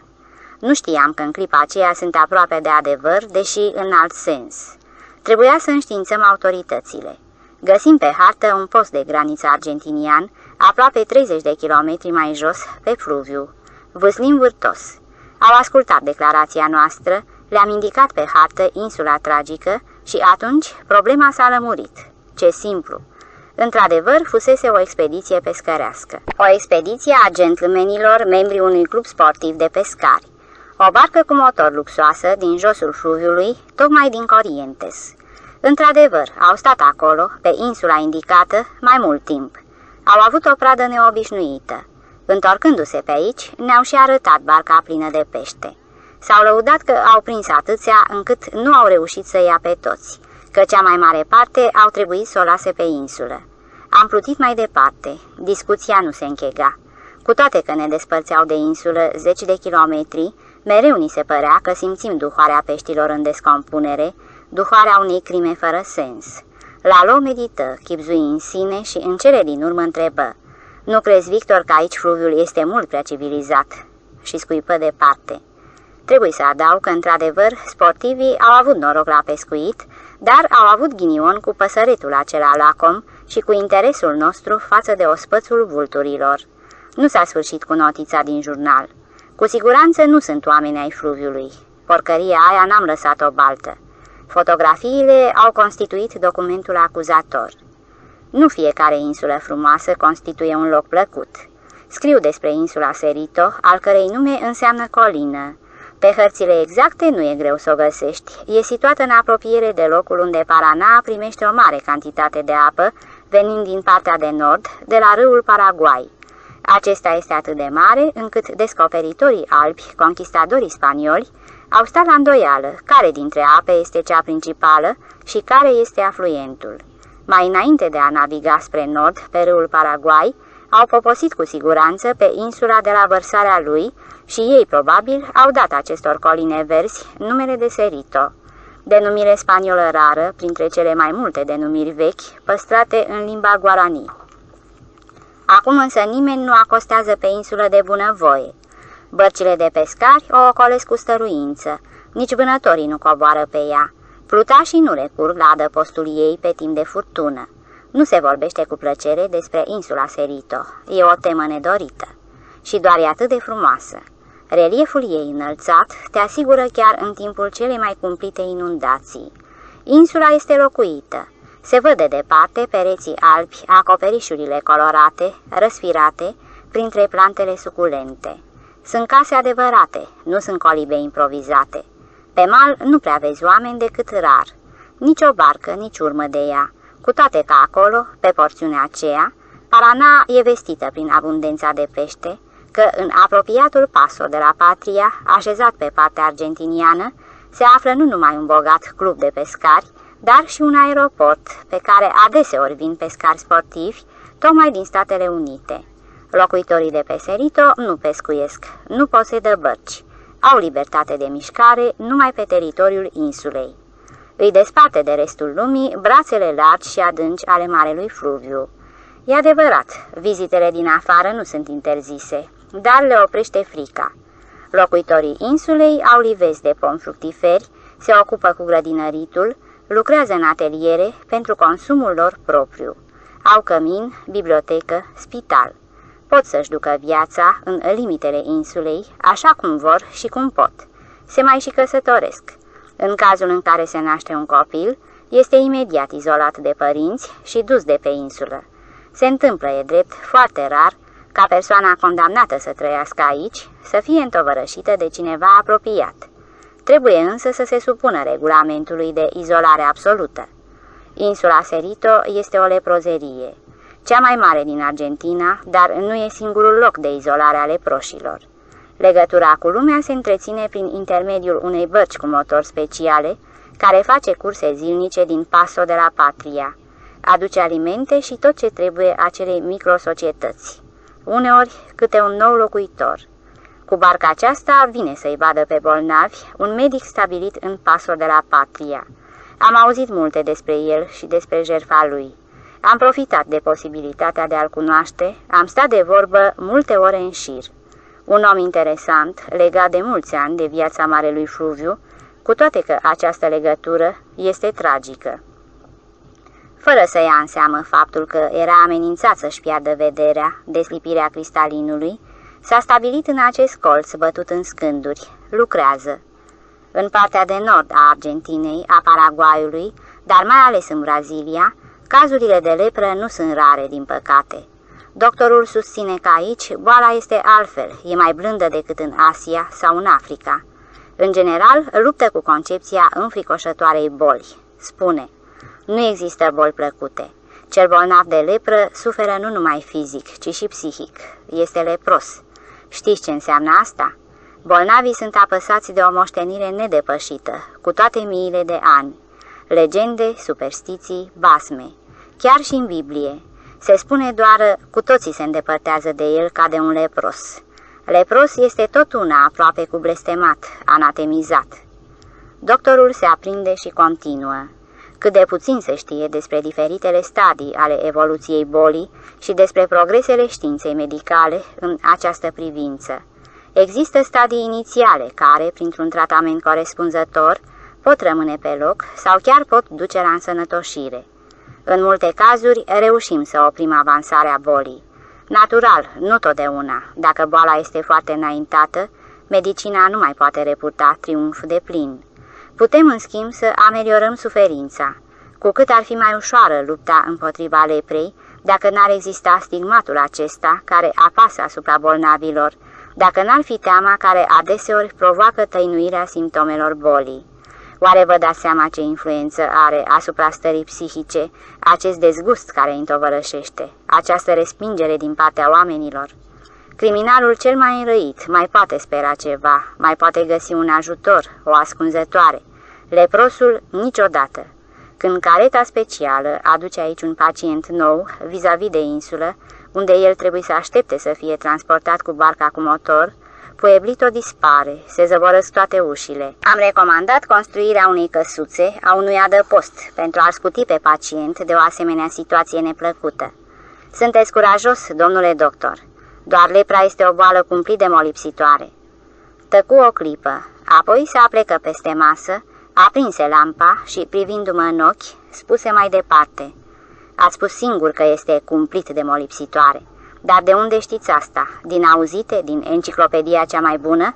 Doar nu din actualele publicații de medicină. Că lepra este molipsitoare o știm cel mai bine noi medicii, dar nu folosim cuvântul cumplit. Ați auzit de epidemiile de lepră? Nu. Cu siguranță însă știți numele doctorului Albert Schweitzer din africanul Lambaren. Câți ani a condus instituția sa? Câte mii de negri a salvat? Eu însumi, pacienții mei. De ce dumneavoastră nu vă temeți să stați la masa asta și să-mi dați mâna? Oare nu v-a trecut prin cap că prin contactele permanente cu ei, medicul... Urmări efectul acestor cuvinte, mijindu-și ochii bolnavi, apoi zâmbi. Nu vă temeți, sunt sănătos. Nu e dracul atât de negru cum se spune. E clar că trebuie să aplici mijloace de asigurare ca dezinfecția, iar pe de altă parte să te ferești de exagerări. Vă rog să mă ascultați. Am avut un pacient, starea lui era foarte grea. Boala foarte avansată nu lăsa să se întrevadă nici cea mai mică nădejde, chiar în privința opririi bolii la stadiul respectiv. Nedescoperită și nerecunoscută la timp, îl rosese timp de mulți ani. Doctorul se îndreptă în scaun, fața lui dispărut din lumină, rosti clar, încet și răspicat cuvintele. Omul acela a lucrat până în ultima clipă. A fost trimis pe insulă direct de la locul său de muncă. Timp de 10 ani fusese bucătar pe un vapor și niciun membru al echipajului nu s-a îmbolnăvit. Pentru precizare, noi cel puțin n-am auzit nimic despre asta. Ne-a mai dat câteva exemple din bogata lui practică. Iertați-mi întrebarea indiscretă. Sunt cazuri de evadări din insulă? Sunt, dar rare. Nu este un lagăr închis cu sârmă ghimpată. Fluviul e larg, dar o plută și un notător bun, numai că, domnule, ce poate să facă un asemenea om? Unde și de cine va fi primit? Evadatul de pe insulă va trebui să se aștepte să fie trădat de oricine. Va trebui deci să-și ascundă boala. Să o ascundă înseamnă să renunțe la tratament, la ușurarea suferinței. Este tot una cu pierderea ultimei, oricât de mici, dar totdeauna existente, scântei de nădejde. În cel mai bun caz, se condamnă singur la singurătate absolută. Se lumina de ziua. Gazda propuse să merg cu el pe insulă, să-i văd pacienții. Azi chiar se ducea acolo, la spital. I-am răspuns că mai întâi trebuie să dorm. Când ne-am întins pentru o scurtă odihnă, pe podeaua verandei, Lalo, care ascultase tăcut conversația de peste noapte, înșopti la ureche. Victor, te duci?" Nu m-am dus. Recunosc, mi-a fost frică." Pe traseul Marelui Fluviu întâlnirăm plutași. Sunt oameni interesanți, veseli, apropiați, călătoresc pe plute făcute din trunchiuri de copaci. Totuși, nu atât de des cum te-ai fi așteptat pe un fluviu navigabil. S-ar părea că drumul cel mai simplu și mai convenabil pentru bogățiile pădurilor din Misiones, Brazilia și Paraguay este cel pe apă, din jungla de pe mal spre marile orașe, spre centrele industriale. Dar chestiunea nu este atât de simplă. În primul rând, multe soiuri de copaci și asta, dintre cei mai prețioși, au lemnul atât de greu că nu plutesc, se scufundă. În al doilea rând, nu trebuie să uităm de capricile Marelui Fluviu, curenții repezi, vâltorile, stâncile subacvatice, curentul schimbător, etc. Cea mai mare primejdie pentru plutași, mai ales în partea de mijloc și în cea de jos a Paranei, sunt vânturile. Nu cel din nord, fierbinte, umed, care aduce ploile tropicale, ci vântul de sud-est sau de vest, Pampero, fără să mai vorbim de tornado, care smulge din fluviu trombe de apă și spală totul în cale. Prima lovitură a vântului Pampero are forța uraganului, ridică subit valul înalt.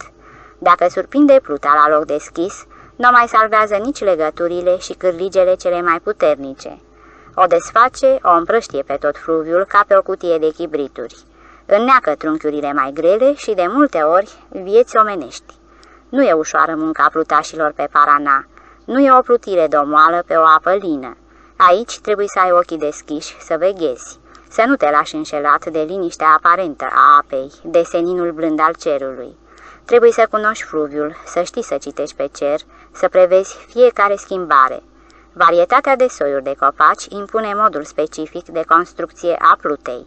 Trunchiul unui copac greu care se scufundă este legat pe delături cu două trunchiuri de lemn ușor care îl susțin. Câteva asemenea unități legate compun pluta. Așezate una după alta, formează un ansamblu mare.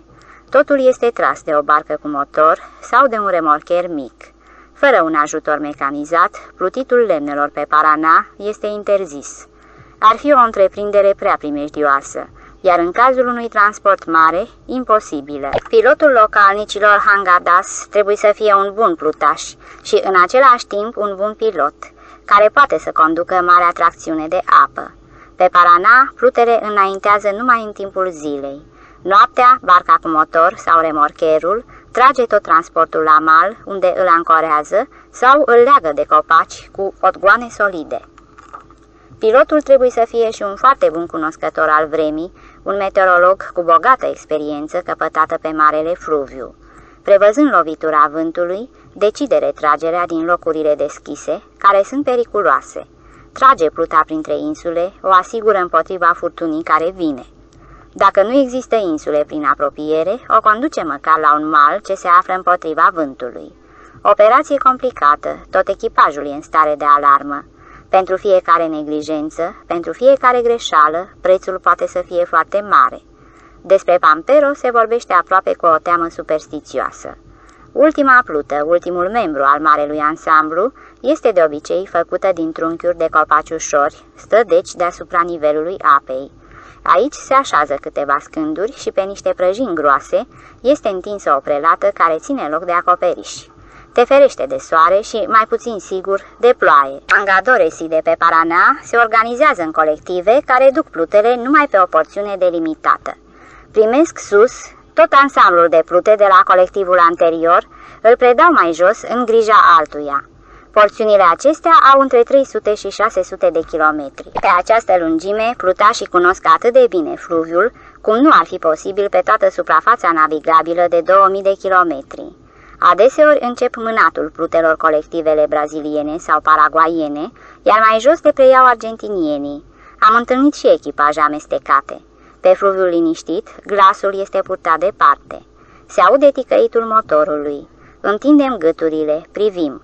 În fața noastră, pe întinderea argintată, se disting linioare negre, apoi construcția joasă a bărcii cu motor. Plutele. Apucăm vâslele și gonim spre ele. Pe ultima, ca de obicei, e întinsă prelata, se ridică fumulețul de la foc. Lângă o bârnă grea, care servește la cârmă, stă cu picioarele desfăcute un băiat. Râde la noi. La picioarele lui se află un morman întreg de harbuji. De mult nu mai mâncasem asemenea delicii. Lalo strigă de departe. Ei, amigo, n-ai vrea să ne vinzi un sandia? De ce taci? Îți plătim." Băiatul se apleacă, alege, îl ciocănește cu degetele și aruncă harbuzul verde de câteva kilograme în apă. Prinde-l și să-ți fie de bine. Pescuind darul plutitor, ne agățăm de plute. Cu atenție împotriva curentului, altfel ne-ar amenința răsturnarea și atragerea sub plută. Cândva am fost martor la o asemenea tragedie. Un plutaș a căzut de pe plută și a fost tras de curent sub trunchiurile legate. De sus îl vedeai pe cel ce se neca, eforturile lui desperate de a băga capul printre bușteni ca să tragă aer. Lipsea atât de puțin, câțiva centimetri, și era atât de puțin timp pentru a tăia legăturile și a lărgi sub papa. Câți plutași nu și-au sfârșit viața în felul ăsta. Gazdele ospitaliere ne-au făcut de îndată loc pe scânduri. Putem să ne tragem la umbra acoperișului sau să ne așezăm și să stăm de vorbă cu ei. Ne place grozav ciorba deasă, pregătită cu carne uscată. Dinspre barca cu motor se aud fluierături. Pedro, te cheamă unchiul. E flămând cu siguranță. Du-te și înlocuiește-l. Pedro este băiatul acela vesel care ne-a făcut cadou harbuzul, aruncându-ni-l în apă. Predă cuiva cârma uriașe și cu o agilitate de maimuță, sărind de pe o plută pe alta, aleargă spre barca cu motor din față, care duduia. La cazanul comun, veni de se așeză pilotul înlocuit.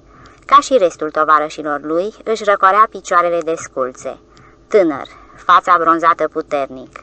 Soarele, vântul și ploaia i-au năsprit pielea. Când întâlnești o asemenea față pe strada unui oraș plin de lume, cunoști dintr-o dată că se află acolo întâmplător, că gulerașul, cravata, haina și pantofii sunt pentru el straie străine, stânjenitoare. Ghicești de unde vine. O confirmă ochii înroșiți din pricina reflexelor soarelui. Este unchiul lui Pedro, seamănă nu numai fizic. Îi apropie zâmbetul larg, veselia, bucuria de viață. Are un deosebit simț al umorului. Tovarășii îi spun pe nume, Jorge, iar când i-am spus în glumă capitan, n-a clipit și mi-a plătit-o pe loc, zicându-mi de asemenea capitan. Veselie generală. Din cazan mănâncă împreună dos capitanos. Îl deosebește de restul plutașilor șapca de pilot de pe cap. Plămarin, ca o șapcă de elev. N-a scos-o nici în timpul mesei, a împins-o numai pe ceafă.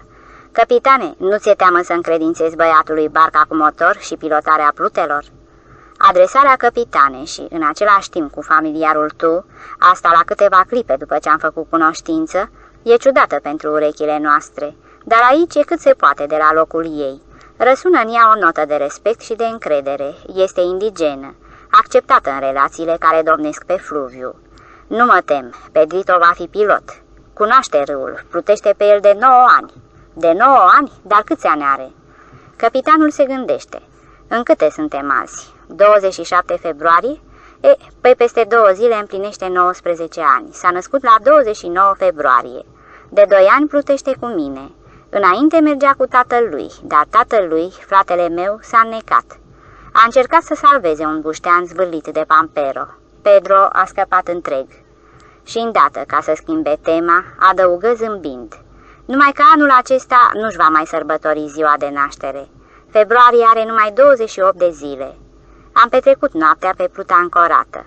Pedro l-a impresionat pe prietenul meu printr-o artă necunoscută, pescuitul cu mâna. E oare posibil? Ne-am convins că da. A prins un sabalos, băgând mâna printre bușteni. Cufundați mult timp în apă, butucii înverzesc pe dedesubt, căpătând un fel de barbă verde lunecoasă. Aceasta, la rândul ei, constituie hrana preferată a peștelui sabalos. Plutesc printre trunchiuri aproape de suprafață. Trebuie numai să-i pândești bine și să-i apuci solid. Vorbind în imagini, arată cam așa. Direct de sub podea, peștele fremătând sare nuală. Lalo era încântat. În zor ne-am luat rămas bun, am pornit-o înainte, depășind cu mult plutele. Aveam planul nostru și ret. Două zile mai târziu, când fixau plutele pentru popasul de noapte, ajunse la ei strigătul sălbatic al guaranilor, sapucai, și venirăm spre ei din sus cu caiacul. Plutașii se mirară. De unde? Ce s-a întâmplat? Pedrito, ce zi e azi? Azi? Întâi martie. Loco, tună Lalo, nu te întreb de calendar. Azi e ziua ta de naștere, Loco. Trebuie să fie fiesta. Am petrecut vesel din toată inima. Viitorului pilot, mai mult decât conținutul sticlelor achiziționate de noi într-o așezare de pe mal, îi plăceau caramelele. A urmat înfrățirea celor doi capitani. Echipajele unite ne-au dat porecle, capitan Pelado și capitan Peludo, adică capitanul Chel și capitanul cu păr. În Corientes, capitala provinciei, ne-au primit astfel că puțin a lipsit să nu începem să credem noi înșine în propriul nostru eroism. Ne-a întâmpinat prefectul principal al pazei grănicerești fluviale și maritime în persoană. Trampul a fost dus și așezat pe platforma prefecturii. Ne-au pus la dispoziție o casă frumoasă. Avem în urma noastră tropicele, jungla, vâltorile, înspăimântătoarele apipe. În fața noastră, fluviul imens, dar liniștit, de câmpie. Până la capăt mai rămâneau numai 1200 de kilometri.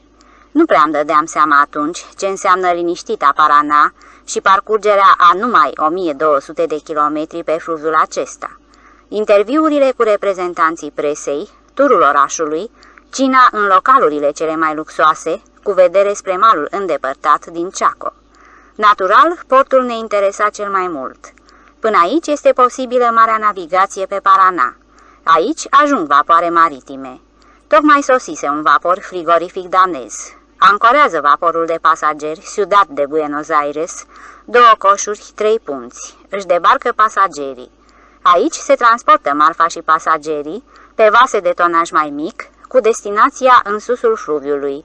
La Apipe îi va ajuta Espiador.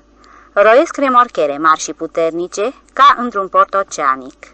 Ne vizitează echipajul unui remorcher și ne privește caiacul cu un interes profesional. Constatăm că vestea despre expediția noastră, despre ciudatul Bicio Colorado, cu suprafață de cauciuc și cu scheletul pliant, a ajuns înaintea noastră. Se cunosc aici amănunte despre trecerea prin Apipe. Ne invită pe remorcherul lor. Ne arată cu mândrie un frigider mare. Nu numai că funcționează extraordinar, dar cuprinde în același timp o duzină de sticle de bere. Alături, câteva lădițe cu băutură nobilă. Cel mai modern remorcher din câte am întâlnit pe Marele Fluviu și echipajul cel mai simpatic. Laudele noastre la adresa berei reci au flatat atât mândria proprietarilor frigiderului, încât veniră cu o propunere neașteptată. Veniți cu noi! Caiacul va fi încărcat pe una din bărcile remorcate, în cabină avem două locuri libere și apoi frigiderul. Capitanul adaugă că astfel economisim timpul și ne avertizează în privința terenurilor deschise, peste care se revarsă mai jos fluviul. În acest anotimp, spune, poate să vă prindă Pampero și atunci ce o să faceți pe întinderea largă în caiacerul vostru? Avertismentul îl pun pe seama ospitalității lor. Vremea e minunată. Ne luăm rămas bun de la noi prieteni, făgăduindu-le o întâlnire undeva în jos, poate chiar la Buenos Aires. Trebuie să plece peste câteva zile. Din Corrientes am anunțat telegrafic termenul de sosire. A trecut vremea hoinărelii fără grijă, care ne permitea să ne oprim unde ne poftea sufletul și cât voiam. Începea a doua parte a expediției. Să o numim sportivă, căci era vorba despre rămășagul încheiat în delta. Bucata de drum pe care o mai aveam de parcurs mi se părea pur și simplu ușoară. Câmpie, fluviul liniștit pe care făceau curse vapoare mari, fără obstacole. Presupuneam că porția medie zilnică de 50 de kilometri va fi o joacă de copii. Vulpoi bătrân am prevăzut și rezerva de timp. Nu voiam să gonesc ca nebunul. Poate se ivește ceva interesant și merită să te oprești. Plictiseală. Nu se petrece nimic. Plutim, pur și simplu. Cursul principal al fluviului, cel mai adânc, însemnat cu geamanduri. Este traseul vapoarelor mari. Profităm de el și noi, căci pe geamanduri este scris numărul de kilometri până la gurile fluviului. Datorită acestui fapt, putem să verificăm lungimea porțiilor noastre zilnice. În nopțile cu lună, în lumina palidă argintie, somnoroși și fără efort, facem rezerve pentru orice eventualitate. Malurile sunt neinteresante. Cel stâng se cațără în sus, formând o râpă stearpă. La poalele lui o plajă stâncoasă, un fel de gunoiște a fluviului.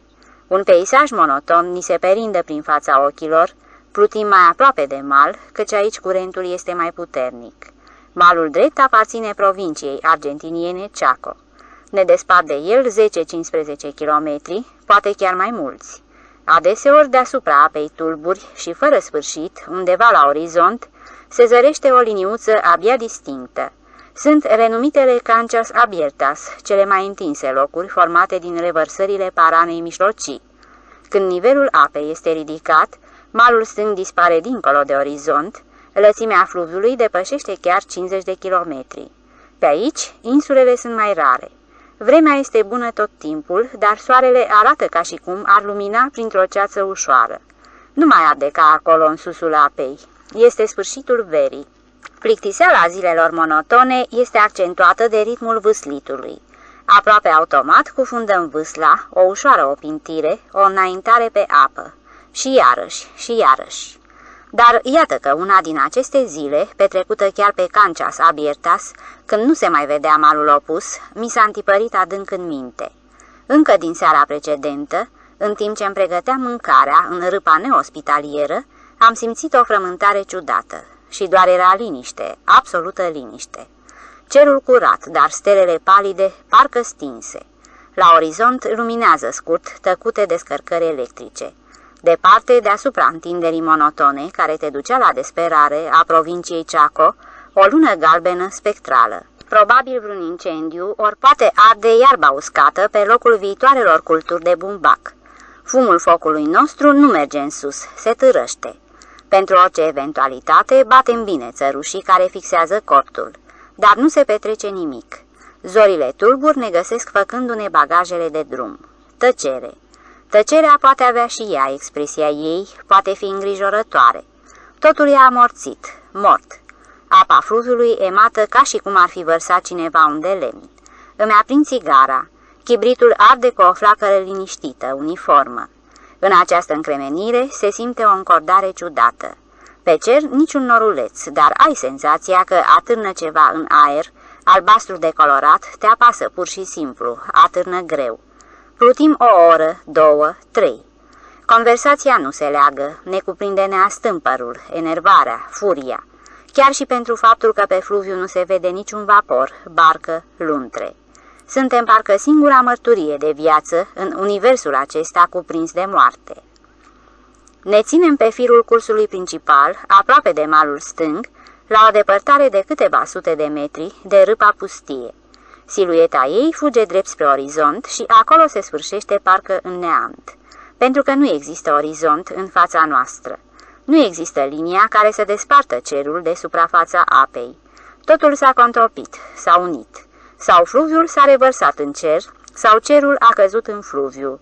Suntem parcă înăuntrul unui glob de un albastru tulbure. Plutim în el, este sub noi și în același timp deasupra noastră. Cufundăm vâslele și le ridicăm ca hipnotizați. Deodată, ca și cum ar fi pleznit globul, cerul s-a despărțit de apă, se vede de acum linia orizontului. Și această fisură crește, dunga se îngroașe, se întunecă, devine neagră. După o clipă, cerul parcă s-ar fi desprins de apă, se ridică parcă un fel de cortină, dezvelind un fundal din ce în ce mai depărtat, mai întunecos, mai amenințător. Negreala se însuflețește, crește văzând cu ochii, înaintează pe fluviu, gonește. Direct spre noi, Pampero. Încă mai este liniște în jur, Paranama este încă somnolentă. Traversăm spre mal, vâzlind cât ne țin puterile, sau mai degrabă peste puterile noastre. Știu, la niciun concurs n-am fi reușit să depunem atâta efort.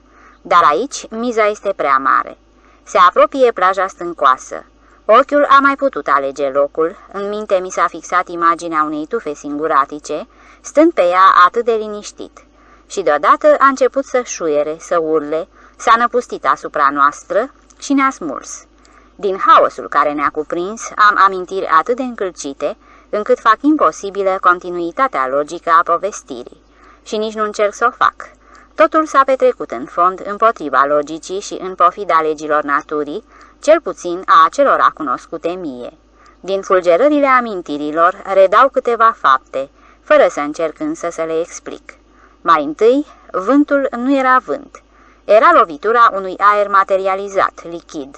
Poate chiar așa trebuie spus, lichid, căci lovea, biciuia cu șuvoaie de apă, smulse din fluviu. În al doilea rând, valul nu creștea. Se ridica brusc, parcă a zvârlit de o explozie subacvatică.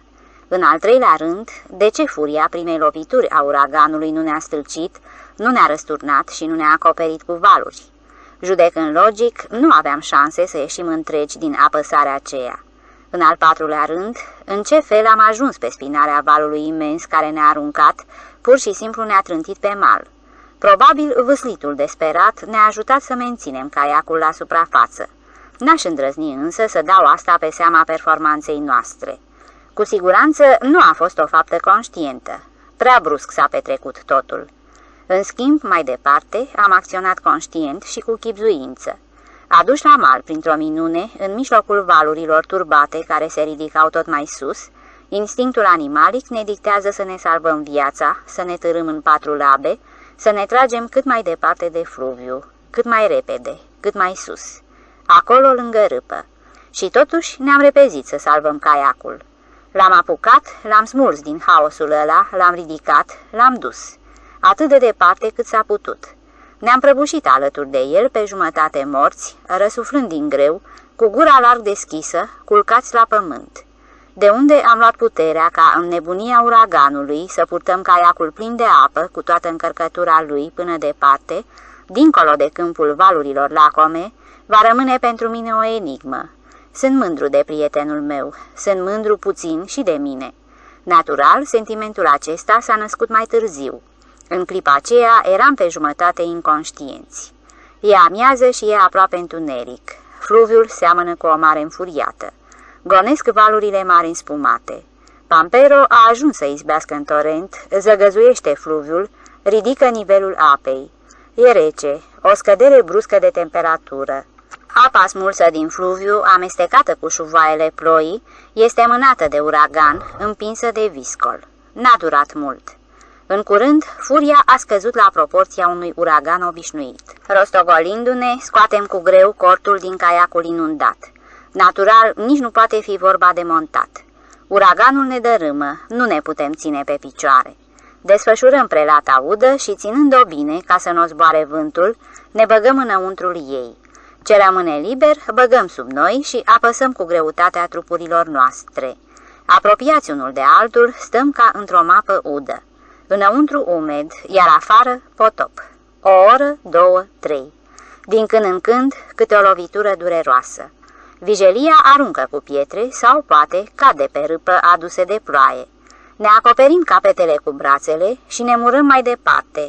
Prelata lasă să treacă apa ca o sită, ne apără numai de biciuitul direct al ploii. Stăm culcați în băltoaca ce s-a adunat pe podeaua de cauciuc a cortului. Abia către seară a slăbit uraganul. Ridicăm cortul cu mare trudă, îl așezăm în poziție de furtună. Acum seamănă cu o cușcă de câine. Ne târâm înăuntru. Ud, ud, dar măcar avem deasupra capului un acoperiș. Fluturată de vânt, prelata udă se zbate turbat. Cu toate astea ne cufundăm într-un somn nervos, într-un fel de toropeală. A doua zi, vijelia nu încetează, ploaia cerne în continuare. E frig. Zăcând în cușca de câine, ne hrănim cu conserve reci. Apa măcar nu ne lipsește. A doua noapte, a doua zi cenușie, ploioasă. Plouă continuu, dar vântul îți permite să te ții pe picioare, nu te silește să mergi în patru labe. Mă gândesc să aprind focul cu orice preț. Visăm la o înghițitură de lichid cald. Înarmat cu toporișca, merg în căutarea vreunei scânduri azvârlite la mal a unui buștean, ceva ce ar putea fi cioplit, spart, și din care ai putea alege câteva țândări uscate. Căutarea zadarnică pe malul stâncos mă duce departe, în susul fluviului. Lalo rămase în cortul care avea un aspect jalnic. Spunea că lusucă cu propria ei căldură. În timpul preumblării mele îi întâlnesc pe prietenii noștri sau mai degrabă ei trec pe lângă mine. Prin cenușiul ploii se conturează un convoi care plutea aproape de mal. Trei bărci mari și un remorcher. Remorcherul nostru, acela care ne invitase atât de călduros în Corientes, ne îmbiase cu frigiderul și cu provizia de bere. Pilotul mă observase de la cârmă. Se apleacă peste geam și îmi strigă ceva. Pe punte apare tot echipajul. Îmi fac semne cu mâna. Țipă. Probabil mă întreabă ceva. Sunt enervați de ceva. De la distanța de peste 100 de metri, prin vânt și ploaie, nu pot să înțeleg. Alerg de-a lungul malului, arătându-le prin semne desperate că nu aud nimic. Iar ei înaintează maestos, repede, purtați de curent. Știu că nu pot opri motorul, căci bărcile care merg în spate ar da buzna peste remorcher. Mă apropii în fine de cortul nostru pricăjit și de Trump. Atunci se aude sirena remorcherului de câteva ori, dând semnale de alarmă întrerupte. Din cort iese la lo somnoros. La vederea lui, echipajul, la bord, am nebunit de bucurie. Sar, flutură mâinile, se învârtesc în cerc. Sirena remorcherului urla acum prelung, pe ton profund. Așa au plecat în josul fluviului, cu sirena care urla și cu echipajul veselindu-se pe punte. Situația ne-a fost lămurită de o scrisoare a lor pe care au lăsat-o în portul Parana. Prima rafală a lui Pampero i-a găsit încă în Corientes. Uraganul a pricinuit acolo pagube imense. A smuls acoperișurile, a prăvălit copacii, ba chiar clădirea fabricii. Prietenii noștri de pe remorcher se gândeau mereu la noi, dându-și seama prea bine de grozăvia primejdiei în care ne aflam. Ei și deodată m-au zărit pe mine, singur pe mal, și caiacul aruncat și, așa cum li se părul lor, resturile cortului. Abia apariția lui Lalo, trezit de sirenă, le-a împrăștiat temerea. Singur, față în față cu Parana. Ne anunțăm intrarea în port. În orașul Parana îmi pierd tovarășul din pricina muștei Ura. Avantajele și dezavantajele navigării de unul singur. Insularul singuratic nu m-a cinstit cu mate, a trebuit să beau din vasul propriu. Pamperos a năpustit brusc, a lovit pe neașteptate ca proverbialul tunet din Cersenin. După câteva zile de vijelie și ploaie, tot așa brusc s-a potolit. Ne-a trezit strălucirea soarelui. Vântul s-a schimbat, azur, soare, cald. Ne apucăm de îndată să ne uscăm hainele, ne revizuim echipamentul și provizia de alimente. Mare bucurie pe noi când observăm că nu s-a stricat scheletul caiacului. De necrezut, a rezistat. Chiar vâslele sunt întregi. Stăm însă jalnic de prost cu alimentele. N-avem zahăr, sare, macaroane. Pur și simplu s-au dizolvat. Aruncăm iarba udă, mate. Nu avem nicio țigară, iar tutunul negru presat e de nefolosit, căci în ce să-l înfășori? Uscăm niște cârpe ca să ne curățăm armele. Aparatele fotografice, legate în săculeți de plastic, din fericire, n-au suferit nicio stricăciune. Începem să ne grăbim. Am pierdut atâtea zile, trebuie să le recuperăm. Pe resturile fostei hărți, atât de frumoase cândva, stabilim etapa cea mai apropiată, care trebuie să se termine în orășelul Goia. Deocamdată nici vorbă nu poate fi de spălatul rufelor și punerea în ordine a ținutei vestimentare. Lamele ruginite nu ne îmbie la lichidarea părului de pe față. Deocamdată nu știm ce e foamea, mai avem câteva cutii de conserve. Bem apă caldă. Binecuvântata brichetă ne ajută să aprindem focul. Ne luăm rămas bun de la malul neospitalier, îmbogățiți cu o experiență tristă. În primul rând, să nu ne mai lăsăm înșelați de vremea frumoasă. Pe cancea sa biertas, prin revărsările nemărginite, e mai bine să plutești aproape de mal. În al doilea rând, pe cât posibil, să ții totul, inclusiv mâncarea, în săculeți impermeabili. Și asta tot timpul. Deocamdată Trump pornește la drum ca o căruță țigănească. În locul acoperișului am întins pantalonii, cămășile și alte părți ale garderobei. Văzlim de dimineața până seara. Goia e situat în adâncul uscatului, de la fluviu până în port, mergi printr-un braț. Scurta ședere în Goia mi-a lăsat în amintire o întâmplare hazdie. Am ajuns în port pe la prânz. Niciun suflet de om. Unde or fi dispărut la naiba? Trebuie să pornesc în căutarea autorităților. Ancorăm la puntea pustie, lângă clădirea prefecturii. La lor rămâne în barcă, eu mă duc în căutare. Intru printr-o ușă larg deschisă, direct în cancelarie. La birou moțăie un sergent cu o statură impunătoare.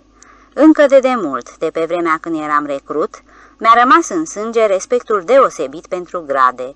Caporal, plutonier, dar ce să mai zic de sergent? Automat iau poziția de drepți și bat călcâiele. Capul autorității se ridică încet, mă măsoară cu o privire nu prea binevoitoare.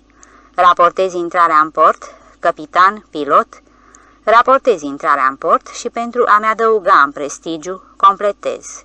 Capitan proprietar. Cu o privire somnoroasă, dar foarte critică, sunt măsurat din cap până în picioare. Încep să mă rușinez de obrazul nebărbierit, de cămașa murdară, de șortul rupt și de papucii din picioarele goale. Deschide un registru mare, ia tocul în mână și... Numele vaporului, deplasamentul, pescajul. Răspund fără să mă gândesc, parcă inspirat. Trump. Deplasament 0,035. Pescajul, în cazul când este complet încărcat, puțin mai mult decât o jumătate de talpă. Scrie. Completează rubricile corespunzătoare. Alte întrebări.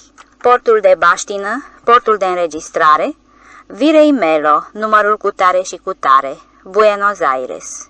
Vrea să scrie, dar se vede că nu e de acord cu ceva. Așează tocul jos, își aprinde țigara, iar mie, la tabloul ăsta, îmi lasă gura apă. Virei Melo? Asta e în bazinul de sud? Nu, șefule, Virei Melo e aproape în centrul orașului, iar vaporul meu pliant îl țin la mine în casă sub pat. Nu știu de ce mi-a trăznit prin minte să spun adevărul, adevărul goluț. Fața împietrită a autorității a început să-și schimbe culoarea, se înnegrește, devine neliniștitor de roșie. Sergentul tace, se sprijină de birou și își ridică încet statura impunătoare, iar eu mă fac mic, mă retrag în direcția ușii. Nu se știe cu ce s-ar fi sfârșit acest incident birocratico-oficial, dacă, din fericire, nu s-ar fi arătat însuși șeful, prefectul, fluierând. S-a schimbat totul dintr-o dată. Ne-am scăldat în amabilități ca niște gogoși în ulei. Cu sergentul cel sever am încheiat pactul de neagresiune. Dacă aș publica un ghid turistic, cu siguranță aș însemna orașul Goia cu o steluță și cu trimiterea oameni plăcuți și înghețată. În cafeneaua intimă din târg, înghețata era minunată. Nu mi-aș fi închipuit că la lou poate să ingereze o asemenea cantitate. Graba noastră l-a salvat de înghețarea măruntaielor. În seara aceea am întins cortul departe de Goia. Grabă. Graba poate fi și ea plicticoasă, poate să facă neroditoare, să lipsească marea aventură de sensul ei cel mai esențial, de contactul direct cu mediul înconjurător, de cunoașterea și observarea de aproape a lucrurilor, de trăire. De câte ori ne-am blestemat rămășagul nefericit, care mă silea să măsor expediția cu ora, cu distanța, cu iuțeala. Ce însemnătate infimă are eventual câștigarea lăzii cu băutură scumpă, în comparație cu pierderea a ceea ce, și asta putea să fie singura ocazie în viață, omul putea să vadă la modul concret, să cunoască, să trăiască. Ne grăbim, recuperăm zilele pierdute, dăm și dăm din vâsle, zi de zi, apă și cer. Pe partea stângă, ca o peliculă de film, se perindă râpa înaltă a malului Corientes. Malul drept nu se vede sau se zărește ca o linie pe un orizont îndepărtat. Terenuri inundate, fluviul un uriaș. Pe această porțiune întâlnim vapoare ciudate, cum n-am mai văzut până acum, mari, cu două și trei etaje. Vapoare cuști, pline cu pasageri patrupezi, răgând jalnic. Nu avem timp să ne apropiem de ele, să întrebăm echipajul de unde vin, cât de mult durează călătoria condamnaților. Știm numai care este țelul final al transportului, tăierea. Acea parte din viața Marelui Fluviu a rămas în afara sferei mele de recunoaștere. Trecem pe lângă fabrici uriașe de conserve, așezate pe malul înalt, cu coșurile fumegânde, cu halele supraetajate. Acolo sus sunt așezări cu case curate. Pe râpa abruptă ne atrag în schimb atenția văgăunile săpate în pământul tare, cu câteva nivele. În deschizături au pus ferestre, uși. Unele sunt peticite cu tablă ondulată, cu resturi de ambalaje. Din ele ies burlane coșuri, răsucite în sus. Adeseori, suporturi cu antene de radio. Locuințele sunt legate între ele printr-un fel de balconașe săpate în pământ sau adăugate, un fel de pasaje de pe care îți puteai frânge gâtul. Uneori, pur și simplu scări. Poți vedea aici așezări întregi de locuitori ai unor peșteri contemporane, nu e greu de ghicit că existența lor are o strânsă legătură cu coșurile care fumegă mai sus.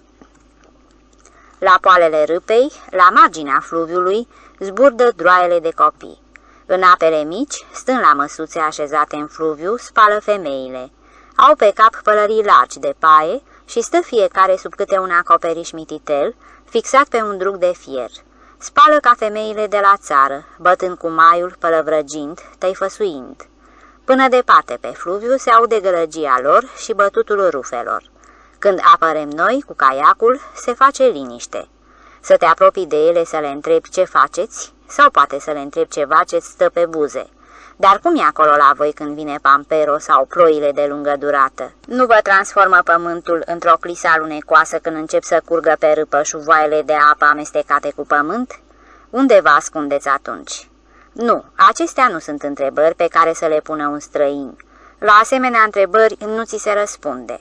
Că suntem considerați străini, ne-o spune faptul că s-a întrerupt bocănitul maiului, că suntem priviți în liniște. Ca să rupi străinarea, ai nevoie de timp. Nu-l avem. Trecem deci pe lângă femei, salutându-le cu bunăvoință. Ne răspund cu rezervă, tăcere. Abia în spatele nostru, departe de pupa caiacului, izbucnește gălăgia îndoită, generală. Nu se mai aud însă loviturile maiurilor, probabil vorbesc despre noi. Se scurg zile sterpe. Jurnalul de bord este sărac în însemnări. Plutim în grabă, recuperăm continuu timpul pierdut. Facem chiar mai mult, ne asigurăm rezerve de kilometri, cu toate că curentul este slab și ne bate din față un vânt din acelea nesuferite, pe care marinarii îl numesc vânt potrivnic. Ne-am mai întâlnit odată cu Pampero. O năpustire scurtă, dar brutală. Din nou am avut noroc, eram aproape de insulă. Ne-au fost de folos experiențele acumulate. Nu voi scrie despre asta. Mai bine să vorbească fotografia pomilor smulși și spălați de pe mal de valul imens. Au fost pentru noi un bun adăpost. Mă neliniștea puțin la lo, se petrecea ceva ciudat cu băiatul. Orașul Paraná este capitala provinciei Entre Rios, a Mezopotamiei argentiniene, bogată în pământ fertil și cu multe brațe ale râurilor Paraná și Uruguay. Așezat pe malul înalt, pe un teren deschis, arată cu totul altfel decât orașele de șes argentiniene. Este frumos. În tânăra istorie a țării are fila lui importantă. La jumătatea secolului al XIX-lea a fost un timp chiar capitală, reședința guvernului federal, care ducea pe vremea aceea război cu guvernul din Buenos Aires. Atunci a ajuns în orașul Paraná, din atât de îndepărtata Patagonie, solia temutului conducător al araucanilor, Calfu Cura, piatră albastră, sub conducerea fiului său Nomun Cura, talpă de piatră. Aici, solul extraordinar fu botezat cu mare ceremonie, pentru prima dată, dar nu ultima. Nașul de botez fu președintele Jose Urchiza. De aici, trimisul neofit plecă pe meleagurile natale, la o distanță de 2000 de kilometri, în pampasul patagonez, ca să primească sceptrul puterii, toporul de piatră, să se întoarcă la credința părinților și să organizeze incursiuni, în timpul cărora a năvălit până aproape de Buenos Aires. Sunt vremuri istorice, dar oare sunt ele atât de îndepărtate? Căci doar pe fiul acestui ultim conducător al Pampasului, pe șeful tribului, Alfredo Nomuncura, l-am întâlnit la Congresul Araucanologilor din Patagonia în anul 1962. Reprezenta atunci tribul cel mai puternic de araucani, Mapuche. După trei zile, jignit de albi, a părăsit congresul. Să lăsăm totuși aceste fapte istorice mai vechi și mai noi. În expediția mea, orașul Paraná a jucat de asemenea un rol istoric. Acolo mi-am pierdut echipajul. Nici catastrofă, nici dezertare. Motivul oficial, să-i spunem diplomatic, era atunci apropiatul termen al examenelor de admitere la universitate. Acum, fără să ne ascundem după deget, pot să spun care a fost adevărata pricină. Este exemplul cel mai bun cum o muscă reușește să-ți răstoarne planurile. Musca ura, numită astfel în limba guarani, înțeapă pielea și își depune oul sub ea. Din fericire, numai unul. După un timp, iese larva nesățioasă, care respiră prin orificiul rămas după depunerea oului. Parazitul crește, se mărește, ajunge la un centimetru și jumătate, apoi urmează procesul de evoluție, până când din orificiul lărgit apare pe lume o nouă ura. În acest timp, sub pielea victimei se formează un acces dureros, purulent. Există primejdia unei infecții generale. În părțile acelea, ura era o plagă nu numai pentru animalele de pe lângă casă și pentru alte patrupede. Îmi amintesc un tucan pe care l-am vânat și pe corpul căruia am găsit trei abcese cu moștenitorii muștei ura. Se vede că ciocul mare al păsării nu se preta la delicata operație de a ciuguli și scoate parazitul. Urei mamă nu este silă nici de pielea omului, nu pierde ocazia să depună în ea oul de cuc. Știu din experiență proprie cât de neplăcută este întâmplarea asta. Numai că din mine n-a zburat nicio muscă ura. Am fost învățat cum să întrerup procesul de evoluție și cum să lichidez incubația dureroasă într-un mod simplu și radical. Odată ce începe să te mănânce pielea, simți în locul acela o buburuză și iese prin orificiu puroiul. E știut, ai ura. Trebuie să acoperi imediat orificiul cu o bucățică de slănină proaspătă și să o lipești bine cu un plasture. Lipsită de aer, larva parazit va tinde să iasă la suprafață și prin deschizătură se va înșuruba în slănină. Singura condiție, metoda aceasta trebuie aplicată cât mai devreme cu putință. Dacă ura își așează oul într-un loc care, să zicem, e greu de văzut. Așa a fost și cu Lalo. Cu câteva zile înainte de a ajunge în portul Parana, mă miram în sinea mea de comportarea lui. Se așeza cu băgare de seamă, în timp ce fața ei se contracta. Își punea câte ceva pe locul unde stătea. Încăpățânat băiat. Sau nu și-a dat seama de boala lui, sau s-a jenat să-mi spună. A oploșit ura, cum s-ar zice. Și era prea târziu pentru cura cu slănină. Accesul arăta mizerabil. Fiecare vâslaș de pe un caiac își dă seama ce înseamnă să stai pe bancă și să vâslești în asemenea împrejurări. Un tratament serios cerea timp. Nu-l aveam. Lalo a rămas la Parana. Micul David l-a învins pe uriașul Goliat. O muscă, o ticăloasă de muscă, m-a lipsit de un tovarăș minunat. N-a fost veselă despărțirea. Nici amabilitatea noilor cunoștințe, nici entuziasmul presei nu ne-au redat buna dispoziție. Lalo era deprimat. E greu, are ghinion. Și eu am ghinion. Ies din port, condus de câteva bărci cu motor. Pe șoseaua de pe mal, o cavalcadă de chibiți motorizați. Ultimele urări, ultimele strigăte. Bărcile se întorc, șoseaua cotește în adâncul uscatului. Rămân singur, față în față cu Parana. Ultima propoziție sună puțin cam enfatic, dar corespunde și realității și stării mele sufletești. Îmi fac un scurt calcul, îmi organizez planul călătoriei pe mai departe. Au mai rămas peste 700 de kilometri. Până la termenul fixat, mai am două săptămâni. Îmi revin în medie cam 50 de kilometri în 24 de ore. Nu e mult, dar nici puțin. Curentul apei, în cursul ei inferior, e destul de leneș. Începutul lui martie înseamnă aici toamnă timpurie. Vremea e instabilă, vânturi laterale sau din față. Caiacul ușor, de două persoane, are acum defectul că, având numai un singur vâslaș pe banca din spate, ridică vârful în sus, ceea ce creează mari greutăți pe timp de vântoasă. O concluzie logică. Trebuie să profit de fiecare clipă liniștită, trebuie să fac rezerve cu orice preț pentru vremuri negre. Călătoria de unul singur mai este dezavantajoasă și pentru că, practic vorbind, nu ai posibilitatea să te aprovizionezi cu alimente în orașele sau așezările de pe mal.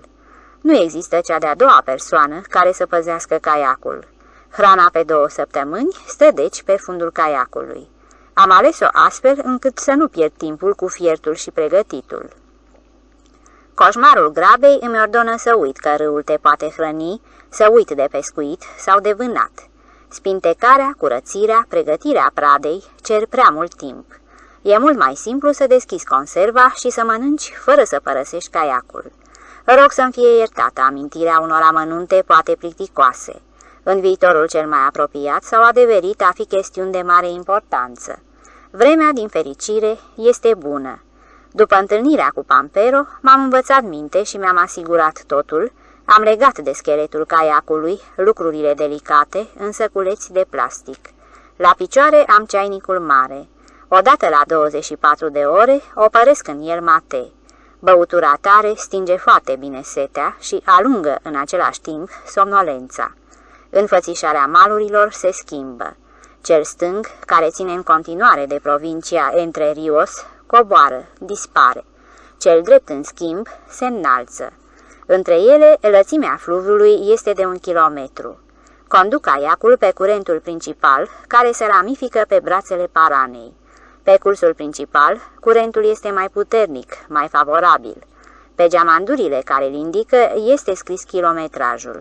Verific distanța parcursă, știu cât a mai rămas. 750 de kilometri, 700, 580, 500. Dacă se stârnește vânt, atunci e greu. Trebuie să trag la mal și să aștept. În bătaia vântului nu pot vâsli. Rafalele mai puternice împing caiacul în susul râului. Vântul înseamnă o dihnă forțată și natural pierdere de timp, pe care iarăși va trebui să o recuperez. Popasurile de noapte au loc sub același semn, economie de timp. Le-aș numi mai degrabă noptări în bivuac. Numai de puține ori, când se adunau norii și amenințau cu ploaia, îmi permiteam luxul de a întinde cortul. În general, navigam până cădea întunericul, pentru ca în ultima clipă, uneori chiar la lumina lanternei, să întind prelata cortului pe mal, să mă înfășor în velințe și să dorm iepurește, până când apărea luna, pentru că și de nopțile cu lună profitam. Profitam de liniște și vâsleam, vâsleam. Nopțile acelea cu lună mi-au rămas în amintire, cu toate că de fapt nu se întâmpla nimic, erau atât de frumoase. Lumina pală, argintie, ce inunda fluviul, conturul negru al malului, vizibil din dreapta sau din stânga, tăcerea în care se auzea numai fâșiitul ușor al apei, tăiate de vârful caiacului și picurul apei căzând de pe vâsle. Așezam vâslele în furchet și mă lăsam dus de curent. Tăcerea era atât de deplină, încât aproape că-ți auzeai bătăile inimii. În nopțile senine mă străduiam să mă țin pe cursul principal, din pricina curentului și a luminițelor roșii care ardeau pe unele geamanduri. Dacă moțăiam, eram totuși cu urechea atentă. Pe fluviul adormit, răsunetul vreunui vapor sau bărci cu motor ajungea din depărtare, te trezea imediat. Mă feream din drum. Abia când luna cobora și întunericul era aproape, căutam malul. Rămâneam până în zorii zilei. Cu un asemenea program de noapte și de zi, de continuă navigare, am reușit să-mi fac o rezervă de timp. Aveam o zi, două, trei, economisite. Odată am parcurs în timp de 24 de ore peste 100 de kilometri. În zilele acelea am întâlnit cunoștințe vechi. În primul rând, vaporul mare de pasageri, Ciudad de Buenos Aires, pe care îl privisem prima oară în portul Corrientes, iar la câteva zile după aceea ne depășise. Acum trecem unul pe lângă altul pe cursul principal în plină amiază. De pe punțile înalte, pasagerii fluturau batistele și pălăriile. În schimb, câteva zile mai târziu, despre asta trebuie să povestesc mai amănunțit. Deci, la câteva zile după aceea, am văzut din nou Ciudad de Buenos Aires. Se întorcea din Corrientes, gonea după mine plutind în jos. Mă neliniști, căci se părea că pasagerul vine direct peste mine, ca și cum nu vedea coaja mea de nucă. Se apropia cu repeziciune, creștea deasupra mea. În panică, vâslind din toate puterile, am început să fug din drumul ales de el. Mă amenința nu numai ciocnirea, dacă asta s-ar fi putut numi ciocnire, dar și primejdia răsturnării caiacului din pricina valului înalt ridicat de vapor. Nu înțelegeam intenția capitanului. La o anumită distanță a oprit mașinile. Acum înainta încet, tot mai încet, până când în sfârșit, pierzând viteza, se opri lăsându-se purta de curent. Ne aflam bord la bord, despărțiți de câteva zeci de metri. Coverțile erau pline de pasageri. Strigă, dau din mâini. Pe punte îl văd clar pe capitan. Duce palma la cozorocul chipiului și sirena. Sirena urlă, o dată, de două ori, de trei. Nu, nu visez. Marele pasager îl salută pe trampul meu. Cum să răspunzi la asemenea onor? Cum să răspund la salut? Știu că se ridică și se lasă pavilionul. Dar pavilionul meu era fixat de vârful catargului. Luând din plin aer în piept, am salutat pe Ciudad de Buenos Aires, pe capitan și pe pasageri, cu strigătul sărbatic de triumf al indienilor guarani, sapucai. Piu, iu, pia, ia... Nu știu ce au gândit pasagerii, dar echipajul a înțeles cu siguranță, căci erau oameni de pe fluviu, de pe marele fluviu. Mâna capitanului s-a ridicat iar la chipiu, încă o dată a mai sunat sirena, mașinile s-au pus încet în mișcare. Cu atenție, ca să nu ridice valul, pasagerul a plecat în drumul lui. Asemenea întâlniri nu se uită. Mi-o amintesc cu atât mai mult cu cât aceea a fost ultima dată când am mai văzut frumosul Ciudad de Buenos Aires. Un an sau doi mai târziu, în urma unei ciocniri, s-a scufundat în locul unde Paraná se unește cu râul Uruguay. Au dispărut mulți pasageri, cadavrul capitanului n-a fost găsit. Tragediile naufragiului nu se întâmplă numai pe mare. Pe Parana mijlocie și pe cea inferioară am întâlnit de mai multe ori epavele unor vapoare scufundate. Ieșeau în afară ca niște geamanduri prevenitoare, uneori își scoteau numai cioturile jalnice ale catargelor. Majoritatea catastrofelor erau probabil rezultatul unei lupte pierdute cu Pampero. În timpul expediției pe un caiac, singurătatea are multe dezavantaje. Trebuie totuși să recunosc că, cu toată dieta de conserve la care eram silit, cu toate eforturile fizice, nedormitul, umflăturile provocate de țânțari și lipsa unui interlocutor, Singurătatea are și ea farmecul ei. În sfârșit, se trezi vechea ambiție sportivă. Voiam să câștig pariul, trebuia să-l câștig. Doar de aceea mă grăbisem atât, recuperasem timpul pierdut, îmi făcusem rezerve, le pierdusem din nou. Un adevărat maraton cu obstacole. Contact cu oamenii, o întâlnire pe care anume nu o fixez în timp și spațiu. Cititorul să încerce singur să găsească insula pe hartă. Repet, intenționat am încălcit firul povestirii. În limba vânătorilor, asta se numește ștergerea urmelor. După amiază târziu, a început să se noreze. Vântul s-a întețit îngrijorător. Am fugit de cursul principal, într-un braț mai ferit al fluviului, printre insule mari și mici, cu vegetație, nelocuite. Înaintez lent. Curentul este slab aici. Vremea se strică din ce în ce. Încep să cercetez. Va trebui totuși să desfac cortul. Plutesc aproape de malul unei insule înalte. Vegetația deasă, împletită, ajunge până la râpă, atârnă. Va fi greu de cățărat și apoi de curățat locul sub port. O insulă complet sălbatică și deodată o barcă. O luntre de pescari trasă sub tufișuri. M-am bucurat. Sunt oameni, măcar voi avea cu cine să vorbesc în timpul acestui popas impus. Opresc la mal, încep să trag caiacul chiar lângă barca de pescari. După o clipă apare lătrând un dulău, dar nu se apropie de bărci, stă la o oarecare distanță. În tufișuri, deasupra râpei, se arată stăpânul. Mă privește de sus, în tăcere. Îl salut cu tradiționalul Buenos tardes, amigo. Îmi răspunde cu aceleași cuvinte și din nou se lasă tăcerea. Nu se mișcă din loc, cheamă numai și liniștește câinele care latră. Asigur caiacul, mă cațăr pe râpă. Stăm unul în fața altuia, ne privim reciproc. Necunoscutul se sprijină în, într-un topor, nu prea mare, cu coadă lungă. Se sprijină cu mâna stângă. Brațul drept atârnă în jos. Mâna o are înfășurată într-o cârpă. Vârsta greu de stabilit, 50, poate 60 de ani. Barba nerasă și netunsă de mult timp, părul cărunt, fața închisă la culoare, plină de riduri. Cu siguranță nu e indian. Ochii? Ochii vorbesc totdeauna cel mai mult despre om. Ochii lui sunt vigilenți, așteaptă. Întind mâna în semn de salut. Face un pas înapoi, mâna îmi spânzură în aer. Încep să mă simt ridicol, mă silesc să-mi recapă dispoziția și, arătând spre topor, întreb vesel. La ce bun bătrâne precauția asta? Te tem de mine sau ce?" Nu-mi răspunde de îndată, ci după o pauză lungă, cu un glas înnăbușit. Eu nu mă tem și nu trebuie să vă temeți de mine. Ce vreți? Mi se pare că o să avem o ploicică bună. Vreau să mă adăpostesc. Întind cotul aici. Tace. Își înfige în mine privirea aceea vigilentă. Nu e vorbăreț. Mă simt din ce în ce mai stânjenit. Întrerup tăcerea pe un ton glumeț. Dar cu mate ați putea să mă cinstiți. N-am băut de mult. De ce n-ai bat ce iarăși? În sfârșit, ca și cum s-a luptat cu sine, băiguie o întrebare neașteptată. Dar aveți bombilia și vasul dumneavoastră, aveți poate și ceainic.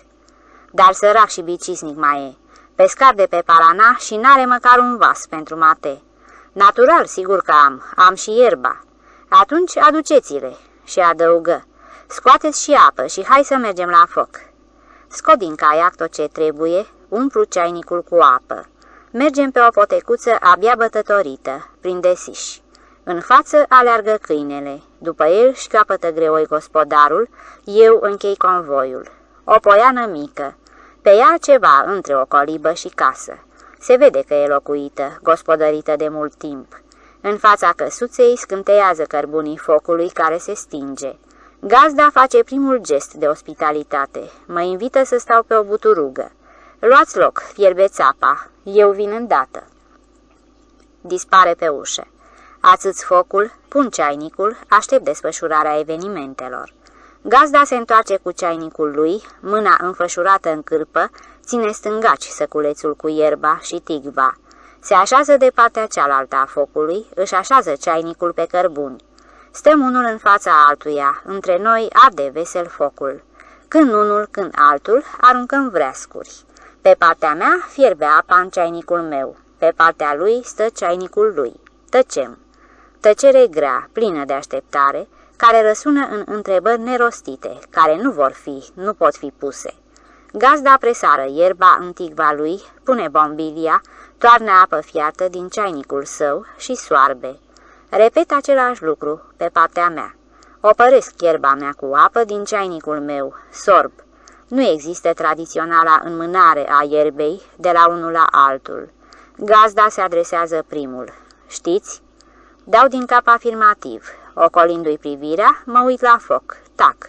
Nu vă temeți, eu știu cum trebuie. De aceea am spus ca să aduceți ceainicul și vasul dumneavoastră.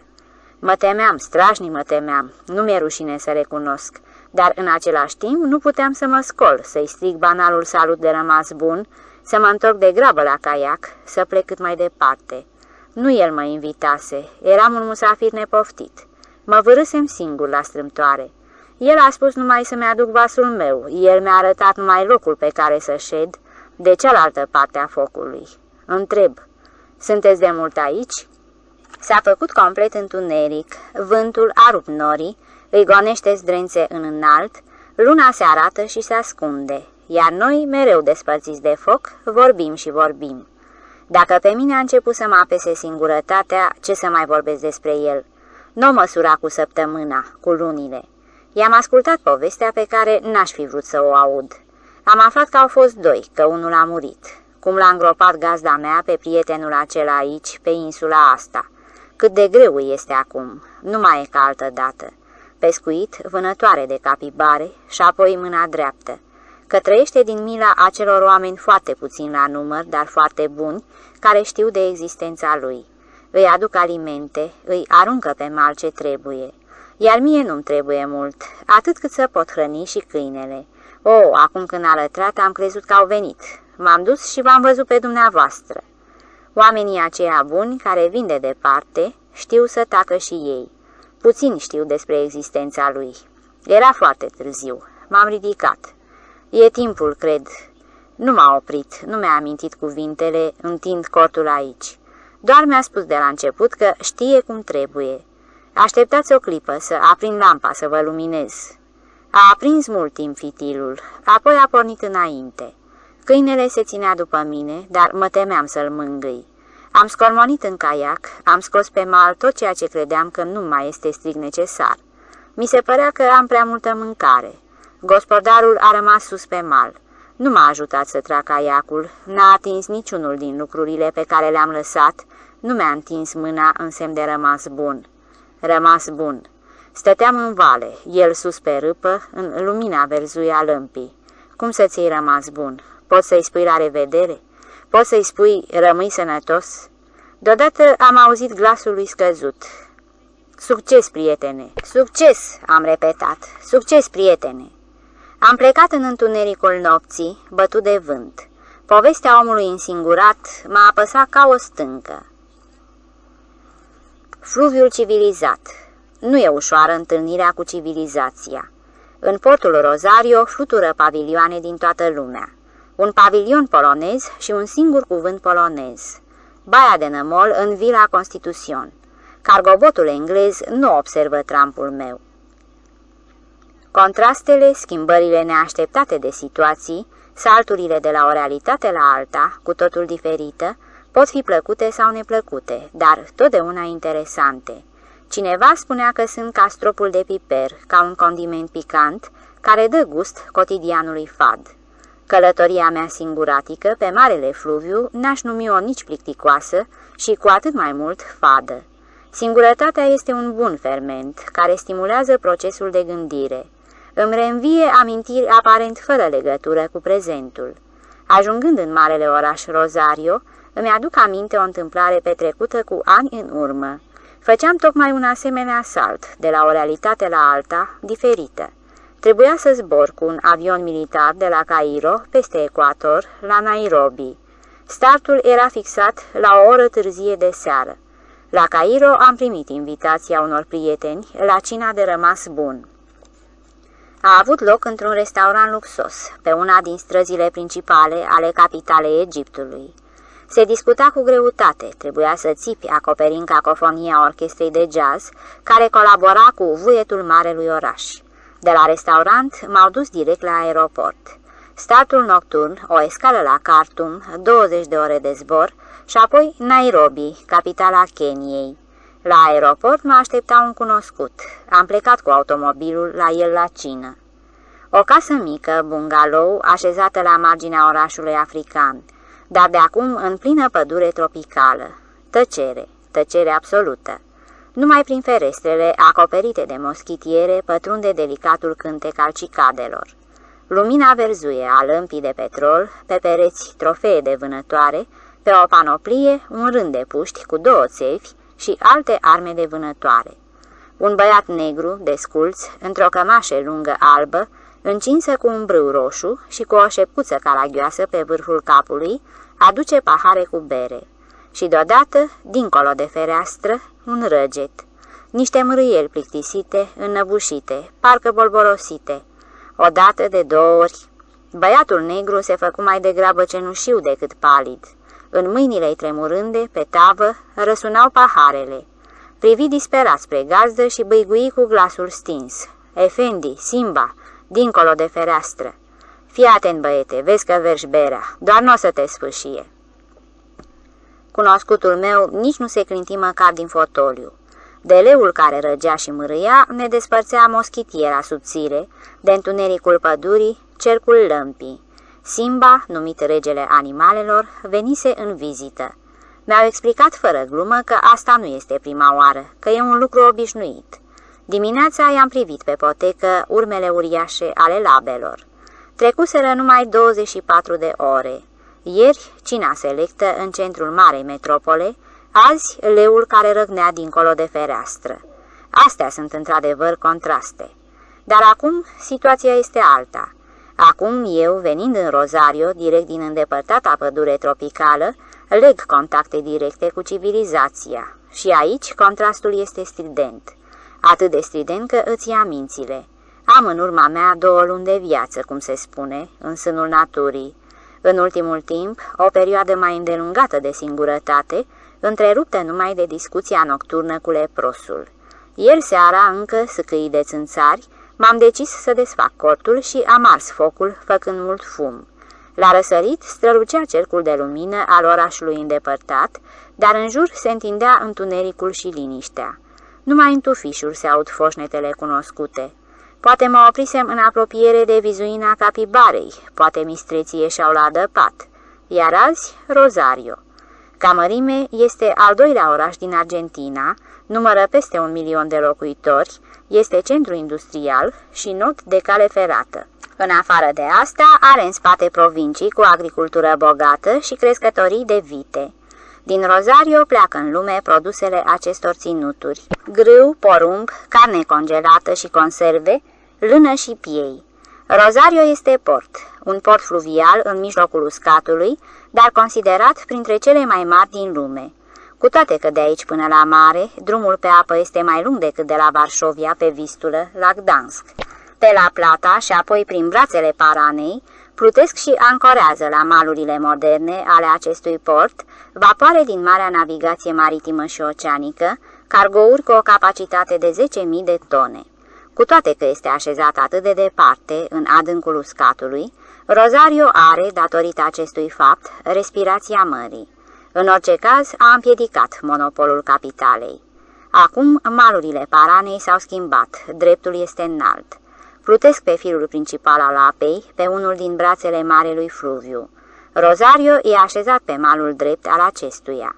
Vis-a-vis -vis de oraș se întinde o insulă uriașă, iar dincolo de ea, al doilea și al treilea braț. Mă poartă curentul leneș, îl ajut cu vâslele.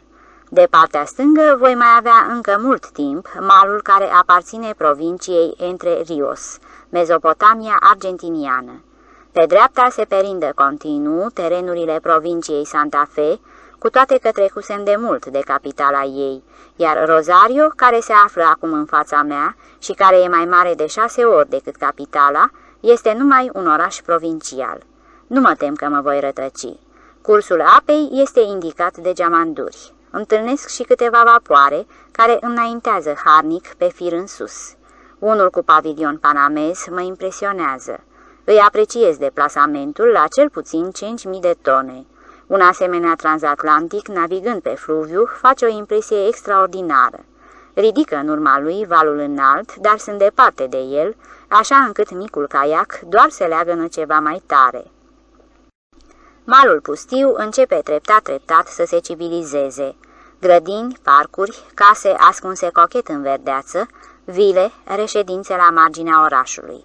Nu se văd case de pământ, colibe improvizate din temirce, atât de caracteristice pentru periferia marilor orașe. Nu e de mirare, apa este curată, iar terenurile acestea sunt la mare preț. Murdăria, zoaiele marelui oraș, curg mai jos. Vâslesc destul de aproape de mal. Plajele se întind una după alta, bazinele, apoi cluburile marinarilor. Ziua este senină, caldă, sunt mulți cei care se scaldă. Intru în această forfotă omenească. Apa e mică aici, ajunge până la brâu, până la umeri. Mâinile jucăușe ale celor de pe plaje apucă bordul trampului, ne tachinăm. Nițel mai departe, în apa mai adâncă, se află multe iahturi ancorate și băci cu motor de diverse mărimi. Dincolo de plaje, mai jos de cluburi, malul își schimbă înfățișarea. Se află aici ateliere, mici întreprinderi de reparare și renovare a vapoarelor, corpuri de bărci și vaporașe scoase pe uscat și sprijinite cu schele. Se aude bătaia ciocanelor, sâsâitul sudurii. Aici, caiacul ciudat nu mai trezește interes. Oamenii sunt ocupați. Intru în port. Nu mă închipuisem că este chiar atât de mare, că poate cuprinde atâtea vapoare. Stau ancorate la malul înalt, unul după altul, într-un șir neîntrerupt. Pe fluviu înaintează cu înfrigurare remorchere puternice. Cu niște atleți ca aceștia nu s-a rușinat nici porturile oceanice. Trag după ele un întreg convoi de șlepuri încărcate, se grăbesc într-o direcție sau trag din port de otgoane, încet, cu băgare de seamă, uriașii mării, încă neputincioși, cu mașinile oprite și cu pistoanele în nemișcare.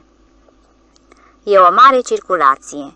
Trebuie să veghezi ca un trecător într-o piață mare, printre vehicule care gonesc în toate părțile. Cresc deasupra mea cu mulți, mulți metri în sus. În coaja mea mă simt mic, pierdut, iar în înalt, deasupra bordurilor vapoarelor, se proiectează pe fondul cerului macaralele. Își lasă în jos labele spre calele larg deschise, scot șine de cale ferată, lăzi de mărimea unei case mici, cuști pline cu saci de ciment. Se rotesc maestos, pentru ca să coboare cu atenție încărcătura direct pe platforma vagoanelor, trase de partea cealaltă. Altele, invers, ridică încărcătura din aceste vagoane și o lasă în interiorul vapoarelor. Din elevatoarele cu grâne curge nevăzut prin conducte, în pântecele cargoului, șuvoiul de grâu auriu. Ochisem posibilitatea acostării colo, mai sus de instalațiile portoare, undeva, în debarcaderul cluburilor sau pe plaje. Acum e prea târziu, nu am unde să mă opresc, să-mi leg vaporul meu și să ies pe faleza înaltă. Recunosc că nu am niciun chef. Mă aflu deodată parcă în altă lume. Mă simt străin aici. Saltul de la libertatea oacheșă, de la hoinăreala lipsită de griji, la vacarmul portului zbânnâind de muncă, este prea mare. Nu e ca în amintirea aceea cu leul care răgea la fereastră, după o zi în care luasem cina în hotelul select. Nu este așa, este cu mult mai rău. Înaintez domol, de-a lungul vapoarelor nemișcate, pavilioane ale marinei comerciale din toată lumea. Japonezul și-a înălțat la pupa soarele lui. Îmi ridic ochii să privesc la englezul negru, câteva etaje în sus. Sunt aproape de peretele lui de oțel, când, pac, o lădiță de pe punte cade în apă și împrăștie gunoaie. Din fericire m-a ocolit cadoul acela. Enervat, îl sudui de mama focului, fără efect. Nimeni nici măcar n-a catadixit să privească de acolo, din înălțime. Eh, un gunoi peste bord. Iar dacă cineva acolo își sparge capul, cu atât mai rău pentru el. Cu englezul acela m-am mai întâlnit. Voi povesti despre asta mai târziu. Ceva mai încolo de peretele negru al englezului strălucește bordul cenușiu deschis al următorului cargobot. Vâzlesc tare ca să ies de sub o eventuală bombardare cu gunoi. Mă uit în sus, trec aproape de pupa și zăresc pavilionul polonez, cargoul liniei oceanice poloneze. M-am zăpăcit, de-a dreptul m-am zăpăcit. Asemenea întâlnire. M-am oprit din vâslit. Curentul mă poartă în lungul bordului cenușiu, iar eu, cu capul ridicat, îl măsor cu privirea, caut în sus un semn de viață. Este. Sprijinit de balustradă, pe una din punți, se uită la mine un marinar. Trebuie să fie un marinar polonez. Îmi amintesc că era bronzat, într-un maiou, cu o țigară în colțul gurii. Strig la el de jos. Ce mai faceți? Sunt de acum la înălțimea lui. Îl depășesc purta de curent, mă răsucesc pe locul meu și mă uit în sus. Nici măcar nu s-a mișcat din loc. Și-a scuipat tutunul și pe tonul cel mai liniștit din lume mi-a răspuns. Bine. Bine. Un singur cuvânt și nimic mai mult, niciun interes. Marinarii sunt un soi de oameni încercați, umblați prin lume, nu-i milă fitece. Și că într-un port oarecare, în argentinianul Rosario, pe nu știu ce fluviu Parana, un despuiat bronzat ca un drac i-a strigat în poloneză, dintr-un prăpădit de caiac, ce mai faceți? Asta probabil se întâmplă, e un lucru obișnuit. Nici măcar pavilionul acela polonez, pe catargul unei coși de nucă, nu atrage atenția. Ce, sunt puține pavilioane poloneze prin porturile lumii? N-am putut să-mi iert mai târziu că nu m-am oprit, că nu m-am înghesuit printre uriașii ancorați și nu m-am urcat pe vapor. Nu am intrat pe o bucățică din patria plutitoare, pe Marele Fluviu. Dar întâlnirea a fost pentru mine o surpriză prea mare. Apele Paranei curg nepăsătoare. Trag din vâsle, depășesc șirul nesfârșit de vapoare, cel cenușiu deschis, cu pavilionul alb-roșu, a rămas departe în urmă. Sunt furios, furios ca o viespe. Dar la urma urmelor, mare lucru pentru un asemenea marinar. Nu măsoară lucrurile cu dimensiunile și cu sensibilitățile tale. Tu ești cel care de 20 și ceva de ani vagabondezi prin lume, printre străini, iar el poate că luna trecută se plimba prin Gdinia. Astfel mormăiam, vâzlind cu îndârjire. În larma marelui port, fremătând de activitatea febrilă, unde toți sunt preocupați de problemele lor, unde timpul are o cu totul altă dimensiune decât acolo în susul paranei, m-a cuprins sentimentul însingurării, mai puternic în înghesuiala aceea decât atunci când eram într-adevăr singur cu fluviul. Nu m-am oprit la Rosario să-mi completez provizia de alimente care se termina și să-mi cumpăr gazete. Voiam să mă smul cât mai repede, să ies din port, să plutesc din nou pe adevăratul fluviu. Căci de Parana mă leagă acum o legătură strânsă. Am cunoscut-o de la cursul ei superior, de la înfrățirea cu Iguasu prin adâncul văii, printre malurile acoperite de jungla neprimitoare, printre curenții repezi și pragurile apipe. Pe soare și pe vreme rea m-am contopit cu fluviul. Când apele ei scad și devin din ce în ce mai transparente, știu că pescarii pornesc la pescuit, vor prinde dorado.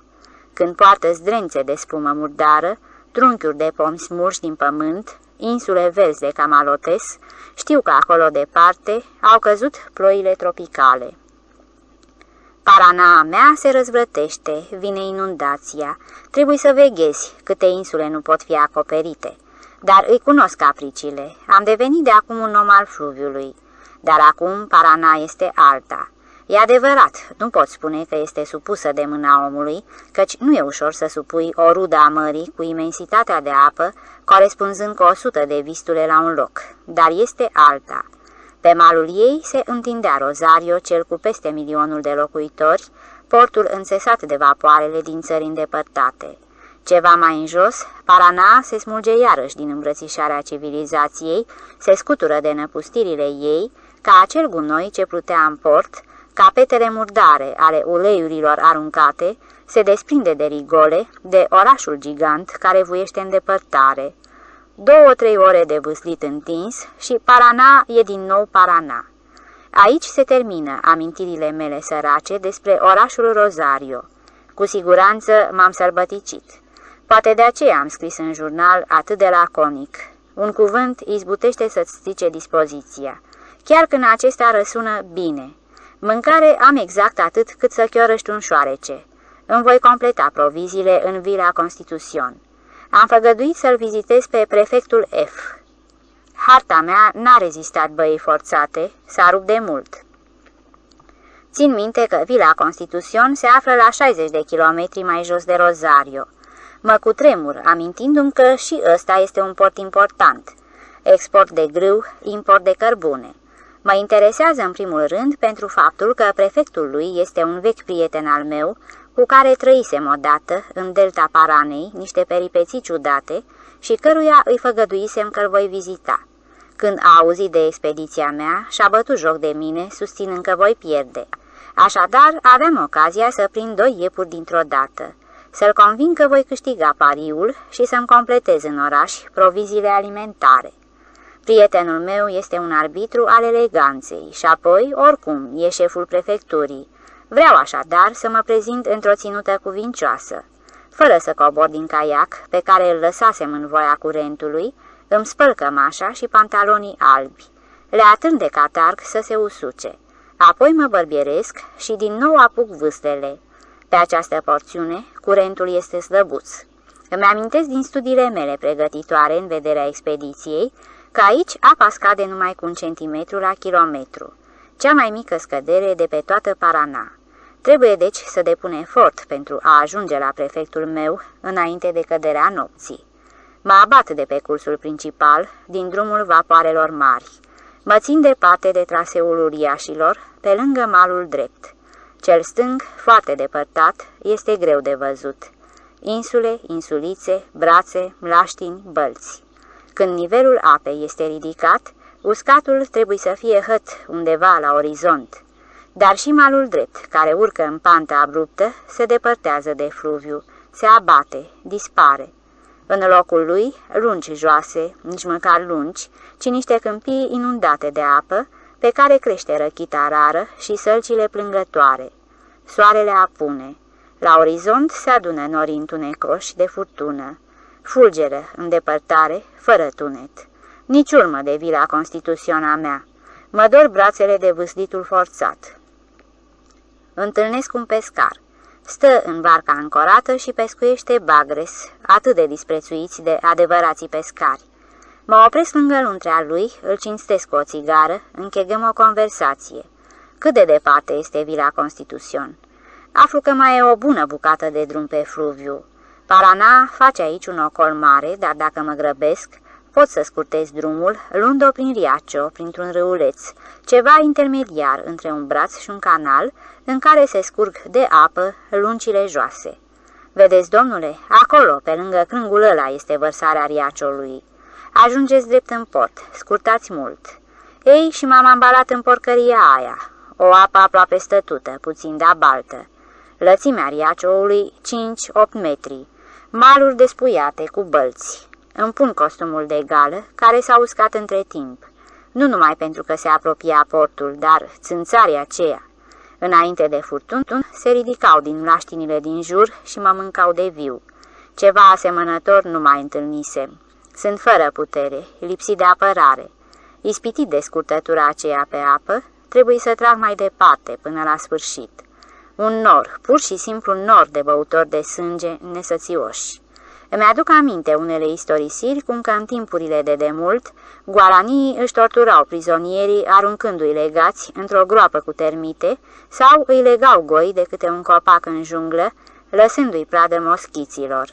Nu sunt gol, nu sunt legat, dar și așa suferă adevărate chinuri. Când mă plesnesc cu mâna pe gât, când mă pălmuiesc, palma mi se umple de sânge. Mă umflu, mă umflu tot. Blestemații de țânțari înțeapă prin cămașe și prin pantalonii din pânză subțire. Peste labele de sculțe am aruncat prelata cortului, pătrund și pe sub ea. Seara aceea memorabilă am fixat-o în jurnal prin cuvântul calvar. Determinarea era prea palidă însă. De plaga moschiților m-au salvat picăturile de ploaie. Picături, după o clipă și roaie, după aceea potop. Din fericire, caldă. Soarele trebuia să fie apus de mult, din cerul negru ca smoala se revarsă potopul. Tunete asurzitoare, ca o rafală de artilerie. Fulgerele cad unul după altul, strălucirea lor mă ajută să mă orientez, îmi arată malurile blestematului riacio. Pustii și inundate de apă, mocirloase. Ud până la piele, mă aflam în canalul acela îngust, închis între malurile pe care nu-ți putea întinde cortul, ca într-o capcană. Tot ce pot să fac e să vâslesc, să înaintez. Convingerea că portul nu poate fi departe îmi dădea puteri. Nu știu cât a durat. Vântul neprimejdios din fericire în acel riace îngust goni norii undeva în vecinătăți. Potopul se transformă într-o ploaie obișnuită. Fulgerele luminau cerul din ce în ce mai rar, era tot mai greu să văd malul, să mențin caiacul pe drumul cel bun. Ceasul nu m-a mai ascultat de mult. Pe semne că era miezul nopții când mi-am dat seama că am intrat într-un spațiu deschis. În fața mea, printre șiroaiele de apă, scânteiau lumini slabe. Sunt multe. Așadar, portul. În sfârșit. Prin întunericul casmoala vâzlesc în direcția lor. Sunt din ce în ce mai aproape și cocoțate din ce în ce mai sus, cresc pur și simplu deasupra capului, iar vârful caiacului se izbește de bordul negru al unui vapor. Luminile sunt rare, vin de pe punțile înalte ale vaselor. Strig, tăcere absolută. Stau aici destule vapoare ancorate. Unul lângă altul, lângă niște schele de lemn înalte. Mă vâr printre stâlpii lunecoși, dau peste niște grinzi transversale. Mă conving numai atunci când mă lovesc de ele prin întuneric. Îmi rănesc mâna din pricina unor cuie sau cârlige care ies în afară. Mă tem să nu-mi găurească pânza cauciucată a caiacului. Cu băgare de seamă pe bâșbâite, mă retrag din labirint. Și așa tot nu eram ocrotit de ploaia care cădea într-una. Rătăcesc prin portul acela mort sau adormit. Nu aud și nu văd niciun suflet de om. Strig, niciun răspuns. Am răgușit.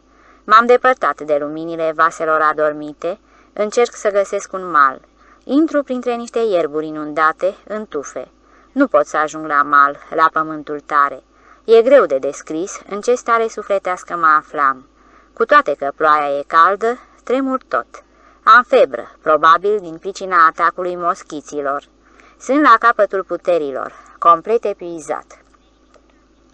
În căutarea malului, în căutarea unui locșor ce m-ar putea ocroti de ploaie și, în sfârșit, mi-ar permite să ies din caiac, în care, în paranteză fie spus, s-a adunat destulă apă, mă întorc încă o dată în direcția luminilor de pe vapoare. Înaintez cu atenție încet de-a lungul bordului unui uriaș, surd la chemările mele. Poate de partea cealaltă a peretelui de fier să găsesc malul dorit. Și atunci m-am lovit de ceva care plutea, o barcă. O pipăi, deși plină de apă, plutește totuși și, ce era mai important, era fixată de ceva. Înaintez cu caiacul, ținându-mă de bordul ei, apuc otgonul care se întindea din vârful bărcii până undeva în întuneric. Trag, simt că este legat de ceva pe mal. Mal. Nu-l văd, e drept, dar se izbește de el vârful trampului. Ce bucurie! Îmi va fi greu să ies, dar nu las din mână otgonul salvator, mă ridic și balansându-mă cu atenție, caut să cobor în apă. Trebuie să fie mică aici la mal. Îmi pierd echilibrul și cad din caiac. Nu scap din mână otgonul, iar cu cealaltă izbutesc să-l apuc și să țin caiacul. Apa e mică, dar picioarele nu ating fundul tare, ci se afundă, mă afund din ce în ce mai adânc, într-un fel de nămol, într-o mocilă subțire, până la brâu, până la umeri, aproape. Agățat de odgon, strângând cu disperare mâna pe bordul caiacului, în not sau mă târăsc în mocila fără fund, spre malul salvator, spre uscat. Este. Mă târăsc pe el ca un vierme pe burtă. Trag aer în piept și încep să orbecăi, pipăind terenul cu mâna. Găsesc și parul de care se află legată barca. Este și o fâșioară de pământ, suficientă pentru a-mi întinde cortul. Întunecime, ploaie, duhoare, ce duhoare! Dar eu sunt cel care put. Acel ceva în care am căzut, l-am răscolit pe fund cu zvârcolirea mea. Nămolul acela, alifia aia mociroasă sau ce porcărie mai era, ce să mai vorbim de analiză, pute groaznic. Ce jalnic trebuie să arate acum costumul meu de gală, pantalonii spălați în vederea vizitei proiectate. Pot să-mi imaginez numai. Arunc totul de pe mine. Gol cum sunt, mă spală ploaia. Leg apoi caiacul de par și scot balotul cu cortul. Înfășurat fiind cu podeaua de cauciuc în afară, nu s-a udat. Singurul lucru uscat pe care îl posed. Cum l-am întins, cum am apăsat țărușii cu călcâiul gol în pământ, nu mă mai apuc să povestesc. În tot cazul a fost o adevărată ispravă. Mă chinuie o sete groasnică, cu siguranță am febră. Îmi aduc aminte că am în caiac o sticlă cu vin abia începută, o provizie de preț. Mă bag din nou în pământ, în nămolul mocirlos, scot sticla din caiac. Din nou stau să mă spele ploaia. Noaptea, în cortul gol, dezbrăcat la piele, niște cârpe să mă usuc nu am. M-am săturat. Strâns colac, încep să trag din sticlă. O sug până la ultima picătură. A fost de folos. Adon Buștean. Pe semne că era târziu când m-am trezit. Vremea se îndreptase, căci pânza cortului era luminată de razele soarelui.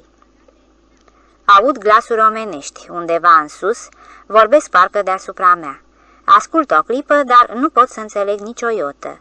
Intrigat, trag fermoarul cortului și ies afară. În fața mea, despărțit de o fâșie îngustă de apă murdară, stă un cargobot uriaș. Acolo sus la bord, o mulțime de marinari. S-a adunat probabil tot echipajul. Glasurile lor, deci le auzisem. Pe lângă bordul acesta plutisem noaptea căutând malul, până ce am dat de luntrea legată. Pentru echipaj, pe semne că era o enigmă, de unde a răsărit cortul ăsta sub nasul lor în timpul nopții și caiacul ăsta aproape inundat. Acum zbiară la mine mutrele înveselite, urlă, se asurzesc reciproc. Nu înțeleg nimic. M-am uitat la pavilion, olandez. Dacă sunt olandezi, trebuie să știe engleza. Îi salut deci în limba oamenilor mării, făcând apoi plăcuta constatare că avem vreme bună. Cineva îmi răspunde și după o clipă mă întreabă. Nu vreți să vă împrumut niște pantaloni? Acolo sus, o explozie de veselie sălbatică, iar eu abia acum îmi dau seama că stau în fața lor așa cum dormisem, gol. Dar ce era să fac? Îmbrăcămintea mea de ieri, aruncată lângă cort, nu putea fi folosită. Nici nu o puteam spăla în apa aceea noroioasă. Întreb deci, unde este prefectura? Poate e cineva dintre grănicerii portului acolo pe bord. Aflu că prefectura e departe, trebuie să ocolești tot portul și abia după aia să o cauți în oraș. Din nou cad asupra mea glume vesele. Sunt furios, gândesc. Dacă muntele nu s-a dus la Mahomed, atunci lasă-l pe Mahomed să caute muntele. Aștept până când o să se intereseze de mine autoritățile portului. Cu băgare de seamă, ca să nu cad din nou în ciulamaua aia mociroasă, îmi scot hainele de rezervă din caiac. Le stoc bine de apă și le întind pe cort. Apoi intru din nou în cort și adorm pe cinste. În sfârșit, m-a găsit barca cu motor a prefecturii, marinarii m-au trezit rovind cu palma politicos în cort. Au început să mă descoase. Cine sunt, de unde, unde mă duc și ce fac? Întrebări tipice polițienești, iar eu repet într-una. Vreau să mă vadă prefectul. Duceți-mă la prefect. Acolo o să se lămurească totul.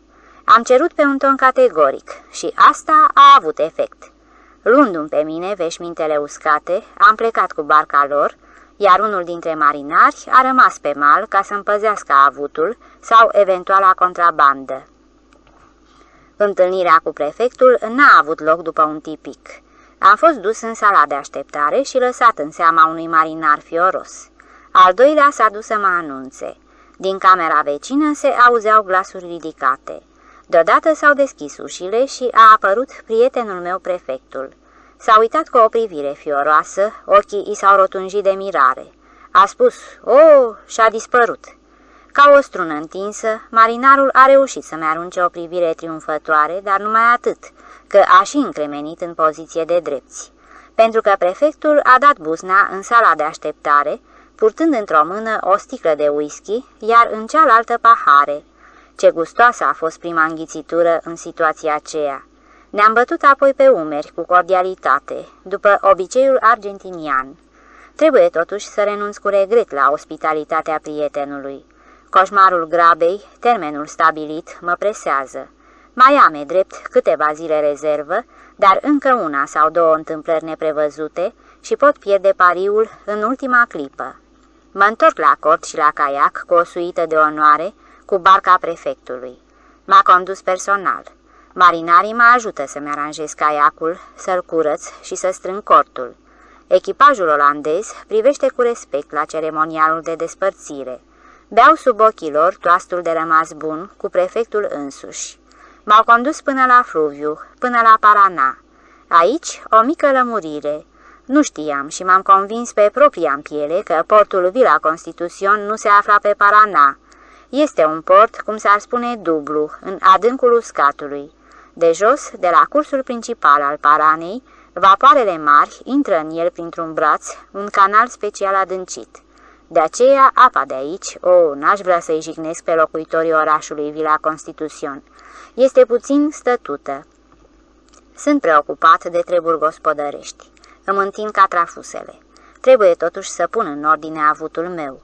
Profit de după amiaza caldă, târzie, spăl catargul, botul și pupa caiacului. Pun la uscat îmbrăcămintea, lenjeria, păturile. Nu pierd timpul cu popasul. Pornesc mai departe cu toată decorația asta. Trec pe lângă mine vapoare de mărimi, de culori și naționalități din cele mai felurite. Chiar și vapoare cisterne, cu păcură, petrol, benzină. Pe bordurile lor este scrisă, se vede din depărtare, inscripția explozive. Încărcătură explozivă. Pentru mine, avertismentul acesta este o simplă teorie. Nu mă amenință pericolul ciocnirii. Îmi amintesc însă o întâmplare auzită despre o ciocnire a două vase cisterne. Unul se întorcea gol, al doilea era încărcat cu câteva mii de tone de combustibil lichid. O manevră nefericită în ceață pe un traseu îngust. S-a aprins fluviul și asta pe o întindere de mulți kilometri. Lent, obosit după peripețiile din ajun, vâzdesc până seara. A căzut întunericul, păturile sunt încă umede. Renunț la oprire și vâzlesc mai departe în noapte. Priveliștea orașului San Nicolas mă răsplătește generos. Acel mare centru industrial, așezat aproape de mal, mă salută cu miile de lumini ale uzinelor lui, își înalță în sus flăcările purpurii ale furnalelor, ale cuptoarelor Martin. Merita să treci pe lângă el noaptea. Mai departe, iarăși liniștea, întunericul și singurătatea pe fluviul pustiu. Abia înaintea zorilor am tras la mal și am moțăit fără să cobor din caiac. Mi se cuvenea într-adevăr odihna. Mă trezesc razele calde ale soarelui. O zi veselă, senină. Sar în apă, îmi fac cei 100 de metri de not, apoi alerg pe mal. Mușchii de la picioare mi s-au muiat. Nu-i de mirare, cu atâta lipsă de mișcare. N-aș avea nicio șansă la un concurs de alergări. În schimb, dacă ar fi să mă întrec în forța mâinii, oho, nu mi-ar face față oricine. Acestea sunt avantajele și dezavantajele lungilor expediții cu caiacul. Și am înapoi a mea aproape 2000 de kilometri. Starea de bucurie și de bună dispoziție este stimulată încă de conștiința, de siguranța, aproape că greutățile și pericolele au rămas în urmă, că rezerva de timp pe care o făcusem îmi asigura câștigul rămășagului fără efort. Ce importanță mai aveau cei 300 de kilometri până la țintă? Cât de gustoasă este băutura fierbinte și amară de ierba mate. După aceea, un mic dejun substanțial. Îmi fac ordine în caiac, fără grabă, sistematic. Am împachetat toate lucrurile așa cum se cuvine, le-am legat, le-am fixat, cum era obiceiul nostru acolo sus, pe Parana, după întâlnirea cu Pampero. În aparență, nimic important, obișnuință sau rutină căpătată în timpul călătoriei, dar amănântul acesta m-a salvat de la o adevărată catastrofă. Ca cititorul să înțeleagă bine ce s-a întâmplat, trebuie să dau o descriere exactă, topografică. Insula sau insulele îngustau lățimea fluviului, îi segmentau cursul. Pluteam pe un braț care era albia cea mai adâncă și forma traseul principal, marcat de geamanduri, traseul vapoarelor mari, oceanice. Lățimea brațului în acel loc, din malul unei insule în altul, era de aproape un kilometru. Plutesc chiar prin mijloc, trec aproape de geamanduri. Nu-mi dau seama că îndesirea lor înseamnă îngustarea canalului pe care trebuie să treacă vapoarele. Fluviul este pustiu, mort parcă. Ziua e frumoasă, senină, liniștită. Așezat comod, pe jumătate culcat, trag leneș din vâsle și cânt cât mă ține gura. Îmi cânt mie și zeilor, căci în singurătatea asta nu sunt critici care să observe că nu am glas și nici ureche.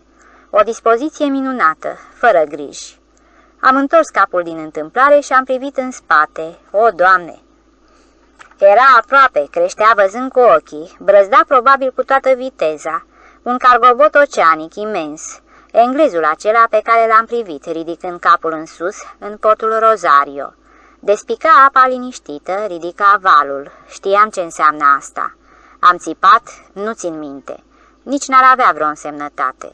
Ce importanță are pentru un asemenea colos o coajă de nucă ce îl împiedică în apropiere?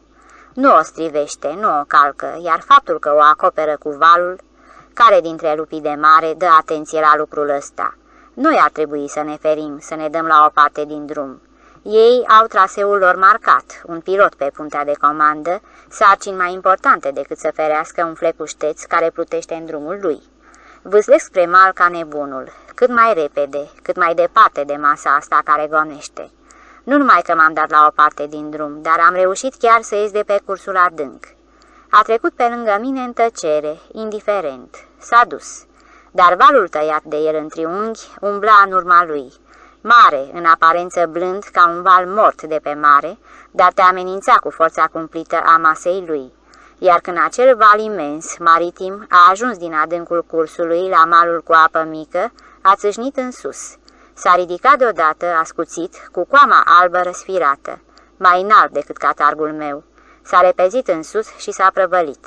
A acoperit, a turtit, a necat. Nu știu să spun dacă trampul meu s-a dat peste cap, adică cu fundul în sus, și a venit din nou în poziție normală, sau s-a așezat pe o rână și așa a primit lovitura masei de apă. Am fost aruncat din el. Pentru un moment, smuls de talaz, am fost cu desăvârșire dezorientat. Revenit la suprafață, am tușit, am scuipat apa, înnebunit, iar Trump era aici, aici, cu cătărgelul în sus, plin de apă, dar era. Îl mențineau camerele de cauciuc, cea fixată la pupa și aceea din vârful caiacului. Iubitul, bietul meu Trump, arăta jalnic, ca un adevărat înnecat. Înotând, l-am împins spre mal. Apoi, asigurându-l, am alergat în josul râului, uitându-mă după vâsla care se pierduse. Am găsit-o, am pescuit-o. L-am văzut pe englezul care dispărea și linia albă a valului care se lovea de mal în urma lui. Nici măcar nu l-am blestemat. Nu merită să descriu un amănunt urmările acestei peripeții neașteptate. Important era că ieșiseram amândoi întregi, și eu și Trump. Cele câteva vânătăi zdravene și tăieturile la picior contau mai puțin, bine că nu i se întâmplase nimic caiacului. N-a plesnit nicio vergeluță, iar faptul că am pierdut câte ceva din garderobă și că vasele de bucătărie s-au dus pe apă e un fleac. Se salvase o oală băgată mai în adâncul caiacului. Avea să servească și de ceainic și de ceaun. Trebuie să-mi fie de ajuns. Ce bine că legasem aparatele în săculețul de plastic.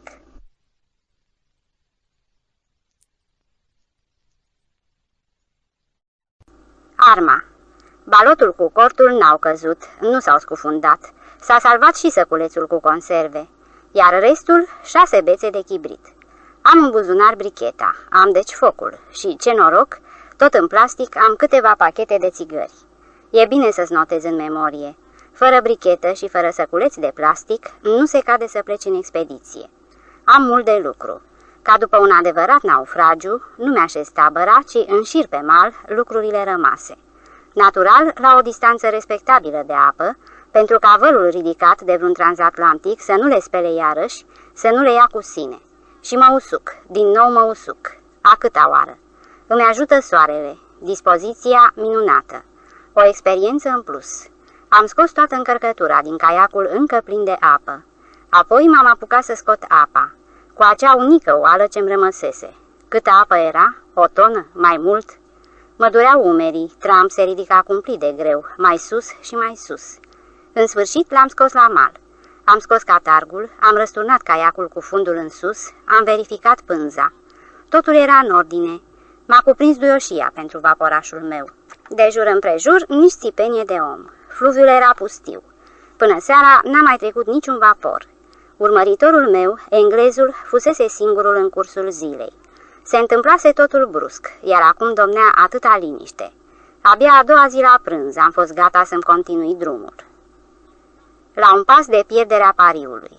Am patru zile la dispoziție și numai 130 de kilometri până la țintă, un fleac. Sureste, spaima insularilor și a locuitorilor mă imobilizează. Ultima zi, ultima șansă. Să vâzlesc, să vâzlesc continuu. Rio, capitan, se dovedește a fi în altă parte. Un cuvânt bun și un măr la drum pot să-ți dea putere. Nu se așteptau să izbutesc și totuși...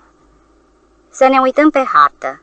Paraná este calea fluvială cea mai importantă și cea mai lungă a Argentinei și, în același timp, ea desparte trei provincii, Entre Rios, Corrientes și Misiones. Spun desparte pentru că în tot lungul ei nu există niciun pod, și asta pe o distanță de 2000 de kilometri. Șoselele ajung la mal și încep de la mal pe partea opusă. Bacurile transportă vehiculele, autocamioane, automobile. Sunt pe măsura fluviului imense, cuprind într-un transport câteva zeci de vehicule grele. Dar asemenea puncte de trecere sunt puține, numai patru. Mai adăugăm și faptul că nu totdeauna fluviul capricios permite acest gen de transport, dar calea ferată. Doar Buenos Aires are legătură cu Posadas, capitala provinciei Misiones. Călătoria cu trenul plicticoasă, durând aproape 24 de ore, devine alta pe o bucată de drum. În Zarate, pe malul Paranei, calea ferată se întrerupe. Trenul trece pe bac, numit în englezește feribot. Pe punte încap trei linii ferate. Pe cealaltă parte a fluviului însă nu există linie. Malul jos este format acolo de o serie întreagă de insule. Feribotul, purtând toată garnitura trenului, cu pasagerii stând în vagoane, se deplasează în susul fluviului. Portul de pe malul stâng, continuarea drumului de cale ferată, este depărtat de aici la distanță de câteva ore. Pasagerii trenului, care pleacă din Buenos Aires spre capitala Paraguayului, Asunción, au o călătorie foarte variată, pentru că în Posadas trec pentru a doua oară Marele Fluviu. Tot cu feribotul, fără să coboare din tren. Dar călătoria durează 48 și 72 de ore, uneori chiar și mai mult. Am mers de câteva ori pe această cale ferată și știu din proprie experiență că numai ora plecării din stația de pornire corespunde orarului. Călătoria cu trenul pe fluviu este greu de planificat în minute, căci fluviul are și el capriciile sale. În timpul ultimei inundații, Parana s-a răzbrătit cu atâta furie, încât singura legătură între cele trei provincii a rămas avionul. Tocmai mă întâlnesc cu un ferii. Nu mă tem, mă apropii de el. Uriașul, îndesat și lat, plutește domol, nu ridică valuri mari. Fluviul aici este foarte civilizat. Nu vorbesc de maluri, ci de fluviu. Am întâlnit chiar ce curios, o canonieră. De război, cenușie, cu tunuri, paraguaiană. Trebuie amintit că după nu știu care acorduri și tratate, Republica Paraguay, care nu are granițe la mare, are drept de acces la mare prin Paraná. În scurta, dar atât de colorată istorie a statelor Americii de Sud, sunt pagini care descriu ciocnirile flotei maritime, pardon, ciocnirile flotei fluviale ale părților beligerante. Și asta s-a întâmplat nu chiar așa de mult, în a doua jumătate a secolului al XIX-lea. Sunt de acum aproape de țintă. Acolo unde marele fluviu începe să se bifurce sau să se despartă în trei, să se reverse într-un număr infinit de brațe mai mici și mai mari. Pe scurt, la începutul renumitei delte a Paranei. Seara întind cortul pe malul insulei, sub pletele atârnânde ale salcei plângătoare. Drumul marilor vapoare s-a abătut spre nord-est. Am ajuns aici pe un braț. Insula trebuie să fie întinsă. Nu-i se vede capătul. N-am văzut urme de om, deci este nelocuită. Mă simt minunat. Socotind din seara de azi, mai am 96 de ore până la sfârșitul expediției. Mai precis, ar trebui să ajung în miezul celei de-a cincea zi. O asemenea rezervă de timp prevăzusem. Îmi făgăduiesc o hoină reală pe cinste prin insulele sălbatice ale părții superioare din delta. Va fi un sfârșit demn de expediție. Plănuiesc chiar cum, în ultima zi spre seară, fiind aproape ajuns, câțiva pași spre casă, cu ajutorul nasului meu de pescar, voi căuta un loc corespunzător și voi pune în timpul nopții lineasuri pentru surubii.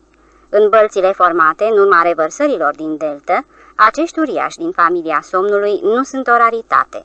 De momeală nu-mi fac grijă, câțiva bagre pot prinde în orice clipă, fără greutate, iar apoi ajung la țintă fălos, trăgând în urma caiacului surubiul pescuit, natural de dimensiune obișnuite.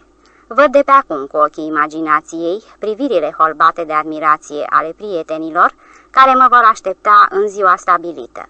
Sunt atât de bucuros, de emoționat de frumoasele în proiecte, că nu iau în seamă întunecimea care crește spre răsărit, nu iau aminte la țipătul plângăreț al găienușelor de apă din tufișuri. Nu iau aminte, deși oamenii de pe fluviu știu. Când plâng seara găinușele de apă, e semn că se schimbă vremea. Întreprinderile mele culinare în acea perioadă erau mult simplificate după întâlnirea cu englezul, căci îmi rămăsese numai o oală. Sau fierbeam apă pentru mate, sau preparam supa. În seara aceea, la un foc mic, intim, îmi pregătesc o cină nu atât de aleasă, pe cât de substanțială. Îmi încălzesc în cenușa fierbinte cutia deschisă cu conserve de carne. Țin să amintesc despre asta pentru că mâncarea abundentă, caldă, mâncată atunci, avea să-mi ajungă pentru mult timp. În cort întind așternutul comod. S-a făcut rece, deci închid bine fermoarul. O țigară și, ascultând fără grijă, la găinușelor de apă, mă cufund în somn. Mă trezește vuietul, foșnetul copacilor, niște lovituri, râcâieli pe prelata cortului. M-am dezmeticit imediat. Stau, ascult în întuneric. Ce Dumnezeu! Mă îmbiase de scântecul de somn al salcii plângătoare. Sub ea îmi desfăcusem cortul. Acum, crengile aplecate la pământ lovesc în căsuța de pânză, îmi împung pereții. Disting vuietul fluviului. Se ridică valul, lovește în mal. Ascult. La început rare, picăturile de ploaie aduse de vijelie cad acum în rafale forțate. Sureste, oare să fie vântul de sud-est? Tocmai sureste de care se tem atâta insularii, locuitorii deltei. Vântul care bate contra curentului fluviului ce curge aici spre sud-est, îi zăgăzuiește cursul și îi întoarce apele? Vântul, pricina inundațiilor neașteptate? Sureste durează și câte șase zile. Asta o știu din proprie experiență. Nu odată m-am ciocnit de el acolo, în josul aceleiași delte, în casa prietenilor. Dar era cu totul altceva. Nimănui nu-i păsa că fluviul curge sub podeaua casei, înălțată sus pe stâlpi, că urci în barca cu motor, direct de pe pragul verandei. Iar acum, drumul de întoarcere e întrerupt. Termenul meu este amenințat. Seara, amăgit de liniștea în care se stingea ziua, n-am mai întins acoperișul suplimentar al cortului. Acum sunt pedepsit. Șuvoaiele de apă, gonite de vijelie, lovesc pânza cortului. Simt pe față un duș ușor. N-am voie să lasă se ude interiorul cortului. Găsesc pe dibuite acoperișul înfășurat, trag fermoarul și ies afară în ploaia torențială. Nu e ușor să întind spre lata, să fixezi funile în țărușii pe care îi cauți pentru neric, să tragi. Vântul mi-a smuls din mâini prelata udă. Trebuie să pun la adăpost și caiacul. Ce noroc că-l golisem de cu seară, pusesem totul în cort. Ridic și aduc caiacul pe mal, îl așez cu fundul în sus după cort, îl leg de un pom. Pentru orice eventualitate, deși locul pe care l alesesem se afla destul de sus, doi metri deasupra nivelului lui de ieri, căci sureste face figuri dintre cele mai neașteptate. În cortul închis hermetic mă șterg, mă usuc. Găsesc o lumânare și bricheta. Cât de important este obiceiul de a pune totul la un loc știut, neschimbat. Experiență căpătată în timpul multor expediții. Nu trebuie să răstorn totul. Pot să găsesc fără greutate, pe bâșbâite, ceea ce-mi trebuie. Abia acum mă îmbrac. Îmi pun chiar și pulovărul. S-a răcit simțitor și asta îmi întărește convingerea că este vorba de sureste. Numai vântul de sud-est scade temperatura atât de brusc. Lumânarea arde cu flacără domoală. Oala împlinește funcția de sfeșnic. În cortul bine asigurat, sunt la adăpost. Mă desparte de nebunia de afară, lumea aceea minusculă, acoperământul acela dublu de pânză. Ascult geamătul și vaerul furtunii, prescăitul valurilor izbindu-se de mal, foșnetul pomilor smulși de vânt, fâșiitul ploii și sunt liniștit.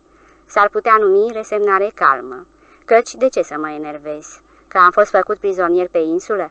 Forțe mai presus de mine. Nu o să mă dau cu capul de zid. Rămâne numai să aștept până trece sureste. Dormitând, mă bucur. Chiar și într-o situație atât de pasivă, pot să găsești ceva în genul unei satisfacții. Mă bucur că, din întâmplare, pusesem cortul cu intrarea spre apus. Datorită acestui fapt, ploaia bătea în peretele din spate, care era cel mai rezistent la umezeală. Bine ca aseară, când am desfășurat cortul, le-am făcut pe toate fără grabă, solid, așa cum se cuvenea. Și țărușii au fost bine bătuți și locul pe care l alesesem, după trunchiul unei sălcii mari, era bun. Mă bucur că în cort este uscat, că sunt asigurat. Poate struțul care își bagă capul în nisip gândește la fel. Totul este în ordine. Ziua următoare n-a adus vreo schimbare în bine. Din potrivă, vijelia s-a întețit, ploaia biciuie aspru. Fac tot ce pot să nu pătrundă umezeala înăuntrul caiacului. Înainte de a mă târâ afară, mă dezbrac, îmi trag pe mine numai canadiana. Întorcându-mă, o las udă la intrare. Vântul umed mă cuprinde deodată, într-o clipă îmi lipește canadiana de corp, ploaia îmi intră în ochi. Nor negri, grei, gonesc jos, pare se deasupra coroanelor pomilor. Iar pomii se îndoaie, se apleacă în fața prăpădului. Vijelia a smuls crengi din sălcile plângătoare, le poartă sus, în înalt. Fluviul arată posomorât și amenințător. Văd numai o dungă mică. Perdeaua ploii înfășoară totul într-un cenușiu de nepătruns. Dar ajunge ce văd. Valul gonit contra curentului se înalță sus, ca o coamă înspumată. Fluviul e ca și cum s-ar fi umflat. În timpul nopții a crescut poate cu un metru. Ce o să se întâmple dacă furia vântului sureste nu scade, nu se potolește? Prescă-i prin noroi, verific legăturile cortului. Trebuie totuși să mai slăbesc funile ude și încordate ca niște strune. Le amenința pleznitul sau smulgerea țărușilor. Măcar n-am probleme cu apa de băut. Pun oala sub marginea acoperișului de pânză și într-o clipă se umple cu apă de ploaie. Cu rezerva aceasta mă întorc în casă. Mă frec cu un prosop aspru și mă cul din nou. Nu-mi rămâne nimic altceva de făcut. Spațiul vital este delimitat de pereții tremurânzi ai cortului și de podeaua patrulater, uscată deocamdată. Pot să stau culcat, să mă așez, să mănânc. Foamea nu mă amenință. Am conserve de carne, zahăr cubic, ierba, două cutii de lapte condensat. Beau apă de ploaie. Nu trebuie, cred, să adaug că beau și mănânc totul rece. Mult timp încă voi ține minte cina din ajun și focul vesel. Așa a trecut prima zi. Noaptea m-am trezit de câteva ori. Am ascultat. Oare nu se liniștește furtuna? Speranță arzătoare. În ziua care a urmat, am constatat cu neliniște că nivelul apei crescuse destul de mult. Încă o jumătate de metru și ajunge la cort. Mă strecor printre tufe în adâncul insulei, caut un loc ceva mai înalt. Din păcate, așa cum am așteptat, cum se întâmplă de obicei în delta, în insulele formate din mâlul adus de fluviu, terenul scade spre mijlocul insulei. Partea cea mai înaltă este malul. După câteva sute de metri, umblu prin apă, mă întorc resemnat. Dacă nivelul apei atinge cortul, rămâne numai să întorc caiacul, să arunc totul în el, să plutesc cât mai adânc între tufele inundate, să mă fixez și să aștept. A treia zi, cum să o numesc? Pe mare se știe, furtună, dar pe fluviu. Nu găsesc denumirea potrivită. Rămânem la cea locală, care spune atât de mult insularilor, sureste. O scânteie de nădejde este faptul că fluviul se umflă mai puțin. Poate reușesc și scap de plăcerea îndoielnică de a pluti printre tufe. În schimb, înăuntrul cortului mă așteaptă o surpriză neplăcută. Pe podeaua de cauciuc se adună apa. Cea de-a treia zi de ploaie torențială și de vânt turbat. Cortul începe să cedeze acolo unde sunt cusăturile care unesc pereții cu podeaua. Mi se strâmtează spațiul vital. Pun sub mine, sub așternut, tot ce pot. Sacii de călătorie, acoperișul de pânză, care ne apărase atât de bine de arșița soarelui, acolo, în sus, pânza, câteva piese din garderoba de care mă puteam lipsi. Șterg bălțile cu prosopul, storc și iarăși șterg, la nesfârșit. A patra noapte, cea mai rea. Mi s-au terminat lumânările. Stau culcat în întuneric, în întunericul umed. Am frisoane. Recidivează oare febra africană avută cu ani în urmă? Sunt prizonierul lui Sureste. S-a năpustit deodată, mai imobilizat, mi-a stricat visurile trandafirii despre sfârșitul triumfal al expediției. Pot să-mi dau seama cu aproximație unde sunt. Îmi amintesc numerotarea de pe ultima geamandură. Am trecut pe lângă ea cu trei zile în urmă, intrând pe brațul acela liniștit și frumos. Până la punctul terminus au rămas 120-130 de kilometri. Pentru parcurgerea acestui flag de drum aveam patru zile și jumătate, iar azi s-a schimbat totul. Vremea rea nu numai că m-a imobilizat, dar mi-a dat peste cap rezerva de timp făcută cu atâta trudă. Am fost învins. E clar, nu trebuie să mă amăgesc. Nu am comis nicio greșeală, nu am să-mi reproșez nimic. Poate doar faptul că am fost de acord cu rămășagul, cu incomoditatea rigorii unui asemenea termen.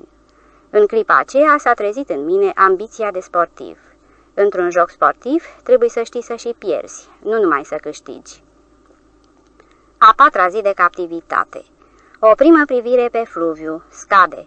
Nivelul nu s-a dat înapoi prea mult, dar e vizibil că se întâmplă așa. Mai sunt valuri contra curentului, dar mai blânde. Nu mai arată ca niște coameni spumate. Vântul s-a îmblânzit, nu mai e vijelie, este un vânt puternic, pur și simplu, iar ploaia nu mai biciuie. Furtuna și-a pierdut puterea, sureste moare. Mi s-a acrit de stat în cort. Ca o găină plouată mă învârtesc de jur împrejurul lui, întinde unele funii, le slăbesc pe altele. Dacă va înceta să mai cearnă, înainte de a se nopta, va trebui să scot din cort tot ce este ud, și ude sunt toate, să le întind la vânt și să le usuc, să le usuc. Perspectiva altei nopți numezeala asta este din care afară de macabră. Încerc să mă liniștesc, zicându-mi că trebuie să înceteze ploaia, că vântul îmi va usca boarfele. Privesc deseori pe cer și, deodată, ideea. Cine a spus că trebuie să stau aici să aștept până se înseninează? Cine a spus că am pierdut pariul? Termenul se va împlini mâine la prânz. Un calcul rapid. Nu știu câte ceasul, asta de mult, iar soarele nu se vede. Trebuie să fie probabil miezul zilei. Am așadar 24 de ore, poate nițel mai mult. Dacă n-ar fi vântul din față, atunci cei 120 de kilometri rămași, cu un mare efort, dacă rezist.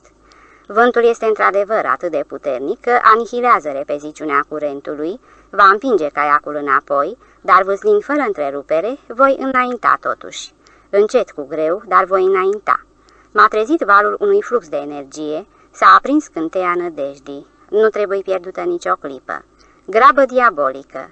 Întorc caiacul, îl trag, îl pun pe apă. Scot lucrurile din cort, cele pe care trebuie să le am la îndemână. Scot sărușii din noroi, iau acoperișul de pânză. Căsuța mea se dezumflă, se înmoaie, cade. O înfășor aplecându-mă, umblând în genunchi. Înfășor cortul împreună cu tot conținutul, cu tot ce păstram înăuntru. Ridic balotul lung și greu, îl așez în partea din față a caiacului. Îngreuiază vârful, îl lasă în jos. E important lucrul acesta când vâslești împotriva vântului. Ca să mișorez rezistența, scot catargul și îl înalț. Fixez totul cu sfoară de-a curmezișul caiacului. Am strâns tabăra într-un ritm de alarmă. Sunt pe fluviu, plutesc. Ploaia nu mai contează, dușmanul cel mai rău este vântul din față și valul. Trebuie să fiu atent să țin direcția în vânt, să primesc valul cu vârful caiacului. Fiecare întrerupere din vâslit, chiar și cea mai mică, face ca barca să fie întoarsă de vânt și împinsă în direcție opusă. M-am preschimbat în automat, fără smucituri, fără mișcări bruște, puternice, ci liniștite, măsurate, continui. Trebuie să-mi distribui forța pe un lung, foarte lung șir de ore. Aliatul meu, curentul dușmanul, vântul din față, sunt egali. Înaintez totuși numai datorită forței vâslelor, încet, cumplit de încet. Ar fi o naivitate să visez la parcurgerea atâtor kilometri în asemenea condiții până mâine la prânz. Agățându-mă totuși de o ultimă șansă, am speranța și o presimțire că în curând vântul se va potoli sau își va schimba direcția. Și atunci, poate, trebuie numai să fii atent să nu te rătăcești în labirintul deltei, printre atâtea brațe, râulețe, canale, printre nenumăratele insule și insulițe. Am în minte harta deltei triunghiulare, pe care o studiasem de atâtea ori. Îmi aduc aminte că la capătul lui, marele fluviu se împarte în două brațe principale. Brațul sudic este Parana de la Spalmas, cel nordic Parana Guasu. Apoi încă o bifurcare sau chiar diviziune în trei. Parana Bravo, Parana Mini, ca să le enumăr numai pe cele mai importante. Trebuie să ajung la Parana de Las Palmas, care curge cel mai aproape de latura de sud a triunghiului deltei. S-ar cuveni să-l recunosc măcar după lățime. În partea de jos a deltei, numără din mal în mal aproape 3 kilometri, deci nici aici nu va fi cu mult mai îngust. Brațul pe care fusesem surprins de sureste are curent și trebuie să se lege undeva cu Parana de Las Palmas. Nu-mi permit să mă las ispitit de scurtături neștiute, să plutesc pe râuri mai mici, pe canale, chiar dacă mă îmbie cu apa liniștită și sunt ferite de vânt. Abia în spațiul deschis al paranei de la Spalmas, voi putea fi sigur că am ales direcția nimerită. Mă așteaptă doar vâslitul și întunecimea nopții. Îmi vine greu să scriu, să povestesc ce s-a petrecut în timpul acelor ore îndelungi. Era o încercare condamnată dintr-un început la insucces. Nu s-a întâmplat nimic neobișnuit, nimic extraordinar. Am văzut pur și simplu. Aș găsi poate înțelegere la cititorul care a participat cândva la concursuri de alergări pe distanțe lungi, inclusiv maratonul, care cunoaște din experiență proprie cumplita oboseală, care îl cuprinde pe alergător după primele zeci de kilometri, și apoi așa numita a doua revenire a respirației, când omul se schimbă într-o mașină, care sincronizează ideal respirația cu bătăile inimii și articularea monotonă a mușchilor și astfel aproape până la capăt, până la completa epuizare, amorțire, când rămâne numai puterea voinței și ajunge la țintă. Poate că va înțelege și alpinistul experimentat, care știe ce înseamnă învingerea ultimei secțiuni înainte de vârful înalt, când aerul rarefiat îi fuge din plămâni, inima îi bate să se spargă, iar picioarele îi se preschimbă în plumb. Amintesc despre asta pentru că în tinerețe am luat parte la alergări de fond și la escaladări de munți înalți. Pot să-mi permit o asemenea comparație a efortului și a stadiului de epuizare, dar cu o mică corectură. La țintele celelalte am ajuns foarte de mult, cu 30 de ani în urmă. Această corectură, confirmată nemilos de actul de naștere, este aproape esențială. Mă țin aproape de mal, care mă adăpostește puțin împotriva vântului nefavorabil, iar valul este de asemenea mai mic aici. Plutez de-a lungul nesfârșitelor desișuri compacte de trestie și obligeană. Se apleacă răspirate de vânt și par aș bate joc de mine că înaintez atât de încet, în lungul peretelui verde, care se leagănă.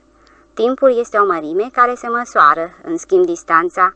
Sunt gata să mă contrazic că un kilometru nu seamănă cu altul, mai ales cel parcurs în bătaia vântului trebuie să fie cu mult mai lung, cu mult. Nivelul apei scade vizibil, dar inundația recentă a smuls din golfurile tăcute, vegetația acvatică și nuferii le-a adus pe fluviu, iar vântul le-a împrăștiat în buchete plutitoare.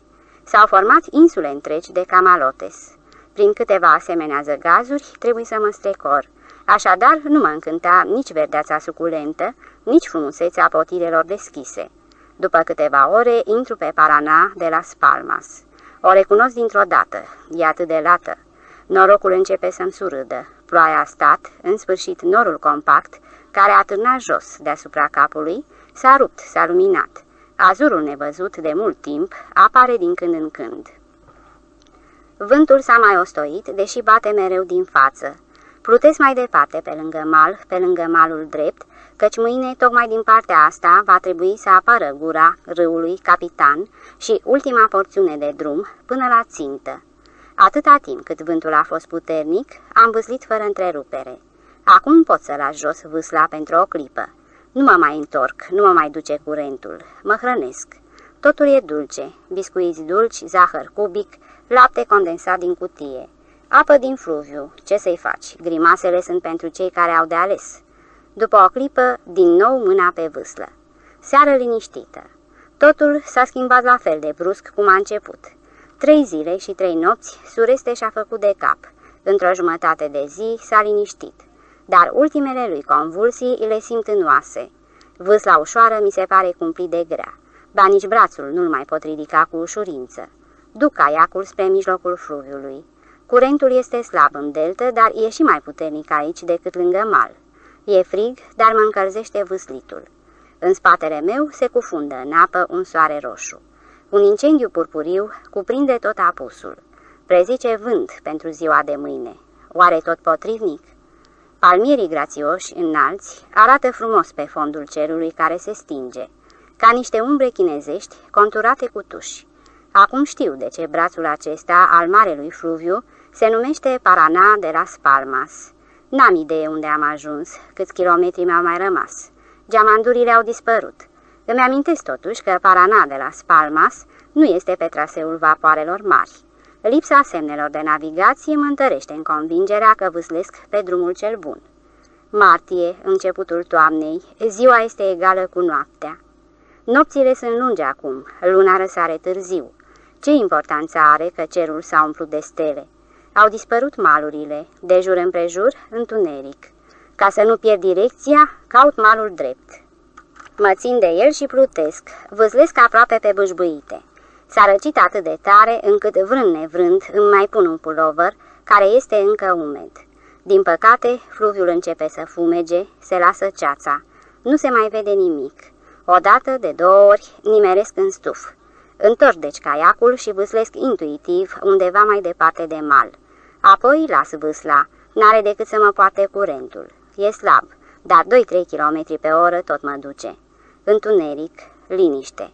Ațipesc așteptând luna. Sunt obosit, foarte obosit. Nu văd luna. O ghicesc mai degrabă în lumina verde, spectrală, care pătrunde prin ceață. Îmi dă un punct de orientare în navigarea mea. Din nou încep să vâslesc. Plicticos? Aș, dar de unde? Încăpățânare și chiar o curiozitate provocatoare. Ce va ieși din asta? Înțeleg ce bine înțeleg pe primii locuitori ai acestor pământuri, care se rugau soarelui, îi salutau cu cinstire lumina protectoare, căldura dătătoare de viață. Sunt gata să le calc pe urme. Nu mai pare rău de vânt. Potrivnic este adevărat, dar măcar agonit ceața, în strălucirea soarelui, valul mic clipocește vesel, lovindu-se de vârful caiacului. După liniștea de mormânt și orbecăiala în întuneric, asta îmi redă aproape buna dispoziție, bucuria. Mi-am recăpătat pentru a treia oară respirația alergătorului de cursă lungă. Vâslesc, deși îmi este atât de greu să ridic vâsla. Mă încurajez, am convingerea că sunt aproape, că voi ajunge la timp, că eu voi fi cel care va râde. Mi se pare că recunosc conturul malului. Cândva am plutit pe aici cu barca mare cu motor a prefectului, a aceluia din Vila Constituțion. Încep să mă uit după Rio Capitan. Pe brațul acela al paranei de la Spalmas se află insula profesorului, acolo mă așteaptă astăzi cu toții. Recunosc grupul pitoresc al bătrânelor sălcii. Aici e. Intru pe Rio Capitan. În asemenea clipe se naște sentimentul triumfului.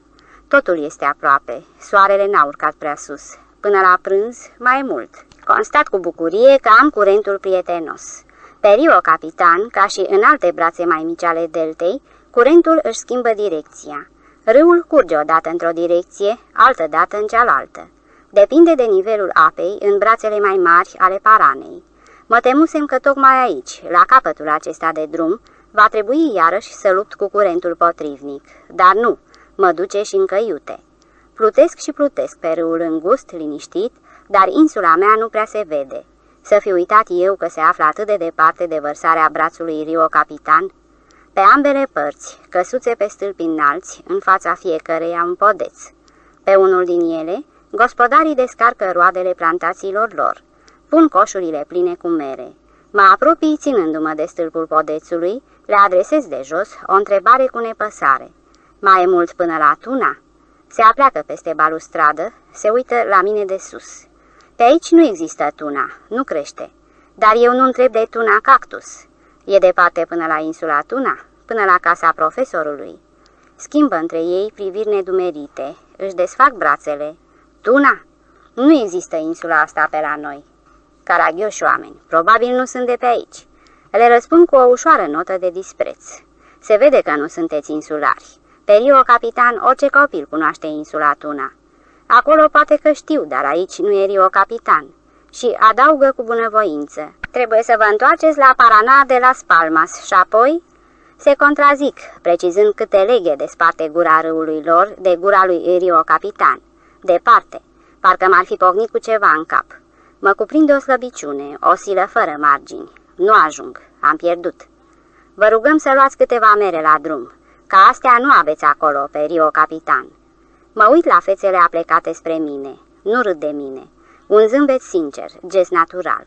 Le sunt recunoscător nu pentru merele aruncate în caiac. Nu le-am atins, nu pot să mănânc. Stau pe fund minunate, aromate, dăruite pentru drum.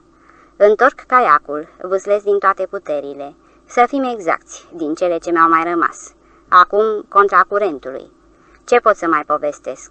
Pe Parana de la Spalmas sunt multe grupuri de sălci bătrâne, care seamănă între ele, și multe brațe asemănătoare. Am ajuns, în fine, în adevăratul Rio Capitan, împrejurimile cunoscute. Podețul stație, cu inscripția cu litere mari vopsite, Tuna. Patru platani bătrâni. Acoperișul roșu, atât de cunoscut. În jur, veranda umbrită. Și nimeni, nu văd niciun suflet. Mă agăț cu greu de partea de jos a podețului. Nu e ușor să-mi îndrept degetele încleștate. Vreau să strig, să dau semn de viață, așa cum se cuvenea, cu triumfalul sapucai, dar nu pot să articulez niciun sunet. Încep să iasă din casă grămadă, aleargă pe podeț. Privesc în jos, cât s-au adunat acolo. Visezoare? Vicec, prefectul, atâtea fețe cunoscute și necunoscute. Profesorul uriaș se înalță cu un cap deasupra lor. Vorbesc toți deodată, râd, strigă. Le adresez o întrebare nu prea înțeleaptă. Cât e ceasul? Tac înmărmuriți. După o clipă cineva spune, 11 și câteva minute. Cum ai făcut? Zâmbesc, sunt probabil fericit. Mă mai țin încă de stâlp, dar fețele zâmbitoare ale prietenilor încep să plutească într-o ceață. Capul mi-e gol și cu toate acestea e atât de greu, cade. Cade foarte departe, aud glasul profesorului. Dar, oameni buni, țineți caiacul, ajutați-l să se ridice, nu vedeți ce se întâmplă? Nu mi-e rușine să recunosc că mi se așezase o ceață pe ochi. Ultimul efort a fost prea mare, poate peste puteri. Dar prietenii, știind despre furtună, despre sureste, care turbase în ultimele zile și, normal, presupunând că am fost surprins, imobilizat de vremea rea care a durat atâta, nu se așteptau să ajung să vin la termenul stabilit, la amiaza zilei aceleia. De aceea nu s-au uitat la ceas, nu m-au așteptat pe podeț, nu s-au uitat pe râu. Mai rău, nici n-au pus la gheață sticlele prevăzute în rămășag. Mi-au explicat puțin mai târziu. Deocamdată m-au dus în pat.